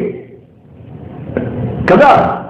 శరీర సంబంధమైన పాపాలు నేత్ర సంబంధమైన పాపాలు హృదయ సంబంధమైన పాపాలు ప్రవర్తనలు ఇవే కదా మనల్ని పరలోకానికి వెళ్ళకోకుండా అడ్డుపడిపోయేవి. మరి వాటి గురించి మాట్లాడకపోతే ఇక దేని గురించి మాట్లాడుకుంటాం మనం? ఈ దేహాన్ని ఎలా వాడమని చెప్పాడు? దేహాన్ని సజీవ యాగముగా ఆయనకు సమర్పించమన్నాడు కదా. మరి మీకు లాయితల బోధ ఏమిటి? నువ్వు ఎలా సుఖపడినా పర్వాలేదు. నువ్వు ఎలా తిరిగినా పర్వాలేదు. నీ శరీరానికి ఏం అంటుకున్నా పర్వాలేదు. నీ ఆత్మ కదా వెళ్ళేది శరీరం కాదు కదా శరీరం ఎక్కడే ఆగిపోతుంది కదా అన్నది వారి బోధ. అంటే నేను కూడా మీకు లాయితల బోధ చేయాలా? ఏం పర్వాలేదు నువ్వు తిరగడం చెప్పాలా? అలా బోధిస్తే అది అసలు దేవుని బోధ అవుతుందా? అది వాక్యం అవుతుందా? లేక తంత్రం అవుతుందా? డబ్బు కావాలి అని ధనాపేక్షతో చేసే బోధ ప్రజలను భయపెట్టి డబ్బులు వసూలు చేసే బోధ ఏ బోధ అవుతుంది అది? బిలాము బోధ అవుతుంది. ప్రజలను తప్పుదారులోకి తీసుకువెళ్ళే బోధ బిలాము బోధ అవుతుంది. శరీర కోరికలు తీర్చుకోండి ప్రభు క్షమించేస్తాడే అని చెప్పే బోధ నీకులాయితుల బోధ అవుతుంది.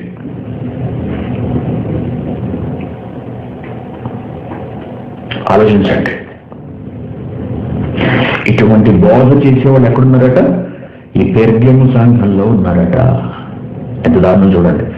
అంత విశ్వాసం ఉన్నారు కదండి సంఘంలో. మరణాన్ని కళ్ళారా చూసి కూడా విశ్వాసాన్ని కోల్పోకుండా బలీయంగా నిలబడినటువంటి విశ్వాస సమాజం కదండి. అటువంటి సంఘంలో సహితం ఎటువంటి వారు ఉన్నారట? నీకోలాయుతుల శరీర సంబంధమైన బోధను బోధను అనుసరించేవారు అనమాట అంటే దేవుడి కృపను దేనికి మార్చేస్తున్నారు వీళ్ళు? దేవుడి కృపను దేనికి మార్చేస్తున్నారు? దేనికి దుర్వినియోగపరుస్తున్నారట? కామాతురత్వానికి దుర్వినియోగపరుచు అదే కదన్నారు యోగా గారు అంతకుముందు పేజీలు చూడండి ఉండు చూడండి. కొందరు రహస్యముగా దొరబడి ఉన్నారు. నాలుగు వచ్చినాం వారు భక్తిహీనులై మన దేవుని కృప అనగా ఆయన మనకు ఉచితంగా ప్రసాదిస్తున్నటువంటి ఈ రక్షణ భాగ్యము ఈ క్షమాపణ ఏదైతే ఉన్నదో దాన్ని కామాతురత్వమునకు దుర్వినియోగపరచుచు. దేవుడు అనుగ్రహించే కృపను కామాతురత్వమునకు దుర్వినియోగం. ఏం పర్లేదు ప్రభువు నమ్ముకున్నావు కదా పాపం చేయి దేవుడు క్షమిస్తాడే ఆయన కృప చూపిస్తాడే ఏం కాదులే. అందుకే దేవుడు పిల్లరా సంఘములలో పాపాన్ని గురించిన హెచ్చరికలు ఉండాలి ప్రతి సంఘంలో కూడా. అనేక పాపాలు వచ్చి పడిపోతున్నాయి. కొత్త కొత్త తరహాలో కొత్త కొత్త విధానాలలో. ఒకనాడు సెల్ ఫోన్ లేదండి. ఒకనాడు సెల్ ఫోన్ లేదు. కంటితో చేసే పాపంలో శాతం చాలా తక్కువ ఉండేది. అని ఒక స్త్రీని మొహం చూపుతో కనపడితే చూసేవారంటే ఈరోజు అలా కాదు. తెచ్చుకుని మరీ చూస్తున్నారు ఫోన్లో. పాపాన్ని తెచ్చుకుని చూస్తున్నాం. ఒకనాడు ఇంత విచ్చలవిడిగా సినిమాలు లేవు విచ్చలవిడిగా పాటలు లేవు. కానీ నేడున్నాయి. కారణం టీవీలు వచ్చేసాయి ఫోన్స్ వచ్చేసాయి. పాపం విపరీతంగా పెరిగిపోతుంది. ఏ స్త్రీని చూసినా మోహపు చూపుతో చూసే స్థితికి దిగజారిపోయారు మనుషులందరూ కూడా. కామ వాంఛలు అధికమైపోయాయి. వయసు తారతమ్యం ఉండట్లేదు. వారి వరసలు మర్చిపోతున్నారు. చిన్న చిన్న పిల్లలు సహితము రేప్ చేసి చంపుతున్నారు. మనుషులలో ఇంత తీవ్రంగా కామవాంఛలు పెరిగిపోతున్నప్పుడు ప్రతి ఒక్కరూ దాడి తప్పిపోతున్నప్పుడు సంఘంలో వారు కూడా అలా ఉంటున్నప్పుడు సంఘాన్ని సంస్కరించుకోవద్దా సంఘాన్ని ప్రక్షాళన చేయొద్దా సంఘంలో ప్రతి ఒక్కరిని పరిశుద్ధంగా దేవుని ఎదుట నిలబెట్టొద్దా నిలవబెట్టాలి అంటే పాపాల గురించి బోధించాలి. పాపం విషయంలో జాగ్రత్తలు పడమని చెప్పాలి. పాపం ఏ రూపంలో దాడి చేస్తుందో దండయాత్ర చేస్తుందో వివరించి చెప్పగలగాలి. అలా లేదట. ఏం చేశారట? అంత గొప్ప సంఘంలో కూడా నిర్గమ లాంటి గొప్ప త్యాగభరిత త్యాగపూరితమైనటువంటి సంఘంలో కూడా నీకోలాయుతుల శరీర సంబంధమైన కామ సంబంధమైన బోధను ఒక పక్కన ప్రభు నమ్ముకున్నారు మరొక పక్కన శరీర కోరికను తెచ్చుకుంటున్నారు. నీలో ఉన్నారు పెర్గము నీలో ఉన్నారు కావున మారు మనసు పొందు నువ్వు. లేని ఎడల వార్నింగ్ ముందు ప్రశంసించాడు. తర్వాత లోపాలు ఎత్తి చూపిస్తున్నాడు. ఇప్పుడు సరిదిద్దుకోమంటున్నాడు. లేని ఎడల నేను నీ వచ్చి సరిదిద్దుకోమని చెప్పిన తర్వాత ఒకవేళ సరిదిద్దుకోకపోతే పద్ధతి మార్చుకోకపోతే పాపాన్ని విడిచిపెట్టకపోతే తప్పుడు బోధల వైపు మరలక సత్యమందు నువ్వు తిరుడవై నిలబడకపోతే నేను నీ ఎద్దుకు త్వరగా వచ్చి నా నోట నుండి వచ్చు ఖడ్గము చేత వీరితో యుద్ధం చేస్తాను యుద్ధం చేస్తాను. అంటే ఈ పాపము బోధ ఎక్కడి నుండి వస్తుందండి? ఒక వ్యక్తి నోటి మాట నుండే కదండి వస్తుంది? అటువంటి వారి బోధ ఖడ్గమై అనేకుల ఆత్మలను నాశనానికి నడిపిస్తోంది. కాబట్టి ప్రభు ఏమంటున్నాడు? నేను నీ త్వరగా వచ్చి నా నోట నుండి వచ్చు ఖడ్గము చేత వీరితో యుద్ధం చేస్తాను. దుష్టుడు మనుషులను ప్రేరేపించి పలికిస్తున్నటువంటి శరీర సంబంధమైన మాటలు వాక్యము రూపేణా ఉన్నటువంటి మాటలు క్రైస్తవ సమాజంలో జరుగుతున్నటువంటి తప్పుడు బోధ దాన్ని ఖండించడానికి నేనే ఖడ్గం వస్తాను. ఖడ్గము చేత వీరితో యుద్ధం చేసేదాను. కాబట్టి సంఘములతో ఆత్మ చెప్పుచున్న మాట చెబుగలవాడు వినును ఈ బోధను ఈ శరీర సంబంధమైన మాయను ఈ పాపమును జయించువానికి మరుగై ఉన్న మన్నాను భుజింపనిస్తున్న ఎవరైతే ఈ బోధలో ఉన్నారో ఎవరైతే ఈ బోధను అనుసరిస్తున్నారో వారు వాక్యాన్ని చేత పట్టుకుని తమ మనస్సును మార్చుకుని తిరిగి పాత స్థితిలోనికి వచ్చి వాక్యమందు నిలిచి తమ్మును తాము పరిశుద్ధపరుచుకుంటారు పవిత్రపరుచుకుంటారు. అటువంటి వారికి ఏం చేశాడట? మరుగై ఉన్న మన్నాను భుజింపనిత్తును మరియు అతనికి తెల్ల రాతిని ఇత్తును. ఆ రాతి మీద చెక్కబడిన ఒక కొత్త పేరును పొందిన వానికే గాని అది మరి ఎవరికి తెలియదు. అనగా మీ భవిష్యత్తును నేను మారుస్తాను అంటున్నాడు. మారుస్తాను అంటే శరీర సంబంధమైన బోధ వలన కలిగే పర్యవసానం ఎంత తీవ్రంగా ఉంటుందో మనం అందరం ఇక్కడ గమనించాలి. ఎంత స్థిరులమైనా ఎంత కథలని వారమైనా ప్రభువు ఎంత బలంగా విశ్వసించిన ఆ ప్రభు అనుగ్రహిస్తున్నటువంటి కృపను కామాతురత్వమునకు కనుక దుర్వినియోగపరిస్తే దేవుడు సహించడు దేవుడు విడిచిపెట్టడు. కాబట్టి ఏమంటున్నాడు? నాకు మనసు పొందు లేకపోతే నేను యుద్ధం చేయాల్సి ఉంటుంది అంటున్నాడు. నేను యుద్ధం చేస్తాను. నేను త్వరగా యుద్ధకు వచ్చి నా నోట నుండి వచ్చు ఖడ్గము చేత వీరితో యుద్ధం చేయాల్సి ఉంటుంది ఇటువంటి వారితో. కాబట్టి సంఘములతో ఆత్మ చెప్పుచున్న మాటలు చెవి గలవాడు వినుగాక చెవి గలవాడు వినుగాక అని జయించువానికి అనగా దీనంతటిని అధిగమించిన వానికి. జయించు వానికి మరుగయున్న మన్నాను భుజింపనిత్తును మరుగయున్న మన్నాను భుజింపనిత్తును. మరియు అతనికి తెల్ల రాతి మిత్తును అంటున్నాడు. ఆ రాతి మీద చెక్కబడిన ఒక క్రొత్త పేరు ఉంటుంది. పొందిన వానికే గాని అది మరి ఎవరికి తెలియదు. ఎవరైతే ఈ పరిస్థితిని చక్కదిద్దుకొని తమ బ్రతుకును మార్చుకుంటారో వారికి నేను ఇవ్వబోయే బహుమానం ఏంటంటే పరలోకము. దాని అంతటినీ తెలియపరచడానికి ఇక్కడ వాడుతున్నటువంటి ఉపమాన రూపక అలంకారంలో మరుగైన మన్నాను భుజింపనిత్తును ఒక కొత్త పేరు పెట్టబడను. అది పొందితేనే తప్ప మీకు లభించదు. దానిని పొందాలి అంటే వీటన్నిటినీ మీరు జయించాలి అధిగమించాలి అంటున్నాడు. కాబట్టి ప్రియమైన దేవుని పిల్లారా ఈ తరహా బోధ ఈ తరహా జీవితము మన సంఘంలో ఉన్నదా? శరీర క్రియలను పురికొల్పే బోధ పాపములను సమర్థించే బోధ పాప పాప జీవితాన్ని సంఘస్థుల పాప జీవితాన్ని సమర్థించే బోధ మన సంఘంలో ఉన్నదా? ఉంటే మనతో కూడా యుద్ధం చేస్తాడు ప్రభు. కేవలం పెర్గము మాత్రమే కాదు పెర్గముకు ఉన్నంతటి గొప్ప లక్షణాలు గొప్ప సహనము గొప్ప ఓర్పు మనకి ఇంకా రాలేదు కదండి. మనకి ఇంకా అంత భయంకరమైన శ్రమలేమి రాలేదు. ఉం? స్వర్ణ సంఘానికి వచ్చిన శ్రమలు రాలేదు. పెర్గములో చావులు కళ చూశారు వాళ్ళు. దేవుడు దేవుడు పని చేయడం వల్ల చావులు కళ చూశారు అంత భయంకరమైన స్థితి.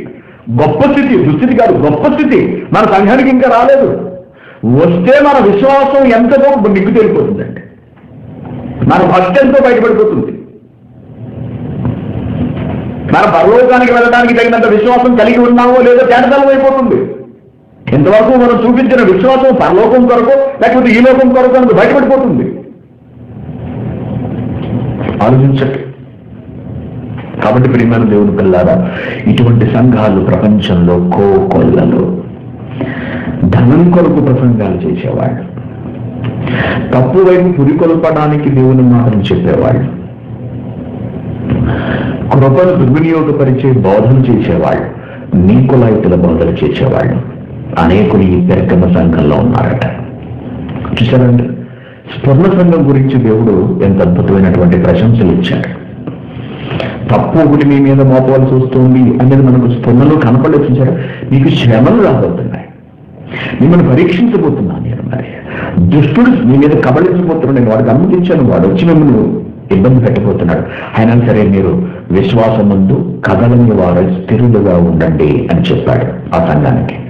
ఇక్కడికి వచ్చినప్పటికీ ఎఫ్సీల్ కన్నా ఎక్కువ నేరాలను వెళ్ళి మోపుతున్నాడంటే ఎఫ్సీల్ కన్నా ఎఫ్సీలు ఏం చేశారు? తొలి ప్రేమను విడిచిపెట్టారు. ప్రేమను మర్చిపోయారు ప్రేమను వదిలేశారు. తొలినాళ్ళలో దేవుడి పట్ల కనబడిచినటువంటి భక్తిని విడిచిపెట్టారు వాళ్ళు. కానీ ఇక్కడికి వచ్చినప్పటికీ వీళ్ళు ఏకంగా పాపాలు జరిగించే వాళ్ళే ఆ బోధను అనుసరించే వాళ్ళే ఈ పెరికెమ సంఘంలో ఉన్నారట. మందాట్లో కూడా ఎవరైనా వేరే బోధన అనుసరించే వాళ్ళు ఉన్నారా? అనగా పగలు ఇక్కడికి వస్తారు మన దగ్గరికి. రాత్రి అయ్యేటప్పుడు ఉపవాస ప్రార్థనలు పాల్గొంటారు వెళ్ళి ఆశీర్వాదాల కోసం. మార్నింగ్ క్లాస్కి వస్తారు. సాయంత్రం క్లాస్కి వేరే సంఘానికి వెళ్ళి అక్కడ అక్కడ ఇచ్చే ఆశీర్వాదాలు తీసుకుంటారు. అయితే స్వస్థత ప్రాప్తం చేసుకోవడానికి అక్కడికి వెళ్తారు. గొప్ప బాధకులు వచ్చేటండి ఇండియా నుంచి మాకు కాలు ఎప్పటి నుంచో నొప్పి తగ్గట్లేదని వెళ్ళి ప్రార్థన చేయించుకుంటాను. ఉదయం ఇక్కడికి వచ్చాడు వీడు. సాయంత్రం అక్కడికి వెళ్ళిపోతాడు. ఆ సంఘంలో ఉన్న వాళ్ళకి బాగుందంటండి. అయ్యగారు ప్రార్థన వల్ల అందరూ ఆశీర్వదింపబడుతున్నారట. ఆ సంఘానికి కూడా వెళదామని. కొందరు ఇక్కడికి వచ్చి వాక్యాన్ని వింటూ ఈ బోధలో ఉంటూ శరీర సంబంధమైన బోధ వైపు వెళ్తూ ఉంటారు. లేక సంఘమునకు వచ్చి వాక్యాన్ని వింటూ శరీర క్రియలకు లోబడిపోతూ ఉంటారు. అనగా పాపమునకు అమ్ముడుపోతూ ఉంటారు. లేక పాపం చేస్తూ సంఘమునకు వచ్చి మారు మనస్సు పొందక పాపంలోనే బంధింపబడి ఉంటాయి. సంఘమునకు వచ్చి వాక్యాన్ని వింటూ విశ్వాసంలో బలపడుతూ విశ్వాసంలో బలపడుతూ జ్ఞానంలో బలపడుతూ తిరిగి వెళ్ళి పాపం చేస్తూ ఉంటారు మారు మనసు ఉండదు. పశ్చాత్తాపం ఉండదు. తమను తాము పరిశీలించుకోవడం ఉండదు. తప్పు చేస్తున్నావు అనే భయం ఉండదు. తొలగిపోతుంది హృదయం నుంచి భయం పోతుంది. నీకోలాయుతుల బోధ వైపు వెళ్ళిపోయిన వాళ్ళు అన్నమాట కాబట్టి ప్రియమైన దేవుని పిల్లారా ఒకవేళ మన సంఘం అలా ఉంటే దేవుడు మనల్ని విడిచిపెట్టడు. మనల్ని విడిచిపెట్టడు. ఆ వ్యక్తిని సంఘంలో ఉండకుండా చేస్తాడు. ఆ వ్యక్తి నుండి సంఘాన్ని తీసివేస్తాడు. సంఘం దేవుడిచ్చిన ఒక గొప్ప వరం అండి. గొప్ప భాగ్యం సంఘం అంటే ఏమనుకుంటున్నారు? భాగ్యం. మనలను తన దగ్గరకు చేర్చుకోవడానికి దేవుడు ప్రపంచానికి పరిచయం చేసిన లేక ప్రపంచంలో స్థాపించిన ఒక గొప్ప వ్యవస్థ సంఘం అంటే. సంఘం నుండి వచ్చినటువంటి ఆజ్ఞల ద్వారా సూచనల ద్వారా బోధ ద్వారా ప్రతి భక్తుడు ప్రతి విశ్వాసి ఎప్పటికప్పుడు తన భక్తి జీవితాన్ని సరిదిద్దుకుంటుంది. అభివృద్ధి పరుచుకుంటూ నానాటికి ఉన్నత స్థితిలోనికి వెళ్ళి అంతిమంగా ప్రభు అంతటి వాడై ప్రభు స్థాయికి చేరుకుని పరిపూర్ణుడై దేవుడున్న చోటుకు వెళ్ళడానికి ఉపయోగపడేది సంఘం అంటే. ఒక వ్యక్తిని ఒక ఒక ఒక క్రైస్తవుని పరిపూర్ణుడిగా చేసి నిలువబెట్టేది సంఘం అంటే. సంఘంలోకి మనం రావటం సంఘంలో చేర్చబడటం అది దేవుడు ప్రసాదించిన మహాభాగ్యం. దాన్ని నిలబెట్టుకోవాలి మనం. అర్థమైందండి దానిని మనం కాపాడుకోవాలి ఎల్లప్పుడూ కూడా. అంతే తప్పించి దేవుడిచ్చిన ఆ వరాన్ని మనం పోగొట్టుకుని సంఘాన్ని విడిచిపెట్టి వెళ్ళిపోవడం. లేకపోతే సంఘంలో ఉంటూ కూడా సంఘానికి వ్యతిరేకంగా పనిచేయటం. సంఘాన్ని పాడు చేసే సంఘాన్ని కూల్చే పనులు చేయటం. లేక సంఘంలో ఉంటూ కూడా వాక్యాన్ని వింటూ కూడా శరీర సంబంధమైన కార్యకలాపాలకు లొంగిపోవడం. లొంగిపోవడం. వాటిని అధిగమించలేకపోవడం వాటిని జయించలేకపోవడం ఇవన్నీ కూడా దేవుడు నచ్చనివి సంఘములు మనకు దూరం చేసేవి. కనుక దేవుడిచ్చిన భాగ్యం పోతుంది మనకు. నీ నుండి దీపస్తంభమును తీసివేస్తున్నాడు కదండి. రెండవ అధ్యాయంలో ఐదవ వచ్చిన ఏమన్నాడు చూడండి. ఎల్సి ఎల్సి గురించి మాట్లాడితే ఏమన్నాడు? ఇటు చేసి నీవు ఏ స్థితిలో నుండి పడితేవో అది జ్ఞాపకం చేసుకుని మారు మనసు పొందు. అది వచ్చిన ఆ మొదటి క్రియలను మరల చెయ్యి అట్లా చేసి నీవు మారు మనస్సు పొందితివా సరి? లేని ఎడల. నేను ఎందుకు వచ్చి నీ దీపస్తంభం దీపస్తంభం అంటే ఏమిటి? సంఘం.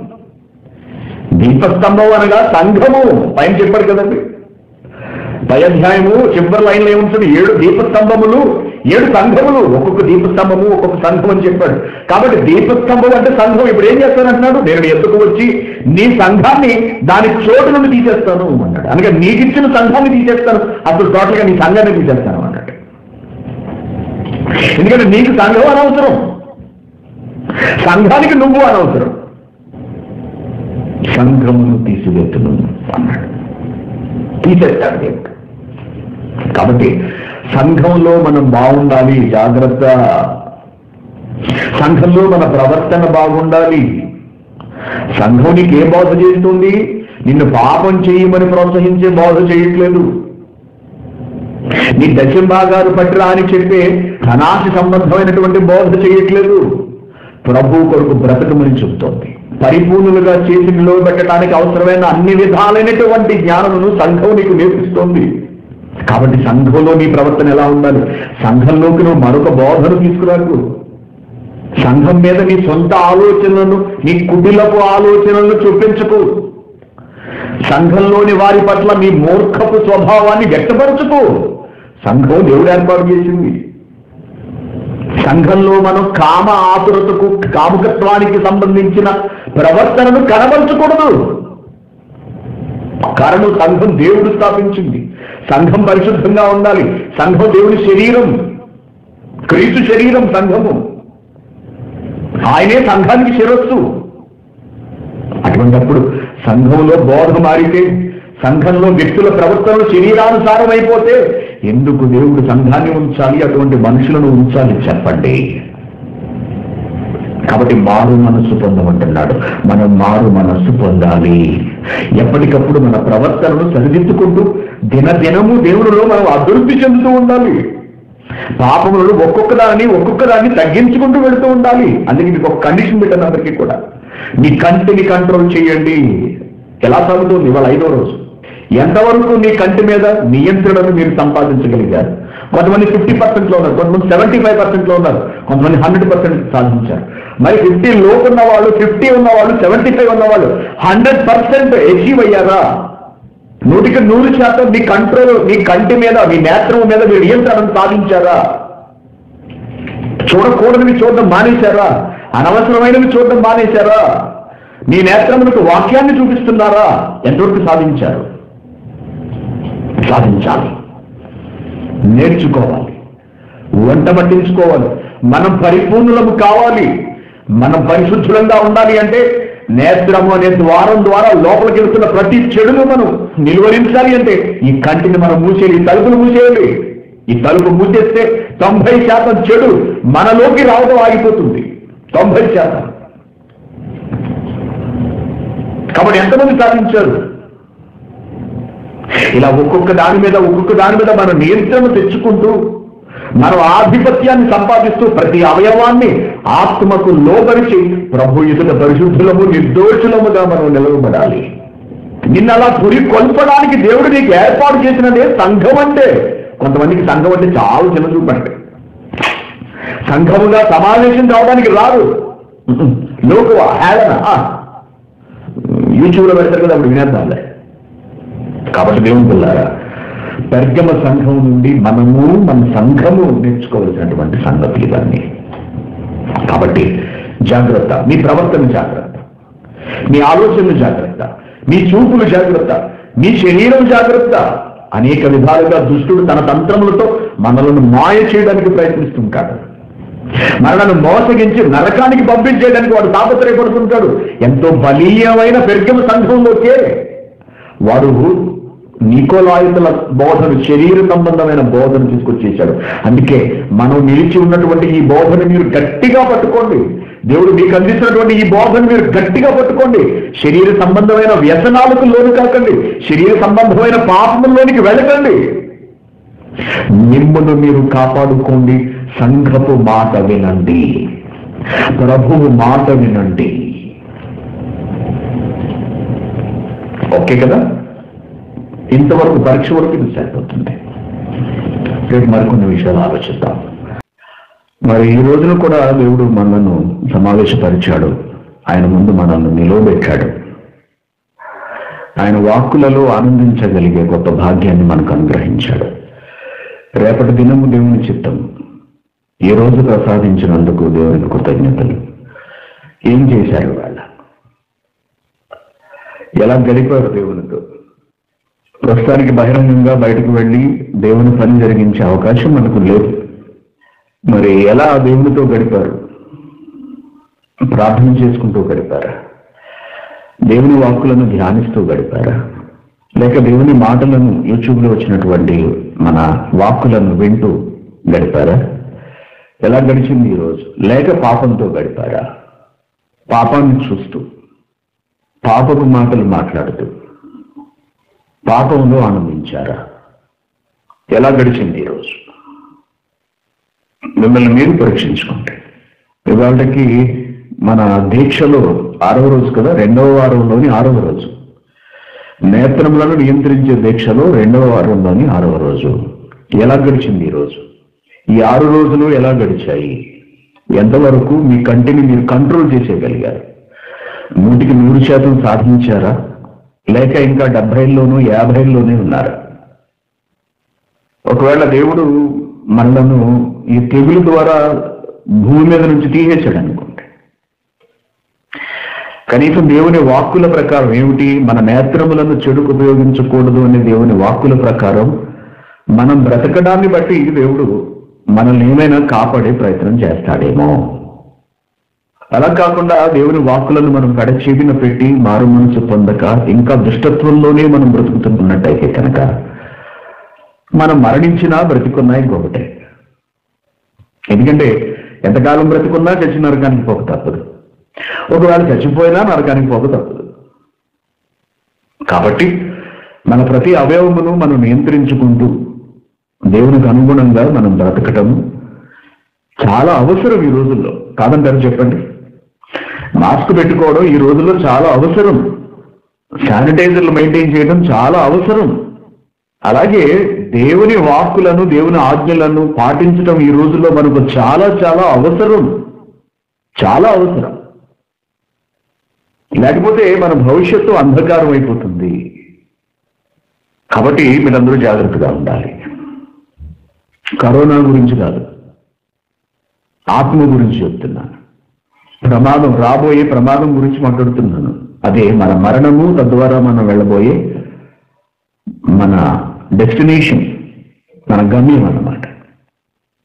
నిత్యాజ్ఞ నుండి తప్పించుకోవడానికి జాగ్రత్తలు తీసుకోవాలి. నిత్య జీవానికి చేరుకోవడానికి జాగ్రత్తలు తీసుకోవాలి తప్పదు. అందుకే మనం అందరూ ఇలా సమావేశమైంది. లేకపోతే ఎందుకు చెప్పండి మీరందరూ గబగబా మీ పనులని ముగించుకుని రావడం వ్యర్థం కదా ఇదంతా కూడా. వెరీ గుడ్ ఏం చెప్పుకుంటున్నాం మనము?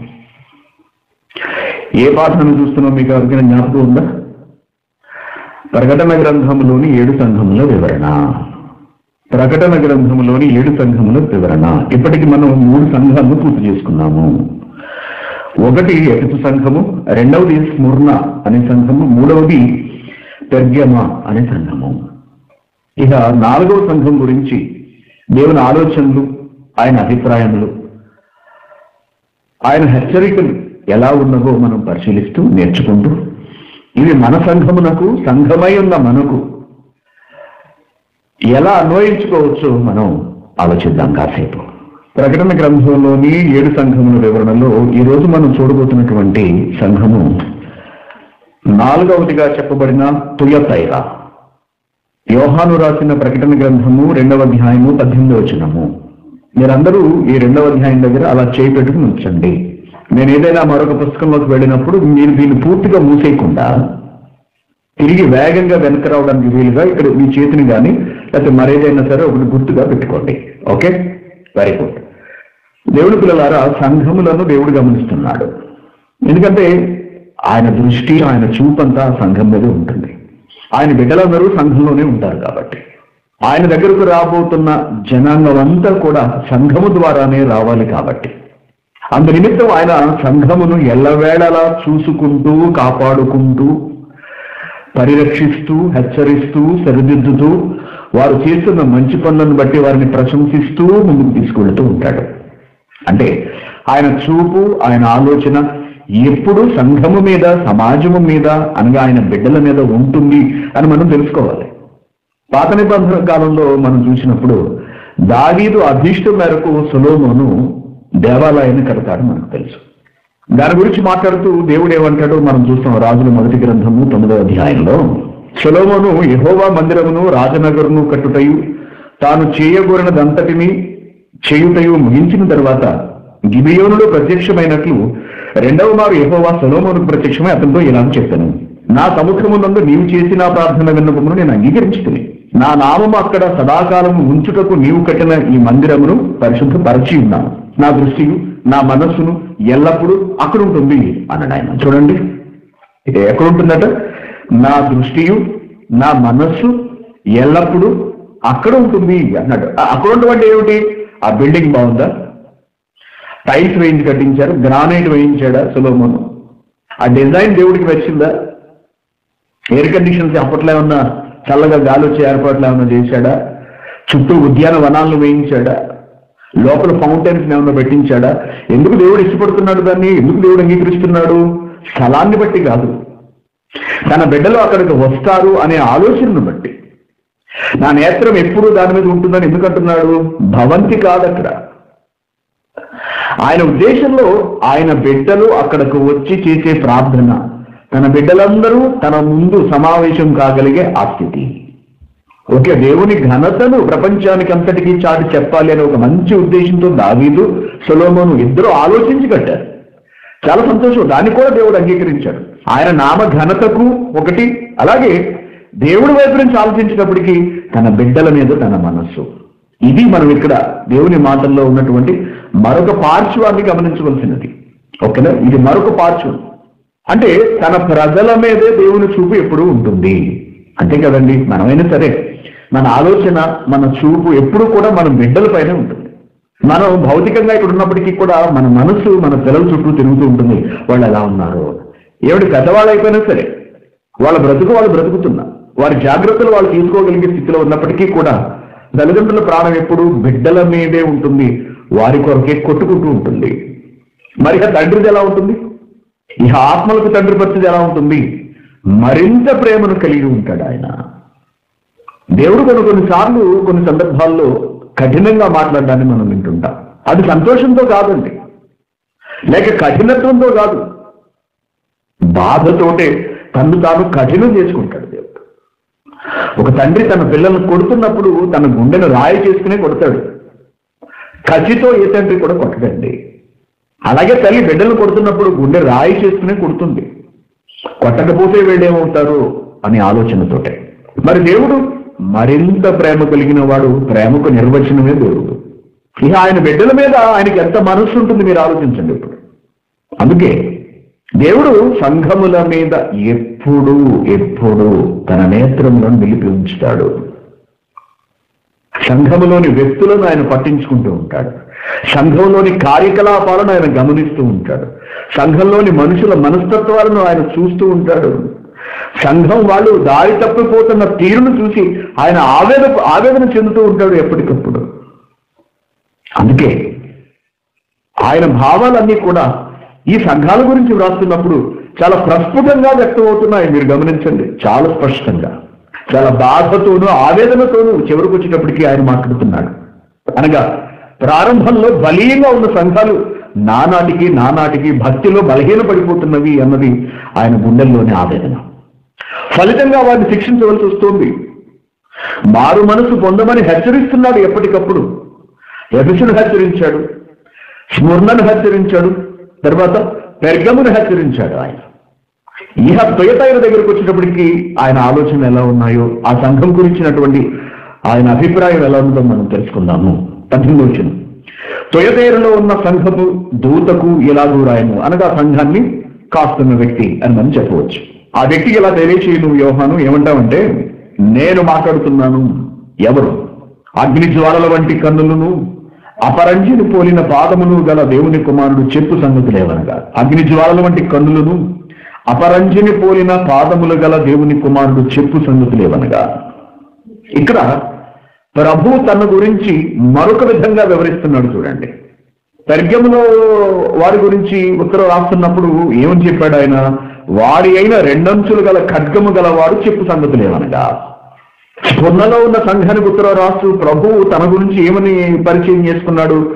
మొదటివాడును కడపటివాడునై ఉండి మృతుడునై మరలా బ్రతికినవాడు మృతుడై మరలా బ్రతికినవాడు చెప్పు సంగతులు అంటున్నాడు. ఎబిసి దగ్గరకు వచ్చేటప్పటికి ఏడు నక్షత్రములు తన కుడి చేత పట్టుకుని ఏడు దీపస్తంభముల మధ్య సంచరించేవాడు చెప్పు సంగతులేమనగా? అనగా ప్రభువులో ఉన్నటువంటి వైవిధ్యమైన లక్షణాలు. ఆయన గుణగణాలు ఆయన ఔన్నత్యము ఒక్కొక్క సంఘమునకు ఒక్కొక్క విధంగా అనగా వారి వారి పరిస్థితులను బట్టి ఆయన తెలియజేస్తున్నాడు అని మనం ఇక్కడ నేర్చుకోవాలి. ఇప్పుడు తుయతైరు గురించి మాట్లాడుతూ తన్ను తాను ఎలా చెబుతున్నారంటే ఆయన అగ్నిజ్వాలల వంటి కన్నులు. అన్నాడు. అంటే కళ్ళు ఎర్రబారాయనమాట. చింతనిప్పులు అంట చూసారా అండి? నేత్రములు అగ్ని జ్వాలలు అయ్యాయన్నమాట. మన నేత్రములు అగ్ని జ్వాలలు ఎప్పుడవుతాయండి? మన చూపు ఎప్పుడు మారిపోతుంది? ఎదటి వారి కన్నులను బట్టే మన ప్రవర్తనను మనం సరి చేసేసుకుంటుంటాము నానింట్లోకి వచ్చాడు. రావడం రావటం సీరియస్గా మొహం పెట్టొచ్చాడు అనుకోండి.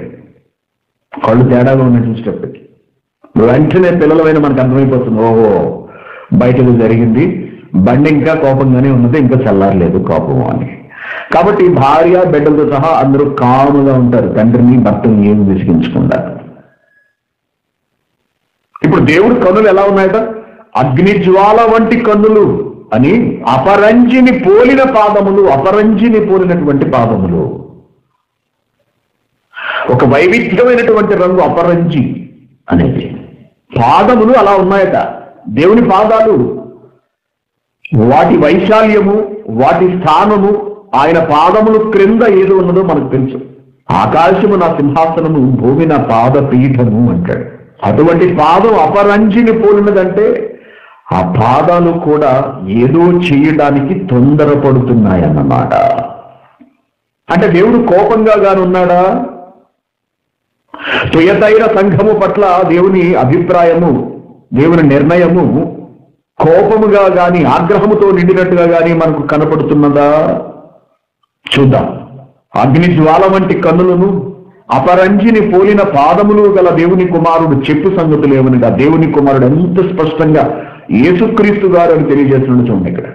ఆ, నీ క్రియలు తుయతైరా నీ క్రియలను సంఘము సంఘం అంటే గోడలు కాదు సంఘం అంటే చర్చి కాదు సంఘంలోని సభ్యులు. అర్థమవుతుంది కదండి? సంఘంలోని సభ్యులు సమాజము ఆయన బిడ్డలు ఆయన ప్రజలు వారి ప్రవర్తన మాట్లాడుతున్నాడు. నీ క్రియలు నీ ప్రేమ నీ విశ్వాసము నీ పరిచర్య నీ సహనము నాకు తెలుసు. నేను ఎరుగుతున్నాను. చాలా ఉదాత్త లక్షణాలు ఈ తుయతైర సంఘము కనబరిచినట్టుగా మనకి ఇక్కడ తెలుస్తుంది. ఒక సంఘము ఒక విషయంలో కాదు గొప్పగా ఉండటం అనేక విషయాల్లో గొప్పగా ఉంటున్నదట. అనగా సంఘంలోని సభ్యులు. ఏమిటట? తుయతైర క్రియలు బాగున్నాయి. తుయతైర కనబరిచినటువంటి ప్రేమ బాగుంది. తుయతైర కలిగి ఉన్నటువంటి విశ్వాసము బాగుంది. ఆ సంఘము చేసినటువంటి పరిచర్య బాగుంది. అంతేకాదు ఆ సంఘము కనబరిచిన సహనం కూడా బాగుంది. ఇవన్నీ నాకు తెలుసు.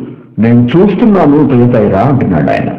ఇంకా ఏమంటున్నాడంటే నీ మొదటి క్రియల కన్నా నీ కడపటి క్రియలు మరి ఎక్కువైనవని ఎరుగుతున్నావు అంటున్నాడు. నీ మొదటి క్రియల కన్నా నీ కడపటి క్రియలు ఇంకా అభివృద్ధి చెందిపోయాయి అంటున్నాడు. అయినను ఇంతవరకు ప్రశంసించిన దేవుడు?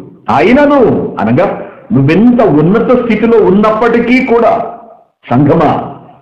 సంఘంలోని ప్రజలారా అయినను నీ మీద తప్పు ఒకటి నేను మోపవలసి ఉన్నది. ఏమనగా తాను ప్రవక్త్రినని చెప్పుకొనుచున్న యజబెలను స్త్రీని నువ్వు ఉండనిచ్చుచున్నావు తాను ప్రవక్త్రిని అని చెప్పుకొనుచున్న యజబెలు యజబెలను స్త్రీను నీవు ఉండనిచ్చుచున్నావు జారత్వము చేయుటకును విగ్రహములకు బలి ఇచ్చిన వాటిని తినుటకును అది నా దాసులకు బోధించుచు వారిని మోసపరుచుచున్నది అంటున్నాడు. బోధ బోధ. విభిన్న మనస్తత్వాలు కలిగిన వారికి నిలయముగా ఉండేటటువంటి సంఘములో కొందరి బోధ. ప్రతి సంఘమునకు నాయకుడు ఉన్నాడు అనగా దూతున్నాడు అనగా కాపరి ఉన్నాడు. ఆ కాపరిని ఉద్దేశిస్తూ ప్రభువు మాట్లాడుతున్నాడు. అలా మాట్లాడుతూ ఆ సంఘంలో వేరే వేరే మనస్తత్వాలు కలిగిన మనుషులు కూడా ఉన్నారు గమనించండి అంటున్నాడు. దూతం చెబుతున్నాడు అనగా కాపరికి చెబుతున్నాడు ఈ సంగతిని. తుయతైన సంఘ కాపరి. నీ సంఘంలో తేడాగాళ్ళు కూడా ఉన్నారు. దుష్టులైన స్త్రీలు కూడా ఉన్నారు. వారు ఎటువంటి వారో తెలుసా? యజబెలు వంటి వారు అంటున్నాడు యజబెలు వంటి వారు. వారిని ఉండనిస్తున్నావు. వాళ్ళు ఎటువంటి వాళ్ళంటే జారత్వము చేయుటకును విగ్రహములకు బలి ఇచ్చిన వాటిని తినుటకును అది నా దాసులకు బోధించుచు ఒక స్త్రీ అట ఇటువంటి పని చేస్తుందట. నా దాసులకు బోధించుచు వారిని మోసపరుచుచున్నది. మారు మనస్సు పొందుటకు నేను దానికి సమయం ఇచ్చితిని గాని అది తన జారత్వమును విడిచిపెట్టి మారు మనస్సు పొంద నొల్లదు అంటున్నాడు. నేను అప్పుడే లేదెద్దుడు కానీ ఆగాను. మారు మనస్సు పొందడానికి టైం ఇచ్చాను. అయినప్పటికీ కూడా మారు మనస్సు పొంద నొల్లక తన జారత్వమును విడిచిపెట్టక లేకపోతుంది పెట్ట నొల్లకపోతుంది. కాబట్టి ఇదిగో నేను దానిని మంచం పట్టించి దానితో కూడా వ్యభిచరించు వారు దాని క్రియల విషయమై మారు మనసు పొందితేనే గాని వారిని బహుశ్రమల పాలు చేతును. దాని పిల్లలను నిశ్చయముగా చంపెదను అంటున్నాడు. అందువలన అంతరింద్రియములను హృదయమును పరీక్షించువాడను నేనే అని సంఘములన్నీ తెలుసుకున్నదని చూసారా అండి? ఒక్క తుయతైరకిది మనకు కాదని మనం అనుకుంటున్నాం. ఇక్కడ ఏమంటున్నాడు? అంతరింద్రియములను హృదయములను పరీక్షించువాడను నేనే అని సంఘములు అన్ని టోటల్ సంఘాలు ఈ ప్రపంచంలో ఎన్నుంటే అన్ని తెలుసుకోవాలి. మరియు మీలో ప్రతి వానికి వాని వాని క్రియల చొప్పున ప్రతిఫలం ఇచ్చేదను. అయితే తుయతైరలో కడమవారైన మీతో అనగా ఈ బోధను అంగీకరింపక సాతాను యొక్క గూఢమైన సంగతులను ఎరుగమని చెప్పుకుని వారందరితో నేను చెప్పుచున్నదేమనగా నీ పైని ఏ భారమును పెట్టను? భరోసా ఇస్తున్నదండి మళ్ళీ ఆదరణ కలిగిస్తున్నాడు వారికి. వారిని తేలికపరుస్తున్నాడు మీ పైని మరి ఏ భారమును పెట్టను? నేను వచ్చే వరకు మీకు కలిగి ఉన్న దానిని మాత్రము గట్టిగా పట్టుకోండి అన్నాడు.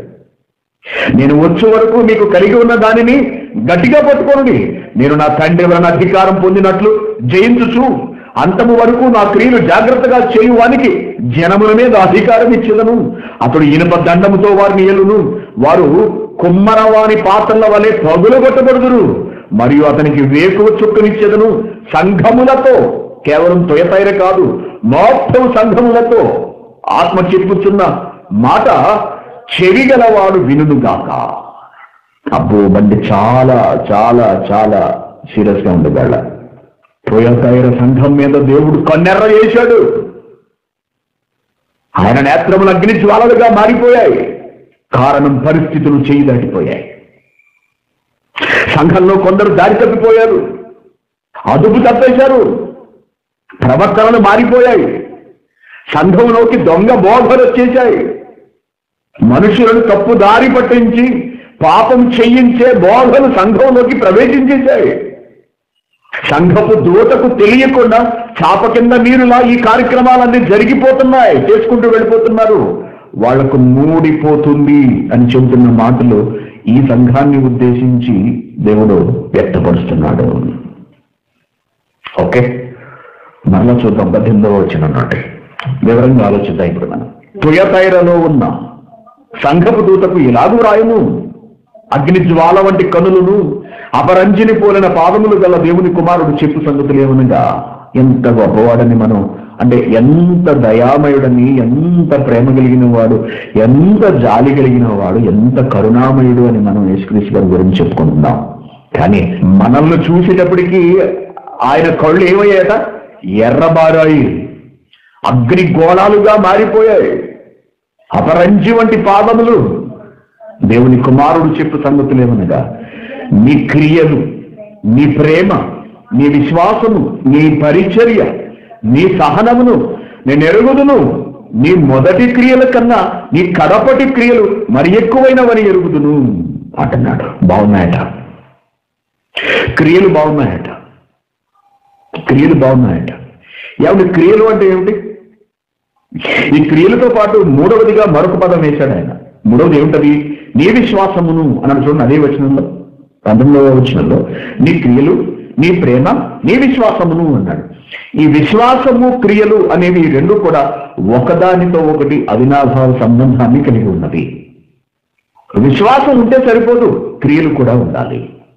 కేవలం క్రియలు చేసేస్తేనే సరిపోదు విశ్వాసముతో చేయాలి. కాబట్టి ఇవి ఒకదానికొకటి ముడిపడి ఉంటాయి. సంఘములకు విశ్వాసము ప్రధానము. చూసారండి ప్రతి సంఘం గురించి ఆయన మాట్లాడుతూ పెడుతున్నప్పుడు నీలో విశ్వాసము పరిమాణము ఎలా ఉన్నది? ఫలానా సంఘము విశ్వాసంలో బలహీనంగా ఉన్నది. నీ విశ్వాసం బాగున్నది అని చెప్తున్నాడు. లేక నువ్వు విశ్వాసాన్ని తుదవరకు చేపట్టు అని హెచ్చరిస్తున్నాడు. అనగా విశ్వాసంలో బలహీనపడే అవకాశాలు ఉంటాయా అంటే ఉంటాయి. విశ్వాసంలో బలహీనపడడానికి అసలు విశ్వాసం అంటే ఏమిటి? విశ్వాసం అనగా నిరీక్షింపబడు వాటి యొక్క నిజ స్వరూపము అనే సంగతి మనకు తెలుసు. అంతేకాకుండా అదృశ్యమైనవి ఉన్నవి అనుటకు రుజువు రుజువు రుజువు. నిత్య జీవాన్ని దేవుడిస్తా అన్నాడు. ఏమిటి రుజువు? ఏమిటి రుజువు? ఏమిటి రుజువు? అప్పుడు ఏసుక్రీస్తు ఇప్పుడు నువ్వే రుజువు కావాలి ప్రపంచానికి. అర్థమైందా? అప్పుడు క్రీస్తున్నారు. అప్పటి నుండి ఇప్పటి వరకు క్రీస్తున్నారు. అప్పుడు క్రీస్తు భౌతికంగా ఉన్నారు. ఇప్పుడు ఆయన భౌతికంగా లేడు. ఆయన తిరిగి లేవడం ఎవరు చూడలేదు. అని ఇప్పుడు మనం చూడలేదు. వాళ్ళు తప్ప. మరి ఇప్పుడు అదృశ్యమైనవి ఉన్నవి అని ఈ ప్రపంచం ఎలా నమ్మాలి? ఆయనను విశ్వసించిన వాళ్ళు బ్రతుకుతున్న బ్రతుకును బట్టి నమ్మాలి. అనగా మన జీవితాన్ని బట్టి ప్రపంచమంతా ప్రభువును విశ్వసించగలగాలి మన బ్రతుకును బట్టి మన నమ్మకాన్ని బట్టి మన నమ్మకాన్ని బట్టి మనం కనబరుచున్నటువంటి విశ్వాసాన్ని బట్టి ఆ విశ్వాసంతో చేస్తున్న క్రియలను బట్టి ఈ ప్రపంచం ప్రభువును విశ్వసించాలి. ఆ స్థాయి విశ్వాసం మనం కనబరచగలగాలి అది ప్రభు కోరుకుంటుంది. నిరీక్షింపబడి వాడి యొక్క నిజస్వరూపం అనగా ఆ ప్రభువుని నమ్మేసుకున్నాం ఆ నమ్మేసి ఎదురు చూస్తున్నాము. పర్లాగా పడిపోతానే మనం చేస్తే. అని మనం ఏదో మన బ్రతుకు మనం బ్రతకడం కాదు. ఈ రోజు ఒక పని మనం చేస్తున్నావు అంటే దేనిని ఆశించి? పరలోకాన్ని ఆశించి నిత్య జీవాన్ని ఆశించి. అది ప్రపంచానికి ఎలా తెలుస్తుంది? మనం చేస్తున్న పనిని బట్టే తెలుస్తుంది. మన త్యాగములను బట్టి తెలుస్తుంది. మన నీతిని బట్టి తెలియాలి. అదృశ్యమైనది ఉన్నది. వీళ్ళంత బలంగా దేవుని పని ఎలా జరిగించగలుగుతున్నారు? ఎందుకు జరిగించగలుగుతున్నారు? పనిని జరిగించడం కొరకు ఇంత గొప్ప గొప్ప త్యాగాలను వీళ్ళు ఎలా చేయగలుగుతున్నారు వీళ్ళు ఎందుకు తమ స్వార్థాన్ని చూసుకోవట్లేదు అని సభ్య సమాజం మనలను గమనించి నేర్చుకోవాలి. మనల్ని చూడడం ద్వారా ఆ ప్రభువును చూడాలి. మనలను గమనించడం ద్వారా పరలోకాన్ని చూడాలి. అంటే మన క్రియల ద్వారా మనం చూపించాలి. మన క్రియలు మన విశ్వాసాన్ని బహిర్గతపరుస్తూ ఉండాలి ఎప్పటికప్పుడు. అర్థమైందండి అది విశ్వాసం అంటే అంతేగాని ప్రభుని నమ్మేసుకుని ఏదో ఆ, చర్చకు వచ్చేసి రొట్టె ద్రాక్షరసం వేసుకుని మళ్ళీ వారానికి ప్రత్యక్షం అవుతాను నేను మళ్ళీ నెలకు ప్రత్యక్షం అవుతాను లేకపోతే రొట్టె ద్రాక్షరసం ఎప్పుడు ఇస్తారు చెప్పండి మేము అప్పుడే చేస్తాం ఇది కాదండి. అది కాదు భక్తి.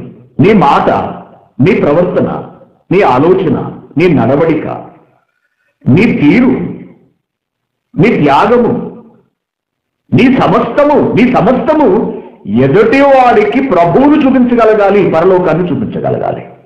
అప్పుడు మనం విశ్వాసులమైనట్టు లెక్క. మన ప్రవర్తనే ఆటోమేటిక్గా ఎదుటి వారికి క్రీస్తుని గురించి బోధించేస్తూ ఉంటుంది. మన ప్రవర్తన. ఉందా అది? అటువంటి ప్రవర్తన ఉందా? కేవలం విశ్వాసం ఉందా? విశ్వాసమునకు క్రియలు తోడయ్యాయా? విశ్వాసమునకు క్రియలు తోడయ్యాయా? తోడు కాకపోతే వ్యర్థము. ఆ విశ్వాసము వ్యర్థము. కొంతమందిలో విశ్వాసము మాత్రమే ఉంటుంది. మరికొంతమందిలో క్రియలు మాత్రమే ఉంటాయి. అంటే క్రియలు జరిగిస్తూ ఉంటారు కానీ ఏదో మొక్కుబడిగా చేసుకుంటూ వెళ్ళిపోతుంటారు అంతే. అది విశ్వాసంతో జరిగించేది కాదు. లోకానికి భయపడి లేకపోతే సంఘానికి భయపడి లేకపోతే సంఘంలో నాకు భయపడు. నా నోటికి భయపడు.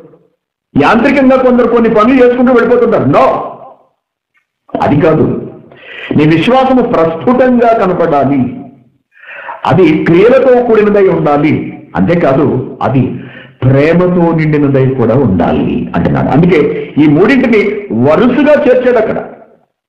ఆ సంఘంలో ఈ గొప్ప లక్షణాన్ని దేవుడు కనుగొన్నాడటండి. ఏమిటట అవి? నీ క్రియలు. ప్రేమతో చేస్తున్నటువంటి నీ క్రియలు. ఈ క్రియలకు ప్రేమకు ఆధారభూతమైనటువంటి నీ విశ్వాసము. ఈ రెండింటితో కలిపి కొనసాగుతున్న నీ పరిచర్య. పరిచర్యలో వచ్చే శ్రమలను అనుభవిస్తున్నటువంటి వ్యక్తపరుస్తున్నటువంటి నీ సహనం. నాకు తెలుసు శబాష్ సో గ్రేట్ బాగుంది మీ సంఘము అంటున్నాడు. ప్రభువే మెచ్చుకున్న సంఘం ఇంకేమిటండి అసలు? ప్రభువే ఘనపరుస్తున్నటువంటి సంఘము. బాగుంది కదా? చక్కటి కితాబు ఇచ్చాడు కదా? నిజంగా అటువంటి సంఘంలో ఉండడం ఎంత భాగ్యం చెప్పండి? అటువంటి సంఘంతో ఉండడం ఎంత భాగ్యం అసలు? ఆ సంఘ సభ్యులుగా ఉండడం ఎంత భాగ్యం? అటువంటి సంఘము సంఘ సభ్యులుగా ఉండాలి మనమందరూ అని దేవుడు కోరుకుంటున్నాడు. కాబట్టి కేవలం విశ్వాసం ఉంది కానీ చేతలు లేవు క్రియలను చూపించలేము ఈ విశ్వాసము క్రియలు ఈ రెండింటిని ముడిపెట్టి ఏం మాట్లాడుతున్నాడో చూడండి రచయిత యాకోబు గారు. యాకోబు పత్రిక రెండవ అధ్యాయము పద్నాలుగు వచ్చిన దేవుడిల్లారా ప్రతి సంఘమునకు ఈ మాటలు వర్తిస్తాయి అనుకున్నప్పుడు మొట్టమొదటి ఈ మాటలను మనమే వర్తింపజేసుకోవాలి. మన సంఘానికి సంఘముగా ఉన్నటువంటి మనకు సంఘ సభ్యులైనటువంటి మనకు మనం అన్వయింపు చేసుకోవాలి. ప్రతి ఒక్కరి వ్యక్తిగత జీవితం ఇక్కడ కనపడుతూ ఉంటుంది. కేవలం వ్యవస్థాపరంగాను సంస్థాగతంగాను మాత్రమే కాదు సంఘం అనగానే వ్యక్తుల సమూహమే సంఘము. సంఘమేమి జాగ్రత్తం చేయదే సంఘమేమి సమష్టిగా విగ్రహాలు గల బలి అర్పించిన వాటిని తినమని ప్రోత్సహించదే అది కాదు ఇక్కడ. సంఘంలోని వ్యక్తుల ప్రవర్తనలు ఇలా ఉన్నది అంటున్నాడు అనమాట ఇప్పుడు ప్రవక్తలు అన్నీ బాగుంటే సంఘం బాగున్నట్టే. సంఘం అంతా విశ్వాసాన్ని కలిగి ఉంది చాలా సంతోషం. సంఘం అంతా ప్రేమను కలిగి ఉంది చాలా సంతోషం. సంఘానికి ప్రేమ ఉంది అంటే దాని అర్థం ఏమిటి? సంఘంలోని మనుషులు ప్రేమను కలిగి ఉన్నారని. ఇప్పుడు సంఘానికి రాస్తున్నాడు అంటే సంఘంలోని వ్యక్తులకు రాస్తున్నాడు అని. కాబట్టి ప్రభు ఇక్కడ చెబుతున్న ప్రతి మాటలో మనల్ని మనం చూసుకోవాలి. అర్థమవుతుంది కదా? ఆ, కాబట్టి ఈ విశ్వాసము మరియు క్రియల గురించి యాకోబు గారు ఏం రాస్తున్నారు? పద్నాలుగు వచ్చిన. నా సహోదరులారా క్రియలు లేనప్పుడు ఎవడైనా తనకు విశ్వాసము కలదని చెప్పిన ఎడల ఏమి ప్రయోజనము? ఏమి ప్రయోజనము? అట్టి విశ్వాసం అతనిని రక్షింపగలదా? సహోదరులారా క్రియలు లేనప్పుడు ఎవడైనా తనకు విశ్వాసము కలదని చెప్పిన ఎడల ఏమి లాభము? ఏమి ప్రయోజనము? ఏమి ప్రయోజనము? అట్టి విశ్వాసము అతనిని రక్షింపగలదు? అంటే కేవలం విశ్వాసం ఉంటే రక్షింపబడదా? ఆ వ్యక్తి ఆ భక్తుడు అంటే లేదు అంటున్నాడు. లేదు. క్రియలలో కంపించాలని భక్తి అంటున్నాడు. అందుకే చివరికి వచ్చినప్పటికీ ఇరవై ఆరు వచ్చిన ఏమంటాడు చూడండి. ప్రాణము లేని శరీరం ఎలాగో మృతము? అలాగే క్రియలు లేని విశ్వాసము మృతము అంటున్నాడు. క్రియలు అంటే ఎలా ఉండాలి? ఎలా ఉండాలో చెప్తున్నాడు చూడండి. పదిహేను వచ్చిన. సహోదరుడైనను సహోదరి అయినను దిగంబరులై ఆనాటికి భోజనము లేక విన్నప్పుడు మీలో ఎవడైనను శరీరములకు కావలసిన వాటిని ఇయ్యక సమాధానంగా వెళ్ళండి. చలి కాచుకోండి తృప్తి పొందుడని చెప్పిన ఎడలా ఏమి ప్రయోజనము? నీ సహోదరుడు పరిస్థితి బాగాలేదు అతనికి చలి పెడుతుంది. చలి పెడుతున్నది లేక భోజనం లేదు అతనికి. అతనికి భోజనం పెట్టక. అనగా అతడి అవసరాన్ని నువ్వు చూడక. కేవలం నోటి మాటతో ప్రేమను వ్యక్తపరిస్తే దాని వలన ఏవైనా ప్రయోజనం ఉంటుందా? ప్రశ్నిస్తున్నాడు. క్రియలు ఏవి నీలో నీ సహోదరుని ఆదుకుంటున్నావా? లేకపోతే ఇబ్బందులో ఉన్న వాడిని నువ్వు పరామర్శిస్తున్నావా? లేక దేవుని సంఘము కొరకైనటువంటి క్రియలు నీలో ఏవైనా ఉన్నావా? ప్రథమ స్థానము దేవునికి ఇచ్చి దేవుని కొరకు క్రియలు చేయగలుగుతున్నావా? ద్వితీయ స్థానంలో సహోదరుని ఉంచి ఆ సహోదరుని నిమిత్తం నువ్వు ఏమైనా ఆలోచించగలుగుతున్నావా? ప్రశ్నిస్తున్నాడు సంఘాన్ని. ఇంకేమంటున్నాడు? అలాగే విశ్వాసము క్రియలు లేనిదైతే అది ఒంటిగా ఉండి డెడ్ డెడ్ బాడీతో సమానము చచ్చిన దానితో సమానము అంటున్నాడు. అయితే ఒకడు నీకు విశ్వాసం ఉన్నది? నాకు క్రియలు ఉన్నాయి క్రియలు లేకుండా నీ విశ్వాసం నాకు కనబరచుము. నేను నా క్రియల చేత నా విశ్వాసమును నీకు కనబడుతును అని చెప్పును. దేవుడు ఒక్కడే కదా అని నీవు నమ్ముచున్నావు. ఆ రాజు నమ్మటం మంచిదే. దెయ్యమును కూడా నమ్మి వణుకుచున్నావు. వ్యర్థుడా క్రియలు లేని విశ్వాసము నిష్ఫలమైనదని తెలుసుకున్న కోరుచున్నావా మన పితరుడైన అబ్రహాము తన కుమారుడైన ఇసాకును బలిపీఠము మీద అర్పించినప్పుడు అతడు క్రియలు గల నీతిమంతుడిని తీర్పు పొందలేదా? విశ్వాసం అతని క్రియలతో కూడా కార్యసిద్ధి కలుగు చేసిననియు క్రియల మూలముగా అతని విశ్వాసము పరిపూర్ణమైనదనియు గ్రహించుచున్నావు కదా. కాబట్టి అబ్రహాము దేవుని నమ్మెను అది అతనికి నీతిగా ఎంచబడిన లేఖనము నెరవేర్చబడును. మరియు దేవుని స్నేహితుడు అని అతనికి పేరు కలిగింది మనుషుడు విశ్వాస మూలమును మాత్రమే కాక క్రియల మూలమునను నీతిమంతుడని ఎంచబడునని మీరు దీని వలన గ్రహించి తిరిగి అబ్రహం వలన అటువలననే రాహాబను వేసి కూడా దూతలను చేర్చుకుని వేరొక మార్గమున వారిని వెలుగులకి పంపించి వేసినప్పుడు క్రియల మూలముగా నీతిమంతురాలని ఎంచబడింది కదా. కాబట్టి కాబట్టి ఈ ఉదాహరణ మీకు ఏం తెలియజేస్తున్నది? ప్రాణము లేని శరీరము ఎలాగూ మృతమో? అలాగే క్రియలు లేని విశ్వాసము కూడా మృతము. అంటున్నాడు ఇట్స్ డెడ్ బాడీతో సమానము. శవంతో సమానము. అనగా కేవలం నమ్ముకొని విడిచిపెట్టేసేవాళ్ళు. కాబట్టి క్రియలు లేని విశ్వాసము మృతము. కానీ తొయతేలా నీలో క్రియలున్నవి నీలో విశ్వాసం కూడా ఉన్నది. అలాగే నీలో ప్రేమ కూడా ఉంది అంటున్నాడు. ప్రేమ ఉందట. ఇక ప్రేమ అనగానే మనం చెప్పుకోవాల్సిన అవసరం లేదు. దేవుడు ప్రేమాస్వరూపి అయి ఉన్నాడు. ప్రభు అంతా ప్రేమే. సర్వము ప్రేమమయము ప్రభు మాటలు ప్రభు క్రియలు ప్రభు త్యాగము ప్రభువు తండ్రికి లెక్కప్పు చెప్పడం మనల్ని కాపాడుకోవడం ఈ సమస్తము ప్రేమమయము. ప్రేమ ప్రేమ. అలాగే సంఘములో దేవుని పట్ల ప్రేమ సంఘములో సాటి సహోదరుల పట్ల ప్రేమ సాటి వారి పట్ల ప్రేమ. తొయతైర కనబరిచిందట. కనబరిచింది ప్రేమను వ్యక్తపరిచింది అంటున్నాడు. కాబట్టి ఒక్క మాటలో దేవుని ఒకే ఒక్క పాయింట్లో దేవుని మాటలు అన్నిటి సారాంశాన్ని కనుక మనం చెప్పుకోవాల్సి వస్తే మొదటిది దేవుణ్ణి ప్రేమించడము రెండవది పొరుగు వారిని ప్రేమించడము అంటున్నాడు కదా మనకు తెలుసు మత్స్సు వార్త ఇరవై రెండో అధ్యాయము ముప్పై ఏడో వచ్చిన అందుచేత నీ పూర్ణ హృదయంతోను నీ పూర్ణ ఆత్మతోను నీ పూర్ణ మనసుతోను నీ దేవుడైన ప్రభువుని ప్రేమింపవలనన్నది ఏ ఇది ముఖ్యమైనది. మొదటిది అంటే చూసారండి? ఇది ముఖ్యమైనది. మొదటిదియునైన ఆజ్ఞ. అలాగే నిన్ను వలె నీ పొరుగు వారిని ప్రేమింపవలను అనున్నది రెండవ ఆజ్ఞ దాని వంటిదే అంటున్నాడు. దాని వంటిదే. కాబట్టి చేసే ఏ పనైనా సరే ప్రేమతో చేయాలి. విశ్వాసంతో చేయాలి. ఆ ప్రేమలో ప్రపంచానికి ఏం కనిపించాలి? ప్రేమలో ప్రపంచానికి ఏం కనిపించాలి? దేవుడు కనిపించాలి. మనం చేసినటువంటి క్రియలలో ఏం కనిపించాలి? ప్రభు పట్ల మనం కనబరుస్తున్నటువంటి విశ్వాసం కనిపించాలి.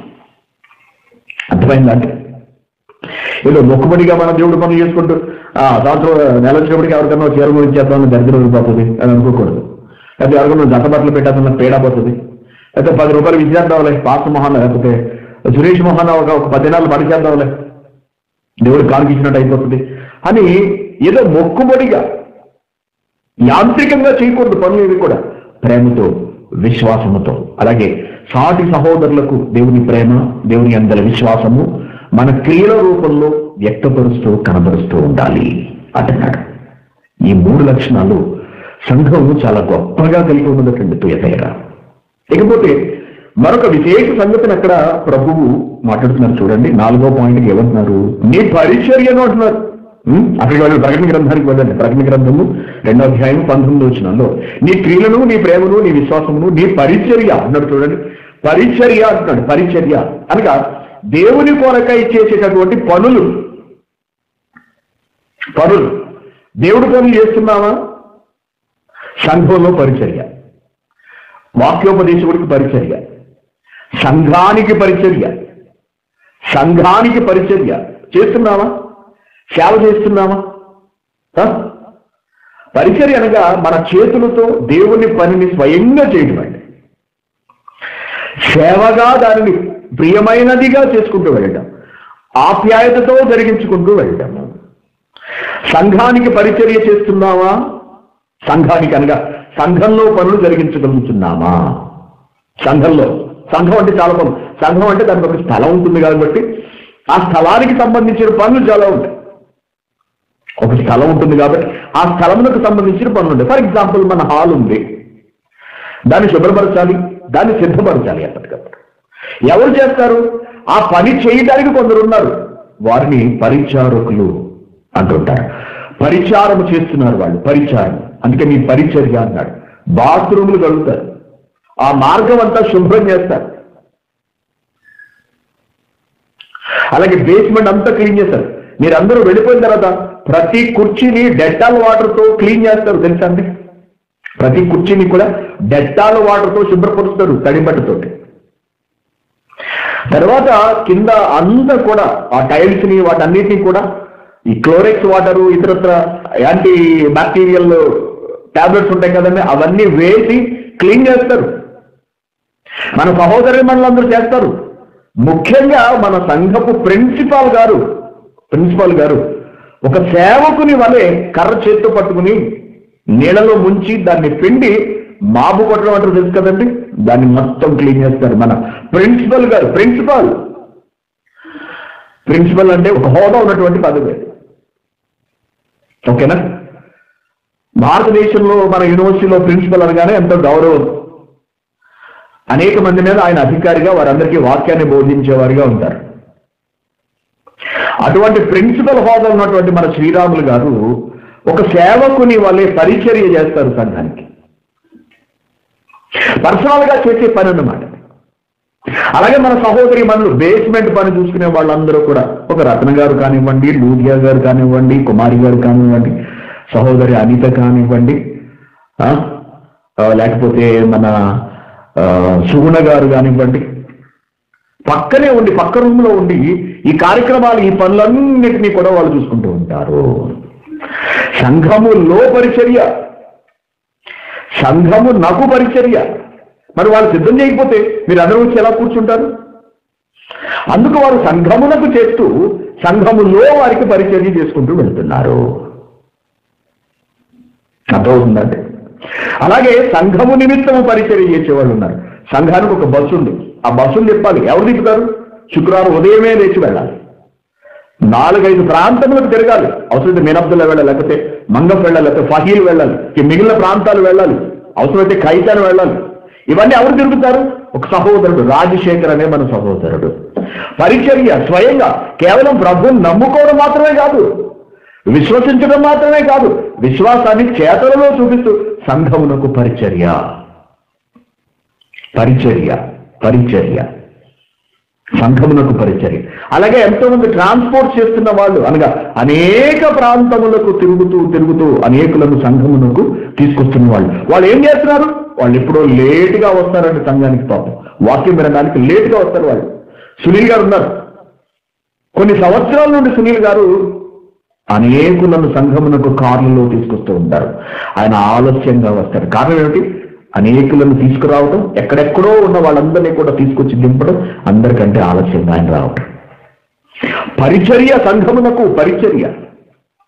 అలాగే డేవిడ్ గారు.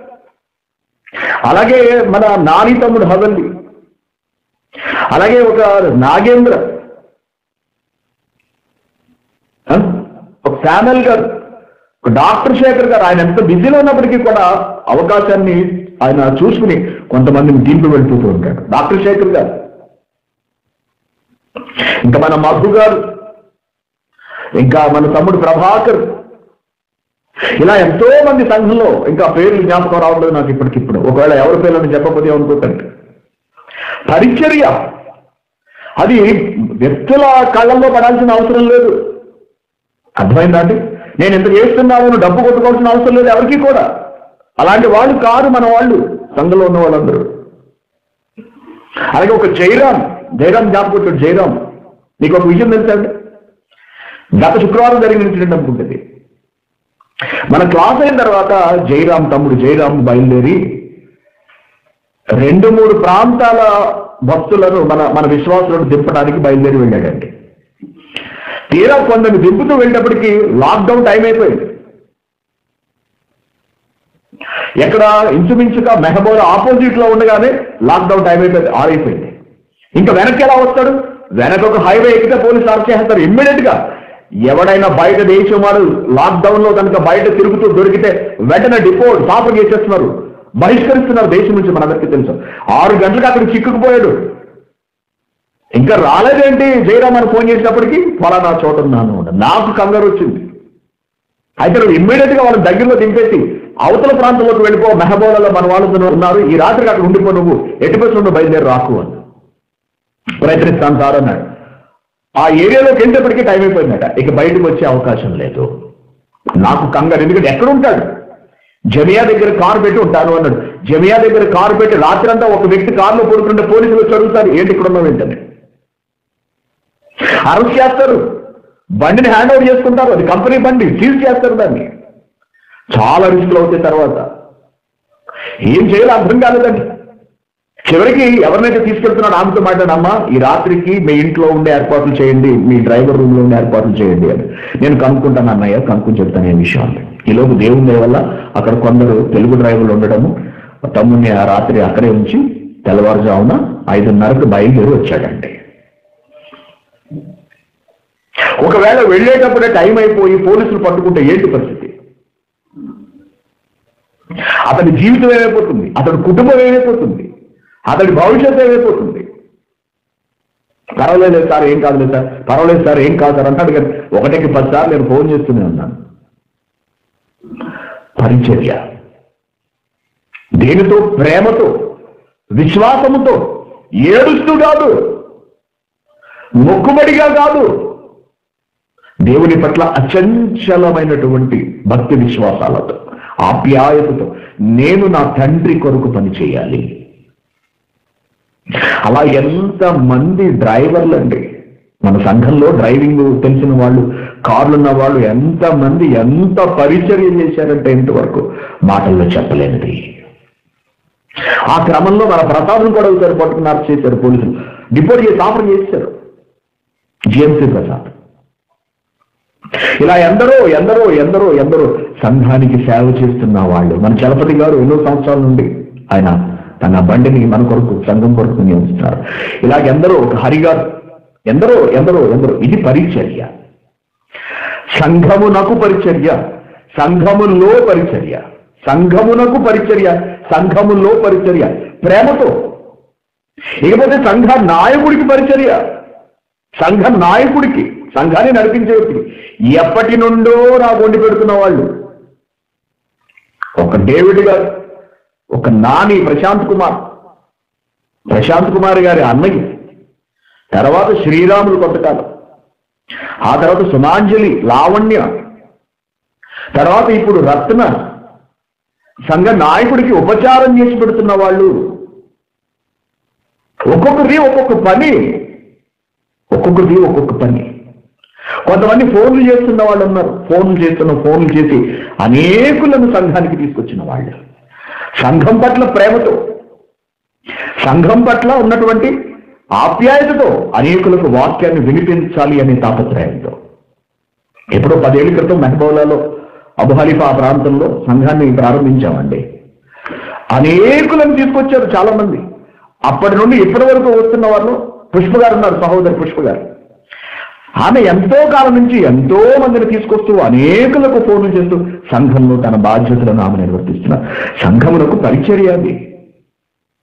అది పరిచర్య. అలాగే మన లెక్చరర్ ప్రవీణ్ గారు తనంతట తానుగా పని చేసుకుంటూ వెళుతూ తనంతట తానుగా తనంతట తానుగా పని చేసుకుంటూ వెళుతూ.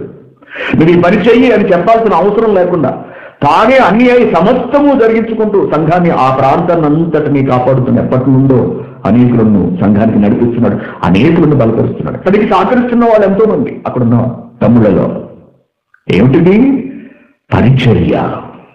ప్రేమతో విశ్వాసముతో ప్రేమతో విశ్వాసముతో జరిగించేటటువంటి కార్యములు పరిచర్య అంత క్రియలలో కనపడేది. ఫోన్లు చేస్తున్న వాళ్ళు ఫోన్లు చేసి పిలుస్తున్న వాళ్ళు మన లూడియా గారు ఉన్నారు కుమారి గారు ఉన్నారు మన లక్ష్మి. ఇక సుగుణ గారు ఇంటింటికి వెళ్ళి తీసుకురావటం. ఇదంతా ఏమిటి? పరిచర్య పరిచర్య. ఆప్యాయతతోటి ప్రేమతోటి జరిగించే కార్యములు. వీటన్నిటిని దేవుడు గమనిస్తూ ఉంటాడు. నేను మీకు ఎందుకు చెప్తున్నానంటేనండి ఇదంతా కూడా. దేవుడు గమనిస్తున్నాడు ఇదంతా. కనిపెడుతూ ఉంటాడు దేవుడు. కనిపెడుతూ ఉంటాడు. సంఘమునకు పరిచయం చేస్తున్నావా? మరికొందరు ధన సహాయం చేసేవాళ్ళు. అనగా ఈ పనులు జరిగించలేని వాళ్ళు ఉన్నారు. అవకాశం లేని వాళ్ళు ఉన్నారు. అవకాశం లేని వాళ్ళు. వారు ధన సహాయం చేస్తూ ఉంటారు. పరిచర్య. ఏదో ఒక విధంగా సంఘానికి ఉపయోగపడే విధంగా. ప్రభావతి గారు ఉన్నారు. అనేక మందికి ఫోన్లు చేయాలి వారిని అందరినీ లైవ్ రప్పించడం సంఘం కొరకు ఫోన్లు చేయాలి అలాగే మేరీగా. ఎవరి బాధ్యతలను వాళ్ళు ఎవరికి అప్పగించినటువంటి బాధ్యతలను వాళ్ళు నెరవేర్చుకుంటూ జరిగించుకుంటూ వెళుతున్నారు ప్రేమతో. అంటే మీరు చేస్తున్న ప్రతి పనిని దేవుడు గమనిస్తున్నాడు. ఇదే నేను మీకు చెప్పదలుచుకున్న సంగతి. మమ్మల్ని సురేష్ పట్టించుకోవట్లేదని మీరు అనుకోకండి. నా పేరుని లైవ్లో సురేష్ మాట్లాడలేదు అనుకోకండి. దేవుడు కనిపెడుతున్నాడండి. ఇంతకు మించి ఇంకేం కావాలండి? నాకు జ్ఞాపక చెప్తే ఉండొచ్చు ఉండకపోవచ్చు. సమయానికి జ్ఞాపకం రావచ్చు రాకపోవచ్చు. మంగం ప్రాంతాన్ని కూడా ఇప్పుడు మొబలైజ్ చేస్తూ అందరినీ నడిపిస్తున్నాడు మోహన్. క్లాస్ తీసుకురావడానికి అందరినీ పురమాయిస్తున్నాడు. అందరినీ మేల్కొలుపుతున్నాడు. అలాగే వచ్చే వాళ్ళందరికీ కూడా టిఫిన్లు చేసి పెట్టడానికి మంగంలోనేమో మన సహోదరి రమా అనే ఆవిడ. అలాగే మెహబౌలాలో మరికొందరు. ఉపచారము పరిచర్య ఉపచారము పరిచర్య పరిచర్య పరిచర్య. మిమ్మల్ందరినీ దేవుడు గమనిస్తున్నాడు. మీ త్యాగమును మీ ప్రేమను విశ్వాసంతో మీరు జరిగిస్తున్న మీ పనినంతటినీ దేవుడు కనిపెడుతున్నాడు ప్రేమ దేవుడు పిల్లారా కనిపెడుతూ ఏముంటున్నాడు? మళ్ళీ చదువమ్మా మీ క్రియలను నీ ప్రేమను నీ విశ్వాసమును నీ పరిచర్యను నీ సహనమును నేను ఎరుగుదును. ఇంకా గొప్పగా ఏముందట? నీ మొదటి క్రియలు కన్నా నీ చివరికి వచ్చేటప్పటికీ వీటన్నిటి విషయంలో నువ్వు ఎలా ఉన్నావంటే మరింత బలపడిపోయావు అంటున్నాడు. చూసారా? నానాటికి మన అభివృద్ధిని ఎవరు చూస్తున్నారటండి? సాక్షాత్తు ప్రభు చూస్తున్నాడు. సురేష్ చూడకపోవచ్చు సురేష్ కంటికి కనిపించకపోవచ్చు సురేష్ గుర్తించట్లేదు నువ్వు అనుకోవచ్చు బహుశా కానీ ఎవరు చూస్తున్నారంటే నీ క్రియలన్నింటినీ కూడా. పనులు అలా చేసుకుంటూ వెళ్ళిపోతుంటారు అంతే అండి. మనుషుల దృష్టిలో పడాలని అనుకోరు ఎప్పుడు కూడా. మా పేరు చెప్పకండి అంటారు కొంతమంది. ఎంత సంతోషిస్తుందో తెలుసా నేను? మా పేరు చెప్పకండి. ఎందుకు నా గురించి చెప్పడం దేనికండి? అంటారు. దేవుడు చూసుకున్నాడు లేదా దేవుడు చూస్తున్నాడు కదా. ప్రభువు ఘనత కావాలి మానవుల ఘనత నాకెందుకు? ఎంత గొప్ప మనసు. అటువంటి వాళ్ళు తమ పనులలో నానాటికి నానాటికి నానాటికి డెవలప్ అయిపోతూ ఉంటారు డెవలప్ అయిపోతుంటారు కొందరు తప్పించుకుంటుంటారు. ఎస్కేటిజం అన్నమాట. నేను కొంతమందికే పనులు చెప్తానండి. అన్ని పనులు వాళ్ళకే చెప్తాను. నేను కొంతమందికే పని పురమాయిస్తాను. అది వాళ్ళ మీద చాలా ఒత్తిడి అయిపోతుంది తెలుసా? పని మీద పని నువ్వు వెళ్ళి వాళ్ళని తీసుకురా. అక్కడికి వెళ్ళి వీళ్ళని తీసుకురండి. తర్వాత ఇక్కడికి వెళ్ళి వాళ్ళని తీసుకురండి. ఏ ఇంకెంతమంది లేరు? అని నా ఒకరికే చెప్పాలా? నేనే తిరగాల మొత్తం అంతా. ఇంకెవరు లేరా అని అనుకుంటుంటారు వాడు నో నీకే నువ్వు చెబుతున్నావు తెలుసా? నువ్వు చేయగలవు ఆ మనస్సు నీకుంది. మరొకడు ఆ పని చేయడు. ఒకవేళ చేసినా ఏడుస్తూ చేస్తాడు తప్పించుకుంటూ చేస్తాడు. అటువంటి వారి చేత పని చేయించుకోబుద్ది అవుతుంది దేవుడి పని నాకు చాలా అసహ్యం. ప్రేమతో చేయాలి ఇష్టపూర్వకంగా చేయాలి బలవంతంగా చేయించుకోవడం అది చండాలం అది దరిద్రం. దేవుడి పనికి అది దరిద్రం అన్నమాట. ఏడుస్తూ చేయకూడదు దేవుడి పని ఎప్పుడూ కూడా. ఆనందంతో చేయాలి మనస్ఫూర్తిగా మనస్ఫూర్తిగా చేయాలి గమనించండి. అందుకే ఒకరి మీద ఒత్తిడి ఎక్కువ ఉంటుంది. మన సంఘంలో ఇద్దరు ముగ్గురు మీద ఒత్తిడి ఎక్కువ ఉంటుంది. గమనించండి. ఎందుకంటే వాళ్ళు దాన్ని పొందుకోవడానికి అర్హులు. వారికి ప్రతిఫలం ఇదిగో ప్రభువు నుండి అనుగ్రహించబడుతుంది. ప్రభువు నుండి అందుకే ఒక మాట అంటారు యేసుక్రీస్తు గారు కలిగిన వానికే ఇవ్వబడును లేని వాని యొక్క నుండి ఉన్నది కూడా తీసివేయబడును అంటాడు. అనగా నీ అనాసక్తత నీ నిర్లక్ష్యము లేకపోతే నీ భక్తిహీనత దేవుని పనిని పోగొట్టుకోవడానికి కారణమవుతుంది జాగ్రత్త. మాకెవరు పని చెప్పట్లేదు. చెబితే మేము చేస్తాము చెబితే మేము పరిచర్యలో పాల్గొంటాము అని అనుకునే వాళ్ళు చాలా మంది ఉన్నారు. సంఘాలలో చెబితే నువ్వు చేసేదండి ఎవడన్నా చేస్తాడు. చెబితే నువ్వు చేసేదేంటి? ఎవడన్నా చేస్తాడు. మనుషులను తీసుకురా అని నీకు చెప్పాల్సిన అవసరం లేదు. ఒక దినారిస్తే ట్యాక్సీ వాడు కూడా తీసుకొస్తాడు. ట్యాక్సీ మహాన్ రెండు దినాలు కొడితే వాడు తీసుకొస్తాడు. అప్పుడు నీకు చెప్పి చేయించుకుంటే నీకు వాడికి ఏమిటి తేడా? ఏమిటి తేడా? ఇటువంటి వాళ్ళు ఉంటారండి సంఘంలో. ప్రేమతో చేయరు.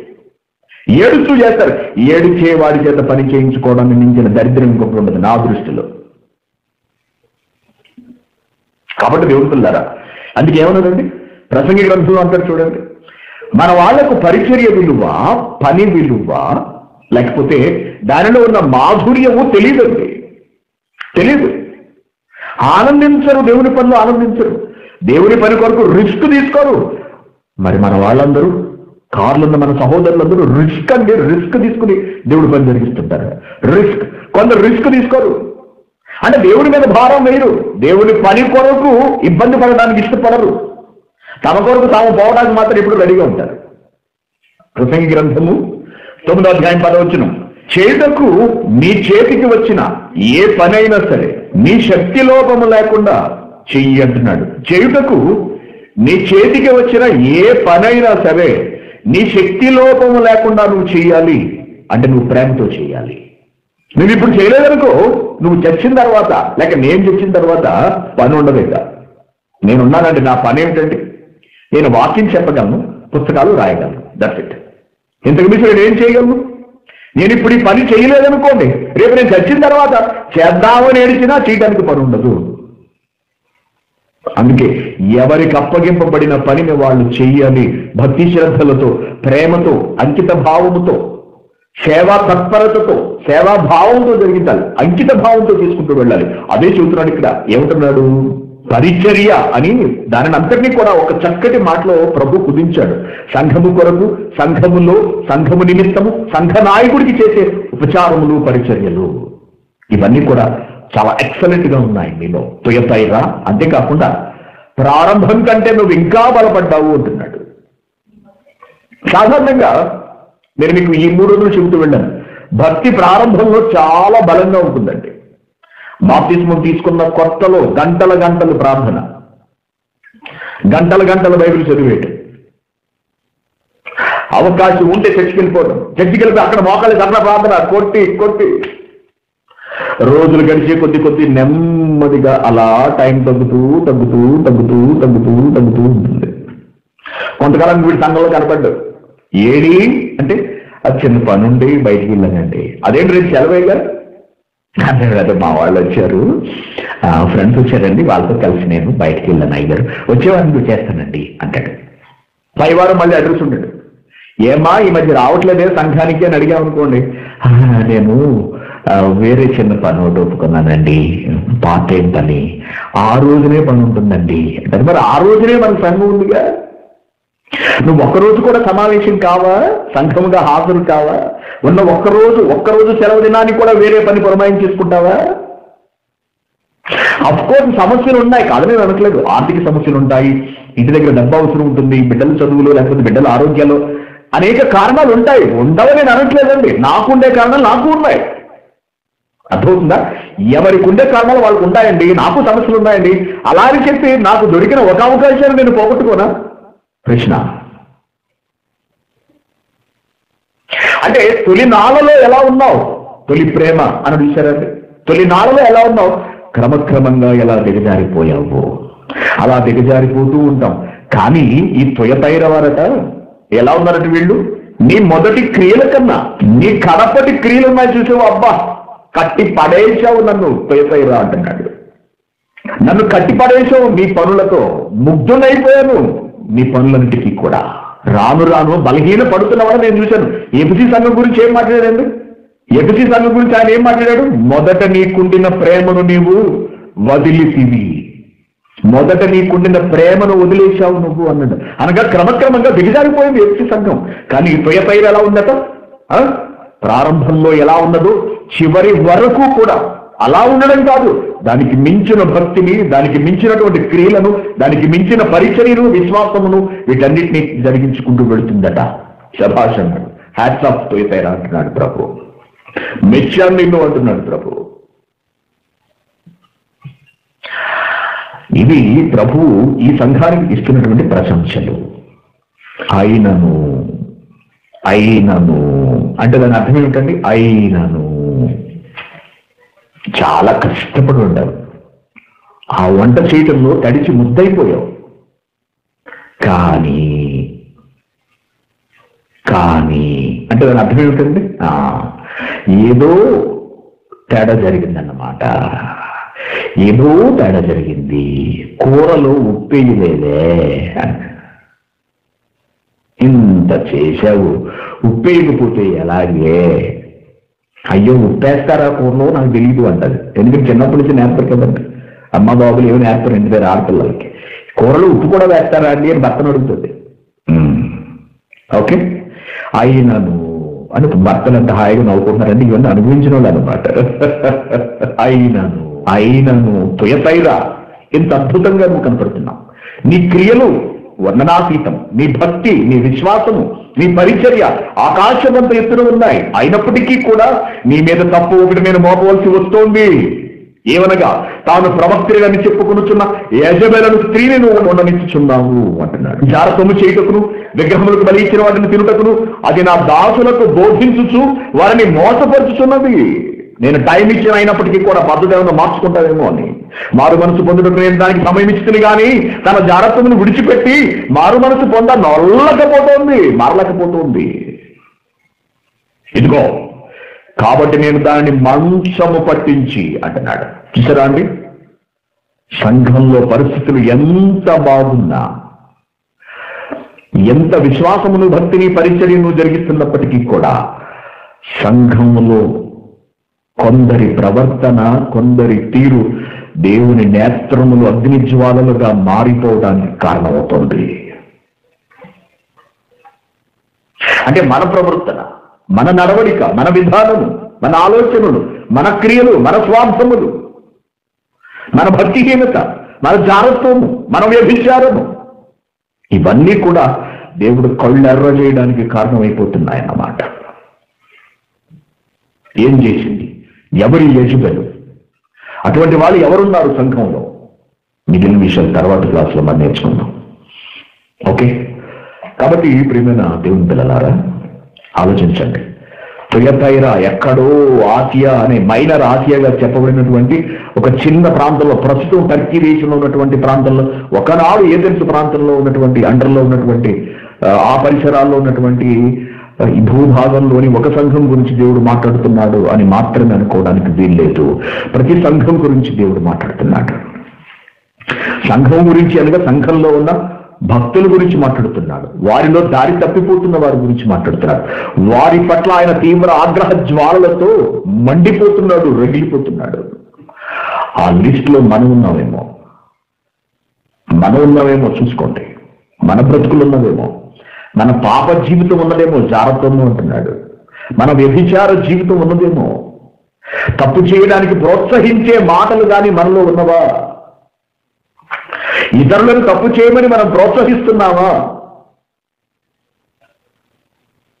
దారి మళ్ళిస్తున్నావా దారి మళ్ళించే వాళ్ళు బయలుదేరారు ఈ సంఘంలో కూడా. దేవుడు కళ్ళెర్ర చేయడానికి సిద్ధంగా ఉన్నాడన్నమాట. ఆయన నేత్రం నుండి అగ్ని జ్వాలలు రేగుతున్నవి. ఆగ్రహోదగ్ధుడైపోతున్నాడు దేవుడు. కారణాలు ఏమిటి? తర్వాతి క్లాస్లో మనం తెలుసుకుందాం. కాబట్టి వింటున్న ప్రతి వాక్యాన్ని మీకు మీకు స్వయంగా మీరు అన్వయించుకోవాలి. మరలా నేను చెబుతున్నాను. మీలో తుయ తైరలో ఉన్నటువంటి ప్రేమ ఉన్నదా? విశ్వాసం ఉన్నదా? క్రియలున్నవా పరిచర్య ఉన్నదా? సహనము. సహనం ఉన్నదా? వీటన్నిటినీ మనం అలవరుచుకోవాలి అంటున్నాడు. ఆ సంఘము వలె మనము కూడా ఈ విషయాలలో బలంగా నిలబడాలి. మన క్రియలు నానాడికి అభివృద్ధి చెందుతూ ఉండాలి. దేవుని మెప్పించాలి. దేవుడినే మనం మెప్పించగలగాలి మన క్రియలతో.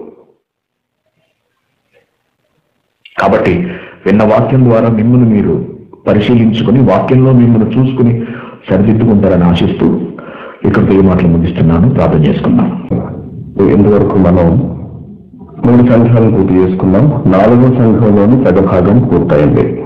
మిగిలిన భాగాన్ని ఇప్పుడు కొనసాగిద్దాము. గమనించండి ఈ ప్రశ్నలన్నీ కూడా రాబోయే పరీక్షల్లో వస్తాయి ప్రతి ఒక్కరికి. ఓకే? ప్రకటన గ్రంథంలో రాయబడిన ఏడు సంఘముల వివరణ. దీనిలో తొయతైర అనే సంఘం గురించి మనం ఆలోచిస్తున్నాం. తొయతైర. ఒకసారి మళ్ళీ వెనక్కి వెళ్ళి తొయతైర గురించి దేవుడు ఏం మాట్లాడుతున్నాడో ప్రారంభం నుండి చూద్దాము. ప్రకటన గ్రంథము రెండవ అధ్యాయం పద్దెనిమిది వచ్చినాము తుయతైరులో ఉన్న సంఘపు దూతకు ఈనాడు వ్రాయము. అగ్నిజ్వాలల వంటి కన్నులను అపరంజిని పోలిన పాదములను గల దేవుని కుమారుడు చెప్పు సంగతులు ఏమనగా నీ క్రియలను నీ ప్రేమను నీ విశ్వాసమును నీ పరిచర్యను నీ సహనమును నేను ఎరుగును నీ మొదటి క్రియల కన్నా నీ కనపటి క్రియలు మరి ఎక్కువైనవని ఎరుగుతును అయినను నీ మీద తప్పు ఒకటి నేను మోపవలసి ఉన్నది. కొంతవరకు మనం చూసాం ఎంతవరకు పంతొమ్మిది వచ్చిన మనం చూసాం మీ క్రియలను మీ ప్రేమను మీ విశ్వాసమును మీ పరిచర్యను వీటన్నిటిని మనం గమనించాం వాక్యానుసారంగా చూసాం ఇకపోతే మీ సహనం అనేది ఒకటి మిగిలిపోయినట్టుగా గత వారం మనకు అర్థమైంది. ఓకే? సహనం తొయతైరా అనే సంఘానికి ఎంతో సహనం ఉన్నదట. ఓర్పు కనపడుతుందట. దేవుడు ప్రభు సాక్షాత్తు సాక్షిస్తున్నాడు దీని గురించి. సహనం అంటే ఏమిటి? ఏ స్థితిలో సహనం ఉండాలి? ఎప్పుడు సహనాన్ని కోరుకోకూడదు వీటన్నింటినీ కూడా ప్రతి ఒక్కరూ తెలుసుకోవాల్సిన క్రైస్తవులైన వారు తెలుసుకోవాల్సిన అవసరం ఉంది. కారణం ఏమిటంటే మనలో చాలా మందికి సహనం తక్కువ ఉంటుందండి. ఇది వ్యక్తులలోని దుర్లక్షణం అన్నమాట స్త్రీలలోనేంటి పురుషుల్లోనేంటి తొందరపాటు ఎక్కువ. వేచి చూడలేరు ఓపిక పట్టలేరు. చాలా మందికి ఓకేనండి సహనం చాలా చాలా తక్కువగా ఉంటుంది. అయితే ఇక్కడ దేవుడు మాట్లాడుతున్నది సంఘం గురించి. అనగా సంఘంలోని వ్యక్తులు వారి భక్తి జీవితంలో కలిగినటువంటి సహనమును గురించి మాట్లాడుతున్నాడు. వ్యక్తిగతమైనటువంటి సహనం కొరకు కాదు. ఓకేనా? వ్యక్తిగత జీవితాల్లో తొందరపడి నిర్ణయం తీసుకోవడాలు త్వరపడి మాట్లాడాలు ఇవన్నీ స్త్రీలలోనూ పురుషుల్లోనూ కూడా జరుగుతూ ఉంటాయి. కానీ సంఘముగా ఇక్కడ ప్రభు గమనించినది ఏమిటంటే తుయతైన వాళ్ళు చాలా చాలా సహనాన్ని కనపరిచారట. దేనిలో సహనాన్ని కనపరిచారు? మొదటి వచ్చావు పంతొమ్మిదో వచ్చే నుంచి చూడండి. నీ క్రియలు దైవ సంబంధమైన క్రియలను కనపరచడంలో వాళ్ళు సహనాన్ని చూపించారు. దేవుని ప్రేమను వ్యక్తపరచడంలో కనబరచడంలో వాళ్ళు సహనాన్ని చూపించారు. అలాగే విశ్వాస విషయములో సహనము అనగా త్వరపడి విశ్వాసాన్ని కోల్పోకుండా. ఈ విశ్వాసాన్ని కనబరచడంలో త్వరపడి నిర్ణయం తీసుకోకుండా విశ్వాస విషయంలో సహనాన్ని కనబరిచారు. అలాగే పరిచర్య విషయంలో కూడా సంఘములకు పరిచర్య లేకపోతే సంఘ సేవకులకు పరిచర్య లేకపోతే సంఘములకై పరిచర్య.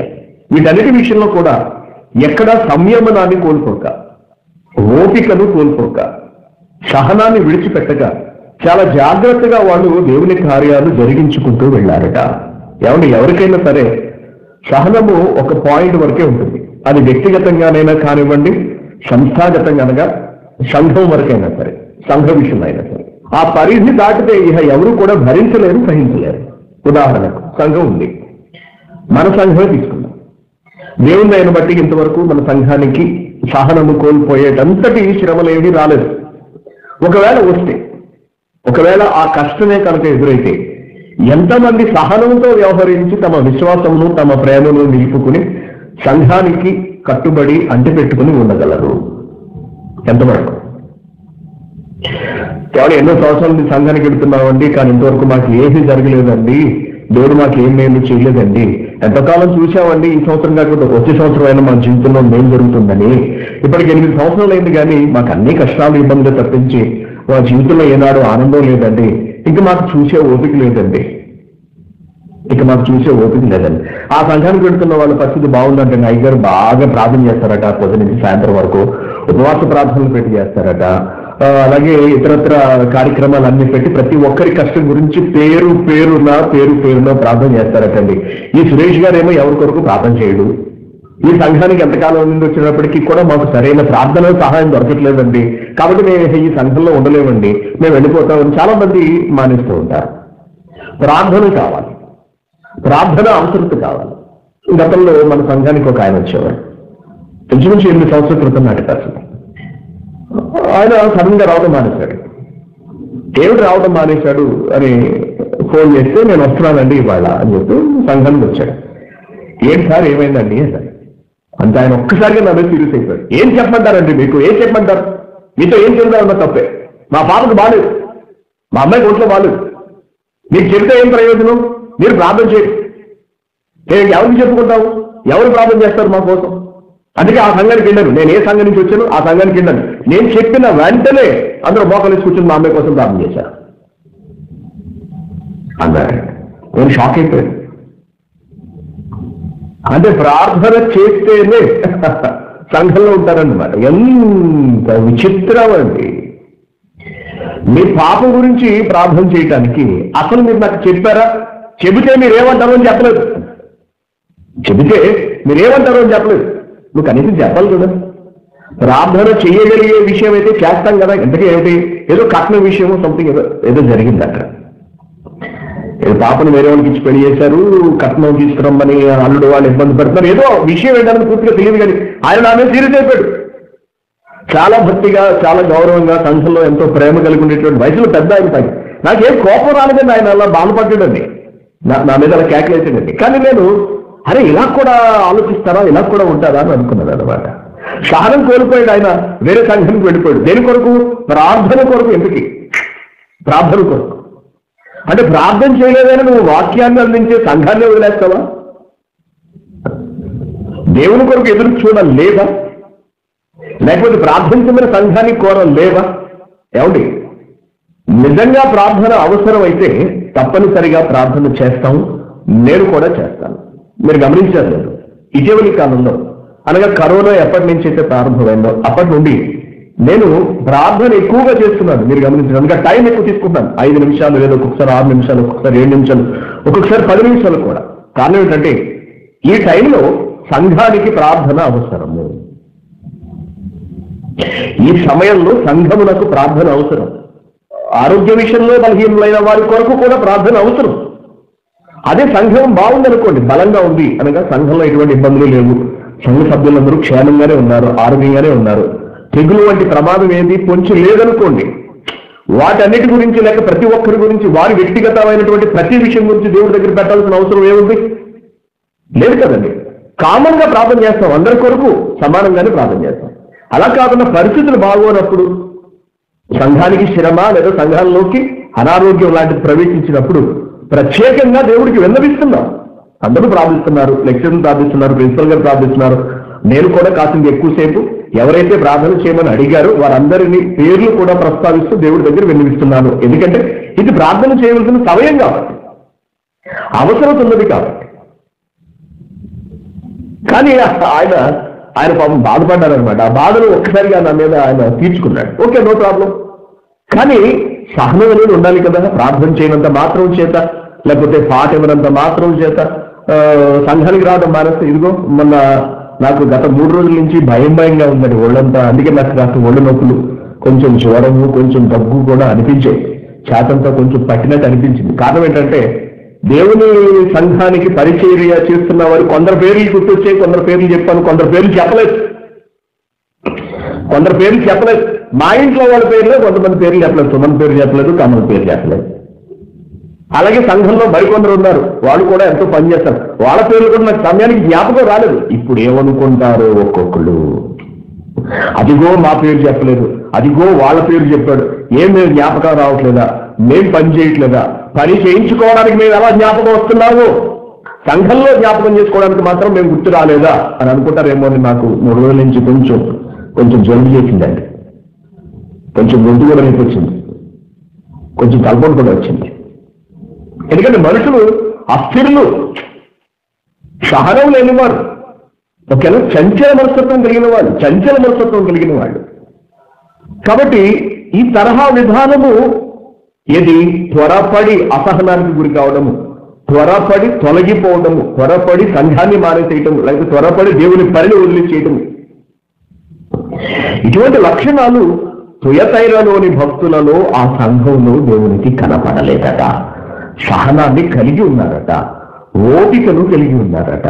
ఓపిక సహనము ఓపిక సహనము ఓపిక.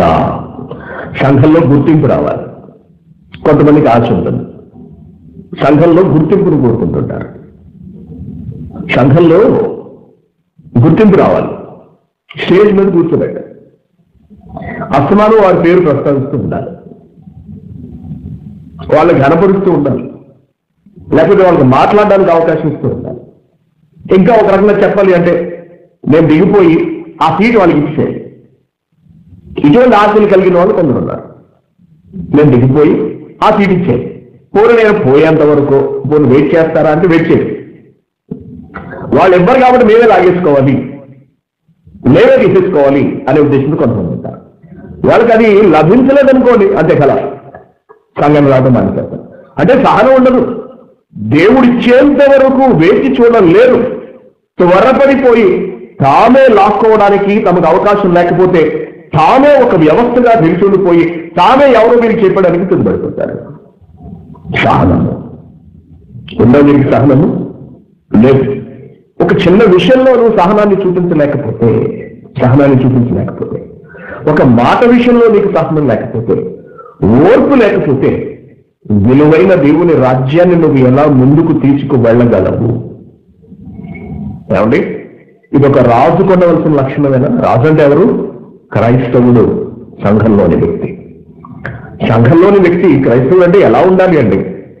ఓపికకు సహనమునకు దీర్ఘశాంతమునకు మారు రూపముగా ఉండాలి. అంతే తప్పించి ప్రతి దానికి త్వరపడిపోవడం ప్రతి దానికి ఆవేశపడిపోవడం ప్రతి దానికి నోరు వదిలేసేయడం నోరు వదిలేయడం లేకపోతే చేత వదిలేసేయడం త్వరపడిపోయి చేయటం. త్వరపడి నిర్ణయాలు తీసుకోవడం. త్వరపడి తొలగిపోవడం. అంతేకాకుండా త్వరపడి అనేకులను పాడు చేసేయటం. ఇవన్నీ కూడా ఇవన్నీ కూడా మనం చూస్తున్నాము. ఇది సంఘ సభ్యులలో ఉండకూడనివి. నాటి తుయతైరలో ఈ లక్షణాలు లేవట.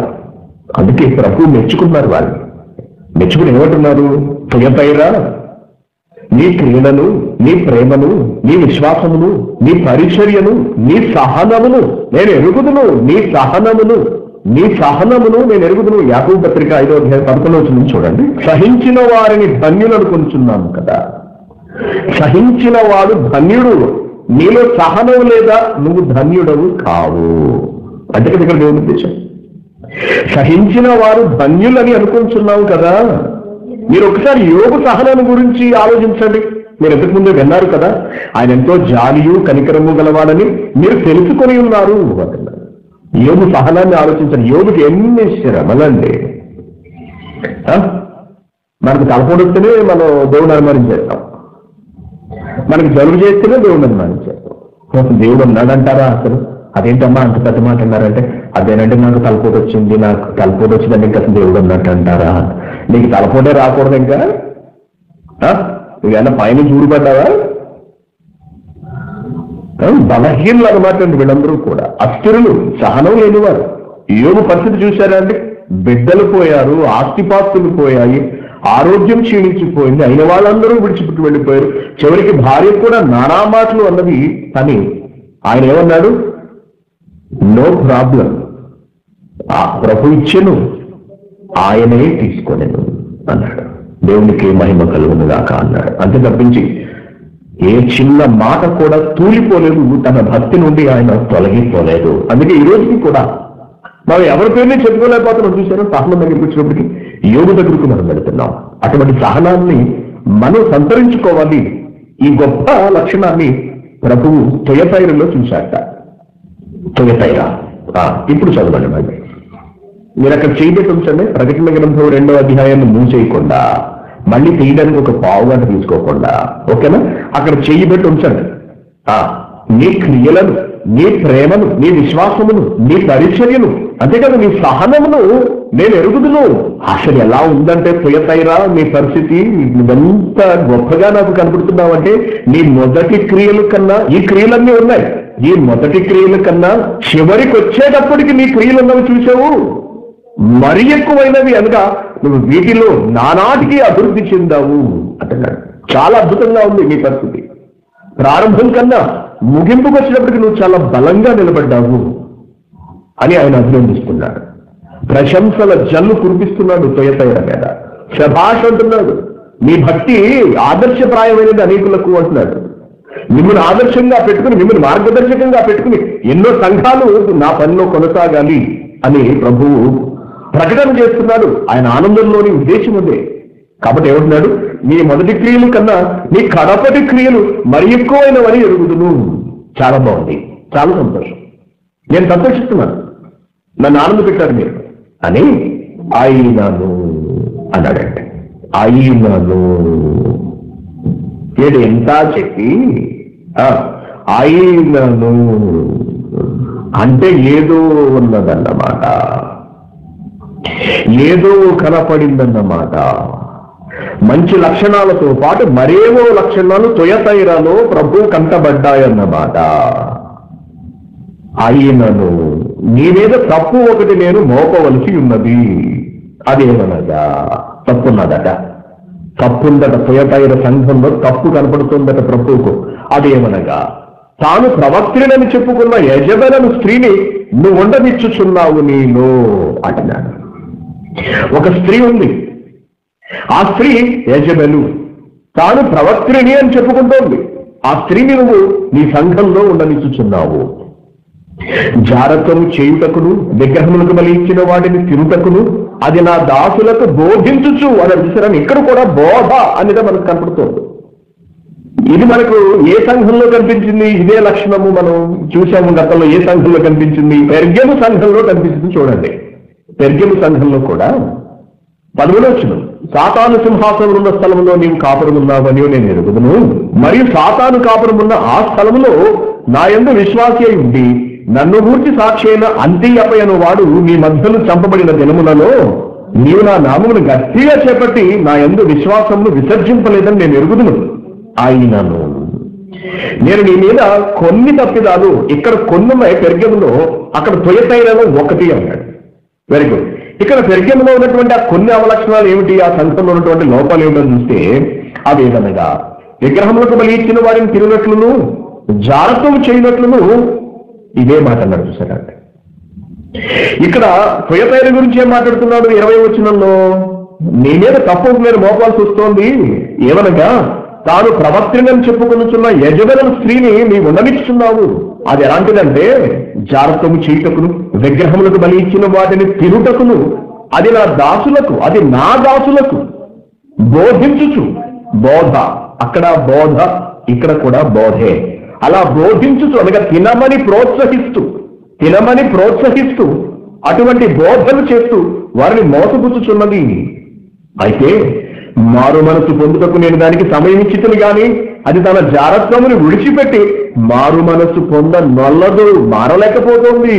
ఇదిగో నేను దానిని చివరికి మంచం పట్టించి అని చూశానండి పనిష్మెంట్ అనమాట దానిని మంచం పట్టించి దానితో కూడా వ్యభిచరించు వారు దాని క్రియల విషయమై మారు మనసు పొందితేనే గాని వారిని బహుశ్రమల పాలు చేస్తాను మరి చూసుకోండి అంటున్నాడు. అంతేకాదు దాని పిల్లలను కూడా నిశ్చయంగా నేను చంపుతాను. అందువల్ల అంతరింద్రియములను హృదయములను కూడా పరీక్షించు వారు నేనే అని సంఘములన్నీ తెలుసుకును ఇక్కడ మనకు ఆయన ఫైండ్ అవుట్ చేసిన ఒక తప్పిదము ఒక తప్పిదము మనకు చాలా స్పష్టంగా కనబడుతోంది. అదేమిటి? ఇరవై వచ్చి నుంచి మళ్ళీ చూద్దాం. తాను ప్రవక్తనని చెప్పుకొనుచున్న యజబెలు అన్నాడు. యజబెలు? యజబెలు అనే స్త్రీని నీవు ఉండనిస్తున్నావు అన్నాడు. ఎప్పటి యజబెలు? ఎప్పటి తొయతేరా ఏమండి? యజబెలు ఎప్పటిది? పాత నిబంధన కాలంలో ఇస్రాయేలు రాజు పెళ్ళి చేసుకున్న ఒక అన్యజనురాలు. క్రీస్తుకు పూర్వం ఇంచుమించుగా వెయ్యి సంవత్సరాలు ఆ ప్రాంతపు ఇంకా కిందకి ఎనిమిది వందలు ఆ ప్రాంతం కావచ్చు. ఆ సంవత్సరాలకు చెందినటువంటి ఆ కాలంలో బ్రతికిన ఒక స్త్రీ. ఈ తుయతైరా అనే సంఘం ఎప్పుడు ఏర్పడింది? క్రీస్తు మరణించి తిరిగి లేచిన తర్వాత భక్తులు సువార్త ప్రకటిస్తూ పౌలు ఇతర భక్తులు సువార్తను ప్రకటిస్తూ ఆసియా ప్రాంతంలోని కనుక మన మనం ఉన్నటువంటి ఖండం పేరు కాదు ఆసియా అనేది ఒక ప్రాంతం. ఆ ప్రాంతంలోనికి ప్రవేశించి వాక్యాన్ని ప్రకటించిన తరువాత అక్కడ ఈ తుయతైరా అనే సంఘం ఏర్పడింది. అంటే ఈ సంఘములకు యజమలకు మధ్యలో ఇంచుమించుగా వెయ్యేలేసుకొని కొన్ని వెయ్యి సంవత్సరాల కాలం ఉంటే అప్పుడెప్పుడో బ్రతికి చంపబడి గుర్రములతో తొక్కబడినటువంటి యజబెలు త్వయతైరు సంఘంలో ఎలా ఉన్నది? అంతే కదా? త్వయతైరు సంఘంలో ఎలా ఉంది? ఎలా ఉన్నదంటే ఈ యజబేలు లక్షణాన్ని కలిగిన వాళ్ళు ఆ సంఘంలో ఉన్నారట. ఆమె లేదు. ఆమె బోధించిన బోధలను చేసేవాళ్ళు అనగా ఆ తరహా బోధలు. ఆమె ఏం చెప్పిందో ఎగ్జాక్ట్గా అదే కాదు. ఆ తరహా బోధలు చేసేవాళ్ళు తుయతైర సంఘంలో ఉన్నారట. అదే చెబుతున్నాడు. తాను ప్రవర్తినని నాడు చెప్పుకున్న యజ్బెలు అనే స్త్రీని అనగా ఆ లక్షణాలు కలిగిన వాళ్ళను నీవు నీ సంఘంలో ఉండనిచ్చుతున్నావు వీళ్ళు ఎటువంటి వాళ్ళట? జారత్వము చేయుటకు అన్నాడు. చూసారా అండి? జారత్వము. ఆ జారత్వాన్ని చేయుటకు విగ్రహములకు బలి ఇచ్చిన వాటిని తినుటకును అది నా దాసులకు బోధించుచు. ఏమి కాదు మీరు తినొచ్చు. మీరు జారత్వం చేయొచ్చు అని చెప్పుచు. ఏం చేస్తుందట? వారిని మోసపుచ్చుచున్నది అన్నాడు అనగా ఒక మోసకరమైన బోధ స్వయతైర సంఘములో ఉన్నది. పెర్గెన సంఘములో ఉన్నట్టుగానే ఒక మోసపూరితమైన బోధ స్వయతైర సంఘములో ఉన్నది అంటున్నాడు యజమల గురించి మనకు తెలుసు. చెప్పుకోవాలా మనం ప్రత్యేకంగా? చెప్పుకోవాల్సిన అవసరం లేదు. యజబెలు అనే ఒక స్త్రీ అండి కొంత ఇంట్రడక్షన్ మనకు అవసరం ఆవిడ గురించి. రాజుల మొదటి గ్రంథము పదహారవ అధ్యాయము. ముప్పై ఒకటో వచ్చిన. నెబాతు కుమారుడైన ఎరోబోము జరిగించిన పాపక్రియలను అనుసరించి నడుచుకుంటా స్వల్ప సంగతి అనుకొని అతడు సీదోనీయులకు రాజైన ఎత్బయలు కుమార్తె అయిన యజబెలను వివాహము చేసుకుని బయలుదేవతలను పూజించుచు వారికి మ్రొక్కుచుచూ నుండెను. అందుకే ఎవరితను అహాబు అనే ఒక రాజు ఓకేనా ఇరవై తొమ్మిది వచ్చింది చూడండి. యూదారాజైన ఆశా ఎనిమిదిలో ముప్పై ఎనిమిదవ సంవత్సరమున ఒమ్రీ కుమారుడైన అహాబు ఇస్రాయిల్ వారికి రాజై షోమ్రోన్లో ఇస్రాయేల్ వారిని ఇరవై రెండు సంవత్సరాలు ఒకటి కాదు రెండు కాదు ఇరవై రెండు రెండేళ్ళు పరిపాలించాడు ఒమ్రీ కుమారుడైన అహాబు తన పూర్వీకులందరినీ మించునంతగా యహోవా దృష్టికి చెడుతనం చేశాను పెద్ద కరుడు కట్టిన మూర్ఖత్వాన్ని నింపుకున్నటువంటి రాజు అని మనం చెప్పవచ్చు. ఇంతటి మూర్ఖత్వానికి పరాకాష్ఠ ఏమిటంటే? ఈ నెబాతు కుమారుడైన ఎరబొమ్మ జరిగించిన పాపక్రియలను అనుసరించి నడుచుకోవడం స్వల్ప సంగతి అనుకుని ఈ అహాబు షీడోనీలకు రాజైన ఎత్బయలు కుమార్తె అయిన యజుబెలను వివాహం చేసుకుని బయలు దేవతకు బయలుదేవతను పూజించు వానికి మరొక్కుచుండను. షోమ్రోన్లో తాను బయలులకు కట్టించిన మందిరమందు బయలులకు ఒక బలిపీఠము కట్టించను. మరియు అహాబు తన పూర్వీకులైన ఇస్రాయేలు రాజులందరికంటే ఎక్కువగా పాపం చేసి ఇస్రాయేల్ దేవుడైన యెహోవాకు కోపం గుర్తించను అతని దినములలో బెతేలియుడైన హీయేలు ఎరుకో పట్టణమును కట్టించను. ఓకేనా అండి అతడు గురించినటువంటి చిన్న ఇంట్రడక్షన్ ఇంతకీ. ఈయన ఎవరు అన్న దాని గురించి ఈయన ఎవరికి భార్య అని తెలుసుకోవడం గురించి మనం చూసాం. ఇస్రాయేల్ రాజైన అహాబుకు ఈమె భార్య. వెరీ గుడ్ అయితే ఈ రాజు చాలా భయంకరంగా ప్రవర్తించాడు దేవుడి విషయంలో. యా ఎందుకు ప్రవర్తించాడు? ఎందుకు ప్రవర్తించాడు? వాడిలో మూర్ఖత్వం తారస్థాయిలో ఉంది. మరొక విషయం ఏంటంటే వెనుకున్న అతని భార్య ప్రోత్సాహం మరీ ఎక్కువగా ఉన్నది. ఈ భార్య ఎటువంటిదంటే పద్దెనిమిదో అధ్యాయం పంతొమ్మిదో చూడండి. అయితే ఇప్పుడు నీవు ఇస్రాయేల్ వారినందరినీ యజబెలు అంటే తెలుసు కదండి? యజబెలు వంటి స్త్రీ అన్నాడు. ఆ, యజబెలు తాను బ్రతికున్న కాలంలో బయలు దేవత ప్రవక్తలను నాలుగు వందల యాభై మందిని అషారాదేవి ప్రవక్తలైన నాలుగు వందల మందిని పెంచి పోషించిందని మళ్ళీ చదవండి పంతొమ్మిది. అయితే ఇప్పుడు నీవు ఇస్రాయేలు వారిని అందరినీ యజబెలు పోషించుచున్న బయలుదేవత ప్రవక్తలు నాలుగు వందల యాభై మందిని అషారాదేవి ప్రవక్తలు నాలుగు వందల మందిని నా దగ్గరికి తీసుకురాడంటే ఇటు నాలుగు వందలు అటు నాలుగు వందలు మొత్తం ఎనిమిది వందల మంది బయలు ప్రవక్తలను పెంచి పోషిస్తుంది అక్కడ ఇస్రాయిల్ దేశంలో. మరి రాజు ఏం చేస్తున్నాడు? ఇస్రాయేల్ రాజు ఏం చేస్తున్నాడు? అంటే ఈయన భర్త ఏం చేస్తున్నాడు? భర్త. ఈయన చెప్పినట్టల్లా ఆడుతున్నాడు అన్నమాట. ఈయన చెప్పినట్టల్లా ఆడుతున్నాడు. ఈ యజుదలు దేవుడిని విడిచిపెట్టి లేక దేవుణ్ణి తెలుసుకోక దేవుడిని గుర్తించక దేవునికి భయపడక తనకు నచ్చినట్టుగా ప్రవర్తించే ఒక భయంకరమైన ఆనది ఇది ఇక్కడ మన యజబెల్లో తెలుసుకోవాల్సింది. దేవుడు భయం ఉండదు. దేవుడికి లోబట్ట ఉండదు. దేవుడు ఎవరో తెలుసుకోవడం ఉండదు. దేవుని ఆజ్ఞానుసారంగా జీవిద్దామనే ఆలోచన ఉండదు. దేవుని పనులకు అడ్డు వెళ్ళకూడదు అనే భయం కూడా ఉండదు. ఒక కరుడు కట్టిన ఆ స్త్రీ అన్నమాట. చివరికి ఈమె ఏం మాట్లాడుతోంది అంటే పంతొమ్మిదో అధ్యాయం రెండవ వచనం చూడండి. పంతొమ్మిదో అధ్యాయం మొదటి నుంచి చూడండి. ఏలియా చేసిన దంతయును అతడు ఖడ్గము చేత ప్రవక్తలను అందరినీ చంపిన సంగతియు అహాబు యజనులకు తెలియజెప్పాడట. ఎనిమిది వందల మందిని పోషిస్తుంది కదండి. అటు ఆచార్యదేవి ప్రవక్తలను ఇటు బయలు ప్రవక్తలను. లేకపోతే ఇద్దరు ఒకలేని మొత్తానికి బయలు ప్రవక్తలు అనేవాళ్ళు పోషిస్తుంది ఏలియా ఏం చేశాడు? సవాల్ చేశాడు మనకు తెలుసు. ఇదిగో ఈ పశువుని ఇక్కడ పెడుతున్నాము. నీళ్ళతో నేను మూచుతున్నాను. ఆ, మా దేవుడు అగ్నిని పంపించి దహిస్తాడు. ఓకే? లేకపోతే ఒకవేళ మీ దేవుడు దహిస్తే కనుక మా దేవుడు లేడు అనుకుని మేమందరం మీ దేవుడిని మొక్కుతాము. ఛాలెంజ్కి రెడీ అంటే వాళ్ళు ఛాలెంజ్కి రెడీ అంటారు. వాళ్ళు తమ దేవుడికి ప్రార్థిస్తారు దేవతలకు మొక్కుతారు కానీ ప్రయోజనం కలగదు. ఏలియా ప్రార్థించుచుండగానే ఆకాశం నుండి దేవుడు అగ్నిని పంపించి మాంసము పశు మాంసం దహించేస్తాడు మనకు తెలుసు. దాంతో ఏలియా ఏం చేస్తాడంటే ఆ బయలు ప్రవక్తలందరినీ నాలుగు వందల మందిని చంపించేస్తాడు ఖడ్గం చేత చంపించేస్తాడు మొత్తం అంతా లేకుండా. ఓకేనా అండి? ఆ సంగతి యజుబెలకు వినపడిందట. వినపడేటప్పటికీ రెండవ వచనం ఒక ఆమె చూడండి. ఒక బరి తెగించిన ఆడదే. ఓకే? దేవుడి భయం లేని ఒక ఆడది. బరి తెగించి ఒక దైవజనుడైన ఏలియా మీదకు ఒక ప్రవక్త మీదకు ఒక సవాలు పంపించింది ఒక ప్రవక్తను హెచ్చరిస్తుంది ఒక ప్రవక్తను. నువ్వు నా ప్రవక్తలందరినీ చంపావు కాబట్టి నిన్ను కూడా నేను చంపేస్తాను. ఏమంటున్నా చూడండి ఏమంటుంది? ఒక దూతను ఏలియాకు ఒక దూత చేత ఏలియాకు ఈ వర్తమానం పంపను. రేపు ఈ వేళకు నేను నీ ప్రాణములు నీ ప్రాణమును వారిలో ఒకరి ప్రాణము వలె చేయని ఎడల దేవుడు నాకు గొప్ప అపాయం కలుగు చేయలేదాక రేపు ఈ పాటికి నిన్ను లేపైపోతాడు కదా ఒక స్త్రీ ఒక రాజు భార్య ఒక ప్రవక్తను అంతకు ముందు కదా తగ్గించడం జరిగింది. అతని వెనుక ఎవరు ఏలియా వెనుక దేవుడు ఉన్నాడో లేదో తెలుసుకున్నది కదా ఏమే? వీళ్ళ ప్రవక్తల వల్ల వీరి భక్తి వల్ల వాళ్ళ దేవతల వల్ల ఏమీ జరగలేదు.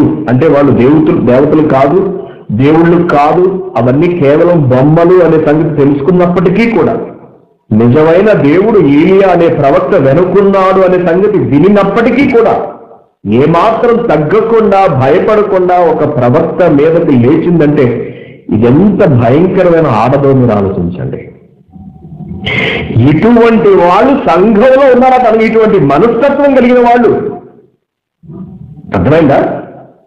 నాటి యజబెలు నేటి తురతైరులో లేదు తుయతైరులో లేదు. నాడు ఆమె బ్రతికింది ఆమె కలిగినటువంటి మనస్తత్వాన్ని కలిగిన వాళ్ళు సంఘములో ఉన్నారు. అంటే పగబట్టే స్వభావం కలది దైవ జనుల మీదకు లేచే స్వభావం కలదనమాట అటువంటి మనస్తత్వం గలవాళ్ళు ఉన్నారా సంఘంలో? మీరు యజ్ఞబెలు వంటి వారు అని అర్థము. స్త్రీలలో ఉన్నా పురుషులలో ఉన్నా. దైవజనుడి మీదకు లేస్తున్నారా? హెచ్చరికలు జారీ చేస్తున్నారా? నోటికొచ్చినట్టు మాట్లాడుతున్నారా? లేకపోతే ఎదురుగా కాకపోయినా వెనకైనా సరే మీకు మీ ఇష్టం వచ్చినట్టుగా మీరు మాట్లాడుకుంటూ దేవుడు వినడు లే వినట్లేదు లే. మేము కూడా సంఘంలో ఉన్నాము మేము కానుకలు ఇస్తున్నాము మేము పరిచర్య చేస్తున్నాము. ఏం మాట్లాడినా చెల్లిపోతుంది లే అని కానీ ఒకవేళ మీరు అనుకుంటున్నారేమో. ఇటువంటి వారి గురించి తాను ఎటువంటి నిర్ణయం తీసుకోబోతున్నాడో ఈ తుయపైరులో ఉన్న వారికి ప్రభు చాలా స్పష్టంగా తెలియజేశాడు. కాబట్టి యజుబలు ఒక భయంకరమైన ఆడదు. ప్రజలను తప్పు చేయడానికి పురి కొలిపేది. అర్థమైందండి? ప్రజలను తప్పు చేయడానికి పురి కొలిపేది. అంతేకాదు ఈమె ఒక హంతకురాలు. ఈమె ఒక హంతకురాలు. ఇరవై కూడా అధ్యాయం చూడండి. ఏడవచనంలో నాబోతు పొలమును గూర్చిన ఒక గొడవ మనందరికీ తెలుసు. ఆహాబు రాజ్యాన్ని అతని పొలాన్ని ఆనుకుని ఆహాబు నగరంలో ఆనుకుని నాబోతు అనే ఒక అతనికి కొంత పొలం ఉందండి ద్రాక్ష తోట ఉందండి అహాబు ఏమంటాడు? ఆ తోటను నాకు అమ్మే రాదా? నా నగరంలో అది నేను కలుపుకుంటానంటప్పటికి నా పితరులు ఇచ్చింది కదా నేను ఎలా అమ్ముకుంటాను? దాన్ని అమ్మడం కుదరదు అని రాజుకి చెప్తాడు దాంతో రాజు మొహం ముడుచుకుని ఇంటికి వెళ్ళి పడుకుంటాడు. అలా పడుకున్నారేంటి? అని దగ్గరికి వచ్చి భార్య చూస్తాడు. చూసినప్పుడు ఏమంటాడు విషయం అంతా చెప్తాడు. ఏడవచ్చు అందుకు అతని భార్య అయిన యజుబలు ఇస్రాయిల్లో నువ్వు ఇప్పుడు రాజ్యపాలన చేయట్లేదా? నువ్వు రాజు కాదా? ఆ? నువ్వు లేచి భోజనం చేసి మనసులో సంతోషంగా ఉండు. నేనే యజ్రేయుడైన నాబోతు ద్రాక్ష తోటను నీకిప్పించదనని అతనితో చెప్పి. నీకు ఇప్పిస్తాను నీకు నువ్వే టెన్షన్ పడకు. బూతు ముడుచుకుని పడుకోవడం వల్ల ఆడదాంలాగా సిగ్గుకోవడం నువ్వు లేచి భోజనం చేసినట్టుగా హాయిగా ఉండు. ఈ విషయాన్ని నేను చెప్పి చేస్తాను. నేను చెప్పి చేస్తాను. రాజు ఎవరు? ఆహా నిర్ణయం ఎవరి దగ్గర నుండి వెళ్ళాలి? రాజు దగ్గర నుండి వెళ్ళాలి. ఏ నిర్ణయం అయినా అక్కడ తీసుకోవాలి. కానీ ఎవరు అధికారాన్ని చేతిలోకి తీసుకున్నారు? భార్య తీసుకుంటుంది. భార్య తీసుకుంటుంది. అనగా స్త్రీ తీసుకుంటుంది. ఆ తీసుకుని ఏం చేసిందట? ఏం చేసింది? అహాబు పేరట తాకీదు రాయించనగా రాజుగారే రాసినట్టుగా ఒక ఫత్వా ఒక తాకీదు రాయించి అతని ముద్రతో ముద్రించి ఆ తాకీదును నాబోత నివాసం చేసిన పట్టణపు పెద్దలకు సామతులకు పంపారు ఎందుకు ఏముందట తాకీదులో? ఆ తాకీదులో రాయించినది ఏమనగా ఉపవాస దినము జరగవలనని మీరు చాటించి నాబోతును జనుల ఎదుట నిలువ పెట్టి నీవు దేవుని రాజును దూషించదువని అతని మీద సాక్ష్యం పలుకుటకు పనికి మారిన ఇద్దరు మనుషులను సిద్ధపరచుడి. తీర్పు అయిన మీదట అతన్ని బయటకు తీసుకుపోయి రాళ్ళతో చావుకొట్టడి అతని పట్టణపు పెద్దలను పట్టణం ముందు నివసించు సామంతులను యజబెలు తమకు పంపిన తాకీదు ప్రకారంగా జరిగించిరి. అంటే నాబోతును చంపేశారు. ఒక స్త్రీ ఒక పురుషుని చంపించడానికి తెగించింది అంటే అంటే ఎంత కుట్ర చేసిందో మీరు ఆలోచించండి ఇక్కడ. రాజుగారే వ్రాయించినట్టుగా వ్రాయించి పెద్దలను పురమాయించి అధిపతులను పురమాయించి అతడిని నిలబెట్టించి అతడి మీద నేరం మోపి రాళ్ళతో కొట్టి చంపించిందంటే. అంటే ఒక భయంకరమైన మనస్తత్వం అన్నమాట. క్రూరు రాలినటువంటి ఆడదన్నమాట. ఇటువంటి క్రూరమైన మనస్సు కలిగిన వాళ్ళు తుయసైరా నీలో ఉన్నారు. ఇలా బ్రతకొచ్చు. అలా చేయవచ్చు. తప్పేమి కాదు అనే ఒక బోధ నీ సంఘంలో నాకు కనపడుతోంది అంటున్నాడు. ప్రభు. అటువంటి వాళ్ళు మీ సంఘంలో ఉన్నారు. అని చెబుతున్నాడు. ఇంకా ఏం చేసిందట? ఇంకా ఎటువంటి మనస్తత్వం కలిగిందట?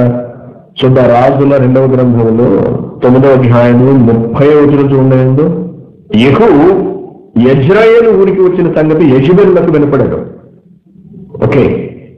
వినబెట్టప్పటికీ ఆమె తన ముఖములకు రంగు పూసుకుని శిరోభూషణములు ధరించుకుని కిటికీలో నుండి కనిపెట్టుకుంటున్నగా ఓకేనా? యహూ అనే అతను లోపలికి వస్తున్నాడు ఆమె అతన్ని చూచి నీ యజమానిని చంపినవాడా? జిమ్రీ వంటి వాడా నేను సమాధానముగా వచ్చుచున్నావా? అని అతన్ని అడుగగా రాజును చంపేసి వస్తున్నాడు. ఎవరు యహు అని అతను వస్తున్నాడు. ఎక్కడికి వస్తున్నాడు? యజమాని దగ్గరికి వస్తున్నాడు. అతని కుమారుడు కూడా చంపేశాడు. వస్తున్నాడు. ఓకేనండి వస్తుండగా ఇప్పుడు అతన్ని లోబరుచుకోవాలి. తన వైపునకు తిప్పుకోవాలి. ఎలా తిప్పుకోవాలి?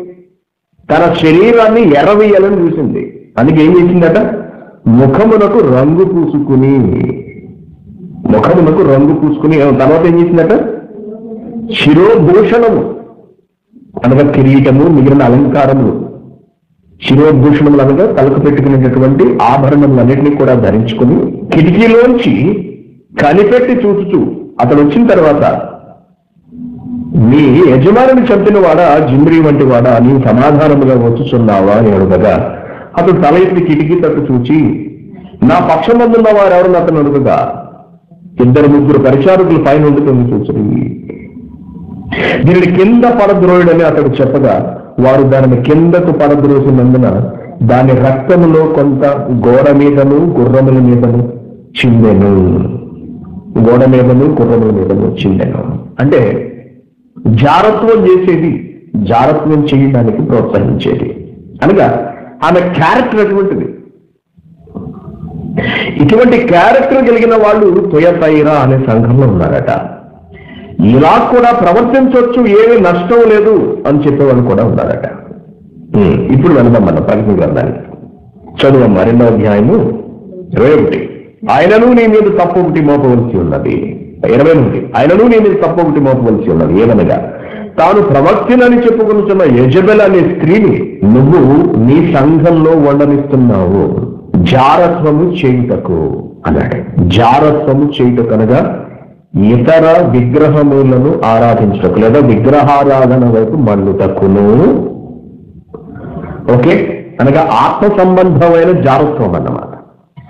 ఆత్మ సంబంధమైన జారత్వం. మరియు శరీర సంబంధమైన జారత్వంగా కూడా మనం ఇక్కడ దీన్ని తీసుకునే అవకాశం ఉన్నది. రెండు విధాలుగా కూడా మనం దీన్ని పరిగణించవచ్చు. ఓకే? ఆత్మ సంబంధమైన జాగ్రత్తం అంటే ఏమిటి? జాగ్రత్తం అంటే ఏమిటండి వ్యభిచరించడం మీ శరీరాన్ని నీ భర్తకు కాక మరొకరికి వాడటము. ఇదే జాగ్రత్తం అనగా వ్యభిచారం అనగా. ఓకే? ఇప్పుడు ఆత్మ సంబంధమైన జాగ్రత్తం అంటే ఏమిటి? నీకు తండ్రి ఎవరో తెలుసు. అందుకే నీకు దేవుడు ఎవరో తెలుసు. ఆయన శక్తియుక్తులు ఏమిటో తెలుసు. తెలుసుండి కూడా నీ అవసరాన్ని బట్టి దేవుడు కాని వారి దగ్గరకు కూడా నువ్వు వెళ్ళి మొక్కడము నీ అవసరాన్ని బట్టి అంటే నీకు భర్త ఉన్నాడు. భర్త ఉన్నా కూడా నువ్వు నీ అవసరాన్ని బట్టి పరాయి పురుషుడి దగ్గరకు చేరడం ఎంత పాపమో. నిన్ను కని నిన్ను పెంచి పోషిస్తున్న తండ్రి అయిన దేవుడు ఎవరో నువ్వు తెలుసుకున్నప్పటికీ కూడా నీ బలహీనతలను బట్టి ఇందాక చెప్పని చూశారండి? ప్రార్థన చేయలేదు. ఆ చర్చికి వెళ్తాం. ఇక్కడ మానే తనకి వెళ్ళిపోతాం. అక్కడ తగ్గలేదు. కదా వేరే చోటకి వెళ్ళి మేము తిరుపతి వెళ్ళి గుళ్ళు గుడించుకుంటాం లేదా మరొక చోటకి ఎక్కడికో వెళ్ళి అక్కడ మేము అక్కడ దర్శనం చేసుకుని తలమేళాలు సమర్పించుకుంటాం. లేకపోతే మరొక మతంలో మేము కలిసిపోతాం. ఒకవేళ ఆ దేవుడు ఏమైనా మాకు మేలు చేస్తాడేమో చూస్తాం.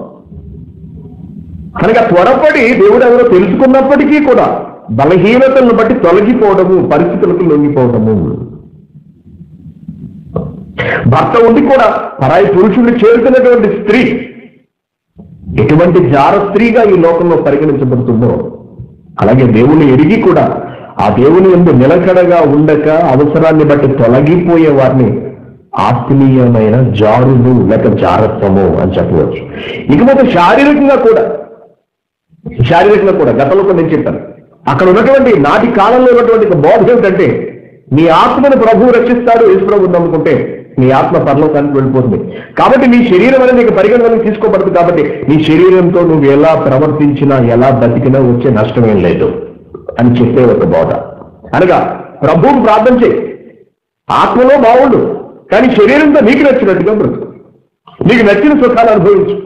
నువ్వు శుభ్రంగా తాగు తిరుగు ఏమీ కాదు అని చెప్పే ఒక విధమైనటువంటి బోధ. నీకులాయుతుల బోధ అని గతంలో చూసాము సరే మనం. అటువంటి బోధను పోలినటువంటి బోధ అన్నమాట. చెప్తున్నాడు ఇక్కడ. జారత్వం చేయుటకు విగ్రహములకు బలి ఇచ్చిన వాటిని తినుటకును. అంటే ఏమిటి? పర్వాలేదు నువ్వు ఇతర దేవుళ్ళను కూడా మొక్కు. ఏం కాదు. అని ఒక ధైర్యాన్ని వాళ్ళ అందించారు ఈశ్వరము నమ్ముకున్నావు కదా? No problem. మిగిలిన వాళ్ళు కూడా దేవుళ్ళే. ప్రార్థన చెయ్యి వాళ్ళకు కూడా మొక్కుకు. వాళ్ళు పెట్టేది తిను ఏమీ కాదు. వాళ్ళు దేవుళ్ళే కదా. ఆయన దేవుడే ఈయన దేవుడే. విశ్వరాన్ని మనలో కొందరు అంటూ ఉంటారు మాకు ఏ దేవుడైనా సమానమేనండి అంటుంటారు కొందరు హైందవ సహోదరులు వారికి సత్యం తెలియక వారికి చెప్పేవారు లేక పాప అర్థం చేసుకోలేక ఏమంటారంటే మాకు అదే ఉండదండి మాకు ఏ దేవుడైనా సమానమే అంటే అని వాళ్ళ దేవుళ్ళ పట్టాల పక్కన యేసు ప్రభు గారి పట్టం కూడా పెడతారు. దానికి కూడా ఆయన వాళ్ళు దండం పెట్టుకుంటారు. వెరీ గుడ్ వాళ్ళ భక్తిని మనం ఎక్కడేం తప్పు పట్టట్లేదు. తప్పు పట్టకూడదు కూడా. ఎందుకంటే వాళ్ళకి సత్యాసత్యాలు తెలియదు కాబట్టి వారికి జ్ఞానం తెలియదు కాబట్టి ప్రభు కూడా దేవుడే అని విశ్వసిస్తున్నారు. ప్రభు కూడా దేవుడే అని వాళ్ళు విశ్వసిస్తున్నారు. గమనించండి. కానీ ప్రభు ఒక్కడే దేవుడా కాదా అనేది వాళ్ళకి తెలియదు.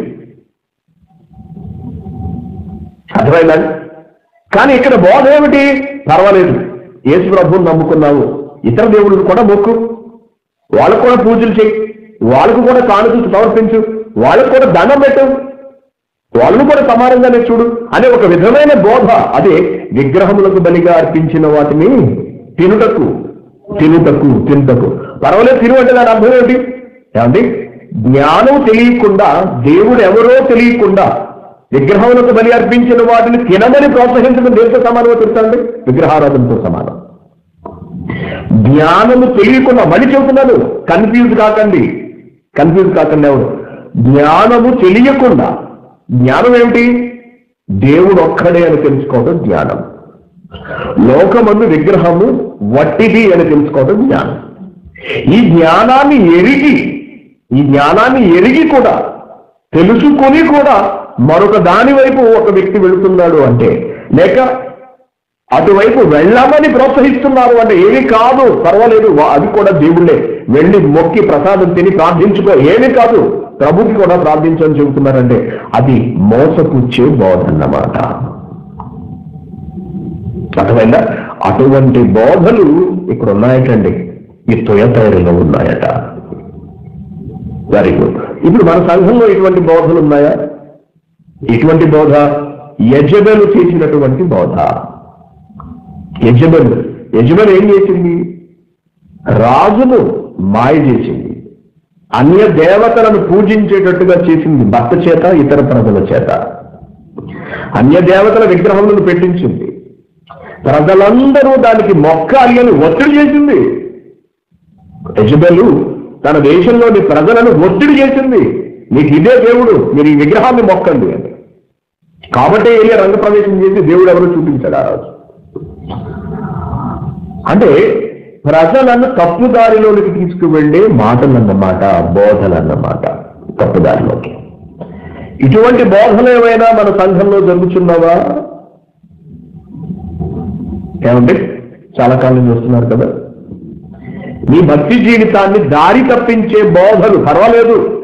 నువ్వేం చేసినా పర్వాలేదు. నువ్వు పాపం చేసినా పర్వాలేదు నువ్వు వ్యభిచారం చేసినా పర్వాలేదు నువ్వు జారత్వం చేసినా పర్వాలేదు దేవుడు నిన్ను క్షమించేస్తాడు.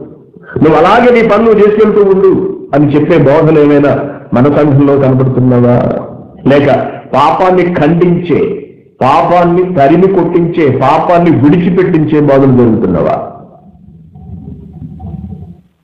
ఆలోచించండి. కానీ తుయతైరలో పాపాన్ని ప్రోత్సహించే బోధలు జరుగుతున్నాయట. అటువంటి మనస్తత్వం కలిగిన వాళ్ళు సంఘంలో ఉన్నారట.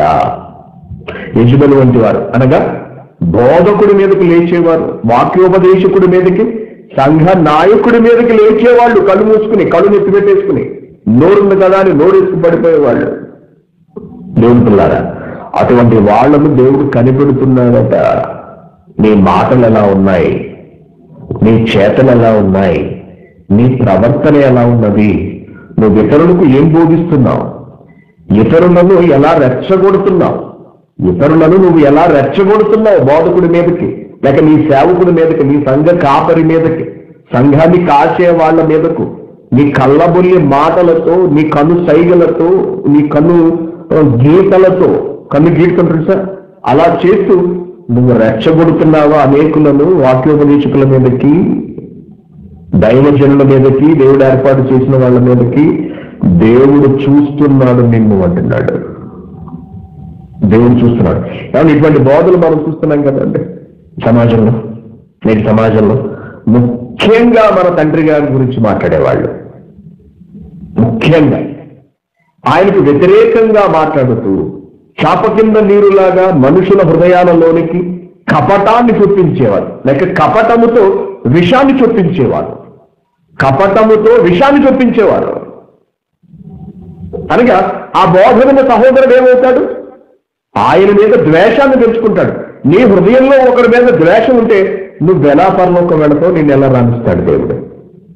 మరి నీలో ద్వేషాన్ని నింపిన వాడు ఎవడు? నీ బోధకుడే. ఇటువంటి బోధకులను మనం చూస్తున్నాం ఈ మధ్యకాలంలో. ఒక నాలుగైదు ఏళ్ళ నుంచి ఈ ట్రెండ్ ఒకటి బయలుదేరింది. ఈ ట్రెండ్. గతంలో మీకు చాలాసార్లు చెప్పాను. నువ్వు ఒక సంఘం అయిపోవాలా? పిడి సుందరరావు గారిని తిట్టు. అప్పుడు కొంతమంది నీ వెనక్కి చేరిపోతారు. నువ్వు ఒక సంఘం అంటే అయిపోయింది ఫినిష్ ఈ మధ్య కోవిడ్లో కూడా బయలుదేరండి. ఈ మధ్య కాలంలోనే. నాకు వ్యతిరేకంగా కొంతమంది క్యాంపైనింగ్ చేస్తున్నారు. క్యాంపైనింగ్ అంటే ఒక శిబిరం ఏర్పాటు చేశారు. నా మీద వ్యతిరేకంగా మాట్లాడటం మొదలుపెట్టి కొంతమందిని తమ వైపు లాక్కునే ప్రయత్నం చేశారు. ఓకే కొంతమంది వెళ్ళారు. ఒకళ్ళిద్దరు వెళ్ళారు. ఒకళ్ళిద్దరు వెళ్ళారు. వెళ్తారు. ఎందుకంటే అవతల వాళ్ళు అటువంటి మాటలు మాట్లాడతారు. ఎటువంటి మాటలు సహోదరుడి మీద ద్వేషాన్ని పుట్టించే మాటలు. వాళ్ళు ఎటువంటి వాళ్ళు తెలుసా? యజ్జబెలు వంటి వాళ్ళు. వాళ్ళను కనిపెడుతున్నాడు ప్రభువు కనిపెడుతున్నాడు నువ్వేం బోధిస్తున్నావు? నీ సహోదరుడి మీద నువ్వు ద్వేషాన్ని నూరిపోస్తున్నావా కోపాన్ని ఎక్కిస్తున్నావా? అసహనాన్ని నూరిపోస్తున్నావా? ఎదిరించమని పురుకొల్పుతున్నావా ఎదిరించమని ఎదిరించమని. తిరగబడమని నువ్వు రెచ్చగొడుతున్నావా నీ సహోదరుడిని నీ సహోదరుడిలో ఉన్న సకల సద్గుణాలను నీ మాటల ద్వారా తీసేసావా నువ్వు బయటికి? వాడిలోకి చెడ్డ లక్షణాలను చొప్పించావా? నువ్వు దేవుడి ముందు నిలబడిపోతావు. నిన్నేం చేస్తాడో చెప్తున్నాడు చూడండి. కిందకు చెప్పుకుంటున్నాడు దేవుడు. ఇరవై ఒకటి వచ్చిన మారు మనస్సు పొందుటకు నేను దానికి సమయం ఇచ్చితిని గాని అది తన జారత్వమును విడిచిపెట్టి మారు మనస్సు పొంద నొల్లదు ఇటువంటి వాళ్ళు మారలేకపోతున్నారు. నేను ఎంత టైం ఇచ్చిన అంటున్నాడు. కుక్క తోక వంకర్లాగా కొంతకాలం బాగుంటారు. మళ్ళీ వీళ్ళ హృదయాలలో విషం అనేది నిండిపోతుంది. మళ్ళీ తమ పద్ధతులను మార్చేసుకుంటారు. తమకు అధికారం కావాలి. ఎంతకాలం ఇలా కూర్చోవాలి మేము? మాకు రాదా? మాకు వాకింగ్ అవకాశం రా కాబట్టి మేమే పది మంది మనసులు విరిచి మనసులు విరిచి మేము పది మంది లాక్కెళ్ళిపోతాం అని తయారైపోయే వాళ్ళు ఉన్నారు. చూస్తున్నాడట దేవుడు నువ్వు మారు మనసు పొందుతావని నేను ఎదురు చూస్తున్నాను. ఇదిగో నేను దానిని మంచము పట్టించి ఎందుకు మంచం పట్టిస్తానంటున్నాడు అది తన జారత్వమును విడిచిపెట్టి మారు మనసు పొంద నొల్లదు మారలేకపోతున్నారు ఇటువంటి వాళ్ళు. కాబట్టి నేను దానిని మంచము పట్టించి దానితో కూడా వ్యభిచరించి వారు. దాని క్రియల విషయమై అంటున్నాడు. దాని క్రియల విషయమై. దాని క్రియలంటే ఏ క్రియలు? మూడు నైట్ చూడండి. కింద ఫుట్నోట్లో రాశాడు. తమ అని సారాంశం అనగా తమ క్రియల విషయమై. మారు మనస్సు పొందితేనే గాని వారిని బహుశ్రమల పాలు చేసేదను. అంతేకాదు దాని పిల్లలు కూడా నిశ్చయముగా చచ్చిపోతారు వారి దుష్ప్రవర్తన వలన. అనగా వాళ్ళ వాక్యములకు దూరం అయిపోతారు ఆత్మీయంగా మరణిస్తారు అని చెబుతున్నాడు. అందువలన అంతరింద్రియములను హృదయములను పరీక్షించి వాడను. నేనే అని సంఘములన్నీ తెలుసుకొనును. నేనే అన్నిటినీ కనిపెడుతున్న వాడను. నేనే తగిన శిక్షను విధించేవాడను నేనే తగిన శాస్తిని చేసేవాడినని సంఘాలన్నీ తెలుసుకోవాలి అని అంటున్నాడు. సంఘాలన్నీ తెలుసుకోవాలి. దేవుని పిల్లారా మనం ఎలా ఉందామా జారత్వం చేసే జారత్వాన్ని ప్రోత్సహించే బోధలున్నవా మన సంఘంలో? వ్యభిచారాన్ని ప్రోత్సహించే బోధలున్నవా? లేక ఖండించే బోధలున్నవా? మనసు మార్చుకోమని చెప్పే బోధలున్నవా? ప్రవర్తనను నియంత్రించుకోమని చెప్పే బోధలున్నవా? లేక పాపాన్ని ప్రోత్సహించే నువ్వు తప్పు చేయం కాదు అని చెప్పే బోధలున్నాయా? దేవుడు చెప్పింది చెప్పినట్టుగా చెబుతున్నాం. కాబట్టి ఒకవేళ ఇటువంటి వాళ్ళు ఎవరైనా ఈ తరహా బోధలను సంఘంలోకి కనుక తీసుకొస్తున్నట్లయితే మళ్ళీ చెప్తున్నాను నేను ఈ తరహా బోధలు అనగా సంఘానికి వ్యతిరేకంగా మాట్లాడే వారి బోధలు వాక్యములకు వ్యతిరేకంగా మాట్లాడే వారి బోధలు కనుక ఎవరైనా సంఘంలోకి తీసుకొచ్చి చూపిస్తున్నట్లయితే మీ భవిష్యత్తు భయంకరంగా ఉండబోతోందని మాత్రం దేవుడు చెప్తున్నాడు గుర్తుంచుకోండి. మీ ప్రవర్తనను కనిపెడుతున్నాడు. చాప కింద నీరులాగా మీరు చేస్తున్న ప్రతి పనిని దేవుడు గమనిస్తున్నాడు. నువ్వు ఏ బోధ విని మారు మనస్సు పొందావో ఆ బోధను విడిచిపెట్టి మరొక సువార్తను మరొక బోధను కనుక నువ్వు సంఘంలోనికి తీసుకొస్తున్నట్టయితే నిన్ను నీ బిడ్డలను కూడా దేవుడు విడిచిపెట్టనంటున్నాడు. జాగ్రత్త. జాగ్రత్త. ఇటువంటి వాళ్ళు ఎవరున్నారో వాళ్ళకి చెబుతున్నాను నేను ఈ వాక్యాన్ని బట్టి. జాగ్రత్త పడండి మీరందరూ కూడా. మీ మనస్సు మార్చుకోండి. మరలా చెప్తున్నాను ఇక్కడ ఏమంటున్నాడు ప్రభు? ఏమంటున్నాడు ప్రభు? నేను దానిని మంచం పట్టించి దానితో కూడా వ్యభిచరించేవారు. దాని క్రియల విషయమై మారు మనస్సు పొందితే సరి. మారు మనస్సు పొందితేనే గాని వారిని బహు శిరమల పాలు చేస్తాను నేను నువ్వు మారు మనస్సు పొందకపోతే అంటున్నాడు. దాని పిల్లలను నిశ్చయముగా చంపదను నువ్వు నీ బోధ కనుక మారిందా? సంఘంలోకి ఇటువంటి బోధను గాని నువ్వు తీసుకొచ్చి అనేకులను కలవరపరిచే ప్రయత్నం గాని చేస్తున్నావా? అనేకుల మనస్సులను మారుస్తున్నావా? సహోదరుల మనస్సులలో విషాన్ని నింపుతున్నావా? నిన్ను నీ బిడ్డలను విడిచిపెట్టడు దేవుడు జాగ్రత్త. దీనిని బట్టి అంతరింద్రియములను హృదయములను పరీక్షించువాడను నేనే అని సంఘములన్నీ కూడా తెలుసుకోవాలి ప్రతి ఒక్కరూ తెలుసుకోవాలంటున్నాడు. తెలుసుకోవాలి. చూసారండి పరిస్థితులలో ఉన్నాయి. తొయతైర. మన సంఘం దగ్గర పెట్టుకు ఆలోచించాం. తొయతైర సంఘం ఎలా ఉంది? మన సంఘం ఎలా ఉంది? తొయతైరను దేవుడు కనిపెడుతున్నాడు. మన సంఘాన్ని కూడా దేవుడు కనిపెడుతున్నాడు. మనం ఎలా ప్రవర్తిస్తున్నావు కనిపెడుతున్నాడు. మన బోధన ఎలా ఉన్నావు కనిపెడుతున్నాడు. తప్పు మాటలతో ప్రజలను తప్పుదారి పట్టించేవాడిని కూడా దేవుడు కనిపెడుతున్నాడు. జాగ్రత్త దేవుడు పిల్లలారా మీ అతి తెలివి చేటలతో సహోదరుల హృదయాలు కానీ మీరు విరిచేస్తున్నారేమో మిమ్మల్ని దేవుడు పరిగణలోకి తీసుకోవాల్సిన పరిస్థితి మీరు చేజేతులా తెచ్చేసుకుంటున్నారు చేజేతుల ఇటువంటి కార్యక్రమాలు పెరుగుతున్నాయి. ఎవరైతే ఇటువంటి కార్యక్రమాలు చేస్తున్నారో మిమ్మల్ని దేవుడు గమనిస్తున్నాడు ఒక కంట.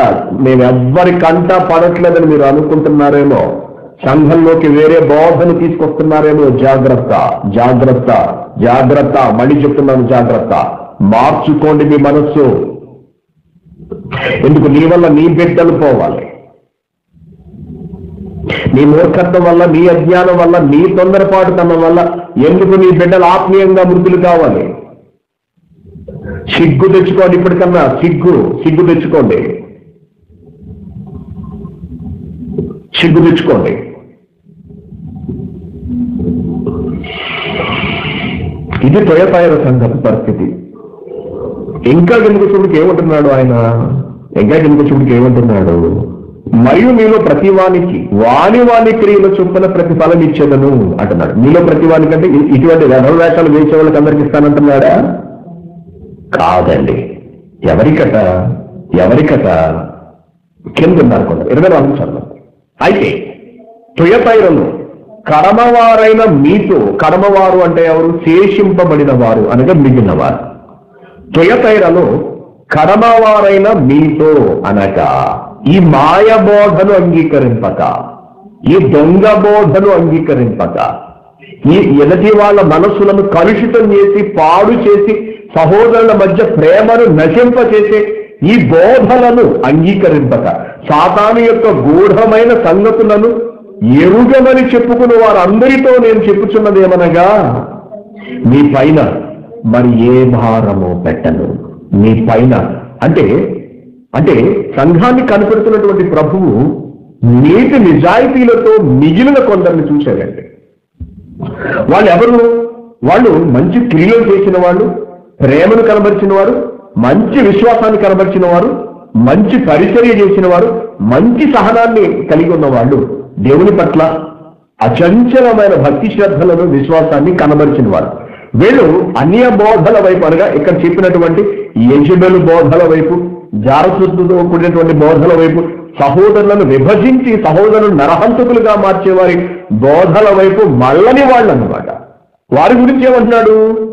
మీ పైని మరి ఏ భారమును ఇక పెట్టండి నేను వచ్చే వరకు మీకు కలిగి ఉన్న దానిని గట్టిగా పట్టుకోండి ఇప్పుడు మీరు ఎలా ఉన్నారో చక్కగా బ్రతుకుతున్న వాళ్ళారా ప్రేమ ఓర్పు సహనము దీర్ఘశాంతము వీటన్నిటినీ కలిగి దొంగ బోధను ఆశ్రయించని వారిని ఎంటర్టైన్ చేయని వారి మాట వినని మంచి భక్తులారా మీరు వచ్చే వరకు మీకు కలిగి ఉన్న దానిని గట్టిగా పట్టుకోండి. నేను నా తండ్రి వలన అధికారం పొందినట్టు జయించుచు అంతము వరకు కనుక మీరు నా క్రియలను జాగ్రత్తగా చేస్తే జనుల మీద మీకు అధికారం ఇస్తాను అంటున్నాడు తొయపైన వారితో అంటే మనం తొలగిపోకూడదు. మన విశ్వాసంలో బలహీనలు కాకూడదు. మనకు జబ్బు వచ్చిందనో లేకపోతే మనకు కష్టం వచ్చిందనో మనం ఆర్థికంగా చిక్కిపోయామనో లేకపోతే మన బిడ్డలకి ఏదో అయిందనో ప్రభువులు తొలగిపోకూడదు ఎన్ని కష్టాలు వచ్చినా ఎన్ని శ్రమలు వచ్చినా ఎన్ని ఇబ్బందులు వచ్చినా. మన భక్తి జీవితాన్ని అంతము వరకు కొనసాగించాలి. కేవలం కొనసాగించడమే కాదు నానాటికి నానాటికి బలపరుచుకోవాలి. దృఢపరుచుకోవాలి. మనం జయశాలం కావాలి. అందుకే ఆయన ఏమంటున్నాడు? నేను నా తండ్రి వల్ల అధికారం పొందినట్టు జయించుచు. అంతము వరకు నా క్రియలు జాగ్రత్తగా చేయడానికి జనుల మీద అధికారమిచ్చదను. అతడు ఇనుప దండముతో వారిని ఏలును జనులను పరిపాలిస్తాడు అటువంటి వారు. ఇనుప దండముతో జనులను ఏలును వారు కొమ్మరి వారి పాత్రల వలె పగుల కొట్టబడుతురు ఎవరు? ఎవరైతే దొంగ బోధలతో ఉన్నారో దొంగ బోధనలు అనుసరిస్తున్నారో వారు కొమ్మరి వారి పాత్రల వలె పగుల కొట్టబడుతురు అని మరియు అతనికి వేకువ చుక్కనిచ్చేదను. సంఘములతో ఆత్మ చెప్పుచున్న మాట చెవి గలవాడు వినుగాక అంటున్నాడు ప్రారంభం నుంచి బాగుంది. చివరి వరకు కూడా బాగుంది. కానీ నేను ఇంకా బాగోండి. ఇంకా అదే పట్టుదలను అదే భక్తిని కలిగి మీరు ముందుకు కొనసాగండి. నేను మీకు జనుల మీద అధికారం ఇస్తాను అంటున్నాడు. మీరు జయించండి అంటున్నాడు. జయించడం అంటే శ్రమను జయించు కష్టాలను జయించు శోధనలు జయించు వీటన్నిటిని మించి మీ దేహాన్ని జయించు. అందుకే మనం ఒక చిన్న చిన్న కార్యక్రమంలో అంటే సాక్షిస్తాం కంటి మీద నియంత్రణ చెవుల మీద నియంత్రణ అనగా వినికిడి మీద. దేవునికుల మీరు కంటిని ఆపండి. మీ హృదయం ఎంత నిర్మలంగా ఉంటుందో మీకు అర్థమవుతుంది. అనగా పాపాలు ఆగిపోతాయి. బయట నుండి పాపాలు లోపలికి వెళ్ళకుండా నిలిచిపోతాయి. వెరీ గుడ్ గత వారం మరొక టాస్క్ ఇచ్చాను. మీ చెవి మీ చెవిని అనవసరమైన మాటలకు వినియోగించకండి. మీ చెవికి అనవసరమైనవి వినిపించకండి. చెప్పుడు మాటలు వినిపించకండి. తప్పుడు మాటలు వినిపించకండి. సినిమా పాటలు వినిపించకండి. సినిమాలు వినిపించకండి. మీ చెవికి మంచి మాటలు అవసరమైన మాటలు మరియు దైవవాక్కులు మాత్రమే వినిపించండి అన్నాడు. ఎంతమంది దీన్ని ఇంతవరకు ఆచరణలో పెట్టారు? మనం ప్రారంభించినప్పుడే మూడో రోజు. ఎంతమంది చేయగలుగుతున్నారు? ఎంతమంది చేయగలుగుతున్నారు? కొంతమంది అమల్లో పెడుతున్నారు. దేవుడు పిల్లారా ఈ మాటలు అనేవి చాలా ప్రమాదం తెచ్చిపెడతాయండి. మన వాళ్ళలో చాలా మంది ఈ మాటలు వినే సర్వనాశనం అయిపోయారు తమ భక్తిని కోల్పోయారు తెలుసా అండి? తమ భక్తిని కోల్పోయి మొదటి విశ్వాసమును కోల్పోయి మొదటి ప్రేమను కోల్పోయండి. ఒక సాధారణమైన చర్చికి వెళుతున్నారు అనుకున్నారు ఇంత వాక్యాన్ని విని పరీక్షలు వ్రాసి జ్ఞానాన్ని అభ్యసించి జ్ఞానం లేని ఒక చోటుకి వెళ్ళి వాక్యానుసారము కాని ఒక బోధను కూర్చుంటున్నారు అంటే వినడం ఎంత ప్రమాదమో చూసారా అండి? చెప్పేవాళ్ళకి ఎలాంటి బుద్ధి ఉండదు. చెప్పే వాళ్ళకి బుద్ధి ఉండదండి తెలుసా మీకు? వాడు మనుషులను విభజించే ఆలోచనతోనే మాట్లాడతాడు. హృదయాలను కలుషితం చేయాలనే మాట్లాడుతుంటాడు ఎదుటివాడు. కళ్ళబుల్లి మాటలు ప్రయోజనం లేని మాటలు కపటముతో కూడినటువంటి మాటలు శరీర సంబంధమైన మాటలు మాట్లాడుతూ ఉంటాడు. దేవుడున్నారా అటువంటి మాటలు మనం వింటే విన్నవాడు పోతాడు. విన్నవాడు పోతాడు తెలుసా మీకు? మనం విన్నాం నేను వింటే నేను పోతాను. ఏవేవో చెబుతుంటాను కదా. చెప్పాను కదా పోయిన వారం మీకు. ఆ. ఏవేవో చెబుతూ ఉంటారు. వినలేని నేను ఏది కూడా. అంటే పట్టించుకోలేదు దాని వలన ప్రభావితం అయిపోయేంతగా నేను మనసు పెట్టను దాని మీద. ఎందుకు పనికిరాను? వాళ్ళకి ఎరిగి గొడవలు. అది వీళ్ళకి వాళ్ళకి గొడవలు? ఓ చెప్పేసుకుని ఉంటారు. చెప్పి చెప్పి చెప్పి చెప్పి. వీళ్ళ మీద వాళ్ళు వాళ్ళ మీద వీళ్ళు వీళ్ళ మీద వాళ్ళు. నన్ను అలా అన్నదండి. నన్ను ఎలా అన్నదండి నా గురించి అలా చెప్తుందంటండి నా గురించి ఎలా చెప్తుందంటండి? లేకపోతే నన్ను వాళ్ళ దగ్గర ఎలా నన్ను హేళనగా మాట్లాడ మాట్లాడుతున్నానంటండి లేకపోతే ఫలానా కూడా అలాంటి కదండి? సంఘానికి వచ్చి ఇలా చేస్తాడంట కదా. లేకపోతే ఇలా ఏదో జరుగుతుందంట కదా. అతను అలాంటిదంట కదా. ఈవిడ ఎలాంటిదంట కదా. మనకెందుకు? నీకు అవసరమా? నీకు అవసరమా ఈ మాటలండి లోకాభిరామాయణం మనకు అవసరమా? లోకంలో ఏం జరుగుతుందో ఎవరెవరితో తిరుగుతున్నారు ఎవరెవరు కొట్టుకున్నారు ఎవరెవరు తన్నుకున్నారు ఎవరెవరు నరుక్కున్నారు ఇవన్నీ మనకు అవసరమా? మనం చెప్పుకోవాలా? దేవుడు మనకు చెవులు ఎందుకు ఇచ్చాడు? వాక్యాన్ని వింటామని నేత్రాలు ఎందుకు ఇచ్చాడు? వాక్యాన్ని చదువుతావు నీ జీవితాన్ని చక్కగా సాఫీగా నడిపించుకుంటావని. అంతే తప్పించి ప్రతి వ్యర్థమైన వాడికి మన అవయవాలు ఉపయోగించామనుకోండి వాటికి మనం దాసులు అయిపోతాం.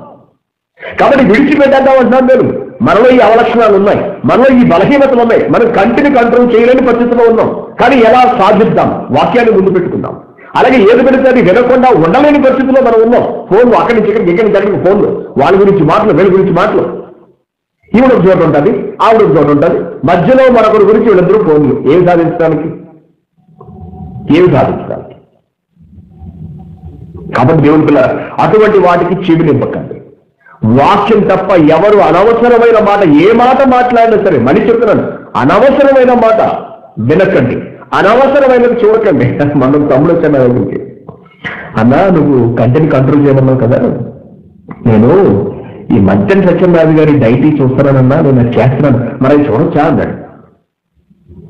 కాబట్టి నేను ఏం చెప్పాను మీకు? అనవసరమైనవి మాత్రమే చూడొద్దన్నాను కానీ నీకు అది అవసరమైతే నువ్వు ఎందుకు చూడకూడదు అన్నాను నీకు అది అవసరం నువ్వు డైట్ చేస్తున్నావు ఆయన ఏం చెబుతున్నాడు ఇప్పటికప్పుడు వింటూ ఉండాలి. నేను డైట్ చేస్తున్నాను నేను కూడా ఆయన ఏం చెబుతుంటాడు వింటూ ఉంటాను లేక వీరమాశ్రేణి గారికి కూడా నేను వింటూ ఉంటాను. అది అవసరం. అవసరమైంది వినండి అవసరమైంది చూడండి అనవసరమైంది చూడకండి అనవసరమైనది వినకండి. కంటిని నేత్రములను కంట్రోల్ చేయండి. మీ పాపాలు ఎంత అద్భుతంగా ఆగిపోతాయో మీరు ఆలోచించండి. మీ మనసు ఎంత తేలికపడుతుంది? ఇలా మనం అవయవాలను ఈ దేహాన్ని ఈ లోకాన్ని జయించుకుంటూ వెళ్ళాలి. అవయవం నుండి వచ్చే ప్రతి పాపాన్ని మనం ఆపగలగాలి. అందుకే జయించమంటున్నాడు మొదలు పెట్టండి. ప్రతి అవయవాన్ని జయిద్దాం. ప్రతి అవయవాన్ని దేవుడికి అనుకూలంగా మనం వాడదాం. అలా వాడినప్పుడే మనం జయశాలులం కాగలము. జయశాలులం కాగలము.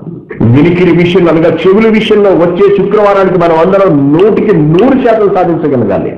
చాలా త్వరగా ఈ బలహీనతను మనం అధిగమించవచ్చు. ఎందుకంటే వినటమే కదా. చూడటం అంత కష్టమైంది కాదు. చూపును నియంత్రించడం ఒక రకంగా కత్తి మీద సామె అది యుద్ధమే అది పోరాటమే. కానీ వినికిడిని పర్వాలేదు. తేలిగ్గానే మనం జయించవచ్చు. కాబట్టి చేద్దాం ఒక పక్కన కంటిని కంట్రోల్ చేస్తూ మరొక పక్కన చెవిని కూడా మనం నియంత్రిస్తూ అన్నిటినీ దేవునికి అనుగుణంగా మనం చేసుకుంటూ వెళ్ళడం దేవుని మీద మన ఏకాగ్రతను పెడదాము. అందుకే జయించమంటున్నాడు నీ విశ్వాసంలో విజయాన్ని చూపించు. నీ ప్రేమలో విజయాన్ని చూపించు. ఇంకేమంటున్నాడు? నీ క్రియలలో నువ్వు విజయాన్ని చూపించు. ఓడిపోకు. ఎక్కడా నువ్వు ఓడిపోకు. ఓడిపోవడానికి వీళ్ళు ఎందుకంటే నేను జయించాను. నన్ను నమ్మిన నువ్వు నాలాగే జయించాలి. నా వెనక నిలబడిన నువ్వు నాలాగే ప్రతి విషయంలోనూ ధైర్యవంతుడివి కావాలి అంటాడు ప్రభు. ఎక్కడ భయపడదు నమ్ము నేను చేయగలనా చేయలేను అని ఎక్కడ తటపటాయించలేదు ప్రభు వెనకడుగు వేయలేదు. ఆయన వలె మరలను కూడా జయించాలి అంటున్నాడు. పరిచర్య విషయంలో నువ్వు బాగుండాలి నీ సహనం విషయంలో కూడా నువ్వు జయించాలి అంటాడు ప్రభు పరిచర్య ఏంటాడు కదండి మన తెలియదు ఉందండి ప్రభు చేసిన పరిచర్య ఏమిటండి? శిష్యుల పాదాలు కడిగాడండి. శిష్యుల పాదాలు. నేనేమిటి? మీ కాళ్ళు కలగటం ఏమిటి? అన్నాడండి. ఆ? ఆయనంతటా ఆయనే లేచాడు.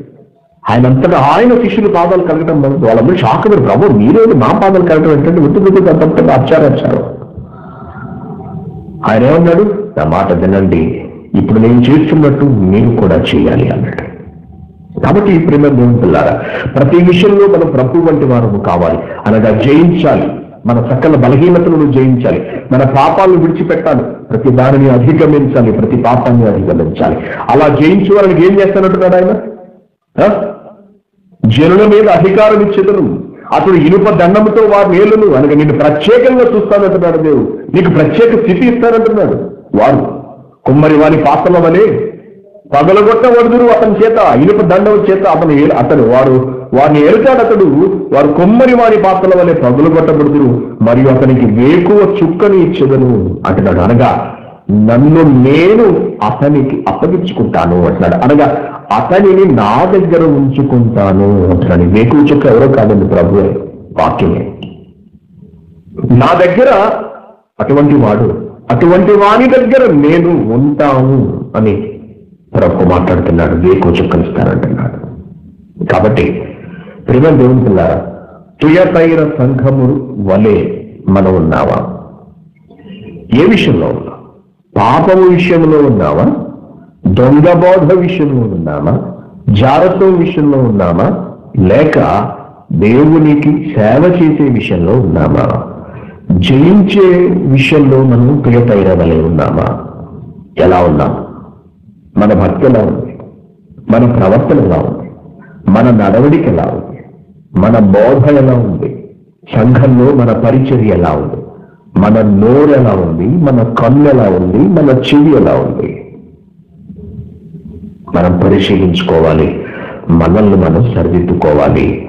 మనం సరిదిద్దుకోక మూర్ఖత్వంతో వెళ్తున్నాం అనుకోండి ముందుకి. ఎన్నిసార్లు చెప్పినా వినక లోబడక అదే అజ్ఞానంతో మనం ముందుకు వెళ్ళిపోతుంటే మనలో మారు మనస్సు లేకపోతే దేవుడు ఎట్టి పరిస్థితుల్లోనూ విడిచిపెట్టడు క్షమించడు. అదే ఇక్కడ అంటున్నాడు దాని గురించి మాట్లాడుతూ ఏమంటున్నాడు?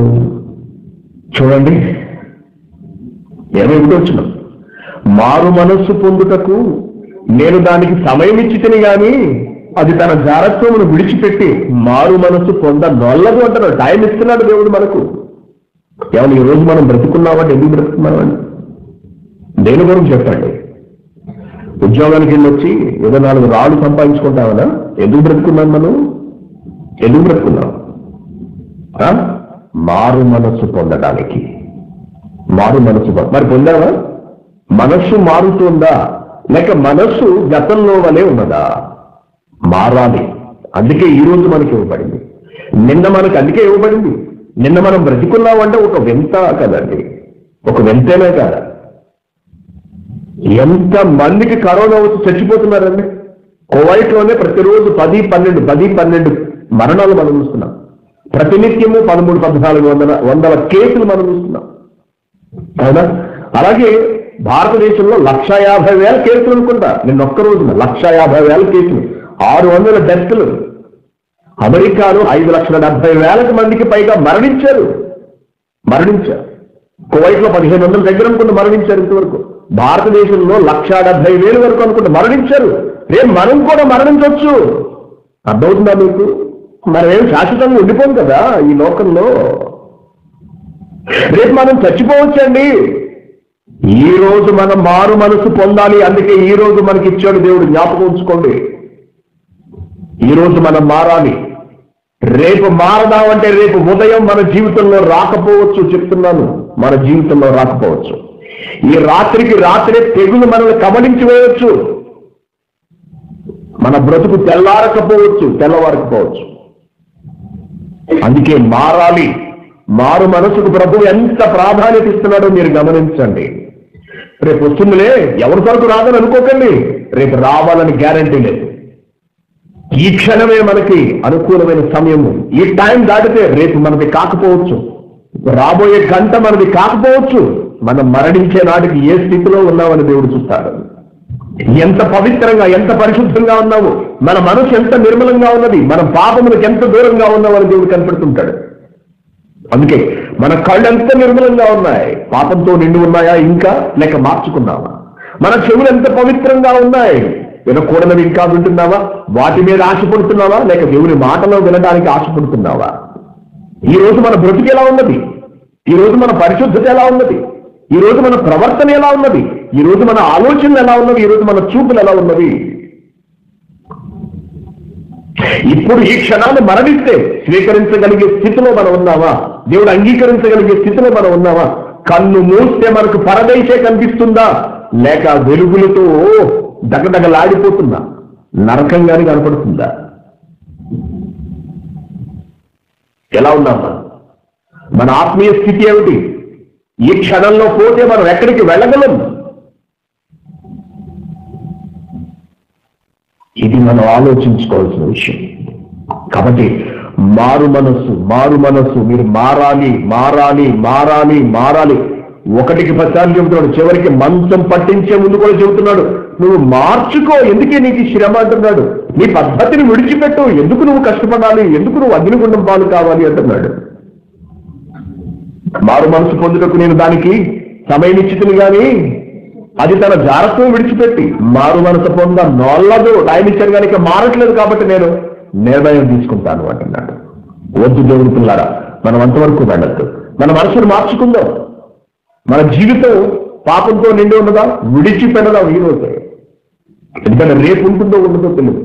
మన మనస్సు పాపంతో నిండి ఉన్నదా? వదిలేయాలి. మన చూపులలో పాపం ఉన్నదా? విడిచిపెట్టి చేయాలి అంటున్నాడు. కాబట్టి తుయతైర ఈ తుయతైర నుండి క్రైస్ట్ చర్చ్ కోవైట్ దానిలో ఉన్నటువంటి సభ్యులమైన మనము నేర్చుకోవాల్సిందండి ఇది. వారు మనసు పొందాలి. దొంగ బోధన విసర్జించాలి. తప్పుడు బోధకు దూరంగా ఉండాలి. వాక్యాన్ని కలుషితం చేసే బోధలకు ఆ మనుషులకు దూరంగా ఉండాలి. అటువంటి వాళ్ళు కూడా జాగ్రత్త కలిగి బ్రతకాలి మారాలి తమ పద్ధతిని మార్చుకోవాలి చెబుతున్నాడు. కాబట్టి త్వయతైరను మనం మార్గదర్శకంగా తీసుకుందాం. త్వయతైర వలె క్రియలలో మనం గొప్పవాళ్ళు అవుదాం. ప్రేమను కనబరుద్దాం. సాటి మనిషి పట్ల అంతకు మించి దానికి ముందు దేవుని పట్ల. అలాగే దేవుని పట్ల గొప్ప విశ్వాసాన్ని మనం కనబరుద్దాము. మంచి పరిచర్యను చేద్దాం. సంఘం కొరకు పరిచర్య చేద్దాం. సంఘం అందరం కలిసి ప్రభు కొరకు పరిచర్య చేద్దాం. అలాగే మన పనులలో మన ప్రవర్తనలో సాటి వారి పట్ల మనం సహనాన్ని కలిగి ఉందాము. ఇది తొలతైర మనకు నేర్పిస్తున్నటువంటి మంచి పాఠము తీయనైన పాఠము. అలాగే తొలతైరలోని కొందరి వలె మనం ఉంటే మనం కూడా మంచం పట్టించబడి చస్తాము అన్నది ఈ పాఠం మనకు నేర్పుతున్నటువంటి గుణపాఠము. అర్థమైంది కదా? కాబట్టి జాగ్రత్త ప్రతి ఒక్కరు.